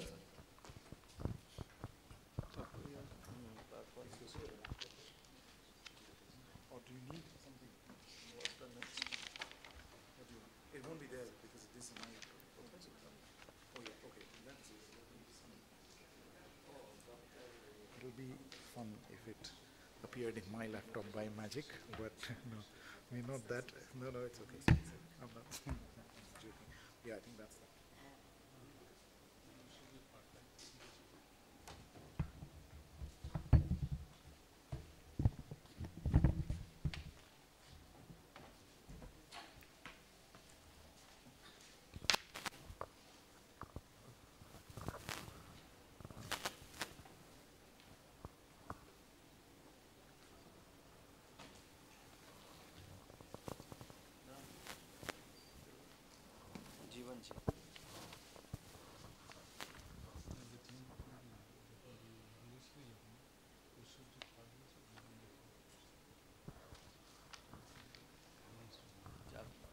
diciendo,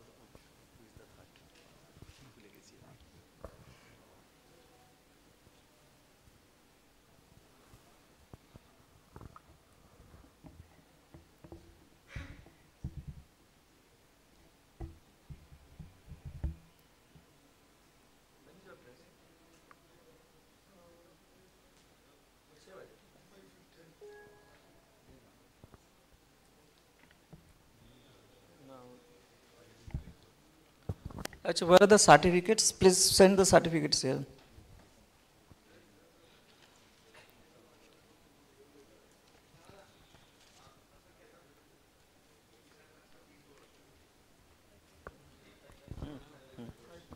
बोलो दीजिए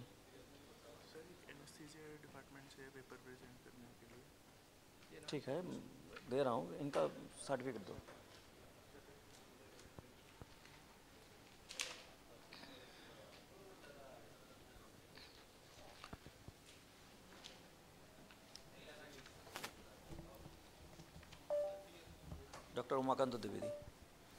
সার্টিফিকেটটা দিয়ে দাও sir sir এক minute হ্যাঁ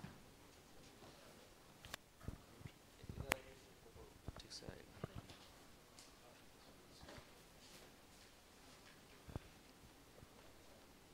Actually, Dr. Umakanta Dwivedi is leaving, uh, so we are handing over his certificate and memento.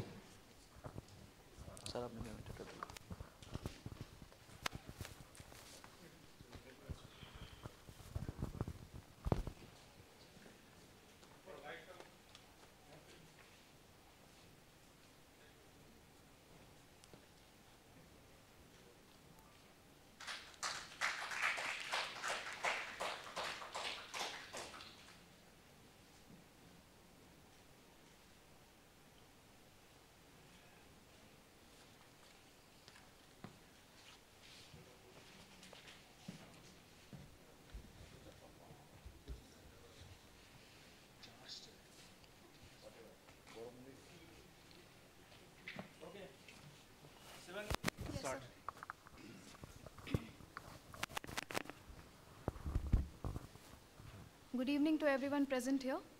Today I'll be discussing about a, a patient of uh, syndrome. So uh, syndrome is a, a rare benign disorder characterized by the association of single or multiple intramuscular uh, myxomas with fibrous dysplasia.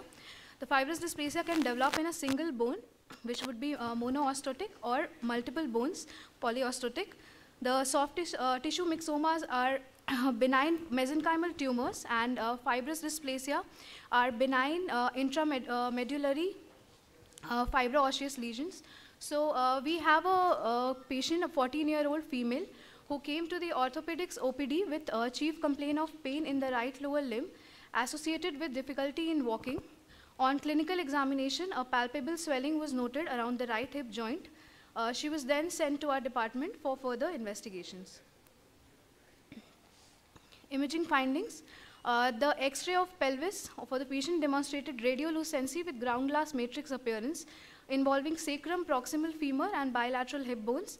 Uh, while on ultrasound, the right gluteal region showed an irregular, heterogeneously hypoechoic soft tissue lesion with no internal vascularity. On CT, there was osseous expansion with ground glass appearance involving sacrum, proximal femur, and bilateral hip bones, suggestive of fibrous dysplasia. A well demarcated hyperdense ovoid lesion was noted involving right gluteal, adductor, hamstrings, uh, vastus uh, muscles of the proximal third of right thigh. This is a ax- uh, axial CT section image of, uh, in bone window demonstrating ground glass appearance of sacrum and bilateral hip bones. On further imaging, uh, MRI, there was evidence of large, irregular, heterogeneous intramuscular mass lesions showing multiple internal cystic areas and T1, T2 iso-intense to hypo-intense solid areas showing restricted diffusion involving the proximal third of right thigh without any invasion of adjacent bone. The visualized part of bony pelvis uh, showed heterogeneous lytic sclerotic areas with ground glass opacities. So uh, these are two images. The first one is a coronal T2 image. The second one is the axial uh, T1 image showing a large irregular heterogeneous intramuscular mass lesion with multiple internal cystic areas involving the muscles of the right proximal thigh. This is a uh, image uh, of uh, DWI and uh, corresponding ADC mapping where the lesion shows heterogeneous areas of restricted diffusion. On a post-contrast T1 image, uh, there's heterogeneous enhancement in the lesion. Uh, biopsy was done from the intramuscular lesion, which uh, revealed a relatively hypocellular picture with a myxoid matrix and uh, loose reticular fibers, and the cells having a stellate shaped uh, small hyperchromatic pycnotic nuclei and scant uh, cytoplasm, which are consistent with uh, intramuscular myxoma. Coming to the discussion part, uh, Mazabraud syndrome defines the association of bony fibrous dysplasia and intramuscular myxoma.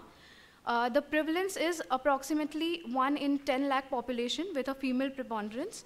Uh, fibrous uh, dysplasia is defined as the transformation of normal bone and bone marrow towards an abnormal fibrous tissue. The lesions are generally polyostotic with pelvis and femur as first locations.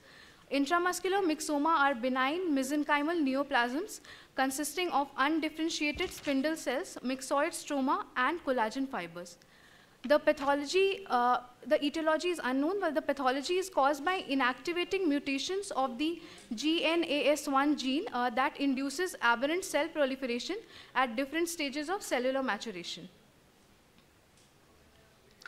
So uh, we need to be aware of Mazabraud syndrome as an association of fibrous dysplasia and soft tissue uh, myxomas in order to secure appropriate management of the patient and most uh, importantly to prevent misdiagnosis of this benign syndrome as a malignant condition.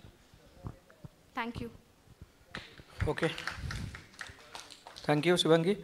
Uh, who is the second? Amitesh sir.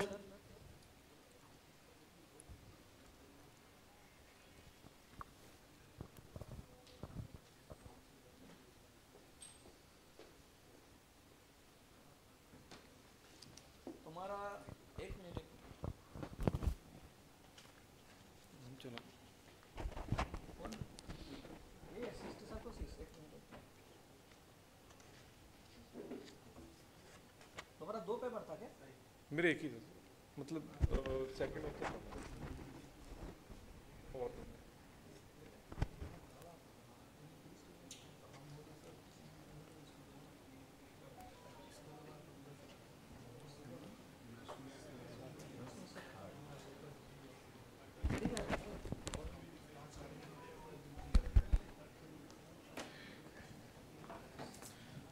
good afternoon everyone Today, uh, I am going to present a case of isolated myocystis the patient with uh, neck swelling. तुम्हारा दो है एक एक था तुम इसके साथ दिया है अ, वो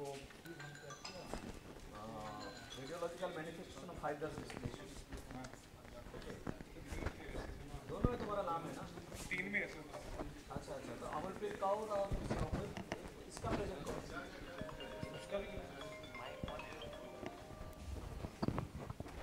Please present the uh, that case, both of you.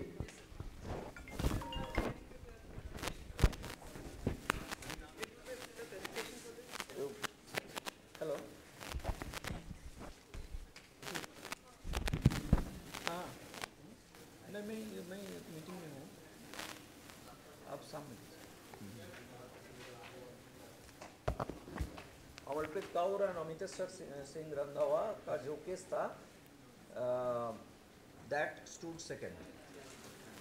If you don't have a presentation, just discuss the case.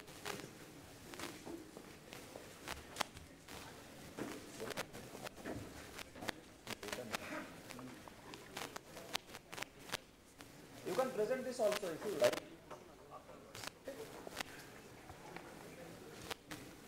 Yes, yes. There are two co-authors.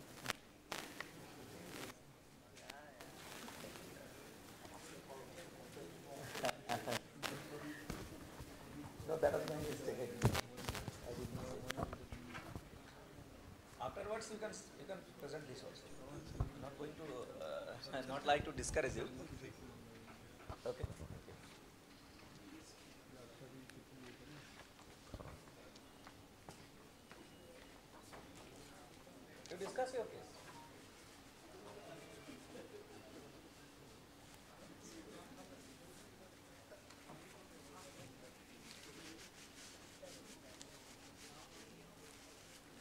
नहीं नहीं तुम पढ़ के डिस्कस करो ना हाँ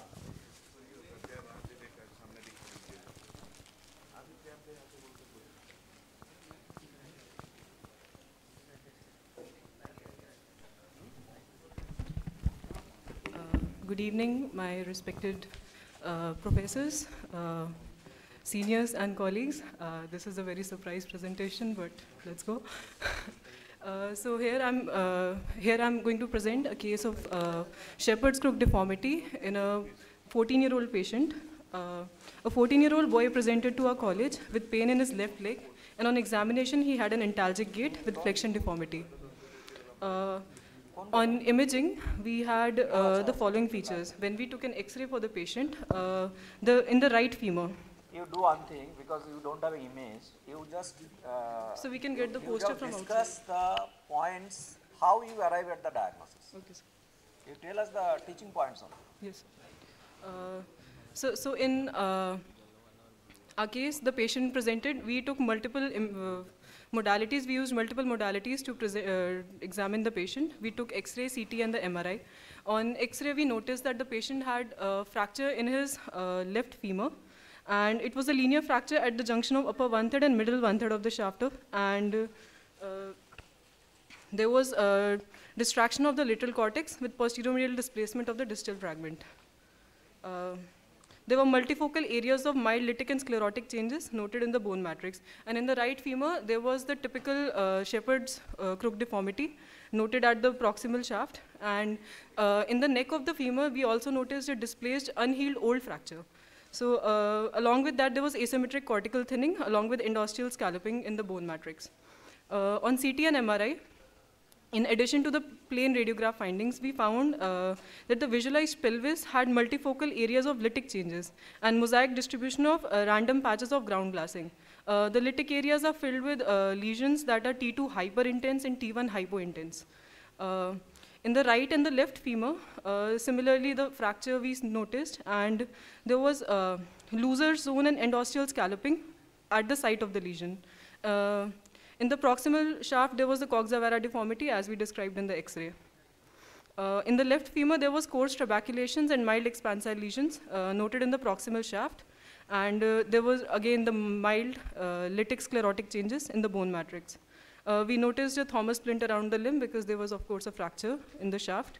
Uh, so, uh, according to these findings, we can uh, reach up to four diagnoses that we can uh, shortlist. The first one we thought was monoosseous uh, fibrous dysplasia. The Shepherd's Crook deformity it points towards that diagnosis because it is a pathognomic feature. And along with that, we had expansile sclerotic lesions and Looser zones with endosteal scalloping. Uh, there were mild, uh, the second uh, diagnosis that we arrived at could have been osteogenesis imperfecta. In view of the uh, multiple fractures that we noted uh, because there was a uh, very obvious fracture in the left femur and on the right neck of femur we had an old unhealed fracture. And along with that we had multiple areas of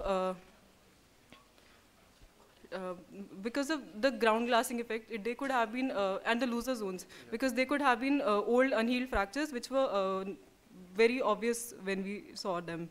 Uh, these, and they were like limb length discrepancies, and weight bearing bones had the, were the ones that were involved. So that could lead to osteogenesis imperfecta. Another uh, diagnosis could have been Paget's disease because similar sclerotic lytic lesions are noted in Paget's. Uh, along with that, Wormian bones in the skull uh, uh, support the diagnosis. For that, we need a CT or X-ray skull, which we could not get because the patient was lost to follow-up. Uh, another diagnosis that we can arrive at could be hypophosphatasia. Because of Your case or uh, that conflict of interest, I want to know. no, no, sir. This was a case that was here. The patient came. We. This was your case, no? Yes, sir. Okay. Okay, thank you. So, और अच्छा तुम्हारा वो तुम्हारा case तुम present करना चाहते हो कर दो है नहीं नहीं कर दो कोई कोई बड़ा है सर बहुत ज़्यादा हाँ बहुत बड़ा है बहुत बड़ा अच्छा okay so who was the third that we declared और नहीं करना है जीवन आ जाओ no confusion both of you stood second okay but I remember the case and वहाँ देखा था तुम्हारा नाम इसलिए मैंने भूल गया था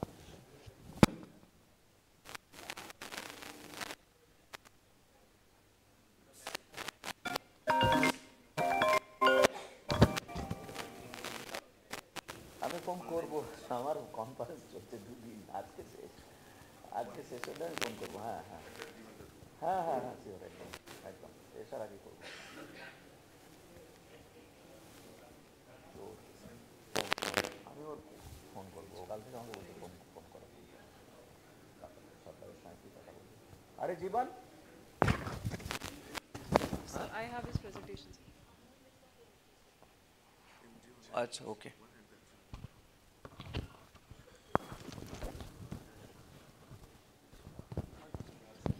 at the um, certificate presentation ceremony, closing ceremony. Now, uh, one person from anesthesia wants to present, so it should be good. Scope.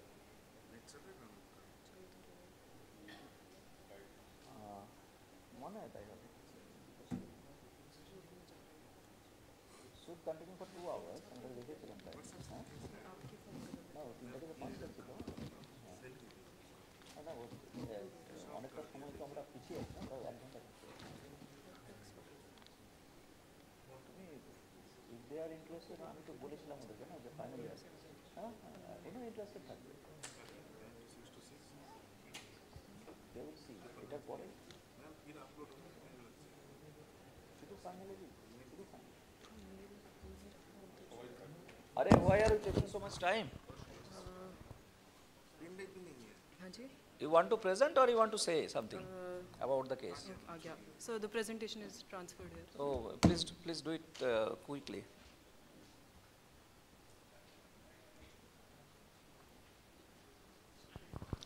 Achha, let me say, say a few words. Our planning is the final year students will be given scope to see how many films? Uh, everybody is invited if, if they want, but especially the final year all final students must be, must be present. You will show some films. Actually, this will be a quiz. Uh, that will be helpful for you, preparation. Um, uh, if you do not, if you, if you do not uh, answer properly or you fail to answer, that is not a discredit. Okay, but credit will be given if you are able to, you know, this always happens during the PG period. This is a good exercise. Um, in future also, if you are interested in your first year, that will be helpful. So please don't leave. F- Final year must stay. Others, if they want, uh, do not want, we don't have any problem. And after this, uh, one anesthesia, who is from anesthesia who wants to present? You want to present, which case? Oh, bl- uh, block. Okay.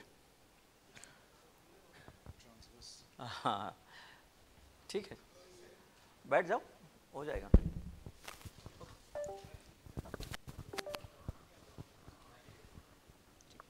Uh, Good afternoon, everyone. Uh, Here I'm going to present a case uh, by my senior Dr. Jeevan J. He's not here currently, but I'll be presenting it. It's a rare case of Masson's tumor of the neck, diagnosis and correlation between the CT, MRI, sonographic features of intravascular papillary endothelial hy- hyperplasia. Uh, the objectives of this uh, presentation is to present imaging findings in a case of intravascular papillary endothelial hyperplasia and to discuss the differential diagnosis of Masson's tumor.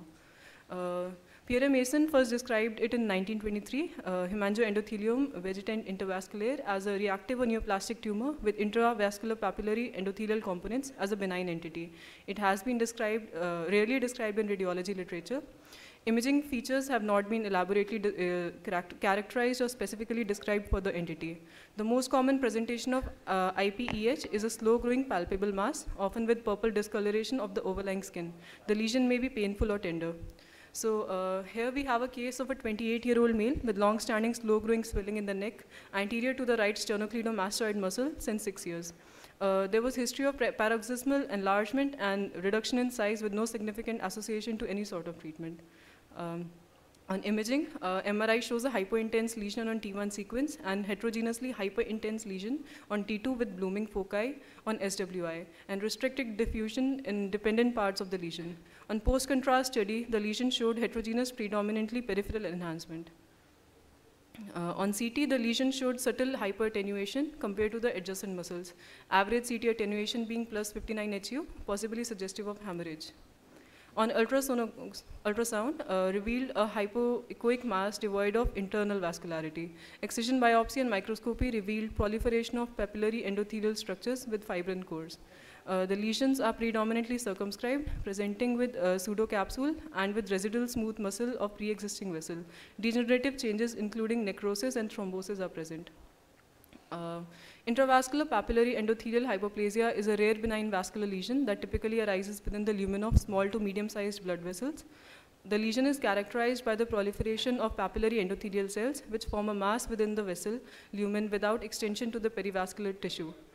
The lesion is most commonly found in the skin, subcutaneous tissue, and oral cavity. Uh, the presentation of this tumor as a lateral neck mass is very rare. On conclusion, due to its clinical and radiological presentation, Masson's tumor is often mistaken for a malignant disease, and the histological analysis only is confirmatory. Radiological evaluation is useful in surgical planning. Treatment of IPEH is a complete surgical excision, which yields the best outcome. The prognosis for IPEH is generally good, as the lesion is benign and typically does not spread to other parts of the body. However, in rare cases, the lesion may recur after treatment. Uh, uh, the following authors, Hashimoto et, uh, and the rest, have uh, addressed the recurrence rate, uh, showing recurrence in 7 out of 71 patients over follow-up periods from 7 months to 20 years. These are the references. Thank you. Thank you. So, uh, who wants to present, please come.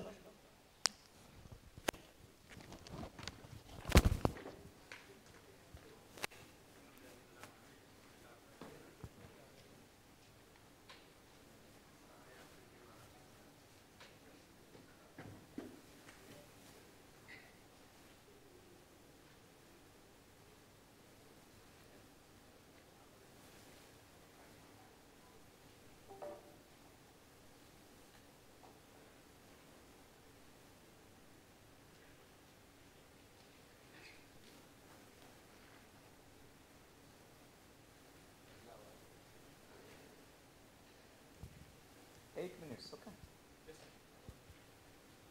Respected faculty, delegates, and my dear friends, a very good evening to all of you. I'm Dr. Pushpinder Singh, second year PhD from Oh, Department of switch on the, switch on the speaker. Uh, respected faculty, uh, delegates, and my dear friends, uh, I'm Dr. Pushpinder Singh from Department of Anesthesia of Mata Gujri Medi uh, Medical College. I'm here to present uh, a co- uh, paper on the topic, a comparative study between landmark versus USG guided TAP block for post-op analgesia undergoing, for patients undergoing abdominal surgeries. So the transversus abdominis plane, a TAP block, which we commonly refer to as, has become one of the most common truncal blocks performed for post-operative analgesia after abdominal surgeries. TAP block are a part of multimodal pain management for abdominal surgeries, which add analgesic benefits to the patient, reducing the post-operative uh, opioid requirements. TAP block can be performed for post-operative analgesia management in various abdominal sur- surgeries, as well as inpatient and outpatient surgical procedures. Unilateral left or right blocks are used for unilateral surgical procedures such as cholecystectomy, appendicectomy, nephrectomy, or renal transplants, uh, while the bilateral TAP blocks are used for midline and transverse uh, abdominal incisions such as umbilical or ventri- uh, ventricle hernial repairs, uh, C-sections, hysterectomies, or prostatectomies. TAP blocks are usually placed intraoperatively either before surgical incision or the end of the procedure before emergence from anesthesia. The efficacy of TAP block is dependent on the sp- uh, spread of local anesthetic across the interfacial planes. Uh, these, uh, the block is usually given uh, ultra, by ultrasound guided, uh, um, by ultrasound. Ultrasound guided block implicates the injection of local anesthetic between the transversus abdominis and internal oblique muscles. Uh, these, uh, this uh, TAP block can also be given by landmark guided by the triangle of Petit. This interfacial plane contains intercostal, subcostal, iliohypogastric, and ilioinguinal nerves. Uh, this is a relative uh, clinical anatomy. Skip the anatomy, Uh, yes, sir. The, the sensitive innervation, uh, innervation of the anterolateral abdominal walls result. Skip the anatomy. Okay, Technique part dikhao. Okay, sir. So this is the study. No, this is also, you skip Okay, this, sir. show us the technique, yeah. Uh, so this is block using landmark, uh, landmark guided techniques. So the landmarks are bony prominences are subcostal margin, iliac, uh, uh, the anterior superior iliac crest. You, you make a 0.5 uh, centimeter above the anterior superior iliac spine and 5 centimeter perpendicular, uh, perpendicular to that point and you go posteriorly, a little above the mid axillary line. This is the point of entry of your needle. You take a blunt needle and then you insert, you will feel two pops. It's called a two pop technique. The first pop will be from the external oblique, then a second pop will be from internal oblique. Then you aspirate, make sure you're not uh, any you're not hitting any vessel. Then you give a local anesthetic. Typically, we give 0.5% ropivacaine with aspiration, 20 ml each side. So you can see, sir, uh, anterior superior iliac spine. You go 5 centimeter superior, 5 centimeter posterior. You give enter. You take entry at the middle axillary line. And then the US, uh, USG guided TAP block. Patient is kept in supine position. A high frequency ultrasound probe is uh, placed on the iliac crest. Then you advance cephalad. Uh, when you see the fascial plane, you will see three layers: external oblique, internal oblique, and transversus abdominis. The ultrasound transducer is moved, aiming to view the point where the transverse abdominis muscle begins to tail off. Uh, then you insert the needle along the transducer. You can see the needle inserting into the plane. Uh, this is a, this is the external oblique, internal oblique. Then you see this fascia, and this is where you typically inject uh, the local anesthetic. Uh, you will see this space expanding. Uh, it appears as a hypoechoic space. So for this study, sir, VAS score was uh, measured at rest and at movement after 2, 4 and 8 hours of uh, abdominal surgeries. So this is the results from uh, the study, sir. The patient who were giving, uh, who were given the TAP block using uh, landmark technique, uh, that analgesia was varied from three to six hours. While the patient in which the uh, TAP block was given using the ultrasound, the uh, hours of analgesia ranges from eight, to, in some patient up to 15 hours. So these are some reference. So in conclusion, sir, this pilot study demonstrated that USG guided TAP block provides a longer duration of post-operative pain relief and reduces consup- uh, consumption of analgesic till 24 hours. Uh, uh, we compared that to the landmark guided abdominal blocks. How many cases you did? Sir, I've done 15 for this study, but this is a regular. You want to block T9, no? One- Which nerve you want to block? It was cholecystectomy patient that you have presented. Sir, uh, in this study, we have taken the patient undergoing abdominal abdominal surgeries, hernia. Any abdominal surgery. So this can be given for a variety of uh, abdominal surgery, sir. So how arbitrarily 5 centimeter above and 5 centimeter perpendicular? That's a uh, that's a typical landmark guided technique, sir. That's uh, earlier u- uh, that is also used, but uh, we also give USG guided. No, no, that, that is not my question. My question is because uh, the distribution of the sensory nerve will be segmental. So if you go 5 centimeter above anterior superior spine in the mid axillary line, yes, sir. so that will block which uh, nerve groups? Sir, the sensory supply is given by the uh, generally, sir, the lateral abdominal nerve supply is given by T6 to T11, and if you go a little bit below, uh, ilio- ilioinguinal and iliohypogastric nerves, they also uh, supply this. Iliohypogastric. Yes, sir. How iliohypogastric will be?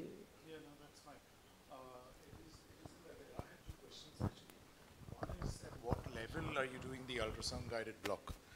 Uh, so, so what level are you doing it? Because I know the five centimeters is your landmark guided. Yes, sir. Uh, you said where the transverse abdominis tails off. So where are you injecting? At the same place where you do the landmark? Yes, sir. Or exactly the same place? Yes, sir. So you mark it and you look at it, and when you say tail off, you mean tail off towards the rectus sheath. Yes, sir. Uh, generally, you tail can. is towards the rectus sheath. Yes, no, I'm just trying to understand because I do quite a few iliohypogastric and ilioinguinal nerve block. Yes, it's sir. the same plane, obviously, Yes, sir. between the transverse abdominis and, and the the internal oblique, internal oblique, but a little bit. So I generally look at the ASS and then you go medially and you can see the nerves. You can see the nerves and you, Sir, we just inject there. So with this, I have no experience of this, so which is why I was interested.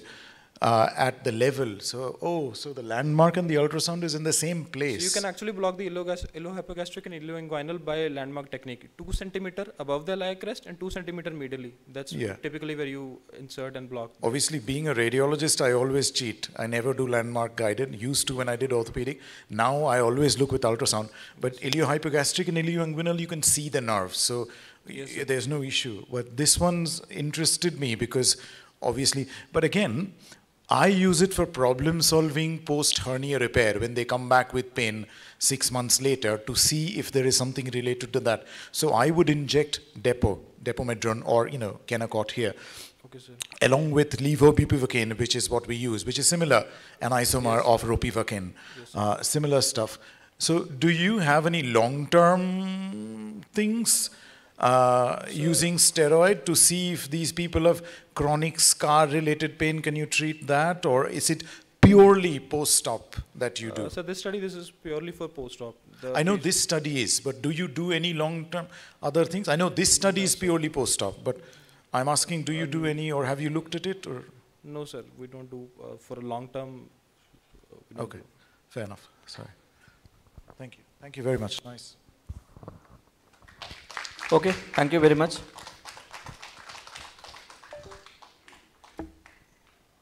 So we are going to start our next session with film reading.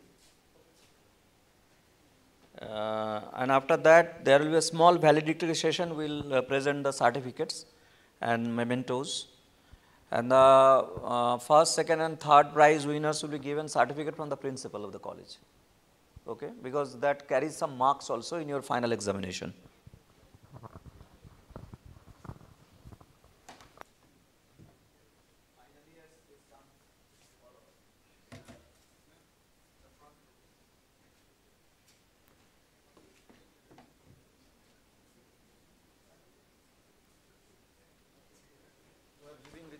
Rituparna's uh, memento.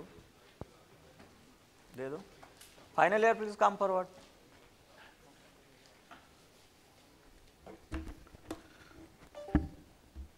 তুমি কি memento এখন নেবে ঋতুপর্ণা এখন কি certificate নেবে তুমি বাড়ি ফিরে যাবে না তুমি না ঠিক আছে তুমি যদি এটা না দেখতে চাও তাহলে সার্টিফিকেট নিয়ে নাও কিছু ফিল্ম দেখাবে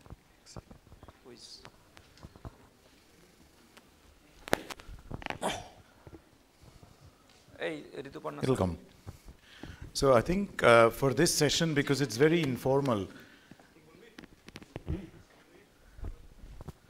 it's uh, very informal and impromptu.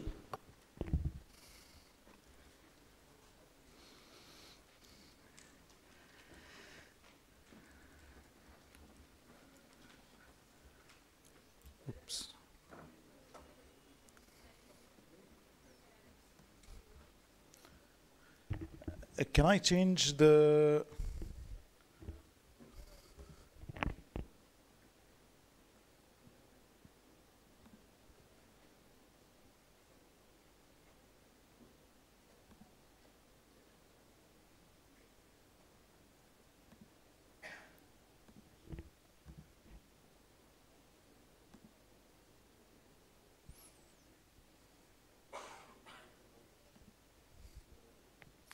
Just trying to.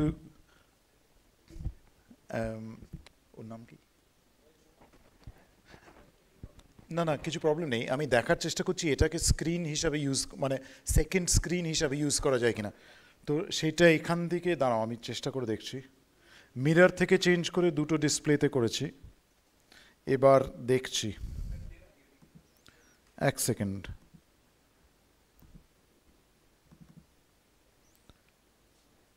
Ah, perfect.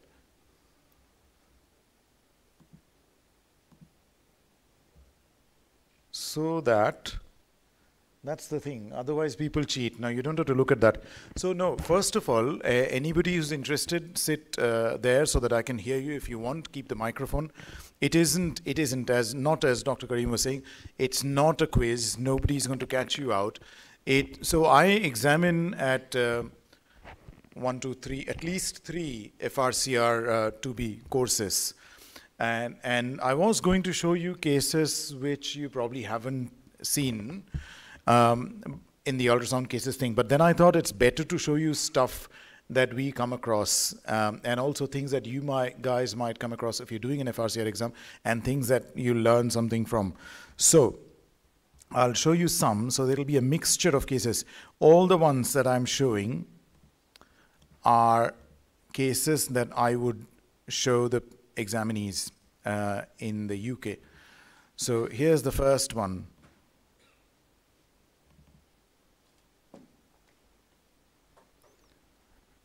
And I'm, I'm more than happy for anybody to have a go. I don't want to go one after the other.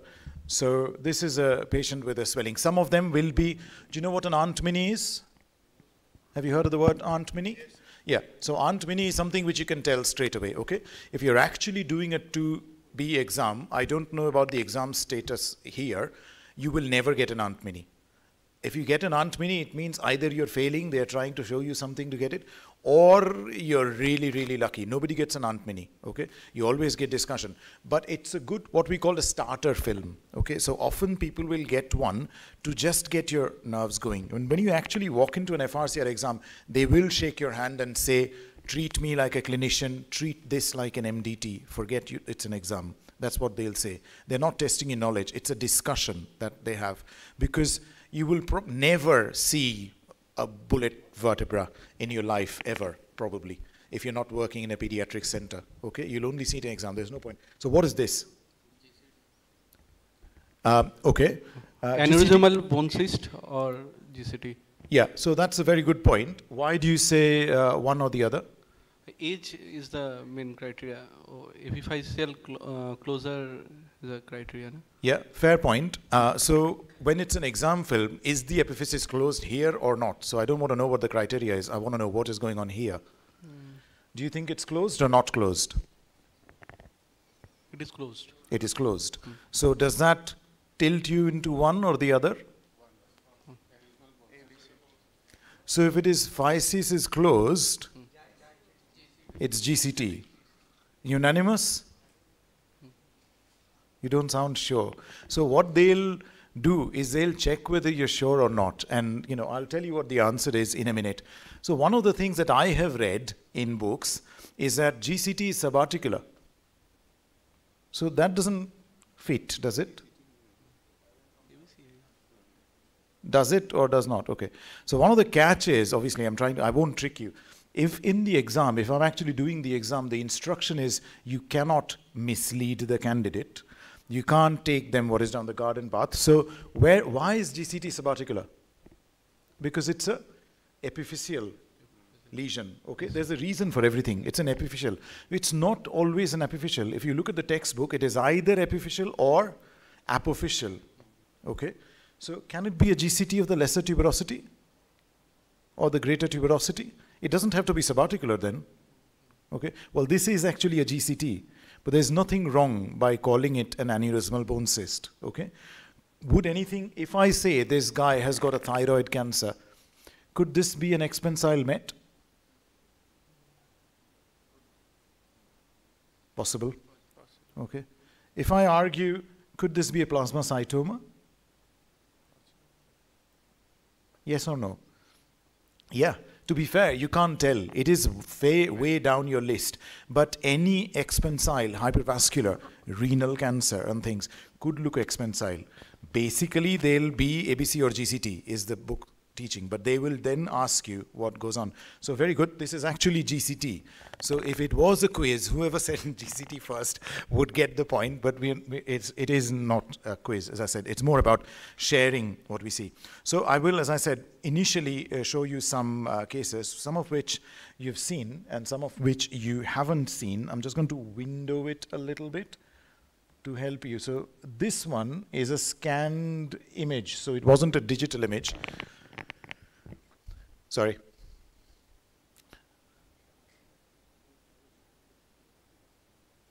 What did he say? I'm not sure how well it projects actually.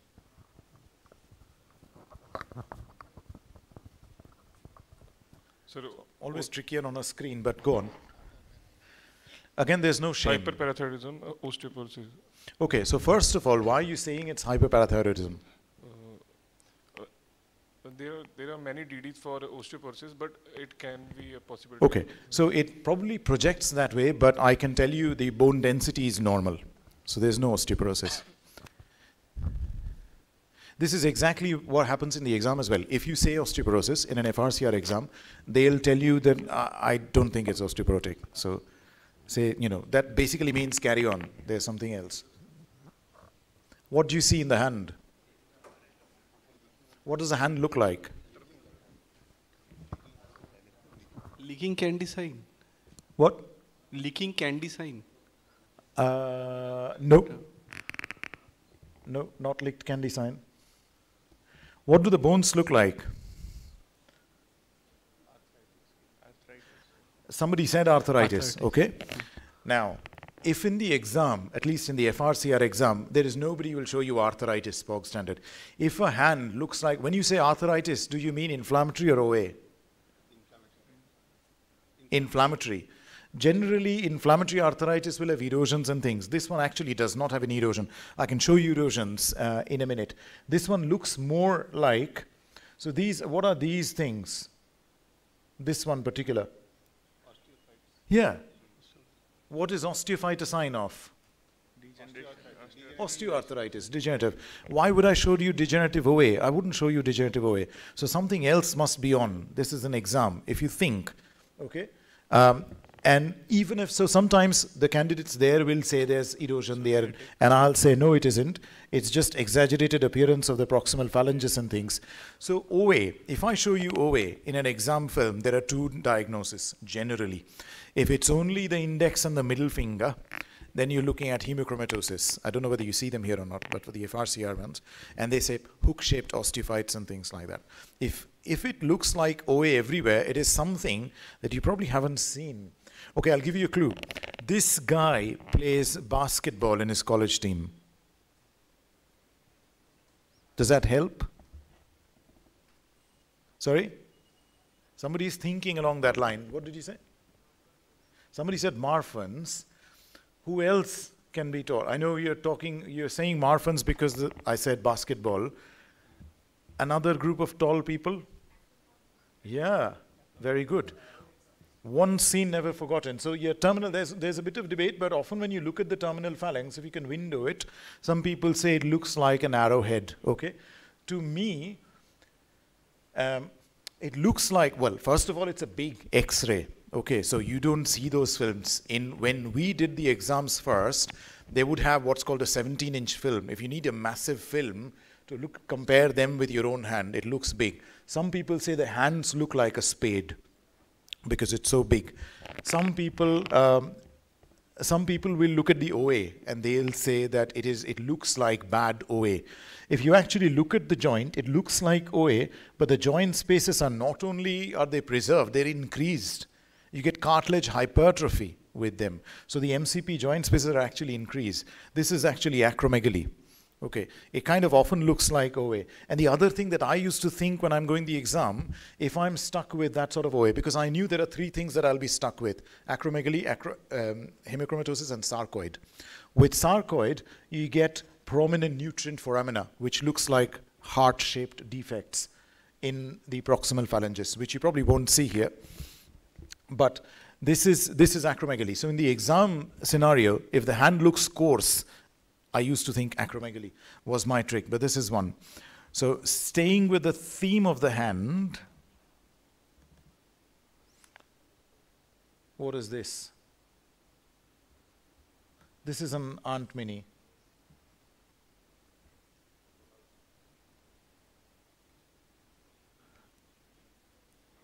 Yeah, I've heard whispers. Yeah, it is acrosteolysis. It is, okay? So this is an exam film though. What is the cause? That doesn't finish. So acroosteolysis will not even, so if you normally in an FRCR exam, saying acroosteolysis will give you five. Leprosy, maybe.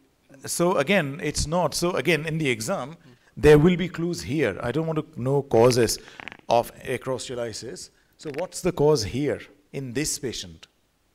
Of acrosteolysis. So you can generally you can give DT. What what is this? Do you think that's part of a bone? Yeah, it is calcification in the soft tissue. this is, or crest, scleroderma, systemic sclerosis.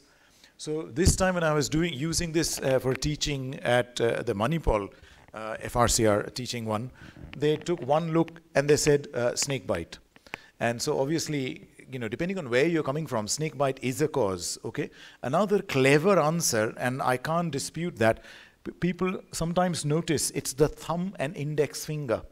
Okay, some people say it's heat burn and frozen burn. Those are the things that we use to grab most things, electrocution and all sorts of things people come up with. So what they want to see generally in, of course you know acrosteolysis, is are you able to work out what is this acrosteolysis you know, what is the reason behind the acrosteolysis is what they're looking at. Because anybody who knows acrosteolysis will look at it and say acrosteolysis. Do you know what I mean? That's not, that's not the idea. Now, somebody has shown this particular one before, uh, but I'll still show it. Comes up? Sorry. Comes up in a funny way. So let me pull it down and then window it. So this patient has got left hip pain. Most of the time, people can't see anything until I mag. This is a real case, actually. Well, they are all real case, but this is a real conundrum. And in FRCR exam, this is the kind of thing that they're looking for. They will show you subtle things at the edge, which are obvious things, but they are subtle, okay? They're well, that's what I reported it as, okay? I reported it as Looser zone. So the rheumatology, so I have a Tuesday afternoon rheumatology meeting. So the rheumatologist is a really nice, very old Libyan guy. So he came and said, I did all the vitamin D things, Dr. Ganguly, as you said, they're not low, they are extremely high. They're very high, everything is normal. I said, okay. I thought this is Looser zone, now I'm stumped. Then he said, so we, then what are the thoughts? Any thoughts? The clue was we discussed this case. I think, uh, is it Sita? What, what was, what's, it, what's his name? Yeah, okay. So it looks like a Looser zone. He was saying, so do you know what, what group of fracture are these? Now I've got the opportunity, I'm going to talk a bit of orthopedics. Um, what group of fracture is this? Is this a stress fracture or an insufficiency fracture? Excellent, very good. Why? This is the convex side of the bone. Okay? So you only get tensile. There is no compressive force on this side. The concave side of the bone is the stress fracture. So if this was a 16 year old gymnast, she'll get a stress fracture in the neck, which will be here. She will never get here unless she's got vitamin D deficiency, as you said, Looser zone. So this is an insufficiency fracture because, as he was saying before, the bone is not normal. It's, it's thickened, but it's abnormal bone. So that's how it starts. What do you do? So that's what I would ask the candidate. If you're actually reporting this, what would you do? How would you report this? Would you suggest anything else? Here you might do an MR. We don't do MR straight away. We, in fact, this patient never had an MR, nor did he have a CT. He had something else. Yeah, well, not bone density we did a bone scan. So this is a technetium 99 bone scan. And again, I might have to window it. Have you spotted? So you notice right and left. This is on the left side. So can you see, if I window it, can you see that hot area of activity on the left? The reason why we have done it is not to see that. The reason why we have done it is to see this. So as, I don't know whether you went into this, 33%, one in three people will have it on both sides. So we had to bring this lady back. Um, I'll close this and I'll bring this up if it comes up. By the way, she's got OA and other things, so ignore the activity elsewhere. So that is insufficiency, chronic insufficiency fracture. Chronic, we knew about that, but you know, good spot. It is a chronic insufficiency fracture that we ignored. Um, but the point is, uh, there is thickening. So we haven't developed a fracture line here, but we've got it. So what's the management? What will you do? Will you let her go? Well, you let her go, as in like, let her go home. You're not going to keep her there or hold on to her. How will you treat?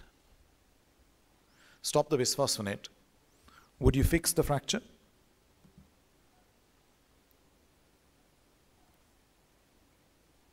Would you fix the fracture? Uh, actually, if she's in pain, they will do prophylactic IM nailing bilaterally. Because what they don't want to see is her coming back with an emergency neck of femur fracture or a femoral shaft fracture. The prognosis, the survival rate, and everything dips like to a quarter, to a fifth. So they will prophylactically IM nail both sides. They don't want to see it coming as a fracture. So that's generally the answer that they're expecting. So this is a different patient.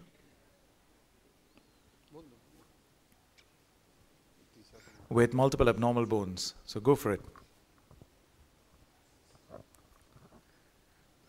What do you think? Sorry?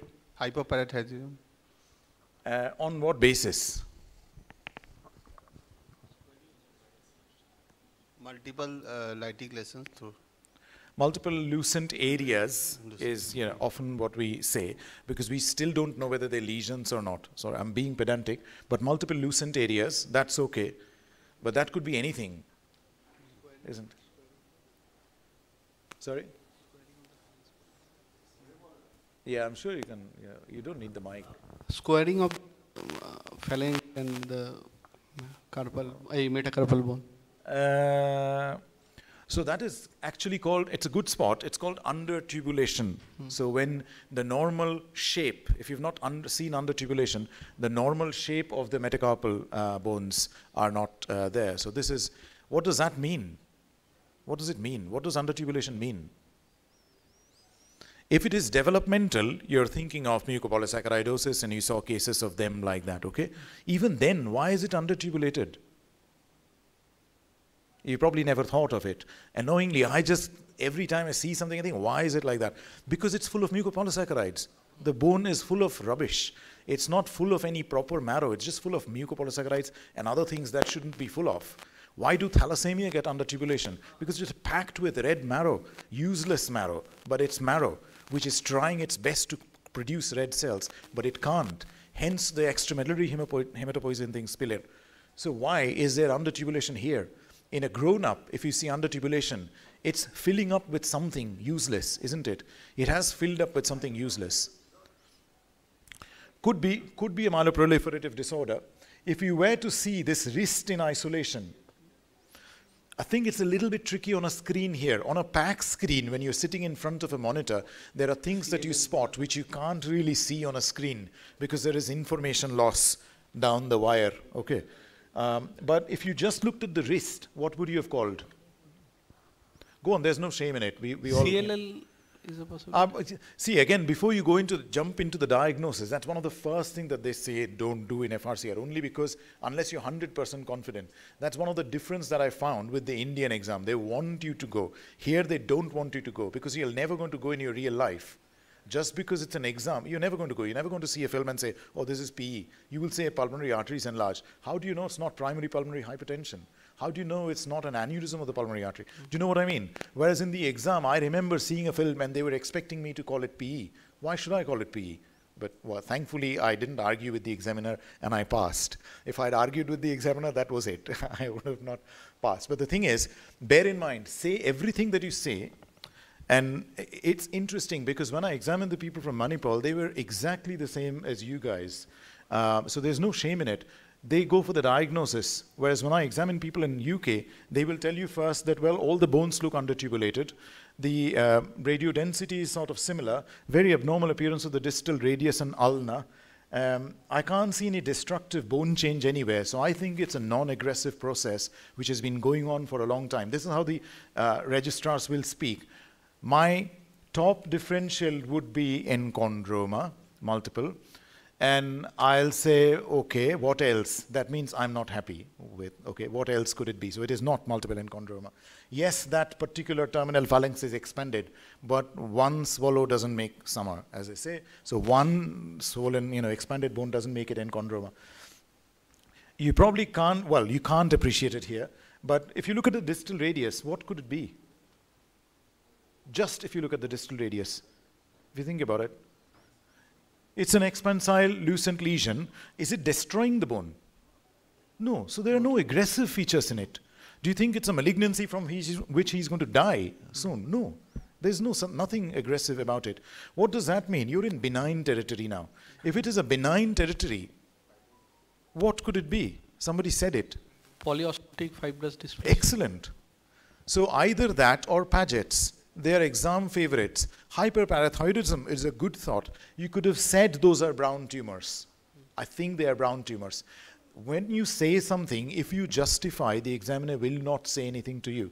If you say, I think, because you're, they will, they are treating you as a radiologist. Tomorrow you could be, as they call it in UK, tomorrow you might be reporting my mom's X-ray. I want that person to be, that's the way you should be thinking. Okay, so, um, so this person has got lucent lesions. It could be brown tumor, but I don't see any supportive features. I can't see any erosion. This is actually polyostotic fibrous dysplasia. It, it, is, it is, you can't see the ground glass. I never saw the ground glass. Even when I took the exam, I really struggled. A lot of my examiners and other people could show the ground glass.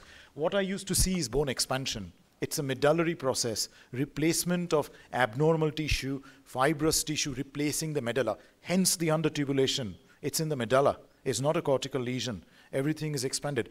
Thalassemia is a good thought, but if it was thalassemia, I would have nodded and then showed you an x-ray of the skull with wide diploic spaces or a spine and things like that. So if you say thalassemia and hemoproliferative disorders and things, then you're kind of in the track because I know you've understood the undertubulation. This is fibrous dysplasia. Okay, I'll show you another case of fibrous dysplasia. Um, here, this patient is a different patient with fibrous dysplasia. Why do we follow up fibrous dysplasia? He's got a bit of not as good a Shepherd Crook deformity uh, as it was presented, but this person has got a little bit of a polyostotic fibrous dysplasia and Shepherd Crook deformity. Why do we follow them up? Excellent. Okay. So what are we looking for? Any aggressive features? Okay. So this is an example. So can you see the, it doesn't project very well on these screens, but can you see the periosteum is not clean? Can you appreciate that? There's a bit of a, it looks much better on these screens, annoyingly as I said, with the projector, but you can see it's a fuzzy margin. So that's the kind of thing that we're looking for, and we don't want you to stop at fibrous dysplasia. We would ask, why are you doing it? Because we know malignant transformation occurs. So what would you do at this stage? And I would expect an answer, we'll do an MRI. When they answer that, I'll say, okay, what sequence will you do? Because I'm going to show you that sequence. So some people will, whatever sequence, so what sequence will you do? If I tell you you can do one sequence, you've got five minutes, you need to do something what MR are you going to do? So I'm just making you think. The examiners will make you think as well. And generally, if the examination is going this way, you're passing. Because they already like you and they are trusting what you're saying. They just want to see how much, because nobody can judge what you are in 15 minutes. Annoyingly, I found that very annoying in Indian exams. They try to judge you in 15 minutes. They can't. You could be the most clever person in India but in 15 minutes they can't judge you. You could have the worst 15 minutes of your life. Okay, so it's a discussion. Don't forget that. If you keep that in mind, it will come through, I think, in any country, in any exam. If you talk reason, explain why you're saying something. But exam techniques are different, so don't, don't hold it to heart. Um, get through the exams that you need to get through. Um, so, yeah, what MR sequence?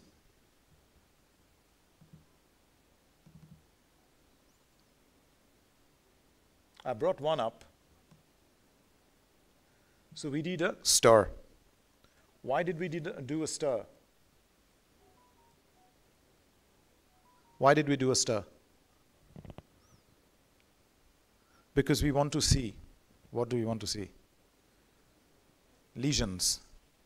Right? Yeah. There's no shame in saying anything wrong, you know you know, don't, don't forget, a lot of the time, don't forget, I'll tell you this, which is what people, people often afraid of exams and things like that. We, well, I was not, because I know that the examiner has brought the films that he has missed or somebody has given me, okay? Don't have any doubts about that, okay? He wouldn't have brought this as an interesting case if nobody has shown it to him. Or he thought, oh, this is nice, let me test them on this and I'll find out how many pick this up because I never found it or something. Or a tumor that they missed, okay? Don't, don't, so keep that, this is for your confidence, okay? In, in a year, some of you, you know, in, in months, you'll probably become radiologist and will be reading scans, okay? You know, have faith and believe in yourself is the first thing. And think, think through. You know, you've unfortunately you've picked a profession. If you picked surgery or orthopedic, you'll be hands-on all day, sewing, chewing, screwing things. You've picked a profession now by choice or by mom and dad's choice or by default or whatever, which is a thinker's profession. So, you know, you may not be philosophers, but you have to think yourself through. So what sequence? I showed you a STIR sequence. Can anyone tell me why I did a STIR and not a PDFS? Because it's a large field of view. STIR is a T, short T1 inversion recovery, short TI actually, short tau inversion recovery, okay? So it is not affected by field inhomogeneity. If you do a PDFS, which is a spectral fat suppression, you can't do a large field of view. You have to focus just on the right hip, or the left hip, or the symph, or the knee. But with a STIR, you can do a huge field, okay? Because you don't worry about field inhomogeneity at the edges of the scan. That's why bigger area, STIR. Smaller area, fat suppressed, FS. Okay, that's the reason. There's a reason for everything. Once you know, you can run your MR scanner, and the technician will know. I'll want to go to you know Dr. Ganguly and ask him. If I ask Dr. X, he doesn't know anything. He just says do a fluid-sensitive sequence. If I go and ask him, so that's the reason. Bigger field of area, do a STIR. Okay. Somebody was asking me about DWI. DWI had the same issues because you're looking at a large area, the field homogeneity, and you're already. Oh, sorry. What am I doing? Um, oh, wrong button. So I don't want to show you the bone lesions. You're already seeing the bone lesions. This has been presented as well. Okay? What is this thing? I'll scroll back and forth. Is it in the bone or outside the bone? Okay. What does it look like? Anyone describe it for me? By the way, if you're thinking, no, I didn't miss this, that's not why it's here. We picked it up, that's why it's here. I did say people put exam films, things that they've missed. Should I describe it for you? Okay, I, I, like, I used to enjoy the hot seat, actually. I loved, so even now, when we went to this uh, course in Leeds, they were looking for things. So me and Mark Kaplan, who's actually my mentor, he's much senior, he's, he's, he's 60 plus. We both love the hot seat and being grilled because it is your opportunity to speak. As long as you speak sense, it's great. So what are we seeing? We're seeing a bright lesion, okay? It's, you know, we don't call it bright in MR. What do we call it? We see a high signal lesion. Perfect. High signal, oh, shy. oh, sorry. See, I told you speak too much, and at least it wasn't a bad one. um, so, um, so it is a high signal lesion, right? It's an oval high signal lesion. What does oval and circular matter? Does it matter? It does matter. Cancer is how? You know, what sort of growth pattern is cancer? Circular. If you remember Petri dish and things like that, you say, why is he talking about long forgotten things? It matters. Oval means elongated, long growth pattern, means benign. It has time to grow that way. If it was a really fast going thing, it'll go in every direction. Yeah? These are basics which applies everywhere. Doesn't matter whether you're doing MSK or brain or breast or, or, or prostate. Okay, so these are benign looking things. High signal lesion outside the bone. In a patient, we know of fibrous dysplasia. What are you thinking? What could it be? Somebody had a poster. I picked some of these cases because you've already shown these in different. So I just want to see whether you just showed it for the sake of showing or you actually understand. These are multiple, yeah, myxomas, okay, soft tissue myxomas. This is Mazabraud, okay. So these are, uh, so if I argue, could these be schwannomas? Yeah, very good, because they can be schwannoma. There's, you know, again, there's no shame in that. We thought schwannoma until we thought, oh, crikey, one in the, at 3 o'clock in the morning, suddenly woke up, oh, read about Mazabraud two years ago. They get myxomas, looks the same as schwannoma.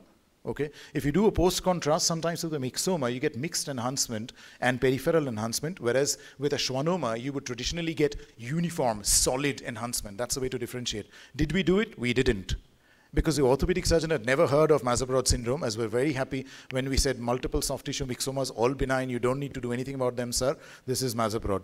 And so it's in my teaching pile now, in his, his teaching pile, he has never seen it, but uh, is it schwannoma? It, I'm sure it is not schwannoma, because it fits with Mazabraud. That's something which we often say called Occam's razor. If one thing fits and explains, then stop looking for other things. Okay? And it is not cyst. Uh, it could be a cyst. You know, it could be some sort of a cyst, but why would you have random cysts everywhere? Okay, so this is Mazabraud. Night. Um, before I show, oh yeah, actually this is nice. Somebody has shown this already. It would be nice if the people who showed this were there.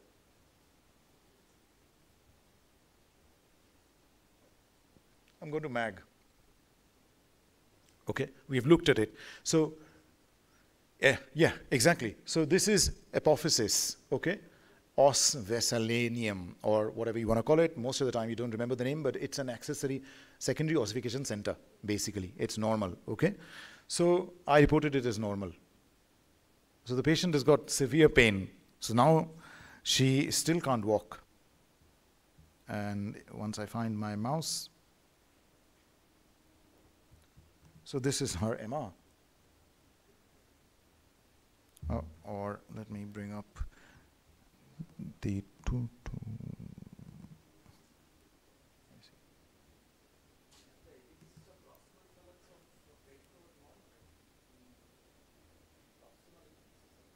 You can get a lot of normal variations actually in the proximal. Uh, you're talking about eta? Yeah, you can get a normal variation. You can get a cleft there as well, bifid epiphysis. So that's another area of debate. So ignore this one. I think that was a later MR. So this is the first MR she had.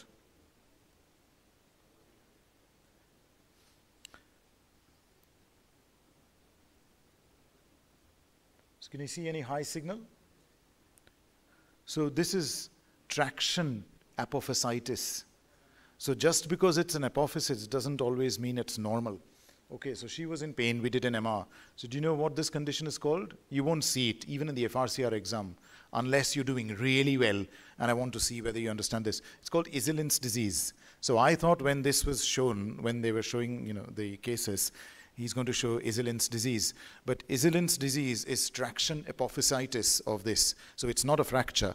It's just recurrent use and dancing and tiptoeing has pulled on the peroneus brevis tendon and cause traction apophysis. Just like you get traction, Sinding-Larsen's disease. You've read about them in the book. Tibial tuberosity, Osgood-Schlatter. They're all traction apophysitis. You can get them anywhere in the body, okay? So this is Iselin's. So again, I showed it because there was uh, people showing that.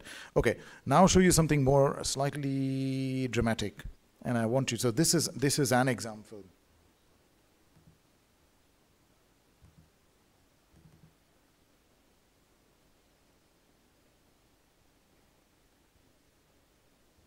So while I'm adjusting the uh, thing, it's the same patient um, who had a normal X-ray about six to seven months ago. Well, there is a little bit of OA and uh, a little bit of thing uh, change, but this has happened in six months. So this is the shoulder.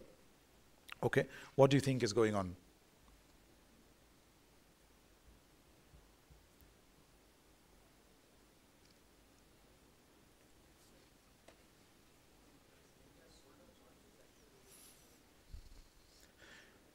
Yeah. So essentially, so what's going on? So generally, when we ask our examiners, sorry, examiners, when we ask our candidates, um, what can this be? Yeah, exactly. So that is that is you know that is exactly the kind of thing that we, you know, want you guys to think. It could be potentially possible. So essentially, we often when they Sarcoma? sorry Sarcoma? I, yeah, I probably wouldn't go into the diagnosis, as I was saying. So what is happening? Because there could be a lot of things that is going on. And I've not given you some bits of the story. So what is happening? So tell me, just summarize it. It sounds very straightforward. Uh, lytic lesion. Okay. Of Sub, uh, lytic lesion where? Okay, I'll give you a choice, you know, a multiple choice. Which one will you pick? The joint, um, okay, between two, lytic lesion of the humeral head or absent humeral head. Be, be, be true. That's the thing about radiology. Do you, yeah, it is absent. You can't see it. Can you see it? So it's been resorbed, right? So it is either replaced by something or it's just gone on something else as, you know, fine, replaced by something, blood, fluid, soft tissue, whatever. So the head is gone. How can the head be gone? The first thing that comes to mind is surgery. Can't be surgery. That looks like awful surgery. You know, it's not a clean cut. It's a round, you know, rubbish surgeon. Okay. And who would remove the humeral head? If you know, if you think about it, the first thing we think is surgery. But who removes the humeral head? And why would you remove the humeral head? Okay. So I think surgery comes down in the list. It's a good thought. But why else would you lose the head? As in the humeral head. I lose my head all the time, but you know, we're talking about the humeral head here. But what is uh, the uh, simple tumor or infection generally? Isn't it? If you lose something, it's a lytic process. Either, as you said, the head has been destroyed now and it's absent because it's completely gone and destroyed. Doesn't really look like a destruction of that side because it's a very nice, well-defined, smooth, sclerotic margin. And I'm looking for my mouse. I'm not randomly looking there. Oh, that's because it's a screen here. So it's, you know, smoothly defined sclerotic margin, okay? Infection, if you say infection, you're kind of in the track, but I'll, I'll tell you that his CRP is normal, white cell count is normal, never had an infection in his, well, never had an infection related to this. Okay, true. And the other thing that uh, Professor Karim said, I often ask them, do you think it's a bone problem or a joint problem? Because that, excellent. So that dramatically now narrows down. There is a destructive process, okay? If I'm describing this over the phone, that's how you should describe an x-ray to my boss. There's a destructive process. I can't see the humeral head. It's joint-based. So he'll say it is either some sort of a sarcoma in the joint, extremely rare, infection in the joint, in which case the patient will be septic, Gorham's disease, which we saw yesterday. But what is the main thing about Gorham's disease which is missing here? Lucency. Everything will look lucent because it's a hypervascular angiomatous proliferative condition, okay? Gorham's disease, vanishing bone disease, which um, uh, Dr. Mandal, doc, doc, you know, showed yesterday, okay? So no, it doesn't fit with Gorham's disease. It's sclerotic. And then I say, can you describe it a bit more? Well, the joint is a bit disorganized. The whole density is increased. Um, it, it's, it, the head is destroyed. And uh, there are little debris floating about here and there. I say, oh, one, two, three, four. I've, I've counted four Ds. What I haven't told you is this person had a severe injury and had a transection of the cervical cord for, or hemisection of the cervical cord. So he's now got essentially almost like a syringomyelia type cord myelopathy. Okay? So what does that make this diagnosis? Neuropathic, Charcot's or neuropathic joint. Okay? If you see surgical-like resorption and it's joint-based, always keep Charcot's in mind. It can resorb bone very quickly, very dramatically. Okay? Dramatically. Such dramatic disappearance won't happen with MET. It can happen with infection, but things will look lucent. It'll happen with Gorham's, but things will look lucent. If it happens with Charcot's, things will look sclerotic. There's no other option if you work it out. And annoyingly, on a projector, you can't see it. This is the film, which I was telling somebody. For the last 10 years, I've been using it, and it says neuropathic joint at the top, which you can't read, but it's there. But I've till, till, till date, in the last 10 years of doing three FRCR2B exam courses each year and examining 10 candidates per course, I have not seen one person, I'm still waiting for somebody to catch me out and look at the film and say, this is neuropathic arthropathy, because it says so. You know, so similarly, so I had uh, one of my, I, I got the idea from one of my bosses who had an achalasia, and there was, you could see, the film was written in Portuguese at the bottom. So it was Chagas disease. What he wanted me to say was Chagas disease, which you've heard of, but you haven't seen. But this was a Portuguese guy, hence the film was written in Portuguese. So I could see the language was different, but I didn't know what language. So I went on about esophageal tumor and achalasia and things. We all had fluid level, distended esophagus. But, you know, sometimes there are other things. As Dr. Bhadro, my first uh, boss, Ashok Bhadro, uh, respected sir. So he always used to tell me when I was a first year DMRD student that Akash, remember every film has four corners. At those days had films, so he used to remember it. He used to tell me that, you know, remember film has four corners. So that's something that I kind of still remember, and I use it, and I see it's not been, you know, people people don't spot. Possibly of they're in the hot seat. Uh, that's why. Now this is a part of a long case. Okay, so this is a hand. I love hands.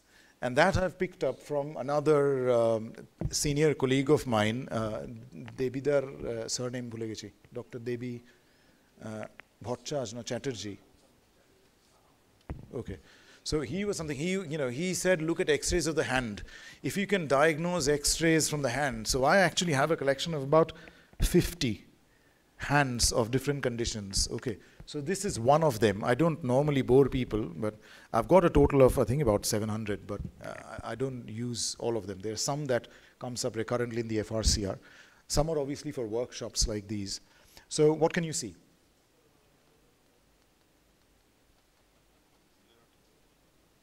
Two abnormal bones? Straight away it's multiple, polyostotic. Okay, keep it simple. I'm helping you think here. Okay, let's stick to, you can pick any one of the abnormal bone. Which one are you going to pick, the metacarpal or the proximal phalanx or the right hand? Or the left hand third metacarpal or metacarpus? Which one do you want to pick? The metacarpus, what does it look like? What do you think is going on? Benign or aggressive? Yeah, radiologically the features are benign. It hasn't destroyed, okay? So what are your differentials for this sort of an appearance now?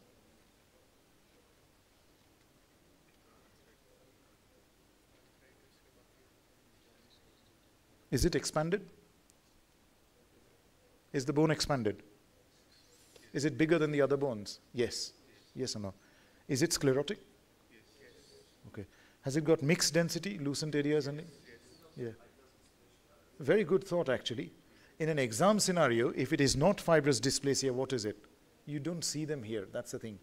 It, it, in the UK, people will say it in the reverse in the other order.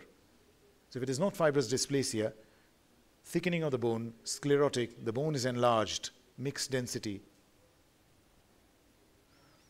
They get high output cardiac failure. It is Paget's disease. Okay? So this is Paget's disease actually. Okay, there's no point in thinking it if you don't say aloud. So that's the problem with uh, most of the time, including me. I am basically an introvert. So often I used to sit at the back and think, oh, butterfly glioma. And we used to have our clues when, when we used to get quizzed before the FRC, we had our clues. So if I do this, that means it's a butterfly glioma. So we had our little clues between our friends group. So from a distance, they'll look at us and they'll do this. So, you know, we had, but we were too shy to actually speak up when I go in the hot seat. But so there's nothing, no, no shame with that. So this is actually Paget's disease. But what would you do next? Do you know? So what we do next is a bone scan because nothing is as hot as a Paget's disease, okay? That's one of the teachings that we get. And you get to see lots of Paget's disease if you're ever working in the UK. You'll do lots of bone scan, and they involve the whole bone. How did this patient come about? So this patient has a history of prostate cancer. That's how it started, okay? So now is your turn to stand by the MDT and say, I still don't think this is met. This is Paget's. This is not sclerotic MET, okay? This is Paget's disease. Why? Because the whole clavicle is involved. A MET won't involve the whole clavicle and spare the other bones and things. You'll get diffuse uptake everywhere, okay? Uh, there is uptake in the spine, but that's because this is the posterior projection. Uh, yeah, it is a posterior projection, okay? So there's uptake in the tibia, so he's got Paget's disease there, blade of grass appearance. You might have heard about it in the book. Uh, this is Paget's of the calcaneum and Paget's of the hand, okay? OA changes here, Paget's of the clavicle. Okay, so now I say, because this is actually a long case, now I give them this x-ray, or the packet also has this x-ray will it, it'll have two years later. Notice it's the left side, okay? So what's happened?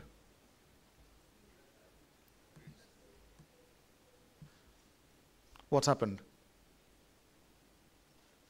Below knee amputation, yeah? Why would you amputate Paget's? See, the left calcaneum was the one where the Paget's was. Why would you amputate Paget's disease? Yeah, excellent. So again, must have developed a secondary osteosarcoma or a chondrosarcoma. I don't know which one. But he developed a malignant tumor, or actually, I can't remember which one. But he would have developed one, and then they go on to amputate. Because what did they amputate? Must have been an Enneking 2B. So don't bring that up again. We had forgotten all about that now. Okay, but it must have been an Enneking 2B. So that's why he had amputation of that part. Otherwise, he would have had wide local excision. Okay. Sometimes you'll find that everything don't tie, doesn't tie up. Okay, don't get frustrated by that. I do get frustrated when I can't tie things up, but uh, it's normal. So that wasn't. Um, although he ended up having a tumor, but it wasn't a prostate met. It was Paget's, and he had secondary met. I'll show you another one, and then I'll pause for a second. Um, this patient has a history of bone cancer. Sorry, of breast cancer. I won't show you the MR actually because the MR is a bit tricky. This is a post-contrast MR of the brain. It's slightly unrelated. It's a recognized thing. So I'll close. Can you see what's... Well, actually, I'll close this because it'll throw you off. Yeah. Very good. Very good. So pachymeningeal enhancement, okay, diffuse. Um, in UK, they've never heard of TB meningitis and all sorts of things, so that kind of thing doesn't arise. So you're always talking in terms of either some sort of lymphoma or you're talking of some sort of MET, okay? So bear in mind, and that's actually how, so good you, because I reported that MR and I said diffuse pachymeningeal enhancement. When I looked it up, it says who gets it? One of the common causes of cancer spreading there is breast cancer with MET because the only cancer which goes submucosal in the stomach and in funny places, brain meninges, is breast. So breast MDT, known breast cancer, this looks like MET. So we did the CT, whole body, chest, abdo, pelvis. And here's what we see. Multifocal sclerotic lesions in the bone, okay? This is how it went in the MDT. So let me see if I can bring up. Sorry, were you saying something?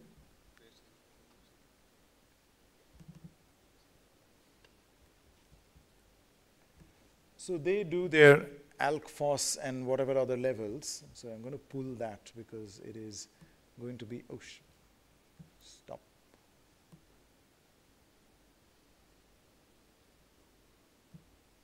And I'll change the window. It's hard to see at an angle.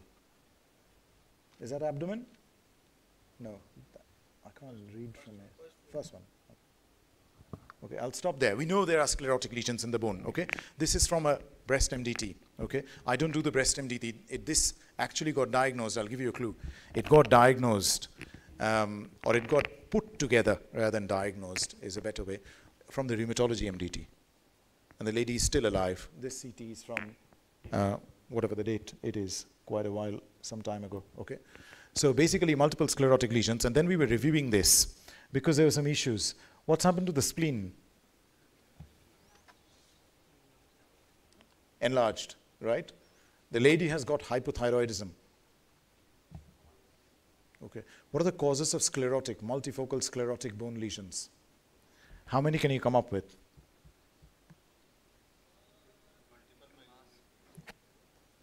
Multiple? Multiple myeloma won't give you sclerotic lesions generally. They'll give you lucent lesions. Sometimes you can, if you've by chance said that, you can argue that by saying post-treatment, post-chemotherapy, sclerotic response and try to stand your ground if you said it. But generally I wouldn't say it. Sclerotic Mets, osteopoikilosis, we saw an example. Generally you don't see them and they are more uniform. They are generally periarticular. Okay, it's a real pain when an osteopoikilosis patient presents with breast cancer. We've got two in the last 12 years. It's, it's very hard to prove one way or the other. Okay, um, there are multiple other causes. So this cause, I won't go into that because I don't want to bore you. Hypothyroidism, okay, which is a type of endocrinopathy. Okay, funny you mentioned multiple myeloma because although there were no other features, he had a raised M band Okay, this is probably the only M-band scenario where you get sclerotic lesions. Okay, what is splenomegaly? What is spleen? It's a viscera. It's an organ. It's an organomegaly. Do you know what I'm getting towards? So when I mentioned all these, the rheumatology registrar said she's got numbness and tingling in both hand and feet. So she's got polyneuropathy. What has she got? No. No. It's a good thought. I don't know whether you've heard about it or not, but you probably would have heard. Some of you must have heard about it. It's called POEMS syndrome. P for polyneuropathy. O is organomegaly. E is endocrinopathy. M is M band. And S is sclerotic bone lesions. Okay, sometimes skin changes and things, but if you're a musculoskeletal radiologist, you remember the sclerotic bone lesion, not the skin changes. So that's where it came from. So again, so this is where the radiologist kind of, as I look at it, earns their money. I haven't got, got a case, but there was a thoracic splenosis which was going around as multiple lung mets. But we did a colloid scan. We found that the spleen was removed, and he got splenic tissue into the art, you know, vessels, and ended up with splenic tissue debris everywhere. So there was thoracic splenosis. This is POEMS syndrome, so it is not sclerotic met. It's just putting things together. You feel tired? You stop. One or two more. It's a question of who gets tired first, me or you. Here's another Aunt Minnie. This you've all seen. No, you haven't. I don't think anybody has seen this. I hadn't seen this. While you're thinking, I'll tell you the story behind this. This is a 45 year old in my private practice um, who came and said, I want to know the answer. And the pressure was, is it this? Because I'm going to sue the doctor. So they wanted to know, I'm not, fill up the blanks basically. I'm not telling you what the answer is. They wanted to know, is it this condition? Um, and that was a question. So I had to look up and bring up. So what differential books do you look at? Chapman or no? Chapman, Nakilni. Dahnert? You look at Dahnert as well, yeah. Dahnert actually for the 2B, I didn't look at Dahnert, mostly Chapman. For the 2A, you need a bit of Dahnert. Dahnert is everything. Everything under the sun has 1% chance of being the differential of everything. So isn't it really, really heavy? So this guy, so what's he got? So I've called it what I've called. I don't know whether I'm right or wrong, okay? So help me out here. What's abs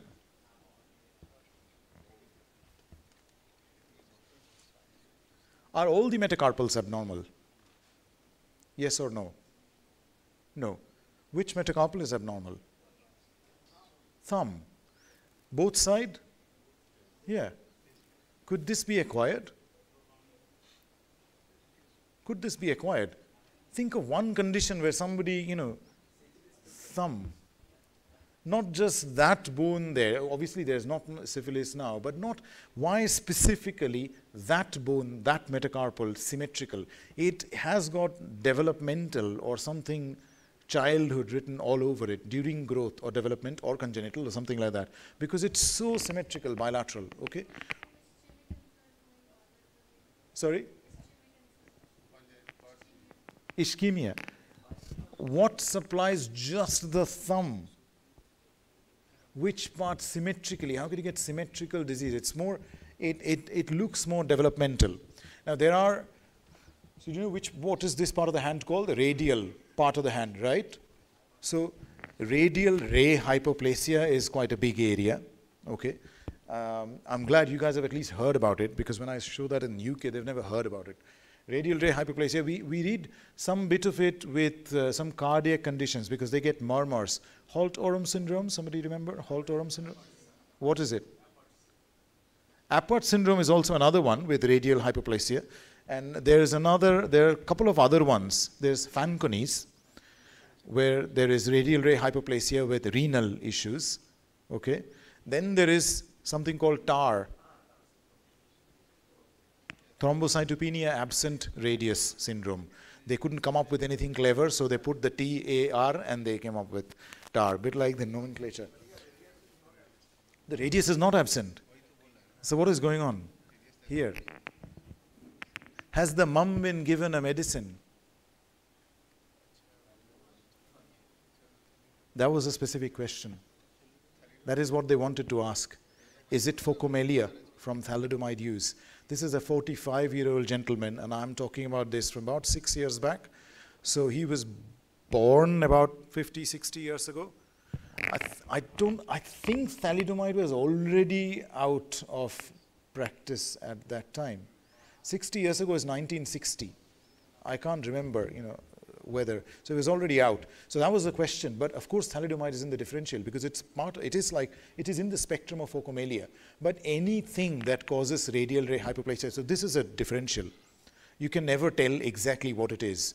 Fanconi wouldn't live that long because they'll have severe renal problems. Aperts and things as well, I don't know how long they live. I don't do pediatrics. So whether they'll survive to 50, I don't know. TAR will survive with blood issues and stuffs like that. Thalidomide obviously will survive, we don't know. And a few other associations like Holt-Oram and other things, you know, where you get cardiac issues, they might survive. So I looked up at Dahnert and gave them 10 differential because a lawyer was calling me because if it is thalidomide, and if I say thalidomide, he's going to sue the doctor who originally, but I don't know whether they used thalidomide or not at that time, but that was the thing. So it's just a differential. Second last. Well, I, I, I, don't mind going on, but I'm, I'm conscious of time and other things. So I'll see if this projects very well on this. Yeah.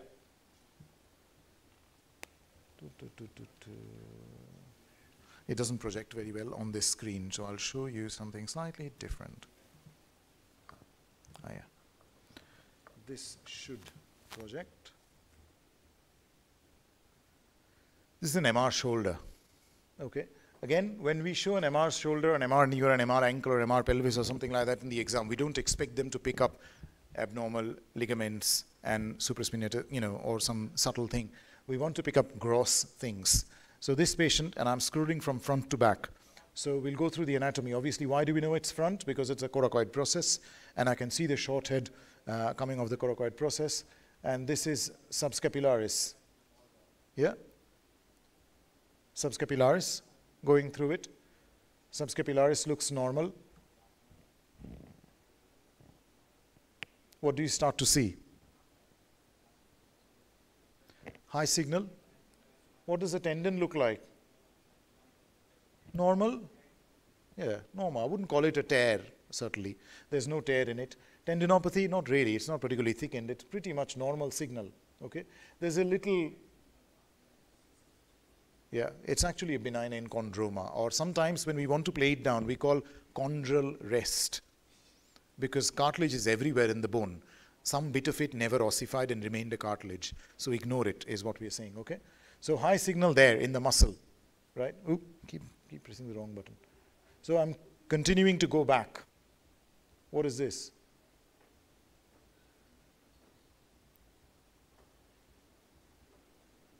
Infraspinatus. Yeah? Diffuse edema of the infraspinatus as well. What is this? Straight. Teres minor.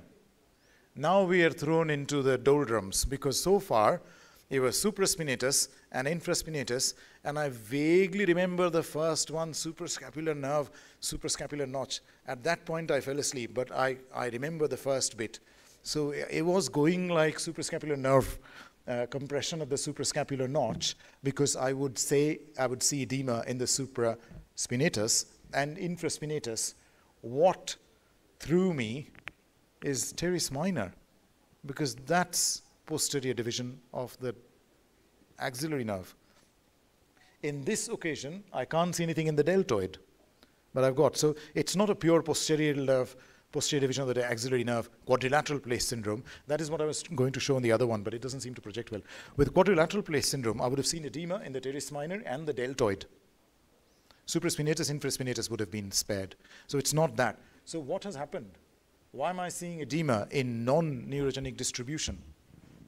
So it doesn't fit to any distribution. What must be the cause then?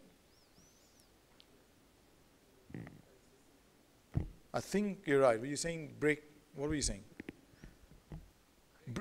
brachial neuritis. It has to be something. So if the nerves are not individual, it's like motorway and railroad. If it doesn't fit with this and doesn't fit with it, it must be somebody above them before they branched out. So that is brachial neuritis. Interestingly, this is not brachial neuritis. Well, it is a form of brachial neuritis, I'll give you that. A, a, there's a name for this. Parsonage Turner. Again, I really like teaching in India only because people have come up, people will come up with answers and terms. I would have had a room full of blank faces who never heard of Parsonage Turner when I teach in UK. They will tell you all the things there and cleverly talk out of them, but they actually don't know the diagnosis.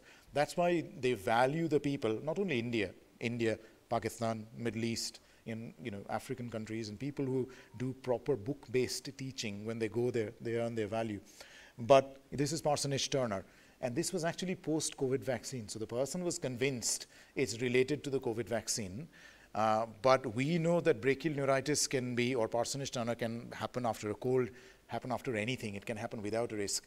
But it was proven as a COVID-associated, um, you know, sort of neuritis. There is COVID, there is COVID-associated bursitis as well, subacromial. There's a name for it. But right, I'll stop at that. There's, there's a few more. Um, but we, I think it's good to close the session now. It's nearly six. Can I show one last? It's 10 to 6. I'll show you one last. Because this, yeah, actually I thought, this is one of the first few cases which I saved. Um, and I was still a trainee. So I like showing this. Does it say the age? Does it say the date? Study date 2008. I was a first year registrar training in Royal Liverpool Hospital, um, and I saved this. So it is, it is a strange say, case. What I tell my candidates when I'm examining it, as you go through, shout out the abnormalities. There's, okay, five or six abnormalities, and it's again a game of putting it together. Okay? So please stop and shout out the abnormality because I'm going slowly. And don't worry if you're wrong.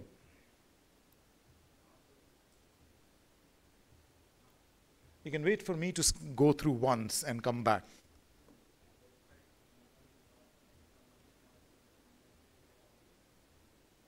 The only thing that I would suggest is before you say anything, just think what you're saying, and then I'll scroll back up to the top, and then I'll slowly stop, like sightseeing.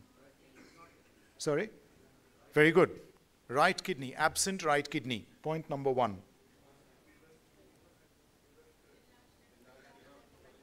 Okay, fair enough. That's, that's a fair call, but if you look at it and I'll slowly go through it, that's the left lobe, leaf-like left lobe, okay? Some people call it the arm round the spleen liver, okay? It's almost as if that left lobe has put an arm around the spleen. So it is an enlarged left lobe of the liver. I'm being very specific and pedantic for a reason, okay? What about the spleen? Coming down there. Well, it's coming from there, still going, still going, still going, still going, still going. Your kidney is enlarged, but it's still going. You're down to the lower lumbar vertebrae. You're at the iliac crest. Is that spleen enlarged or normal? Enlarged. Okay. Remember, this is iliac crest. We, we, you know, how often do you see spleen down to the iliac crest? Just because I'm not showing a, showing a coronal Interestingly, he has also got hypertrophy of the left hepatic vein compared to the right and middle hepatic vein. Anyway, that's, that's a moot point. What about the left kidney? Enlarged. So I stop on this image. Anything abnormal about this image? Perfect. Asymmetry. And the muscles are abnormal. Both are correct, both of them. So I, my question is, is the right side abnormal or the left side abnormal? So is the right side abnormal or the left side abnormal? How many are on the side of the right side being abnormal? One, two, three, four. How many are on the side that the left side is abnormal? Oh, outvoted, oh, just about equal vote. Okay. So what about the people who didn't put any hand up? so, so actually,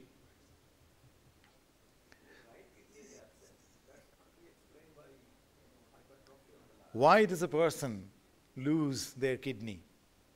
I'll, I'll make you get to the diagnosis. I don't say that's, that's the way the FRCR exam works. I'll never tell you the diagnosis. Why is the right kidney absent? What are the causes of absent right kidney? Congenital absence or there is no, yeah, crossed ectopic possibility. This isn't crossed ectopic, but it's a possibility. Post-nephrectomy. Why do you lose the kidney? This is a youngish person. Why does a young person lose kidney? Due to malignancy of some sort. Yeah, hold that thought. Any malignancy comes in mind which is associated with a side being big and the other side being small.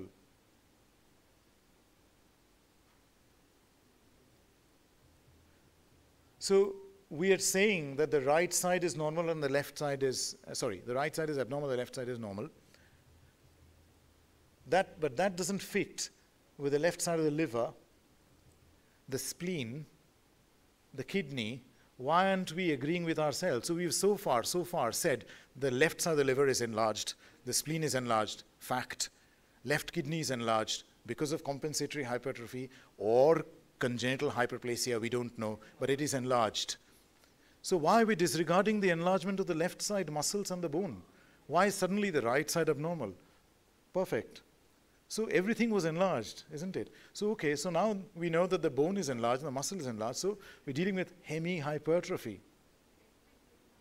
So why did he have the kidney removed? Perfect. If you do this, that's an 8, which is gold medal level. Okay. Most of them don't get to that level. Okay, most people will stop at 7 because I haven't said any of this anyway. I, if you remember, it's all you guys who are coming up with it. But that's, that's the idea. That's what FRCR exam generally is about. They won't tell you anything. They will, whether you want to or not, they will make you say it. I remember the exam, I'll, I'll finish with that. That's, I think we'll stop. I think it's good to stop at a good, uh, stop? Going to carry on or stop?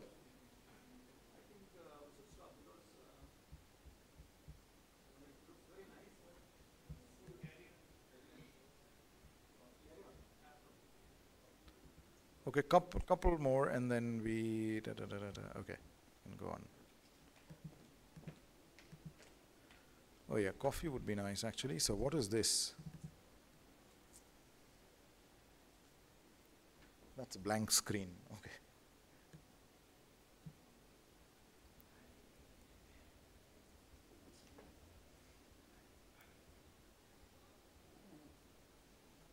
This is an MR hand.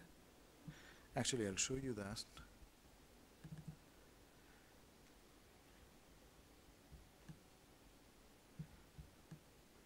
So that was indeed a Beckwith-Wiedemann syndrome. But when I actually was a registrar, the patient came with the history of known Beckwith-Wiedemann syndrome for follow-up. But then when you look at it, I looked at the previous report and people haven't picked up on all the points. Everybody has said known Beckwith-Wiedemann syndrome, da da da da da. But you don't put it together. But it was. They do have lots of other things, macroglossia and other things, obviously, but I've never seen a better example of hemihypertrophy. So all of us who were ages at that time quickly save their images and use it. So it's, it's been a while, but uh, I still love, it's actually, if you ever end up doing the entry course, this is one of the long cases, the hemihypertrophy. Uh, so yeah. Uh, in fact, quite a few of them are in the courses. So this is an X-ray hand. I've shown you a T1 weighted image, which is on the right. Um, and a PDFS. I was trying to window so that you can focus on the, it's a T2 weighted uh, fat suppressed. I'll stop on that image. Can you see anything abnormal on the MR hand?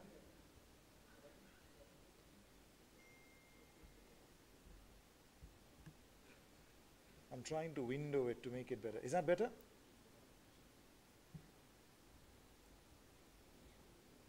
Okay, look at the metacarpals first, and then look at the proximal phalanges and things. Anything abnormal with any of the phalanges?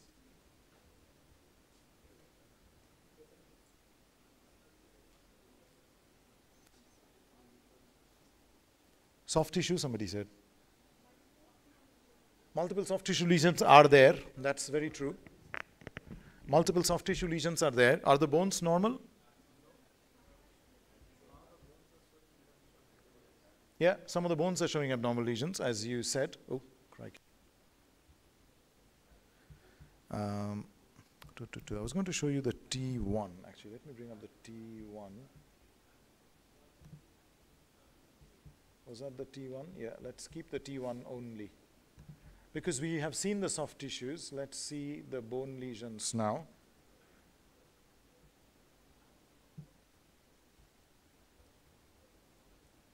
So the proximal phalanx of the little finger, right? Somebody was saying. So what's going on here? What would you do? How would you report this? If you're reporting this MR, what would you do? What's the first thing that you would do? The first thing that I do is I look at the old packets to see if there is any old one. I'll say no change and put it down. Okay, that's the easiest report. But okay, there are no old films. But what would you do? I was saying it's almost, it's not a sin, but we don't report an MR without an accompanying what? Yeah. So we'll get an X-ray, but before that, what are you thinking? Somebody picked up that soft tissue lesion mm. and bone lesions. So what gives you soft tissue lesion and bone lesions? Well, anything can give you soft tissue lesion, bone lesion. You're thinking, what, what can it be? If you think rationally, is this osteomyelitis? No, it can't be. There are multifocal, multiple areas. Is it metastasis in the bone and soft tissue? Possible, but very rare in the hand. Yeah, it's very rare. If you get it in an exam, it is lung or breast, if somebody shows you. But why in the same hand and in multiple areas of the same hand? Doesn't really fit. What else could this be? Hyperparathyroidism doesn't really feel. Fibrous dysplasia, Paget's disease, you rack through the list. Think of the lists in your head. Does anything fit? It's like running a finger scanner in the police department. Is anything fitting? Sarcoid? No, doesn't fit. Doesn't really, nothing fits. I'll show you the x-ray, but anything comes in mind? I won't show the x-ray. X-ray has got the answer. The, if I show the x-ray, you'll get the diagnosis. That is, that is another thing. So clever people actually think. So there are two reasons why we start in an MR, in an exam. A, because we don't want to show you the x-ray. The X-ray is pathognomonic. If you see the X-ray, you'll know the diagnosis, okay? That's generally the idea. We want to show you unusual. That happens with Paget's because in UK, everybody knows what a Paget's X-ray looks like or whatever bone. So we'll start with an MR, okay? Here I was showing you the X-ray. But this is another condition where we all start with an MR. Well, when we all, but some of us start with an MR, okay? I'll show you the X-ray anyway and see if you can identify what does this proximal or middle phalanx of the little finger look like? Again, they don't project very well. Yeah, that's right. Erosions in lots of fingers. What sort of erosions? Along with soft tissue masses. Until proven otherwise, this is what? If somebody was on the telephone telling you, I'm seeing an x-ray with lots of soft tissue masses, gout, isn't it? If you describe it, you know, it is gout, tophaceous gout. These are, these are erosions, and you can get gout tophi deposits in the soft tissue as well as in the bone. So this is just gout deposit in the bone. You can get intraosseous and extraosseous tophi. So soft tissue pushes, soft tissue mass pushes you towards gout. I'll, um, I'll actually show you one last one, and then I'll stop after that.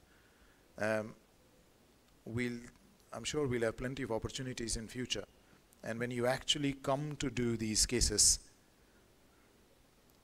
uh, when to do the FRCR exam and things like that, you have plenty of things. I can go on forever. Uh, I do, as you can see, I do like talking and I do like sharing. There's not, not teaching, sharing information. Because it sometimes happen with clever uh, trainees that actually in fact, having said that, this time at one of the courses, there was a really clever girl from Hong Kong. So she was looking at everything and she was going like, ah, this has got this and this got that, so it can only be this or that. And I would say, yes. And then she would say, but also, if those were not there, that could be three and four. And said, I didn't think of them. Maybe I should bring the patient back and look whether those things, because I have diagnosed and let them go. So there are sometimes people, bear in mind, sometimes, and I dare say that, Sometimes you're actually cleverer than your examiner. Never forget that. The examiner has their level. So obviously sometimes there will be candidates who are actually cleverer than the examiner and actually know more. But tone it down, play by the examiner, and keep it, you, will be able to judge where you're doing that. But you know, sometimes that is just life. You know, examiner doesn't mean he's cleverer than you. He just knows the film, you don't. That's the difference. Okay. If you knew your film, he'll equally struggle with yours. Okay. I'm just telling you, so bear in mind. Don't don't get petrified or scared of exams. And I say that to everybody. You can't make people pass, but you know, don't be scared of exams and things. Because everybody, it's like a pipeline. It's like driving test. Once you pass, and when you pass, nobody cares whether you pass the third time or the first time, or you know, five times. You'll be as good as a radiologist if you think and you know what you're doing. It does not matter. So don't ever, ever, ever get phased by any exam in your life, is generally what uh, I believe and what I tell all the regs. Don't, don't, don't really uh, worry about exam. So this guy came from, this is the last one, okay? So this guy, eh, and it ends with the theme of musculoskeletal ultrasound. So he said, oh, I've got this patient with massive calcification. Can you, sir, please do a barbotage of this? So I looked at the x-ray, and he comes with calcific tendinopathy, apparently, from a smaller place and had an x-ray in private, and it was reported as large volume calcific tendinopathy for barbotage. So I looked at it, and I said, this doesn't fit right. Does that look like any tendon distribution to you? It's, it, is, what would be the differential if I just show you this x-ray? What would you think? Sorry? It could be heterotopic ossification due to injection, commonly seen in a lot of x-rays in the bottom. Uh, okay, in people used to have intramuscular injections at the buttock. I'm not just not randomly pointing to my bottom. So a lot of people used to have injections and you get calcification there. So that could be one possibility. What else? Could be a possibility. Could be a possibility of tumor, uh, some sort of a tumor which has got calcific in it, calcification in it. What else? It could be hematoma calcification. Generally, we see phlebolith kind of thing, so smaller fragments, if you think about it, isn't it? These are more cloud-like, bigger. Sorry, go on. Yeah. Sir, synovial chondromatosis. Synovial chondromatosis, I was thinking synovial sarcoma you're going to say, which can calcify. Synovial chondromatosis will be joint-centered. It's a joint condition, isn't it? So you'll see all of them, at least some of them should be in the joint. Isn't it? Some of them should be. Myositis ossificans is an extremely good thought, and that is exactly what we thought. We thought this is hematoma calcification, or myositis ossificans in the deltoid muscle. Okay? So what did we do? What, did, what would you do? Yeah, we did a CT. Okay? Very good spot. Now, there, there we go. We didn't actually spot that when we did the X-ray because we were too excited by the calcification. But there are other things on the X-ray. What did you see? Other things? Yeah, uh, yeah. Actually, the scapular things we saw, but we thought, hmm, what are these? We don't know. Okay. We don't know what are these. But what about the calcification? So there's the calcification coming up. Is very dense. There is absolutely, there is an entity called soft tissue osteosarcoma, which I heard about in India. I've never seen them there. It is any sort of soft tissue sarcoma with ossific dedifferentiation, basically. You're getting osteoblasts in any sort of soft tissue tumor. Uh, but there is no, if I could window it and get it to the abdominal window, there is no abnormal mass. There is none, no abnormal mass at all. So it is not a sarcoma. Possible, but they are joint centered. Why is it randomly just there? And also, you don't get it in uh, European people at all. You get it in African people. I don't know about India. I don't see many. Unless you've got end-stage renal disease, you don't get tumoral calcinosis. But you see primary tumoral calcinosis in a lot of African populations. So if it was a black Afro-Caribbean, Nigerian, you know, you know, something, something like that, you could say tumoral calcinosis, commonly around the hip. Um, uh, it kind of looks like a vermiform calcification, but it is just pure soft tissue calcification. Now, I didn't realize these things calcify or this condition is associated with soft tissue calcification until I spotted the other. So what's happening to the scapula? Now come back. So just like any other place, when you're struggling with one area, look at everything where else in the, um, X-ray. So that's the top of the scapula. So remember we saw other densities. So I started, I wasn't looking at the scapula, I was looking for the other densities that you spotted.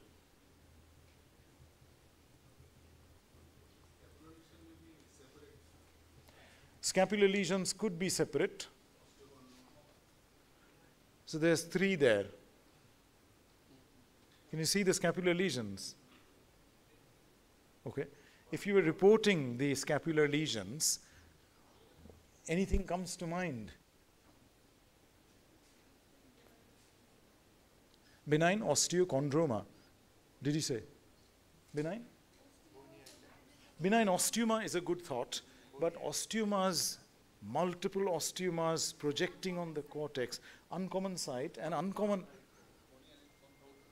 Cauliflower like is a very good description actually, I like that.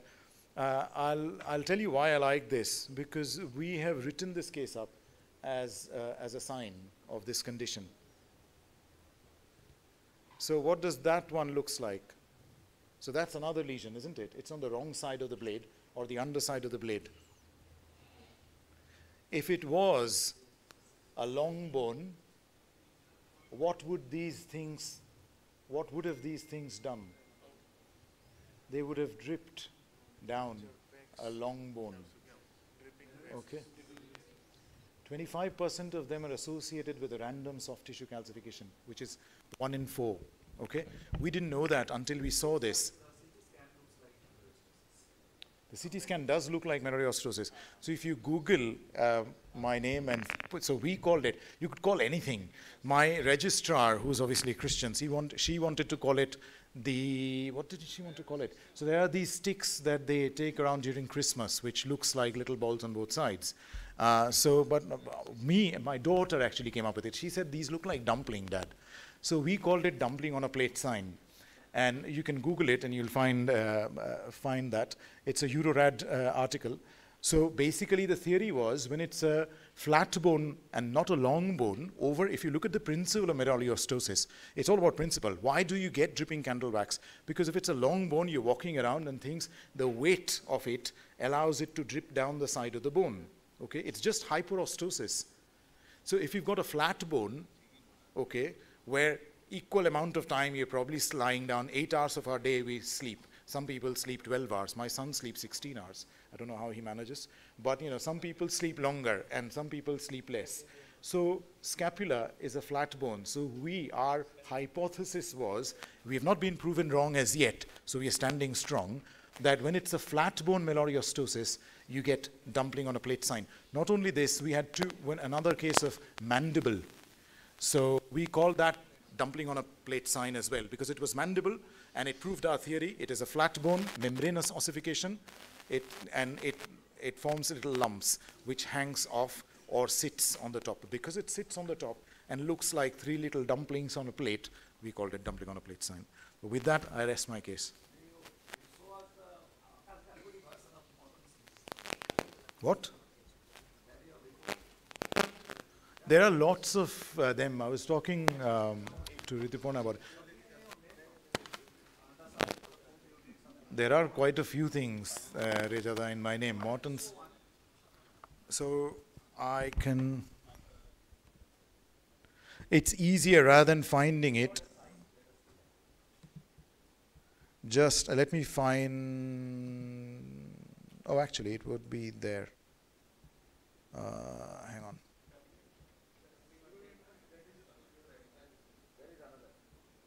Which one?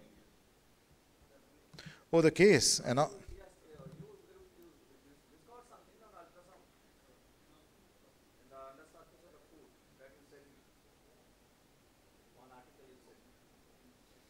I can't remember.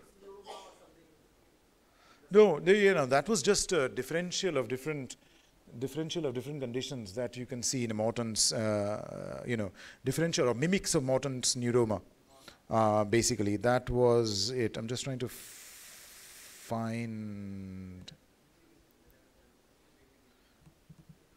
Uh,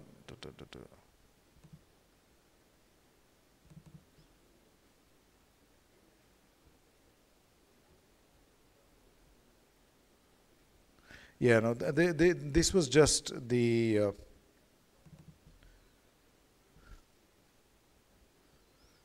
oh, it's like a screen, so it won't. Will it not work? No, I well, I can find the cases. So the cases are individually. It's the images which are saved. So I was just going to go into the display because I need to change it because otherwise it won't project. Uh, arrangement, mirror.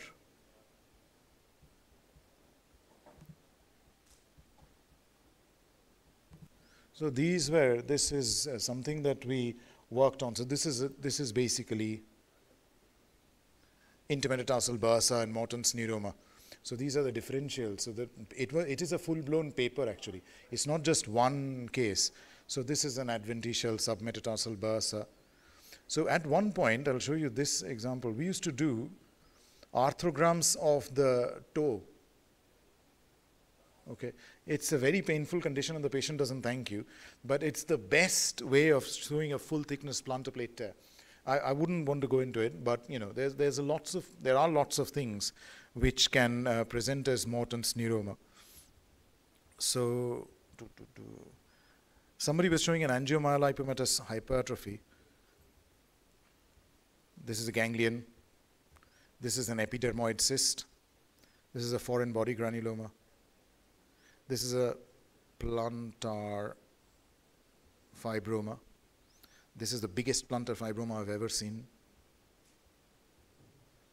This is just aggressive fibromatosis. Just some people call it fibrosis. And there's lots of different things actually, sarcomas. This one is actually a fibrolipomatous hypertrophy of a digital nerve of the foot. Uh, but uh, yeah, though it might have sent you this one actually, uh, Rajada. Right. Thank you so much. Have you got any questions?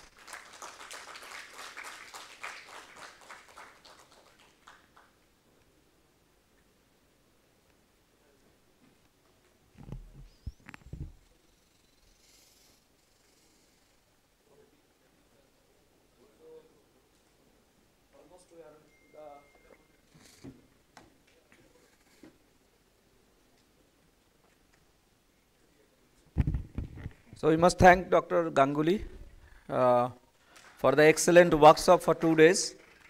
Now our students will present something to Dr. Ganguly. Before we close the session and hand over the certificates, uh, please bring your whatever you want to give. Will it take some time? Then we distribute the certificates first.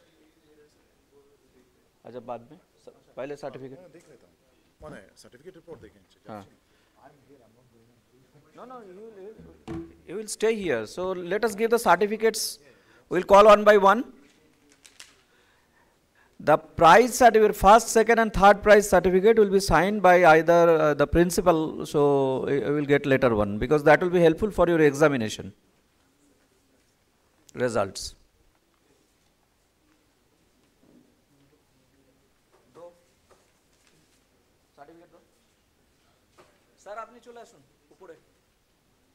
আর আকাশ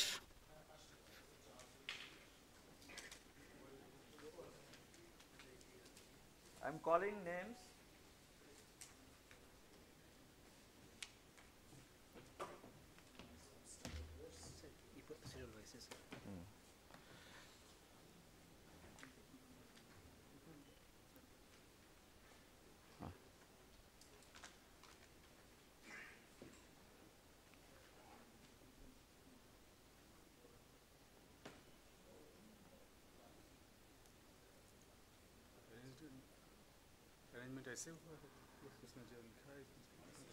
दो अच्छा तुम दे, दे देना will discuss later one please हाँ बाद में what ever want to do after after the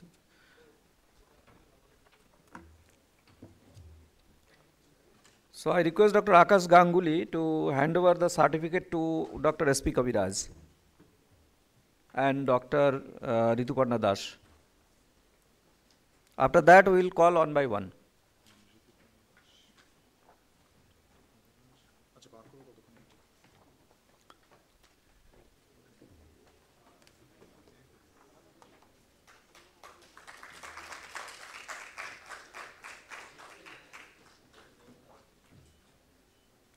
Dr. Vinita Thakur and Dr. Siddhant. Are they here or they have left? Okay, so I am calling the PGs. Dr. Yatiraj Dhir.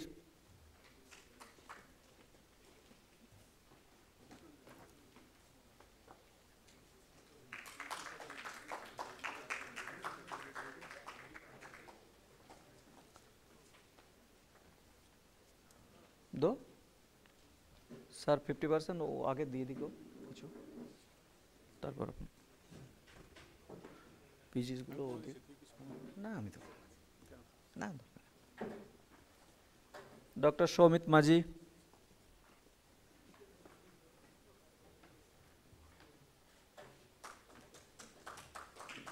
doctor Devendra Rawal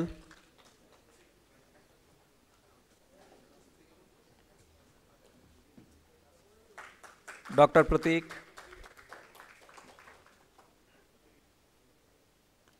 doctor Pratik doctor Jeevan ji absent ना? Doctor ओसर Jaranjan. Is also absent okay doctor Shivangi Mishra.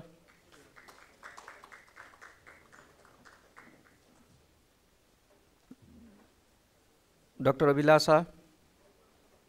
She's in ultrasound okay doctor Gurpreet Singh.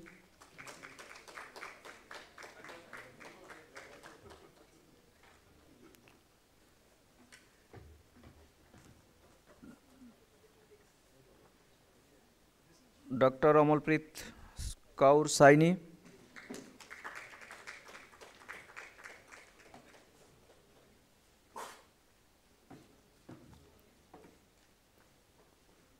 Dr. Himanshu Verma.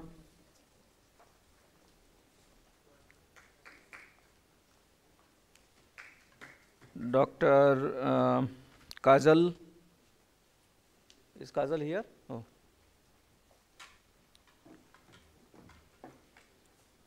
Is Kajal here? Oh. Dr. Upinderjit Kaur.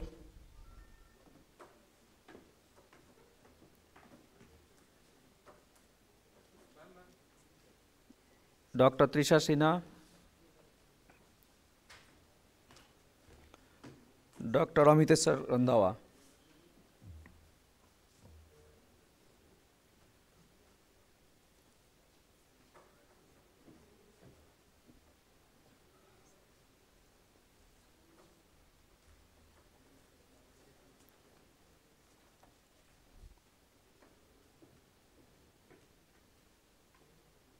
okay, thank you.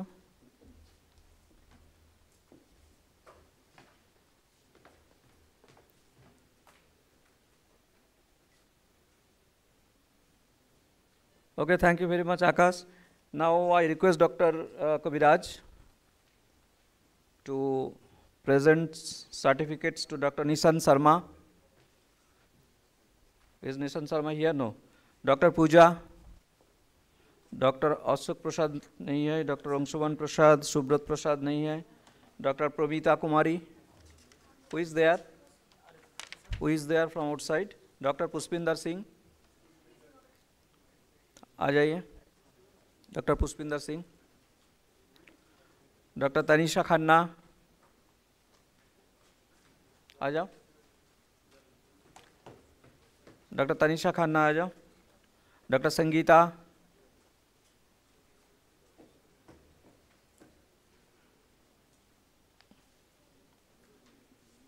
Dr. Chandipak Singh,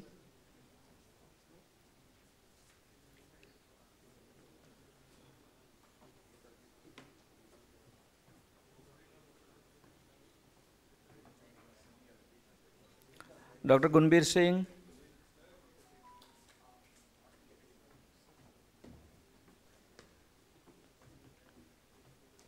Chandipak.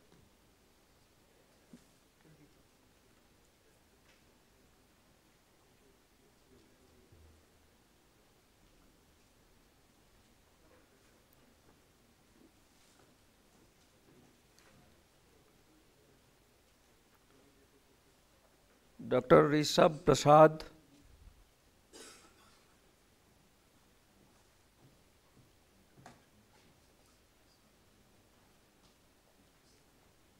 Dr. Ijjat Khalda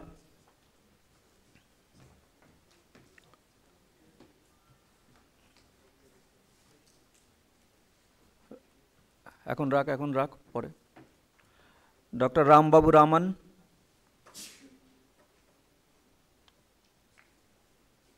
doctor Alok Kumar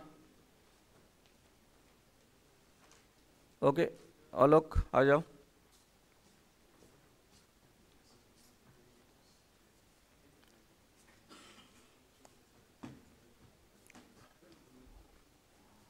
there will be uh, don't don't leave the, there will be a formal photograph there will be form, formal photograph with the faculty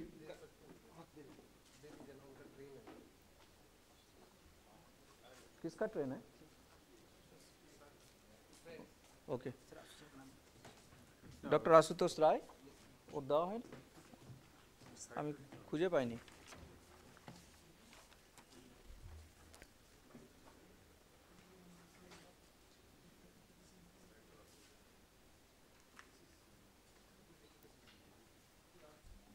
Where is Dr. Ganguly?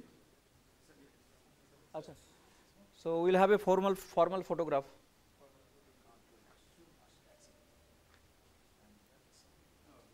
কোথায় করব? নিচে? কোনটা? আমার certificate আছে আচ্ছা আকাশ? না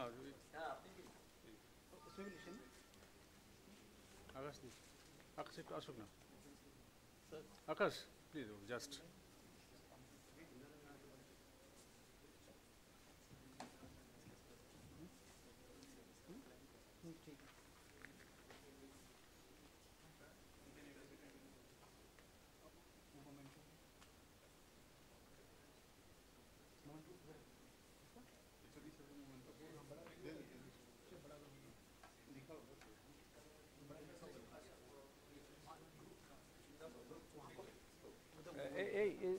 को बाद में देना। So now gift is being presented by the by our students O memento देना है ना? अच्छा mementos will be given to those who have presented paper और displayed posters so please come one by one all of you those who have अच्छा give me the names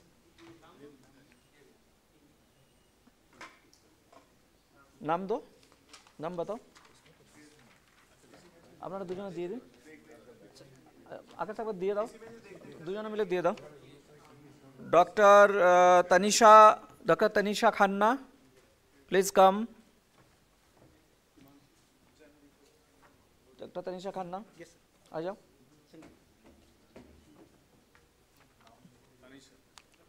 doctor Sangeeta doctor Chandipak Singh he has already received no हाँ, आ जाओ doctor Amiteshwar Singh Randhawa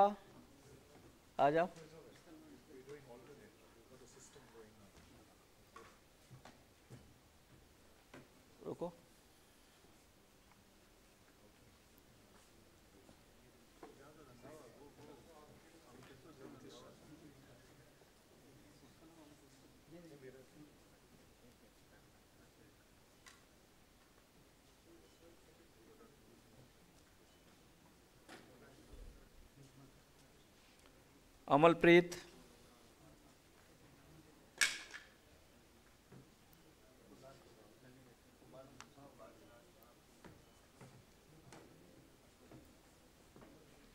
doctor Jeevan ji नहीं है doctor Aishwarya Jaranjan नहीं है. Doctor Gurpreet Singh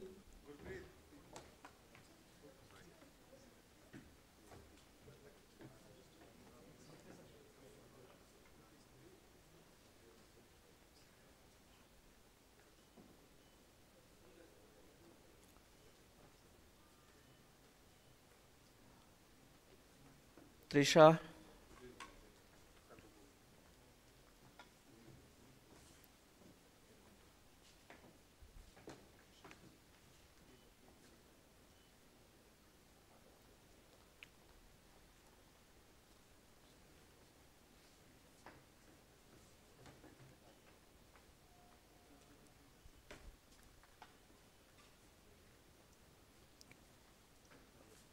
doctor Kajal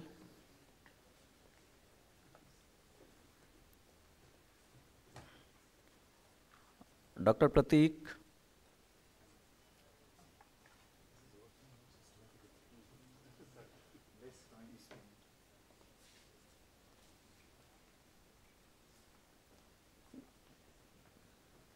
Dr. Aisarja.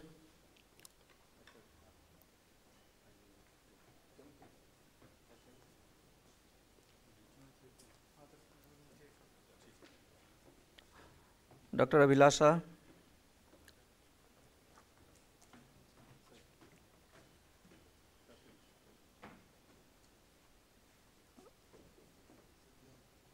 Dr. Sivangi. And who is the last one? I, do, I don't read. I can't. can't okay, Dr. Alok.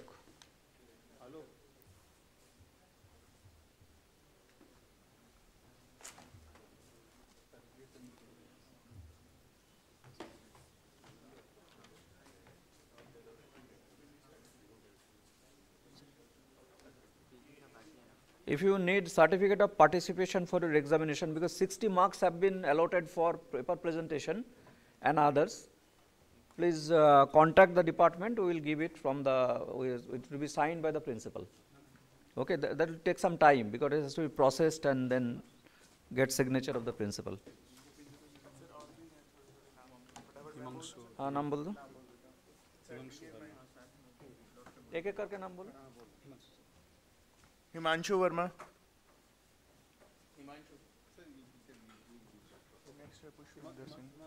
Pushpinder Singh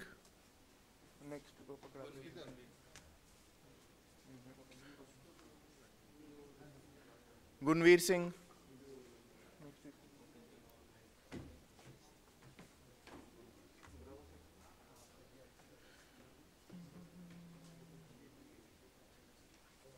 Upendra Kaur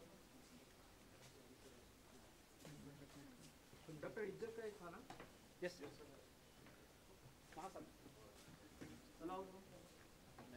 Devendra Rawal next next doctor Izzat Khalda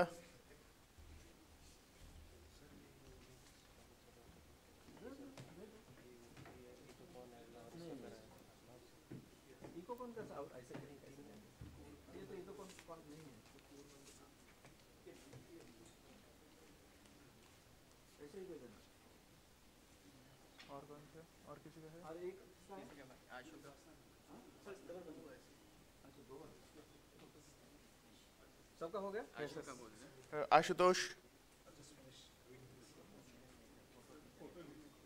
और कोई खत्म? Is it over now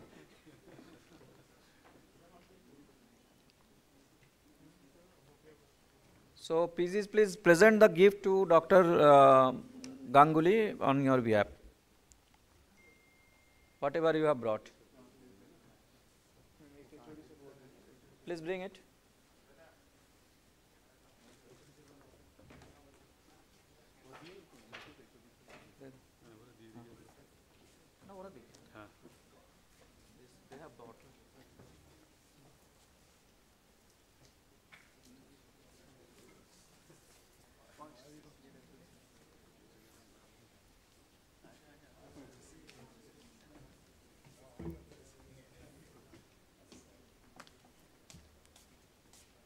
Bhakti Raj, Deiner Hassan.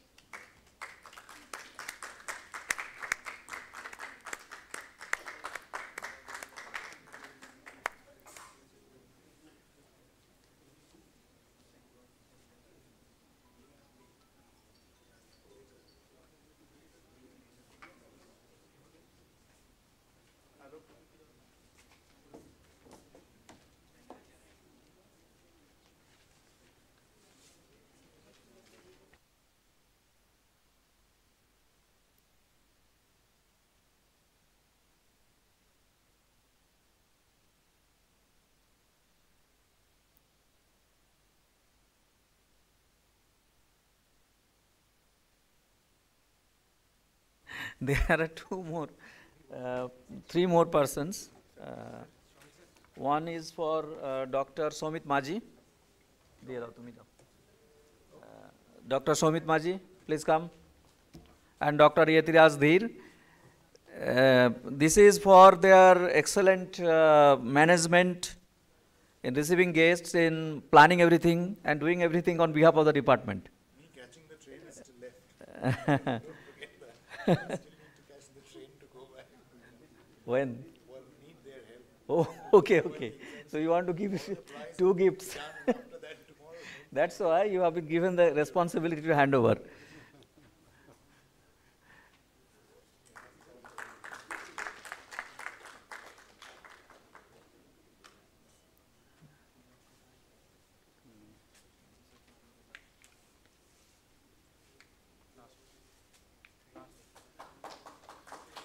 Another for Dr. Asutosh Rai. Why? For his marriage?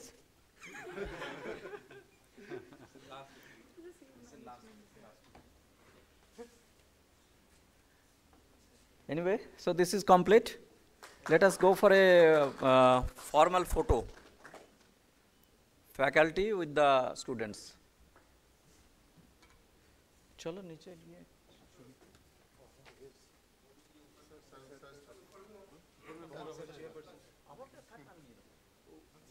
ওরা বলছে উপরেই করবে